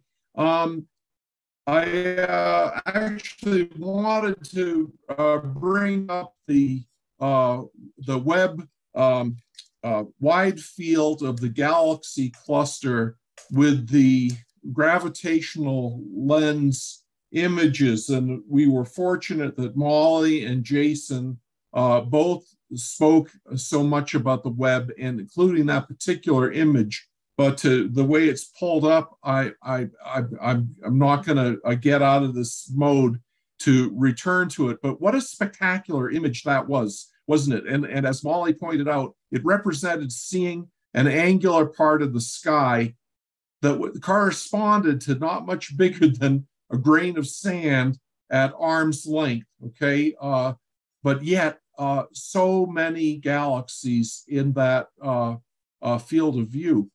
Well, uh, Bob Fugate and I are lucky to live uh, here in New Mexico, where there's a lot of space. There's still a fair bit of dark sky. And as I've shown once or twice before on these events, proudly, this is my backyard. I have a hilltop in the backyard, and I call it Fool on a Hill Observatory, FOA Observatory. Um, but I, it's just a picture. I'm just trying to lead up to a picture that I want to show you that we secured with uh, instrumentation here. All the all the facilities up here are on wheels. It's government surplus stuff. Both of the domes were surplus missile tracking domes off nearby White Sands missile range here in New Mexico. And it's see see the wheels and um, uh, they're 10 foot domes They're awesome. with very wide slits. They housed cine theodolites originally, and that's me on the left, and a friend of mine uh, who's passed away, I fear now, named Rick Thurmond. And he was a fellow member of the Albuquerque Astronomical Society. But um, uh, Rick uh, was an avid uh, astrophotographer, and um, he had purchased this instrument. It's an Italian wide field astrograph, and um, uh, he had uh, more or less exhausted his his uh, evident possibilities for using this portable astrograph on a tripod up around uh, Albuquerque in the brighter skies, and his health was was fading. He didn't have the strength to move it around. But I, when I heard about this, I said, Rick, I've got a spare dome. It even has this white pillar uh, built into it. If you want, move it down here to Magdalena. We could do some stuff together.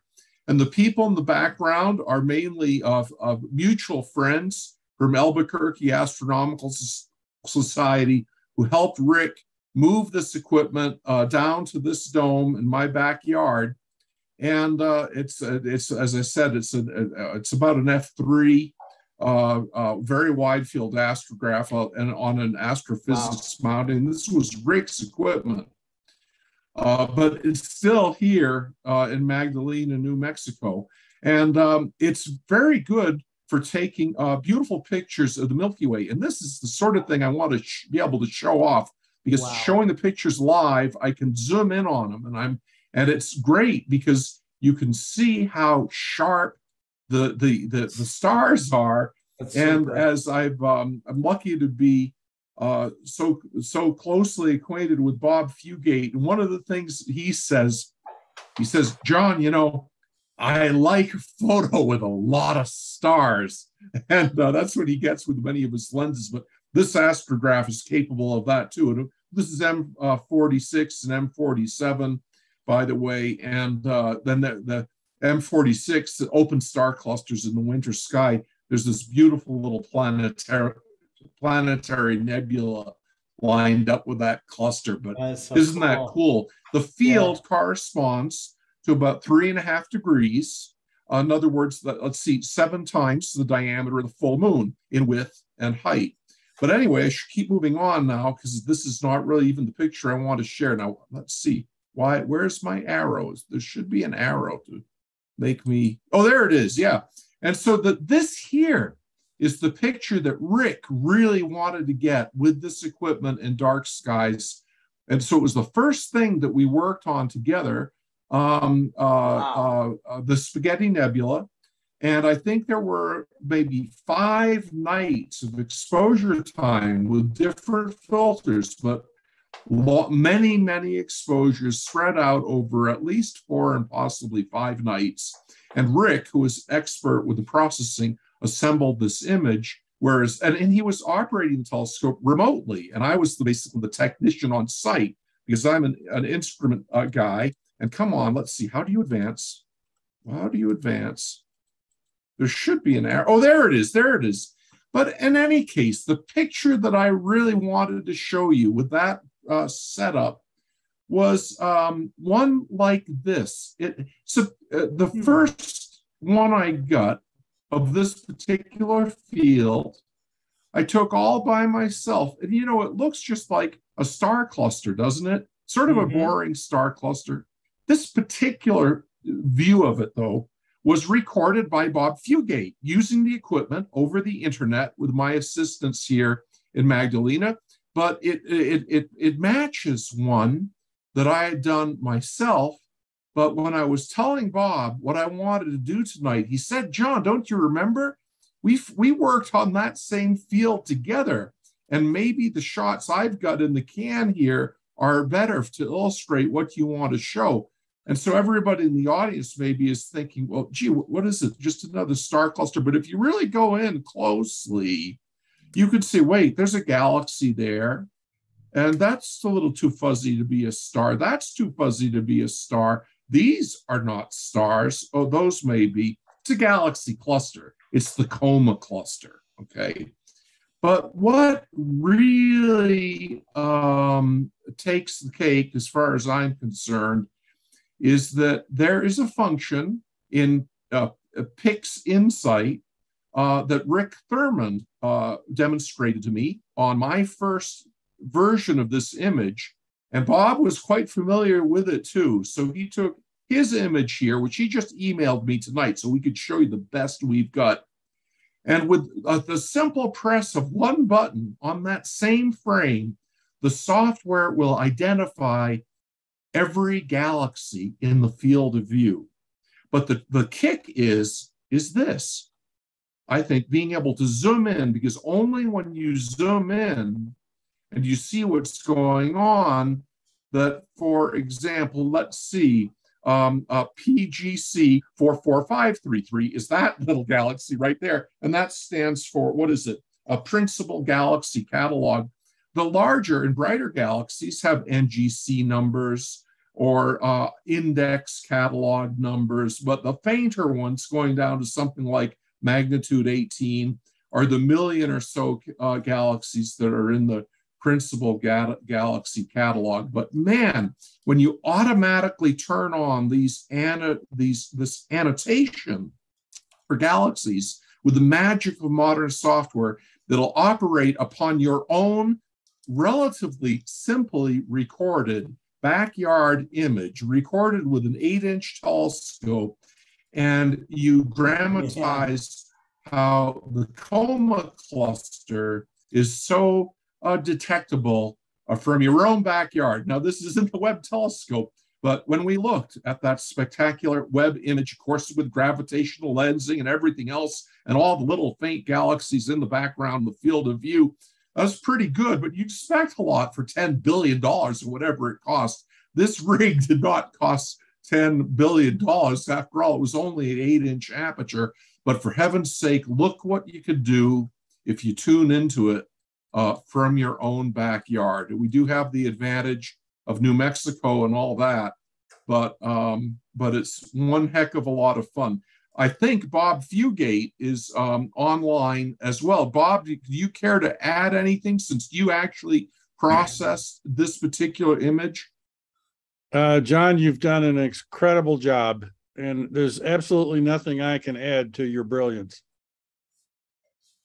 Well, oh, there you go. I, everybody knows, Bob, that I'm I'm I'm nothing but a reflection nebula in your company, man. oh, gee. You know, oh, let me let me. Okay, folks, maybe some people are actually still listening. This is here's a Bob Fugate story. So Bob, Bob, you know, we were on the phone earlier tonight, when I told him what I wanted to share, you know, the annotated shot of the of the coma cluster. And uh, Bob said, "Well, wait a second. You know, I think I've got an even better one because he sent me one first, but via email while other people were talking, and then suddenly he he texted me again. And he said it was actually a phone call. He said, "You know, I think it's I've got an even better one. I'll email it to you and you tell me what you think. Folks, when Bob Fugate tells me he's got an even better image, I, I don't I don't have to look at it to know what he said is true. Uh, anyway, uh, the sun is setting in this shot on um, uh, uh FOA Observatory. Mm-hmm. And so uh, friends like Bob say, that you shouldn't call it Fool on a Hill now. You should call it Friends on a Hill. There Whatever acronym you want to use, I don't care. But we have a lot of fun uh, with this equipment. We miss the late Rick Thurmond. Uh, he has made uh, uh, uh, some so much of this possible for me and Bob and other folks. Uh, so thank you for your attention, folks. I wanted just to share something short and sweet. Thanks very much, John. That's great. I love it. Thank you very much. Okay. You bet, man. Let me try. Oh, there. Stop share. Just something are. real quick. so, John and Bob, I am instantly envious of where you all live. Just wanted so to just come and visit. Dark out there. Just yeah, come and visit. I'm that it's on the list along with five other places thanks to Global Star Party that I now have to visit. So, uh, so yeah, that that location looks beautiful. Great. Bob does fantastic, mind blowing things from his backyard, but as often as he can, he is, escapes down in our direction here in Magdalena, including into the Gila National Forest. And uh, we sure have enjoyed uh, uh, seeing his results everywhere. Excellent. Wonderful. Okay, we're going to uh, transition over to uh, Cesar Brolo down in Buenos Aires. But before we do, Maxie's got uh, an image that he'd like to share with us. Maxie, you want to show um, what you got in the scope? Okay, let's let's share my screen. So, what I got here, this is the 47 Tucana. Wow. The glow, the glow star Very cluster. tight stars, beautiful. Yeah, it's in the entire field of view, practically. And let me stretch, reset the the histogram. You can see only those stars, but when you auto stretch, there's a lot of one. Wow. So this is only a single stars. a single shot of 60 seconds and well i i was i i want to point to this place because adrian asked, asked me more earlier because now uh, do you see the stellarium Yeah, I see it, and it's uh, it's finally risen high enough for you to uh, be able to image at it. Yeah, Definitely a beautiful globular cluster. Mhm. It's a really good one. And now I think I'm going to some galaxies that are here in Sculptor to to find out. But uh, I think that's will be all for tonight because it's a, it's a rough night. I have some kind of wind and some pictures there struggling with the stars. So, well, thank you for for watching. Thank you. And Yeah. I, I will be online, but uh, You're calling it a night. okay. no, I, I think I will be safe. But Okay. let's see. Maybe more later. I will if I find something, some some another place. Uh, I, I will show. That's beautiful. I So this is 47 Tucanae is um, uh, a, a globular star cluster for those of you who don't, uh, you know, who are just watching and don't know what this kind of object is. This is one of the most massive global, globular star clusters in the sky. You have to be in the southern hemisphere to see it, uh, where Maxie is, and um, uh, it uh, you know has millions of stars. Uh, again, about 15,000 light years away. So thanks very much, Maxie, for showing that. no, you're you're welcome, and thank you Right? to all of you. Okay, so uh, Cesar Brolo, you are up next. Thank you for coming on to uh, Global Star Party. It's cold uh, down in Argentina, right? Uh, yes, actually, not so cold, not so Not too horrible. cold. Okay. It's uh, 12, 12 uh, degrees uh, centigrade. Uh, centigrades. Okay. Uh, 12 degrees is for this night is okay, but all time that we talk about um, about astronomers, we are sometimes quiet or stay uh, without movement. And when we remember that we uh, we can when we can remember that it's, it's late. Is it? Yeah. I froze. yes, it is. Yes. This is the typical thing. Yes. Um, tonight I have in my balcony an entry level optical tube assembly, very, very entry level optical tube assembly is Mhm. the National Geographic, Spark Scientific National Geographic uh, 114 centi- uh, millimeters uh, telescope. Uh, the yes. focal ratio, yes, the focal ratio is only um, 500 millimeters. Oh, sorry, the focal length. Um, the focal ratio is uh, 4.38, uh, the number of focal ratio.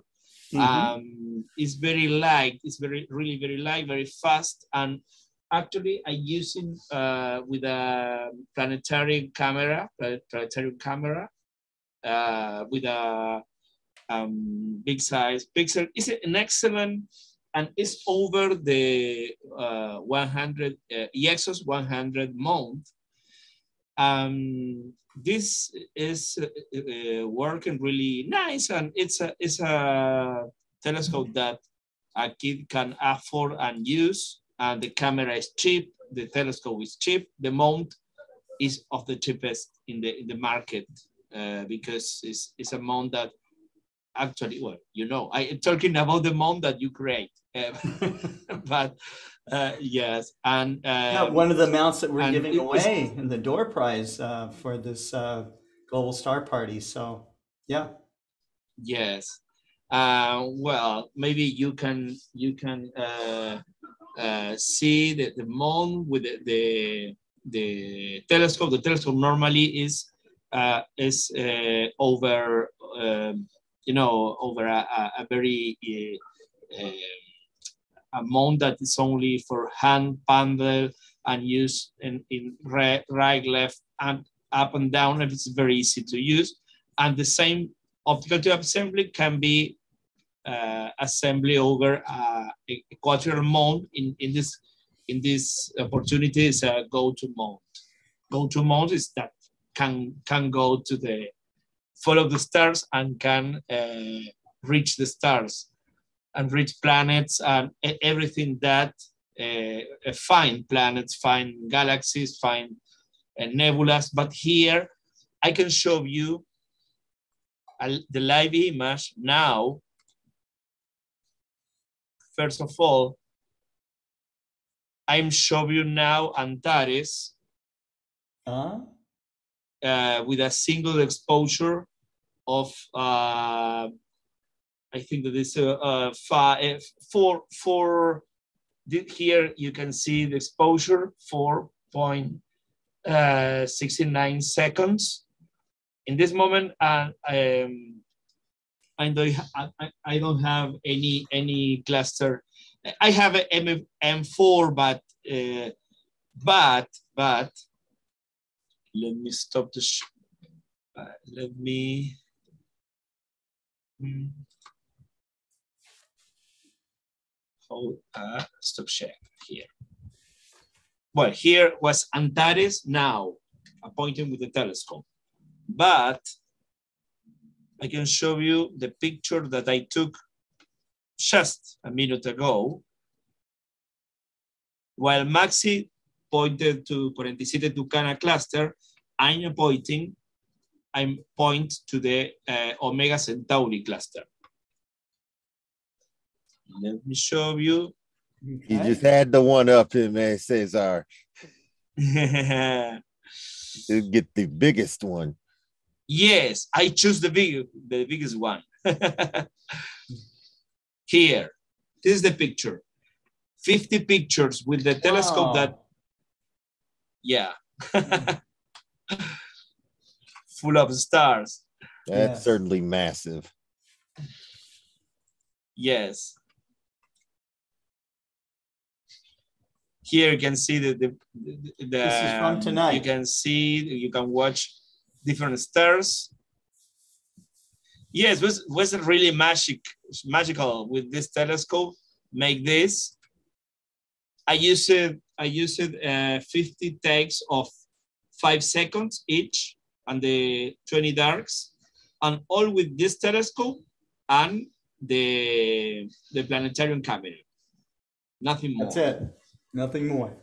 The, the, yes, nothing more. Yes, it's something that that is is a very start starting eleven equipment, and I have a really really a lot of of uh, fun uh, this night. I can show you the maybe I can show you the the individual takes. Mhm. Sorry that I, I can't I can't show you now the, the live image of of uh, Omega Centauri because it's behind the, the buildings. But in the entire night I had I had the you had it. the live one. Yes, yeah. I had it, but I took the pictures. Let me show you another one. Okay.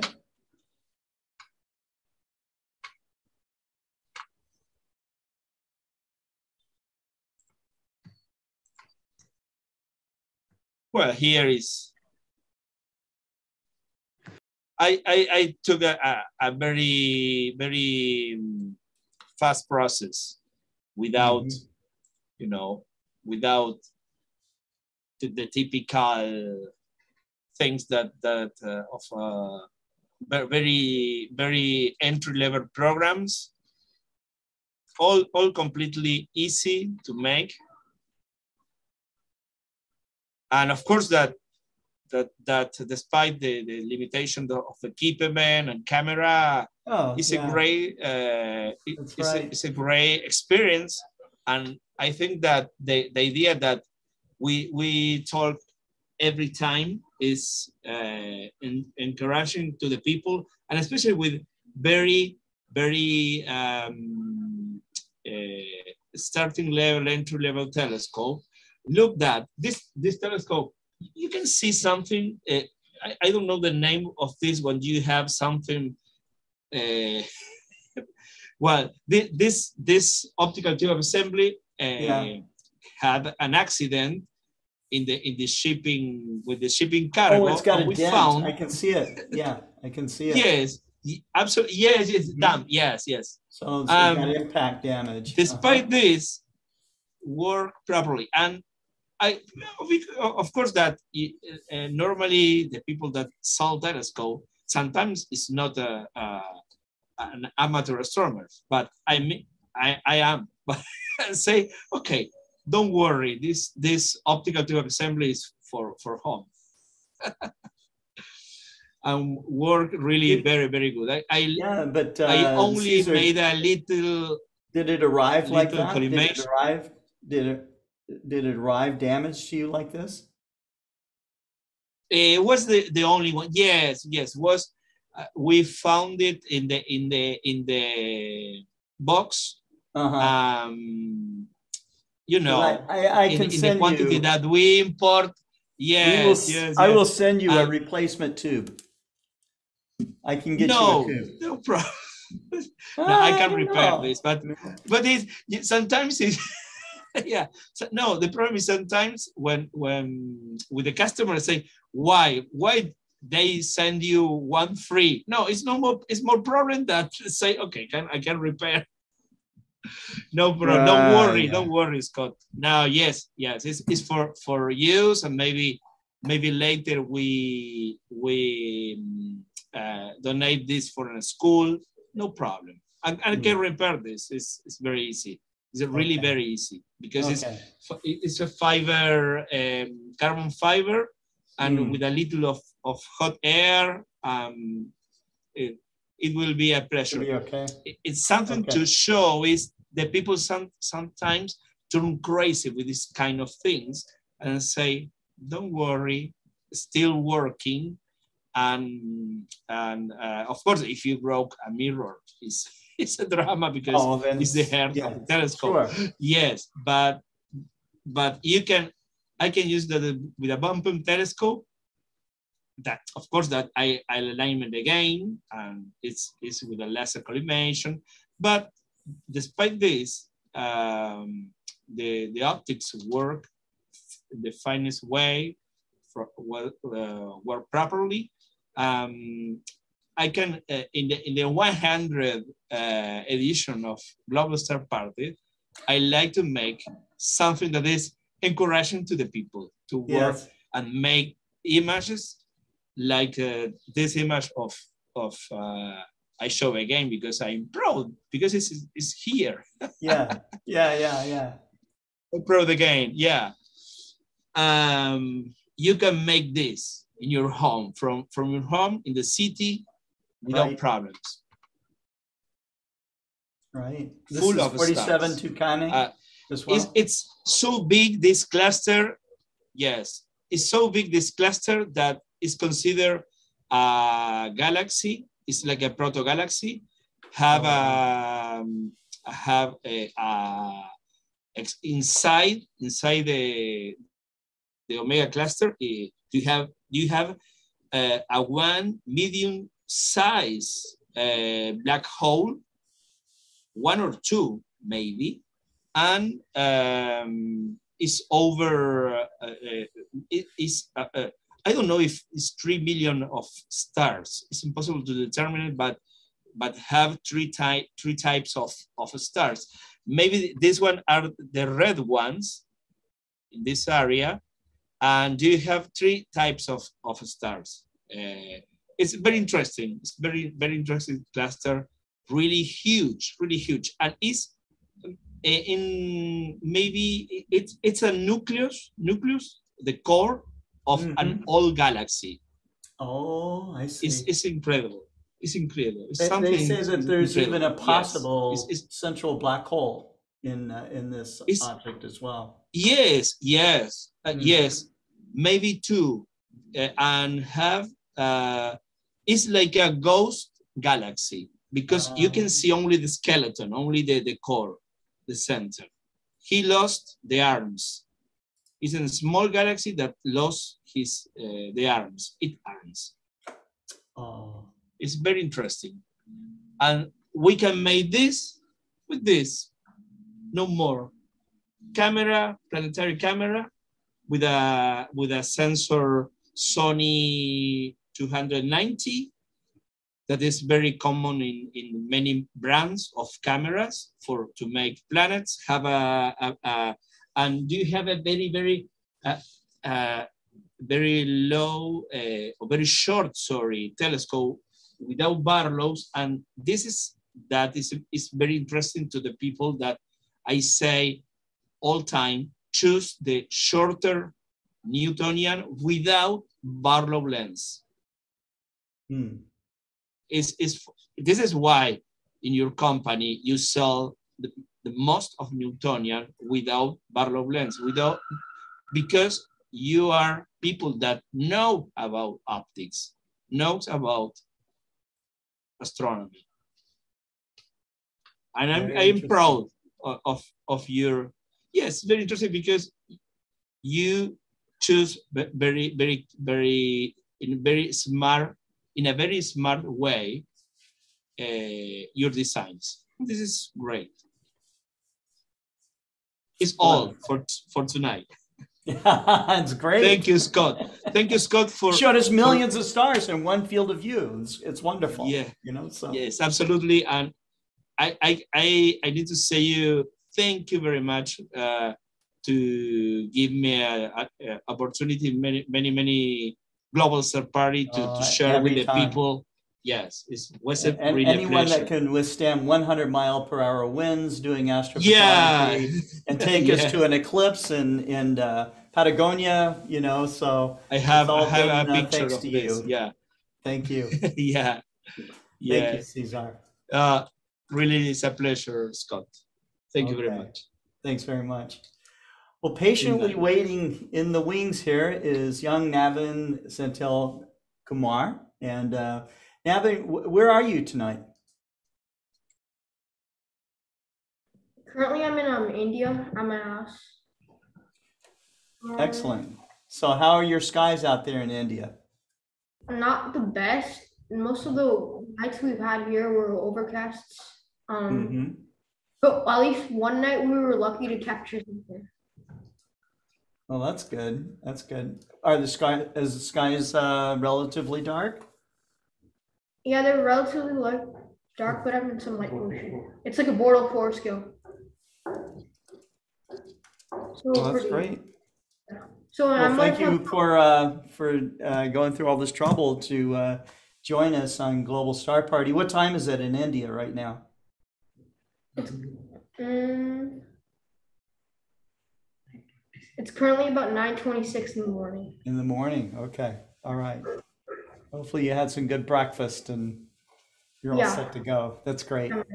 Oh, Thanks again. We have we have just 15 minutes different time than India. we have just uh, 15 minute time difference. Okay.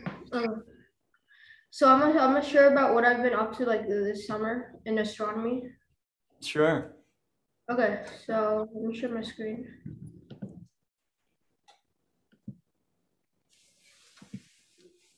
Okay, do you see my screen? Yeah, it's coming up. Okay. Oh. Give it a moment here. There we go. Okay.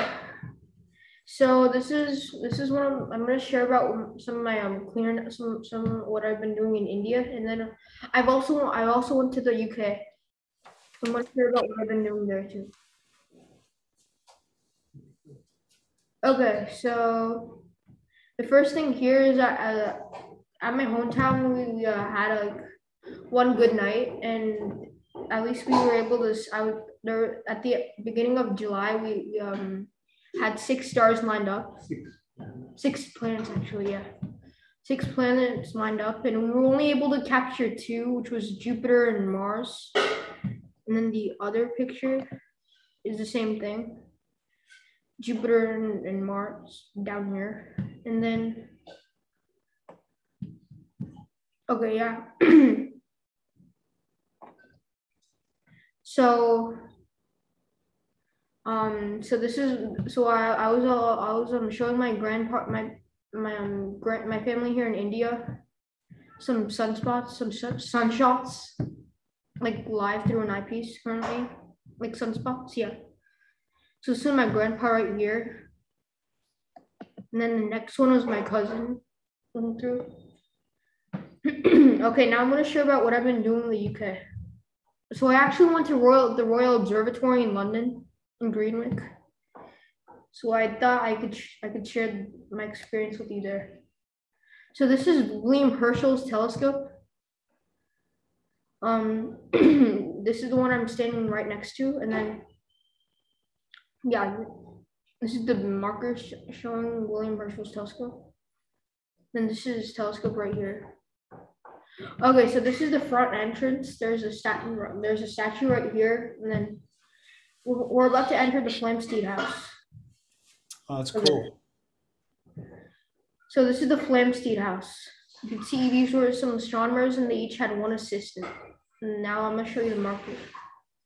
So this was these were the astronomers at Greenwich. These were all there were 10 astronomers who in, lived in the Flamsteed house between 1676 to 1948 but before the usually before the 19th century, each astronomer, royal astronomer, worked alone, just a single assistant. But their task was an intense, hard task, and their ta- and their task, and they people the people who depended on them were other astronomers, like amateur astronomers and navigators at sea. But as time went, the astronomers were Royal astronomers were supported by a growing team of specialists who were from the local area. Last astronomer to live in, in the Flamsteed house was Harold Spencer Jones, who left in 1948 when the observatory work, work moved to a different place in, in Sussex. Okay, so let's talk about navigation. If you see right here, this is this is a, so people depended on um the stars to like navigate and um orient their way around the world. And and that was also the gilded age for exploration and finding new land and territory and conquest okay so this is the Flamsteed house at the marker here. Okay these were five other astronomers John Pond, William Christie, Harold Spencer Jones, Frank Dyson, George Biddle Airy. Hmm. And there was, Tom, and then these were also some um astronomer like assistants right here. Thomas Earnshaw, Caroline Herschel, Margaret Lafayette, I think, um, William Herschel, of course, and son. I don't know what that, but yeah. Now we're going to see about their life currently. So they, you see some Chinaware right here, and then, yeah. You can see this was this was their menu. Like the this was a traditional dinner planning back then. Okay, let's talk about navigation. This was a globe back then, and then these were some models, and then you could see, and then these were like pictures, I think. Yeah. This was a solar system model. This was a book on astronomy called Pleasures of Astronomy. Hmm. Yeah. And this is a closer view of the globe of how Uh, the That's a rock. beautiful globe. Look at that. A globe that would be worth a lot of money because that's all high quality quality material. And then this no. Okay, now this is the book Pleasures of Astronomy. This book was published in the 18th century. It's actually a board game. Okay. It's a board game. Okay. Yeah. In a race to reach the Flamsteed House and become a astronomer royal. From the 18th century. Mhm. Okay. So this we're gonna talk about clocks now. This was just um a storage bucket, a chest from back then. And then this is a clock. This was George. This was Nevil's alarm clock to wake himself up for observing the stars. Wow. He got it from his pre- predecessor, James Bradley, who, who bought it from a, a really prestigious London clockmaker called George Graham. This clock is a quite tick that allows a good night's sleep. So this is a special clock. Okay. So this were these were some homemade remedies or medicines. Tobacco, honey, lemons, rosemary, and ginger, and a lot of other herbs. So now we're going to look at the Maskelyne family bedroom.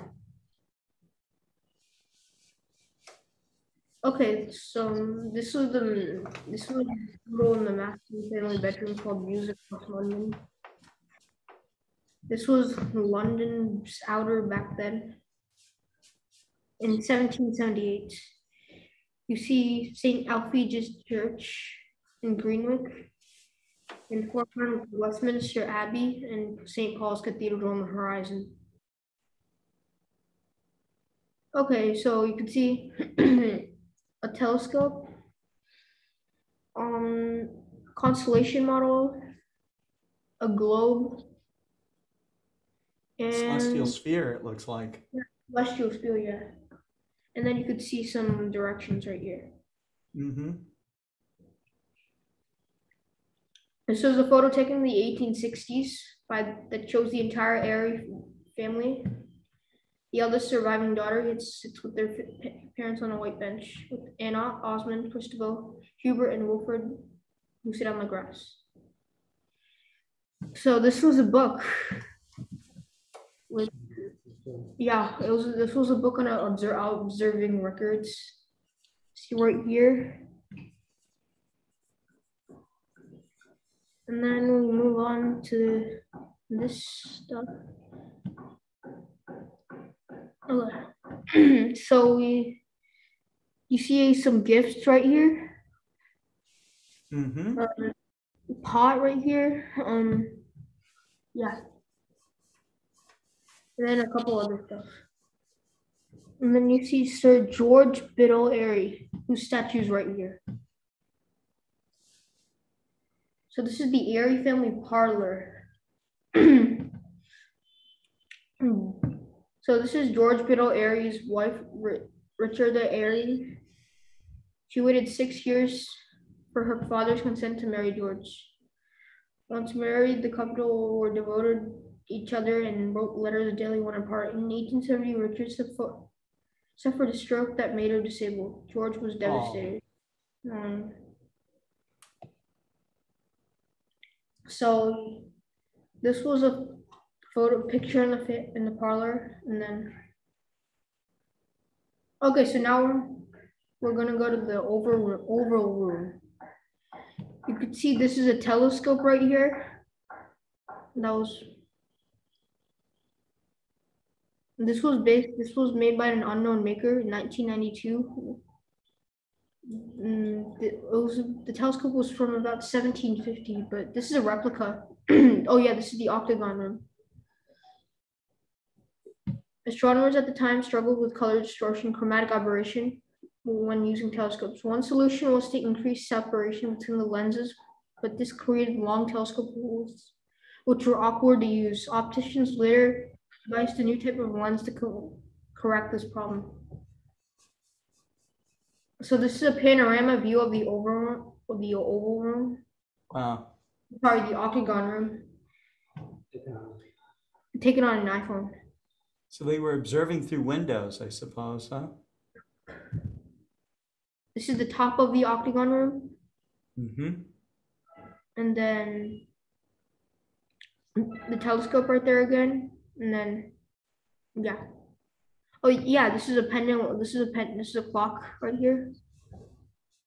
Pendulum clock, and then this is a quadrant that people use to measure.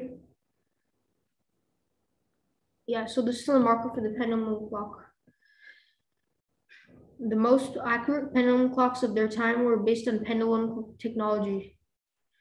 Thomas Tompion made two clocks that were fitted into, into these panels here in 1676. A huge weight kept the clocks running for a whole year.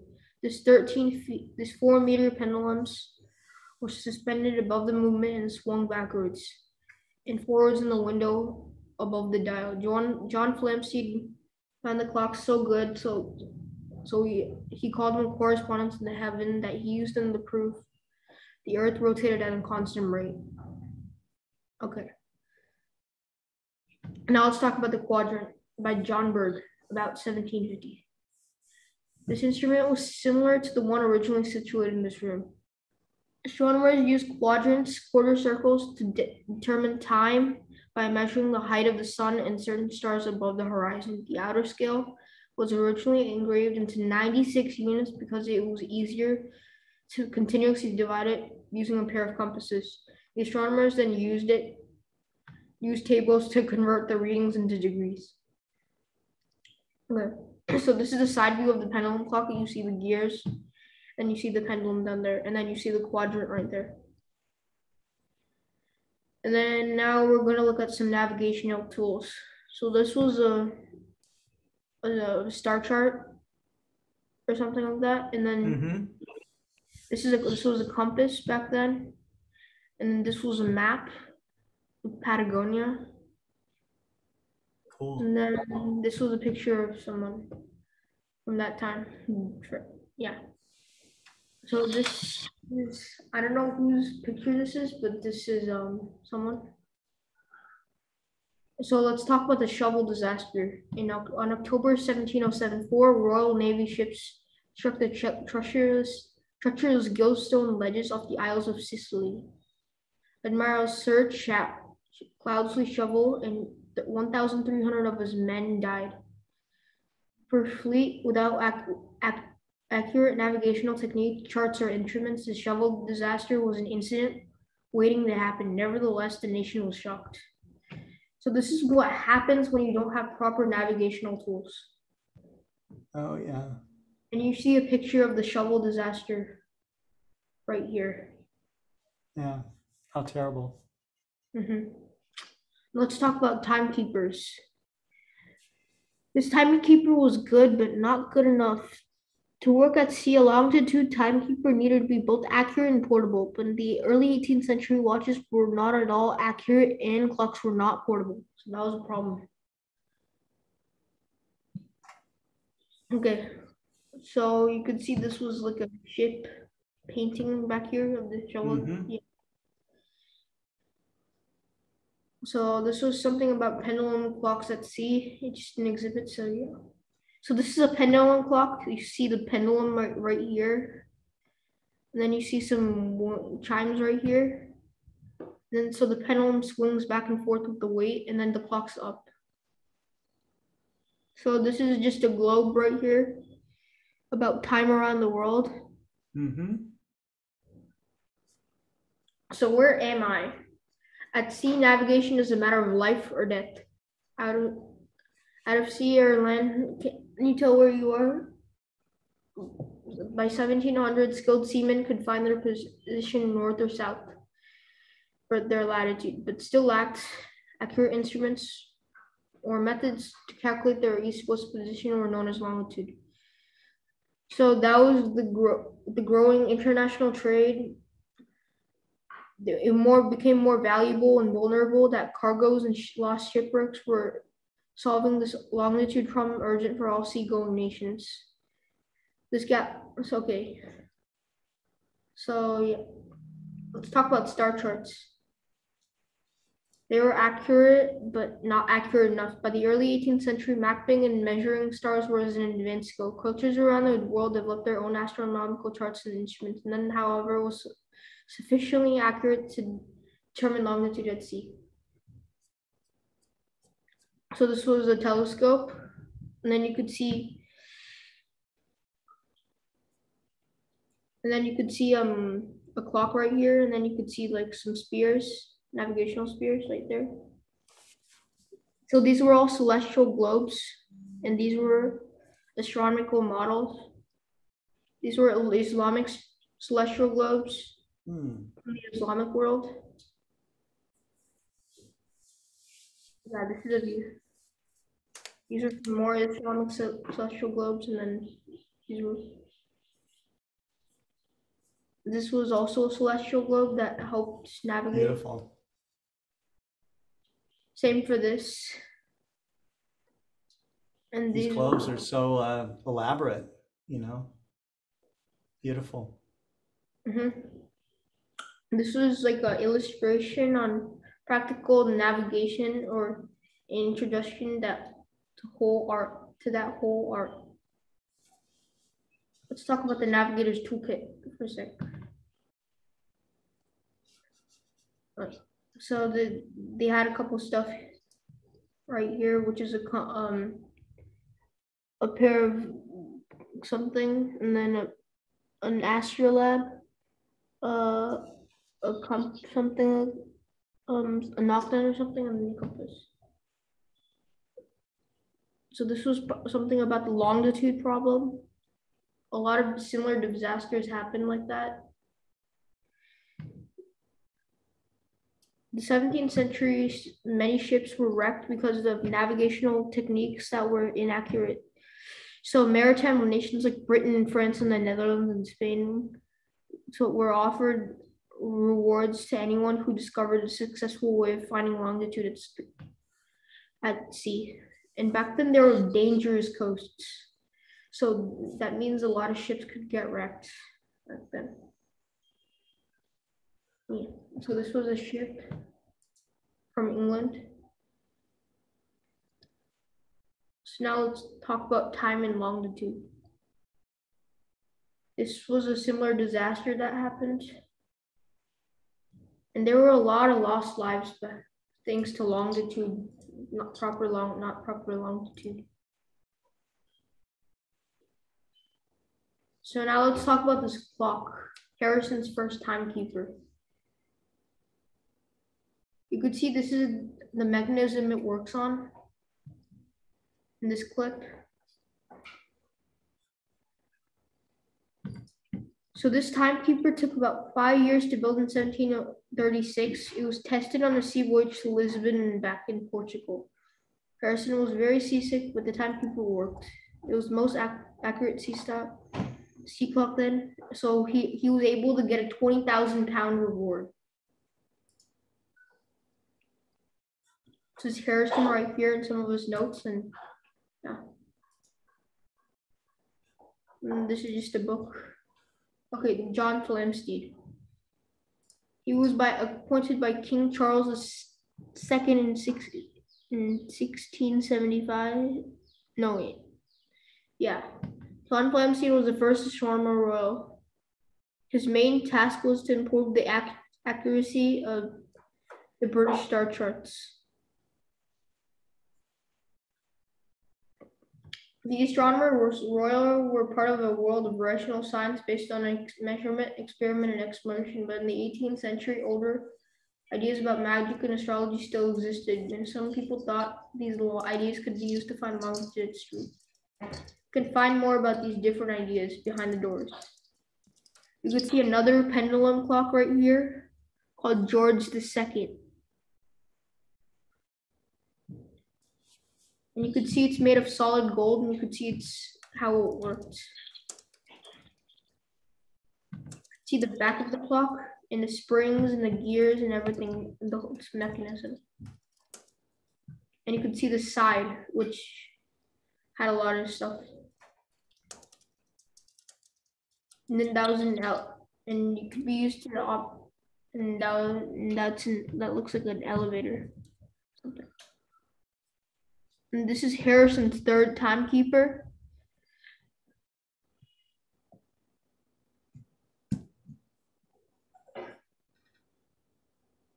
So this is another pendulum clock right here. This is George Graham right here. Mm-hmm. And then the Royal Observatory and the chron and the chronometer. So this is the chronometer right here, tells the temperature. Um, and then you could see some notes right here. Yeah, so this was a map used on on chronometers. So you could see these were some charted some charts on voyages that were made. Oh, this is Thomas Earnshaw. He was a talented watchmaker and a, uh, also a businessman, but he wasn't as successful as his rival John Arnold. His contribution made to the development of the marine chronometer was to show that the mechanism could be standardized and produced in large numbers. Okay, this is John Arnold. The longitude active set making longitude work longitude active 1714 inspired makers to come up with new designs for timekeepers and observing instruments. These were both needed for finding longitude at sea. I don't know who she is.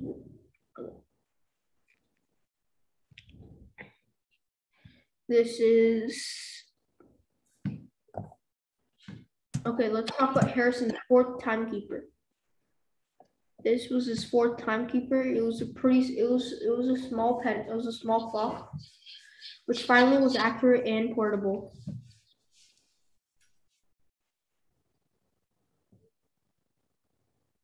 measuring longitude at sea by the late 18th century, determining longitude was practical task that could be, it was easier now and could be carried out by any well-trained navigator. The availability of astronomical data, observational instruments, and reliable timekeeper data made the lunar distance method a viable technique for accurate navigation. You can see a book right here and then you can see some of their instruments they used. And then you can see notes. And then this was a clock or a timer. Hmm. This was a clock. And then this was used to find the lunar distance. So that was an instrument. Clockmakers devised mechanical models for wealthy patrons interested in astronomy. And after Charles Boyle, fourth Earl of Orrery, this instrument shows the tilt of the moon's orbit in relation to the Earth and can be used to demonstrate lunar and solar eclipses.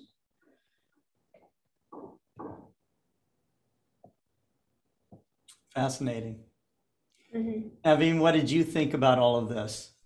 I mean, this is, uh, you're seeing all the instruments, the people, uh, the, uh, you know, the effort that it took to determine time and position on Earth and how important all that was.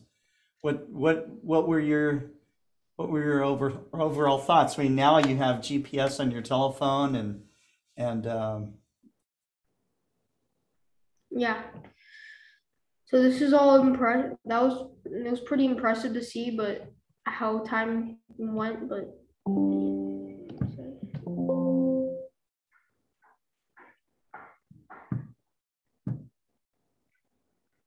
Sorry, one second.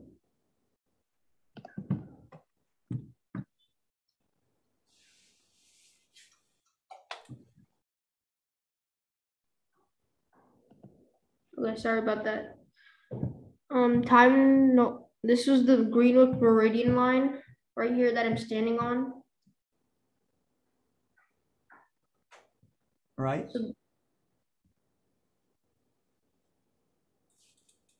my okay. Royal Observatory is famous for supplying Greenwich Mean Time. From 1833, astronomers made a daily signal to mariners in the Thames River at 1 p.m. 1,300 hours by racing and dropping the time ball at the on the Flamsteed House. In 1852, electrical technology enabled them to send time to the nation by by telegraph. Visitors to Greenwich Park could also get time without disturbing the astronomers outside the observatory.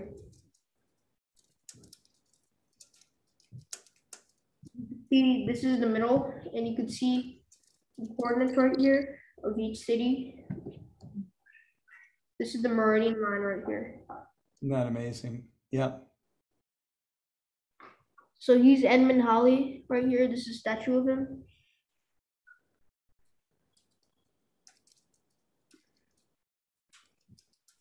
Um, this was one of the, it was an observing instrument right here. This is Bradley Transit Room.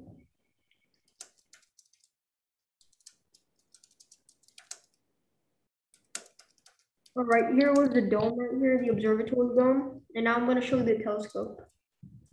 So this is the observatory telescope right here, a reflector. It's an equatorial mount. So you could see some views of it. You can see the bottom eye eyepiece and the mechanism.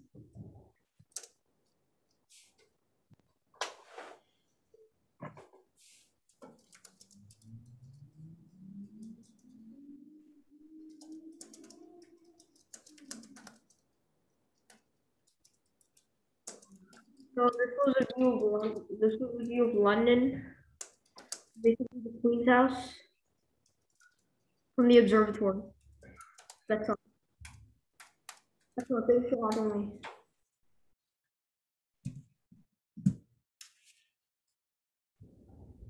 All right, Navin, thank you very much for your presentation. Thank you. Thank you very much. How much longer will you be in India? I'll be here until the 11th of August. Okay, all right. Will you enjoy? And uh, thank you again for contributing to Global Star Party. Um, we will not have a uh, Global Star Party next week as we'll be uh, broadcasting live from the Astronomical League convention. But um, really pleased that you were able to make it uh, to, um, to this event. Up next is uh, DT Gautam. Uh, we're going from India to Nepal. And uh, T, thank you uh, for um, for patiently waiting for us here on Global Star hello, Party, our hundredth episode. Hello, Scott. Hello, everyone. Well, did you draw this behind you? Is that a is that something that you made? Yes, yes. I made it myself. Yeah, I love it. That's great. Uh, what it's is kind of give me the give me the hope and kind of represent my dream. Wonderful. So, what is your presentation on so- tonight? Uh, today I'm talking about the uh, formation of the star Okay. and different phases of uh, making star. Uh, so, like uh, as we know, the star is an astronomical object uh, comprising a luminous spheroid of plasma held together by its gravity, and the nearest star to Earth is Sun.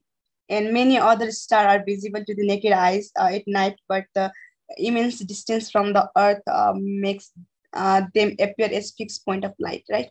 And a star life cycle is determined by its mass, and the larger its mass, shorter its uh, life cycle. A star mass is determined by the amount of matters that is available in its nebula and the giant cloud of gas and dust from uh, which it was born.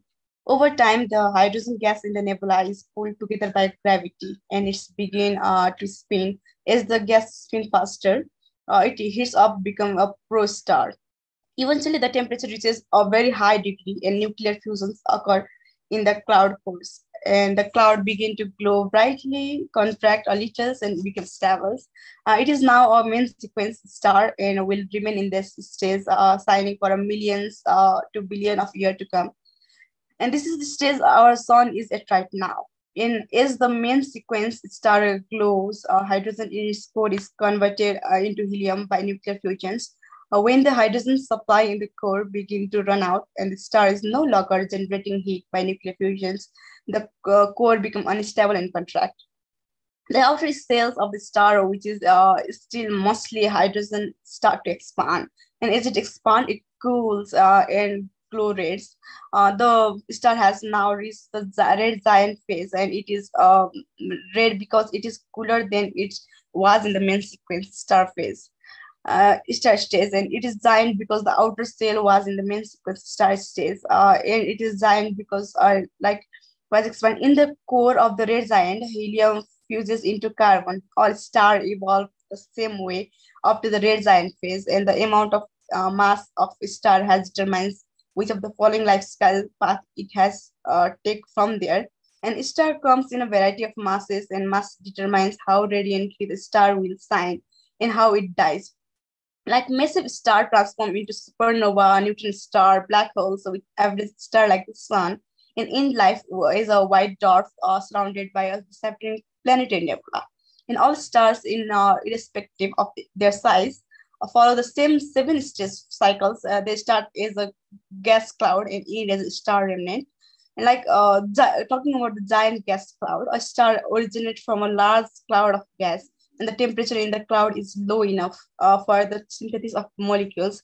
And the Orion cloud complex in the Orion system is an example of a star in this stage of life.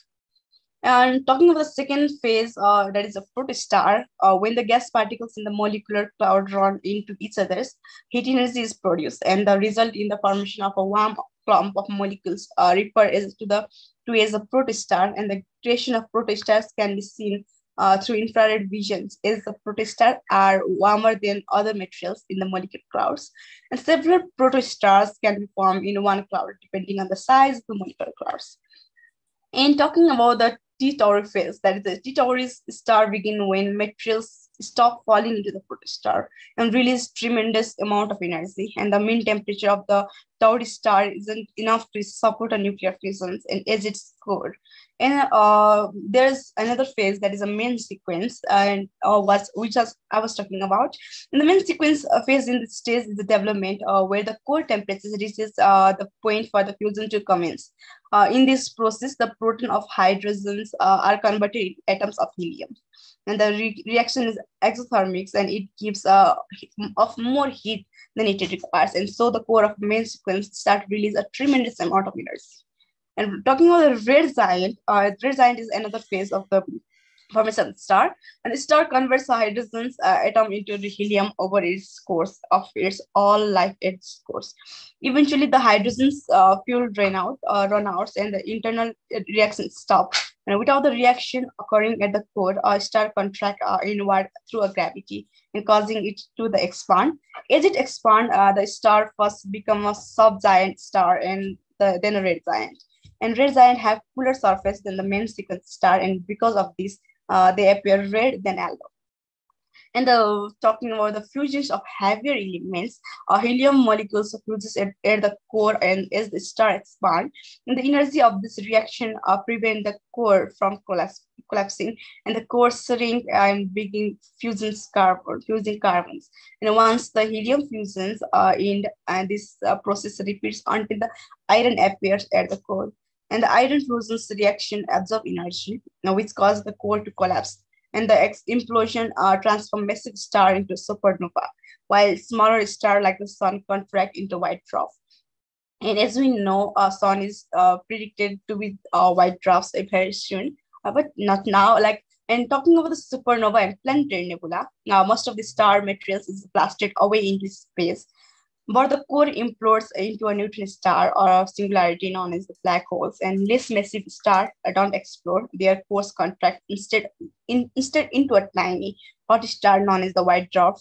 And while the outer material um, drift away, star near the sun, not enough mass to burn with anything, uh, but a red glow during the main sequence, and these red dots are difficult to spot. And but uh, this may be most common star that can be that can burn for trillions of years. And the above uh, were the five, seven main stages which are talking about of life cycles, whether big or small or young or old, star one of the beautiful and lyrical object in all the creation. And next time you look up at the star, remember this how they were created and how they will die. And uh, today is the 20th July uh, in Nepal in here, and it's uh, International Moon Day. And um, uh, personally, uh, moon is my favorite part of uh, like in interest. Uh, so I have prepared some video. Okay, I would like to Okay. show that. Uh, are you able to see? Nice. You can see the moon. Yeah, okay. So is uh today is the um International Moon Day. Uh it's 20th July already here and it's morning time here and uh I've made some video of the collection of moon I captured. Very nice. Uh, personally, I would like love to capture the moment uh, where I was fishing to the moon and uh, uh take that uh, candid photos and I love that a lot. I like that shot.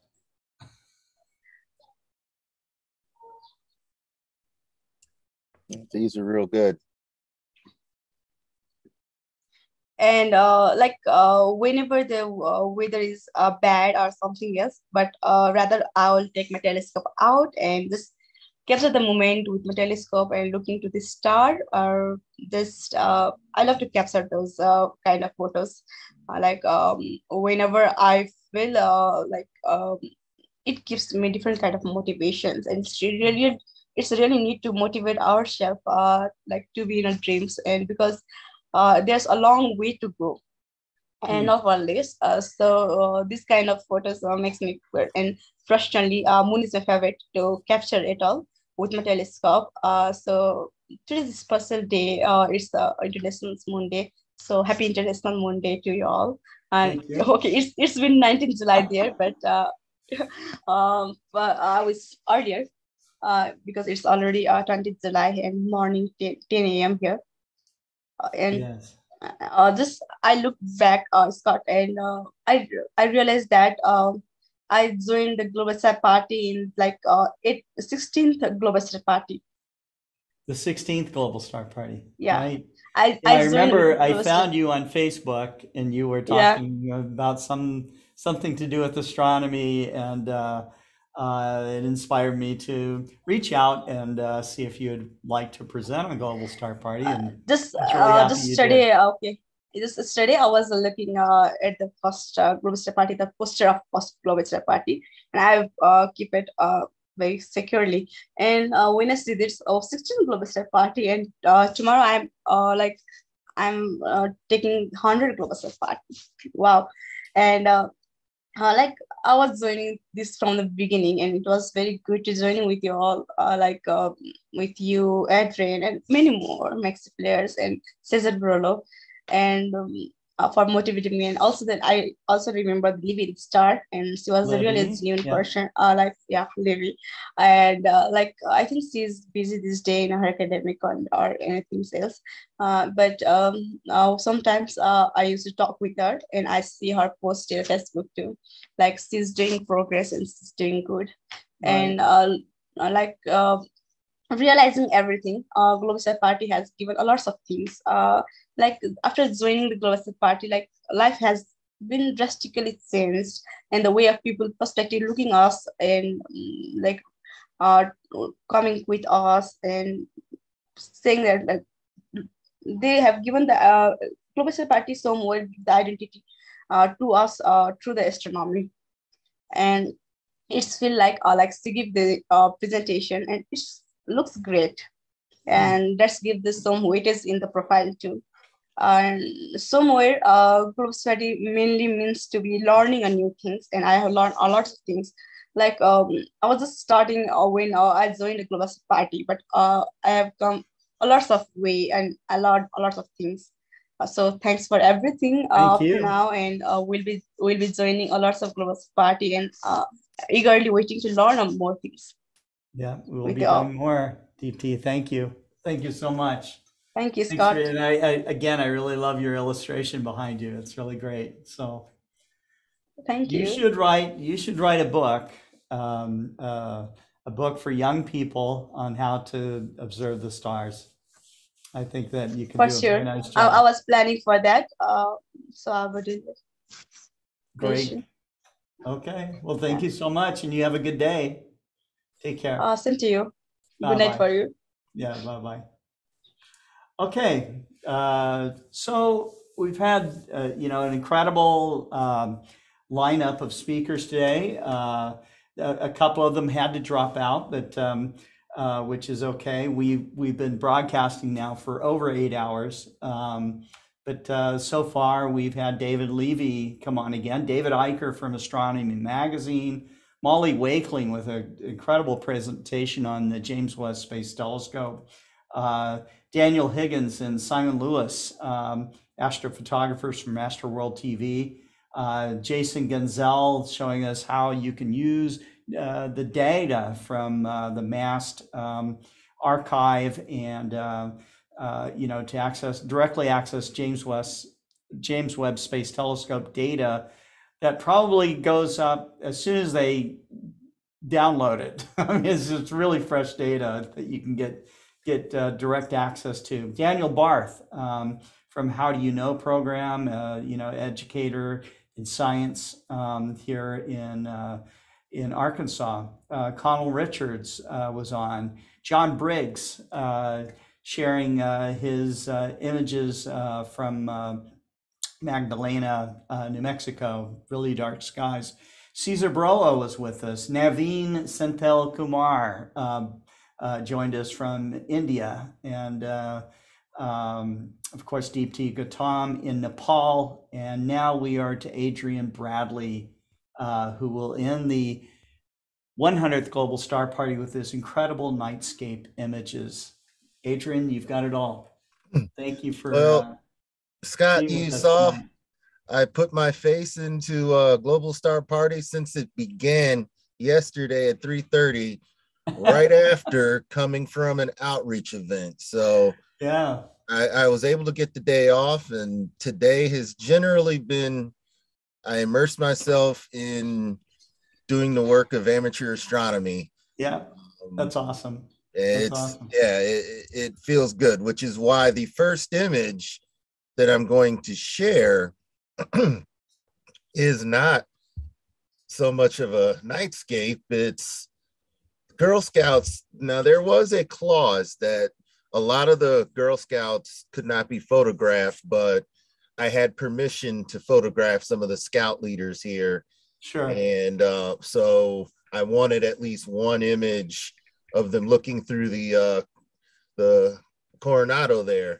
The reason there's two power um, power things is because one of them was actually out, but I had the other one handy. And the tracking on this this mount, Scott, you might recognize that mount. Yes, I recognize that mount. It, I uh, recognize to Adrian. Yeah. yeah and it, it played a huge part in being able to show all of the girl scouts there were five different troops of about 20 or so uh, girl scouts and they were all able to see the sun. Once i was able to put the sun into the scope it tracked very well. I used a compass on my apple watch to aim the um, scope north and with only minor corrections for declination um, it tracked very well and all the girls got to look through Awesome. and see the um, see the sun through the scope. So it was a uh, wonderful time.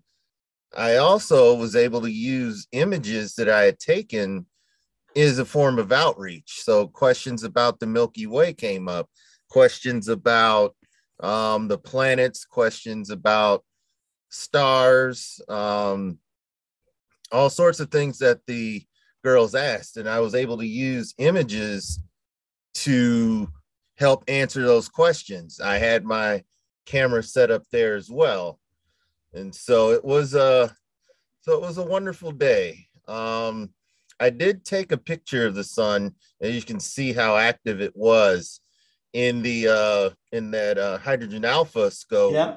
You saw Oh, a little more detail. There was a prominence about here on the sun that was very visible. I didn't uh, hook. I haven't hooked it up the camera up to that uh, H alpha scope that's on the to do list. Well, at the same time, the moon was also out, so some of the girls got to see the moon through. I had a spotting scope out there, and I also took a picture of that. So here we are at last quarter in a cloudy sky and I took this picture. Some of the girls got to see the moon, although it was a little fainter than this. Um, but I was able to track it um, using the other. I have an, I had another little tracker and a small spotting scope, and so for a while there were two objects we were able to look at.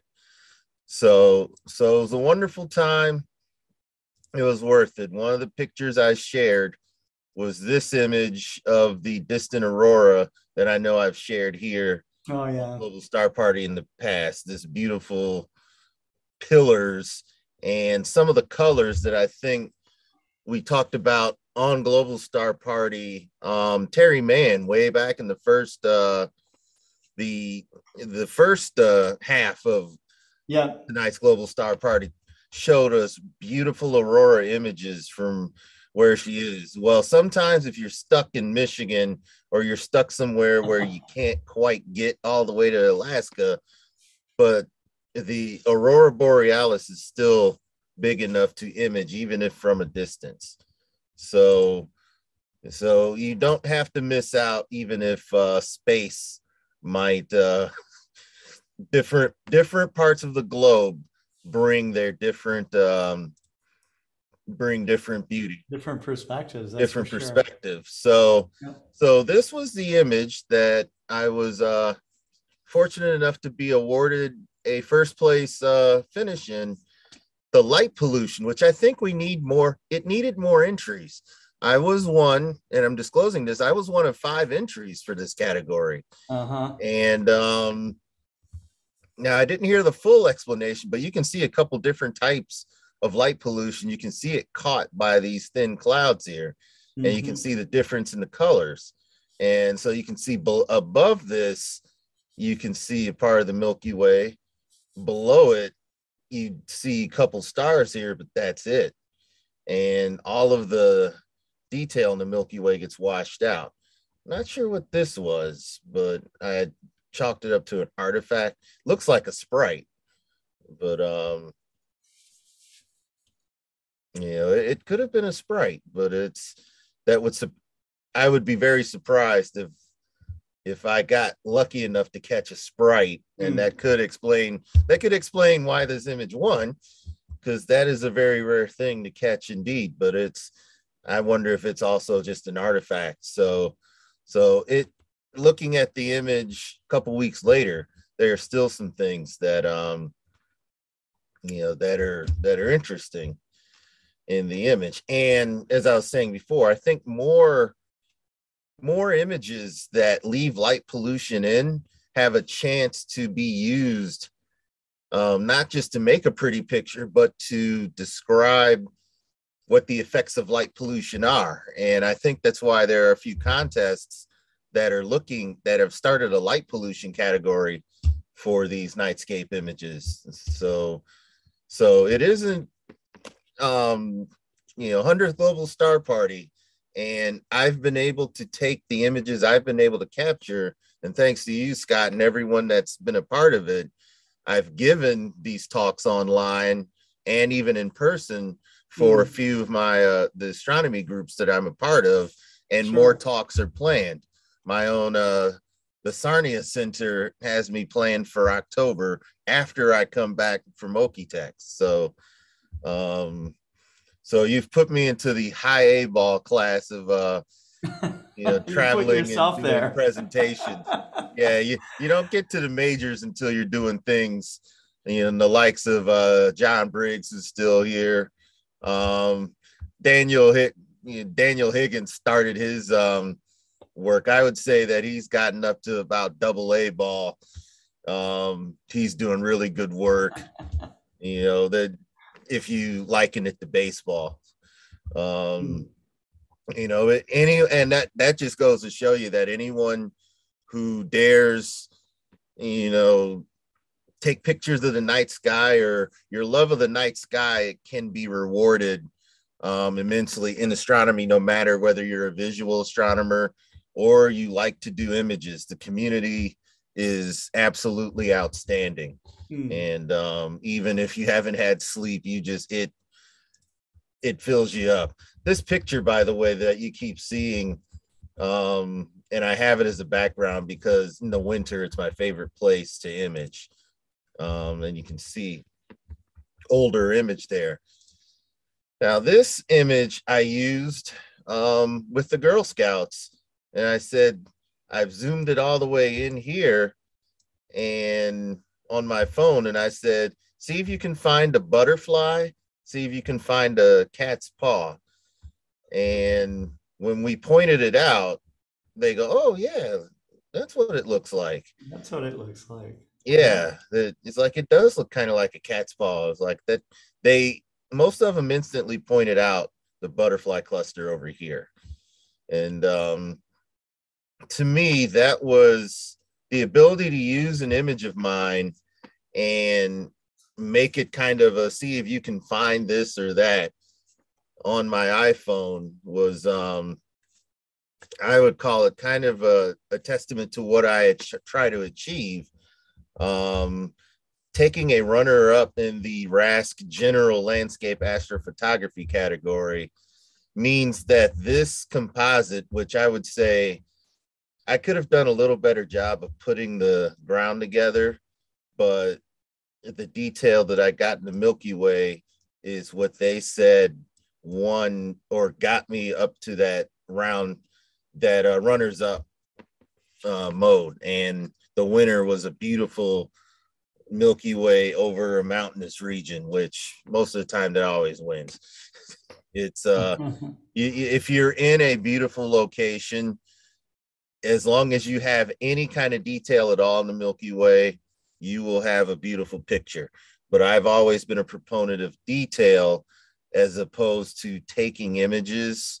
And you, know, you can take your images you can post them online. I post mine and um, see how many likes you get see how many people enjoy seeing the images. But more and more like i told uh, dr daniel bart barth um, the feeling of actually taking the images and doing outreach with them surpasses the whole internet likes and you know notoriety Absolutely. and that that really it humbles me and it grounds me which is why instead of being upset or you know thinking well if i'd have made this cleaner i would have won first place Right. no they this is what they liked and this is what i like. Um Yeah, Adrian. I mean, when I when I think of uh, uh, George Ellery Hale, uh, he understood that uh, astrophotography was what was going to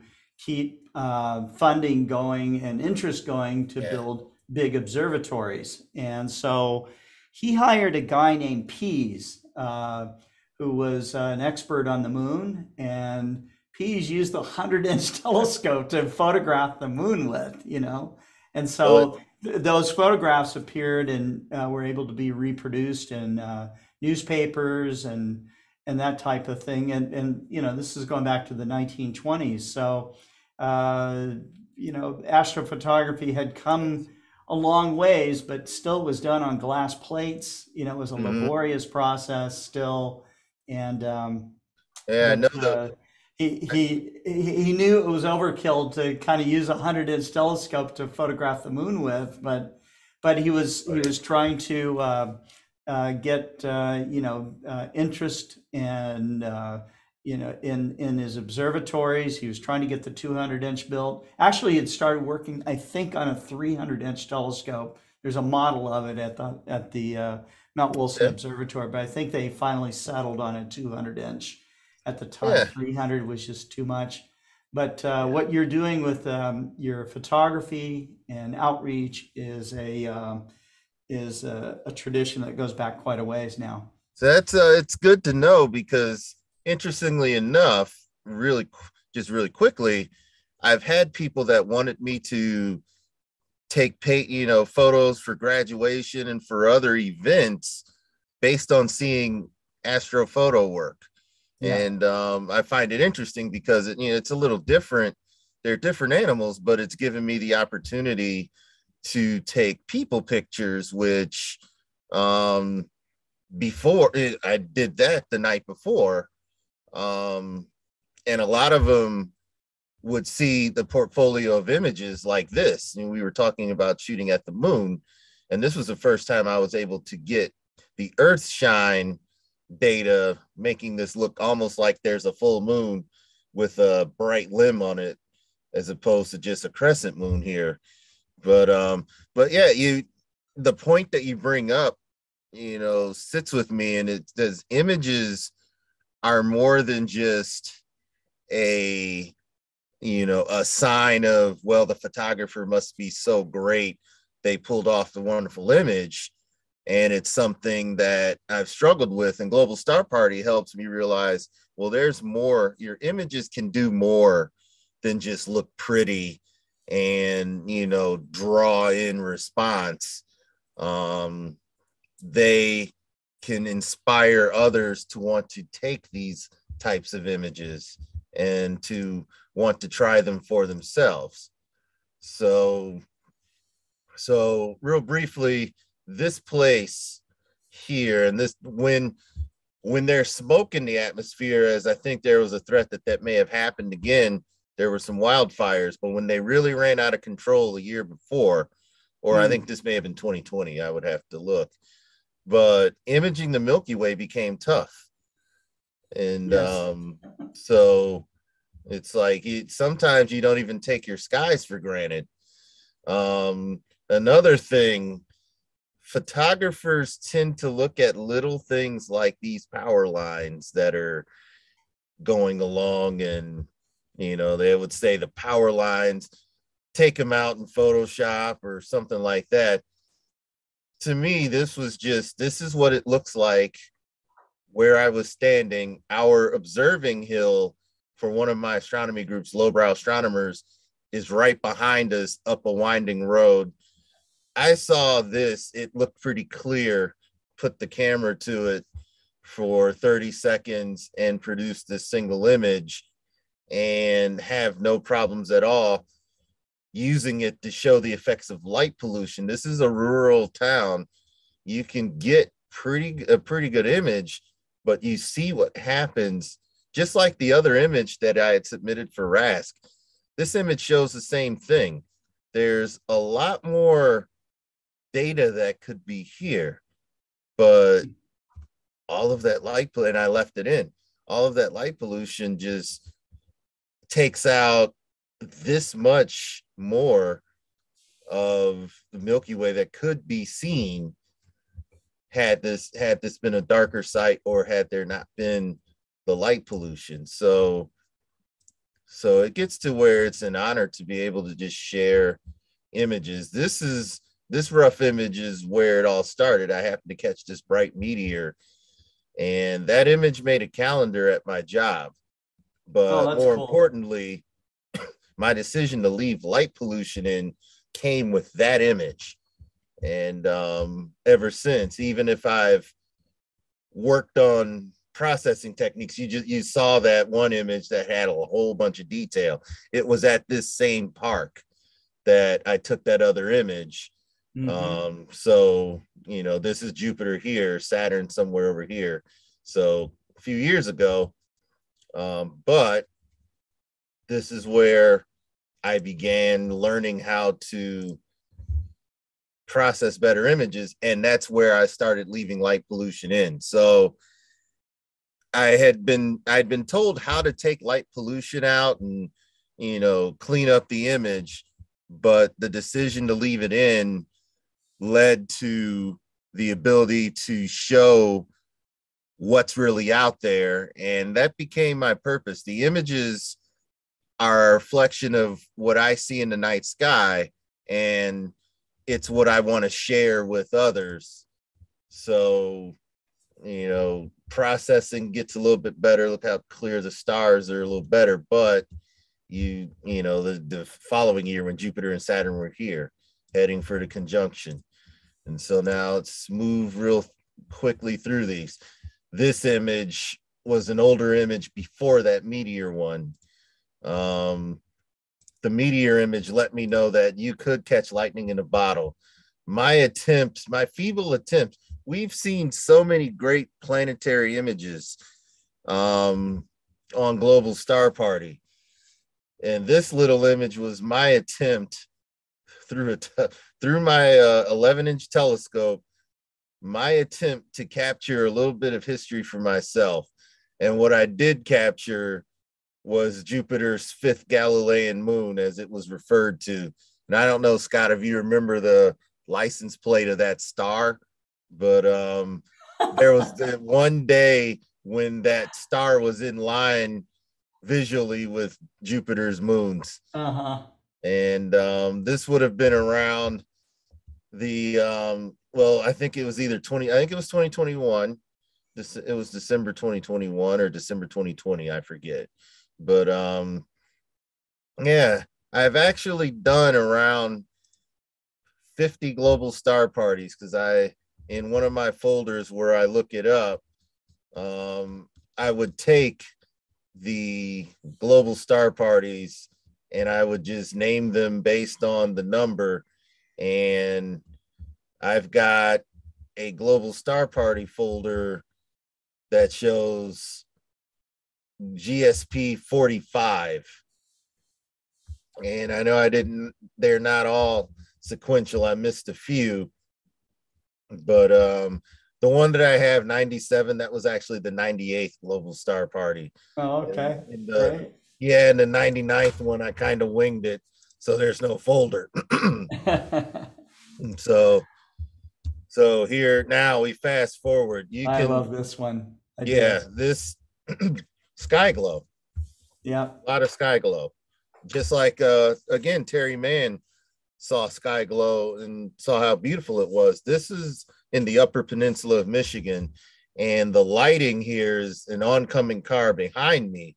So after Mhm. taking this photo, I made sure to hightail it off of that road.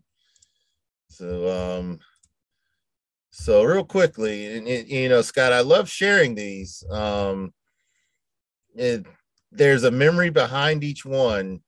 Sure. David said he really loved the way that this photo was was set up, and although I've taken some slightly clearer pictures of Orion in the past, I was moved by David's words when he when he sees this picture, and it just encouraged me to keep right on doing the type of landscape astrophotography that I do. Now I'm hoping to improve on this image when I get to Okie-Tex, and I should see a very similar site because I think when we're going to be there, the um, zodiacal light will be present, and this part of the Milky Way when Orion rises in the morning. Mhm. Um, my plan is to um, do at least one all nighter so I can watch the sky roll ahead, of, roll behind Uh, me. that would be cool. It'd be neat, neat to take- see some movies or time lapse stuff. Yeah, and I do want to do a couple of time lapses. I've Yep. I've been encouraged to do a couple. I'd love to do a shot like this at Okie-Tex where the skies are even darker. See how long I can get a Milky Way shot with this nautical and then civil dawn approaching. Mhm. And um, similar to Jason Guenzel's image, he was able to get, you know, in Hawaii, um, he had such a detailed core of the Milky Way, and you know, he was able to get both bulges. Um, both sides of the bulge, Mhm. and the sun was rising. I think he was. I would say he was probably nearing civil dawn, and could still see all of that data. So I'm looking forward to taking an image like that as well. Um, this image, sorry about that. I probably should have muted, but um, this image um, is proof that if you just aim north, if you're far enough north to see the northern lights, aim north and see what you'll get. All I was doing was deciding that okay, it's time to view the Big Dipper. I at least want the big and the little dipper in a photo. And when I looked at it, I realized I had other mm-hmm. colors in here. And I this was with one of my cameras, and I took the same picture with the unmodded camera to make sure it wasn't just picking up other sky glow. And we looked at it and said, nope, that is Aurora. So the other neat thing is this eagle, which Yeah, it's I. I was going to use a different bird image to close it out, but the eagle snuck in. Um, oh, he snuck in. yeah. Yeah. And I would have to what I'll do is I'll just keep going here, but um let's we'll go with the slanted Milky Way shots that tended to be my uh something that I kept working on. Um I ended up getting light from M51 in that other photo. And it, it's amazing to see light from galaxies that far away with a 16 millimeter lens. Sure. And um, so the evolution of the slanted photos, we'll we'll start going. We'll go through that.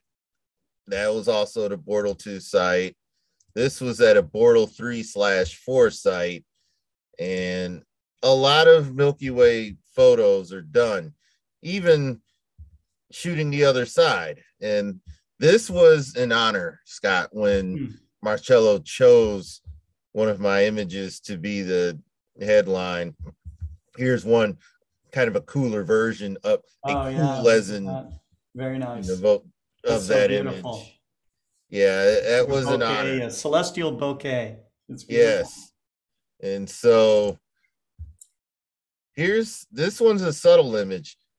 I wanted to shoot the Milky Way here and have it come up here in the dark with the uh, waterfall. Notice it's winter, so pretty harsh conditions.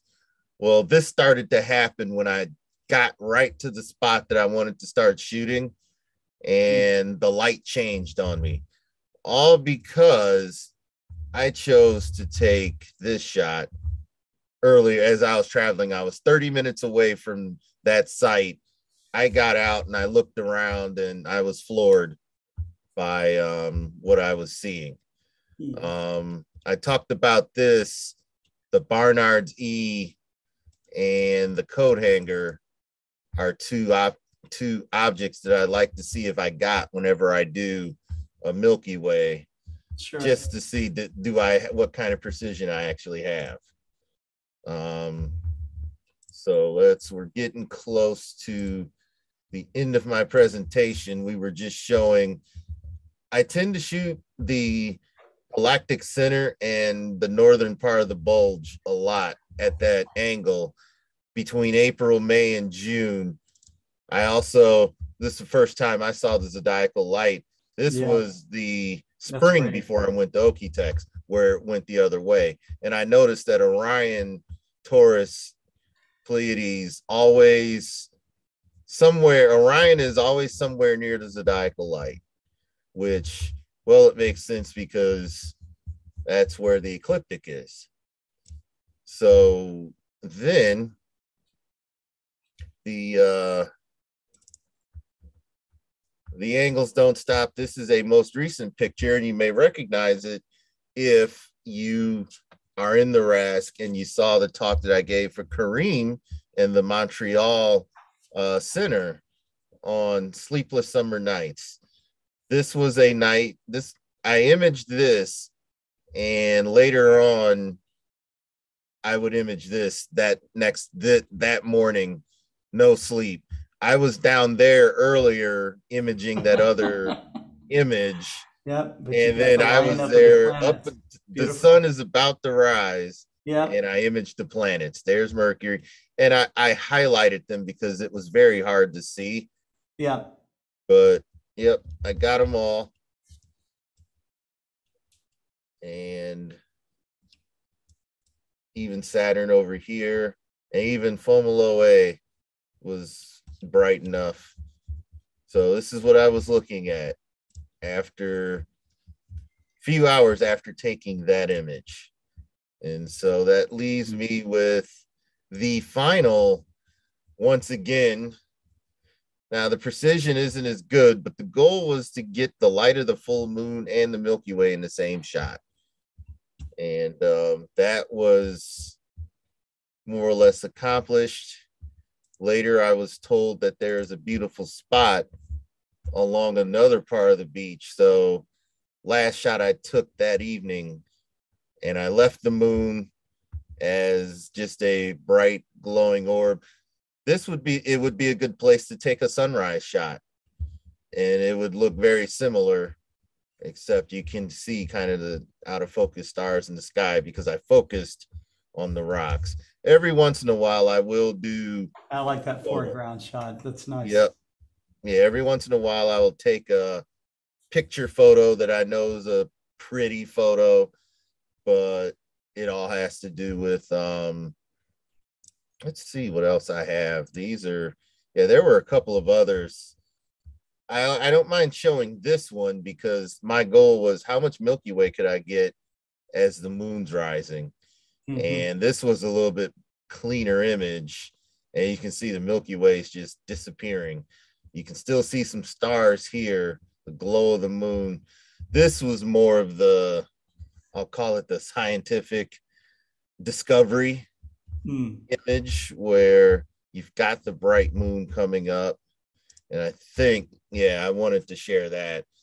That was my that's my best composite image of what the moon looks like to the mm. naked eye mm-hmm. over as it's rising over the lake. So really like that one. And um so this is I'll end with an on the wing of a great blue heron in shadow. And nice. This is may be considered a good image. You can't always see what's there.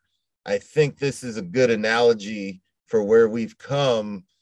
Amateur astronomers learning new techniques to see more of what's there, where we've come from Hubble to now James Webb, um, we start out seeing this and knowing we know it's a heron, we know the shape, and we know that's a tree, but with a little bit better instrumentation, you actually see more detail of the heron in the tree. Now, if we if I acquire the data better, then then it, then it gets even better than that.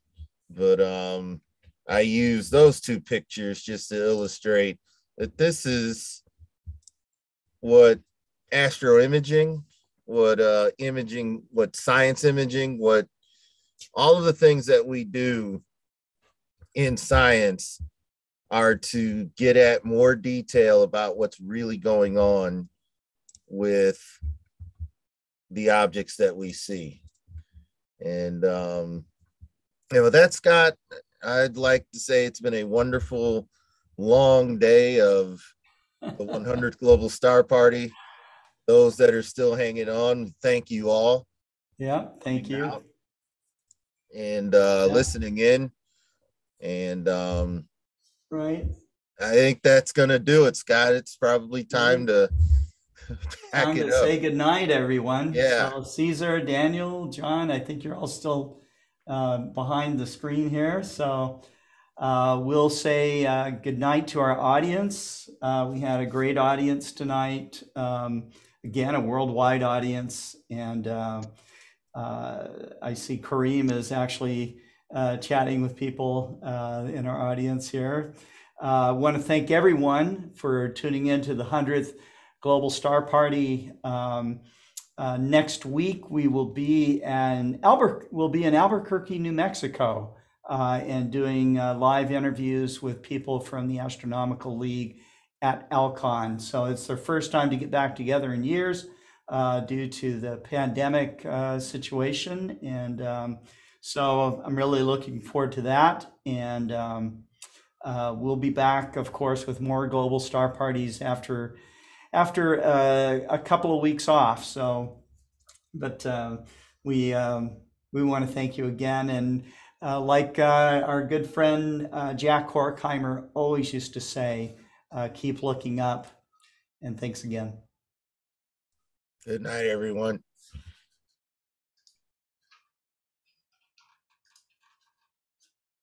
Hello, everyone. I would like to congratulate Scott Roberts and all the other participants of the Global Star Party on this, the 100th Global Star Party. I think this is a wonderful achievement, and may the next 100 be just as impressive as the first 100 has been. As William Blake, wrote, to see the world in a grain of sand and a heaven in a wild flower. Hold infinity in the palm of your hand and eternity in an hour.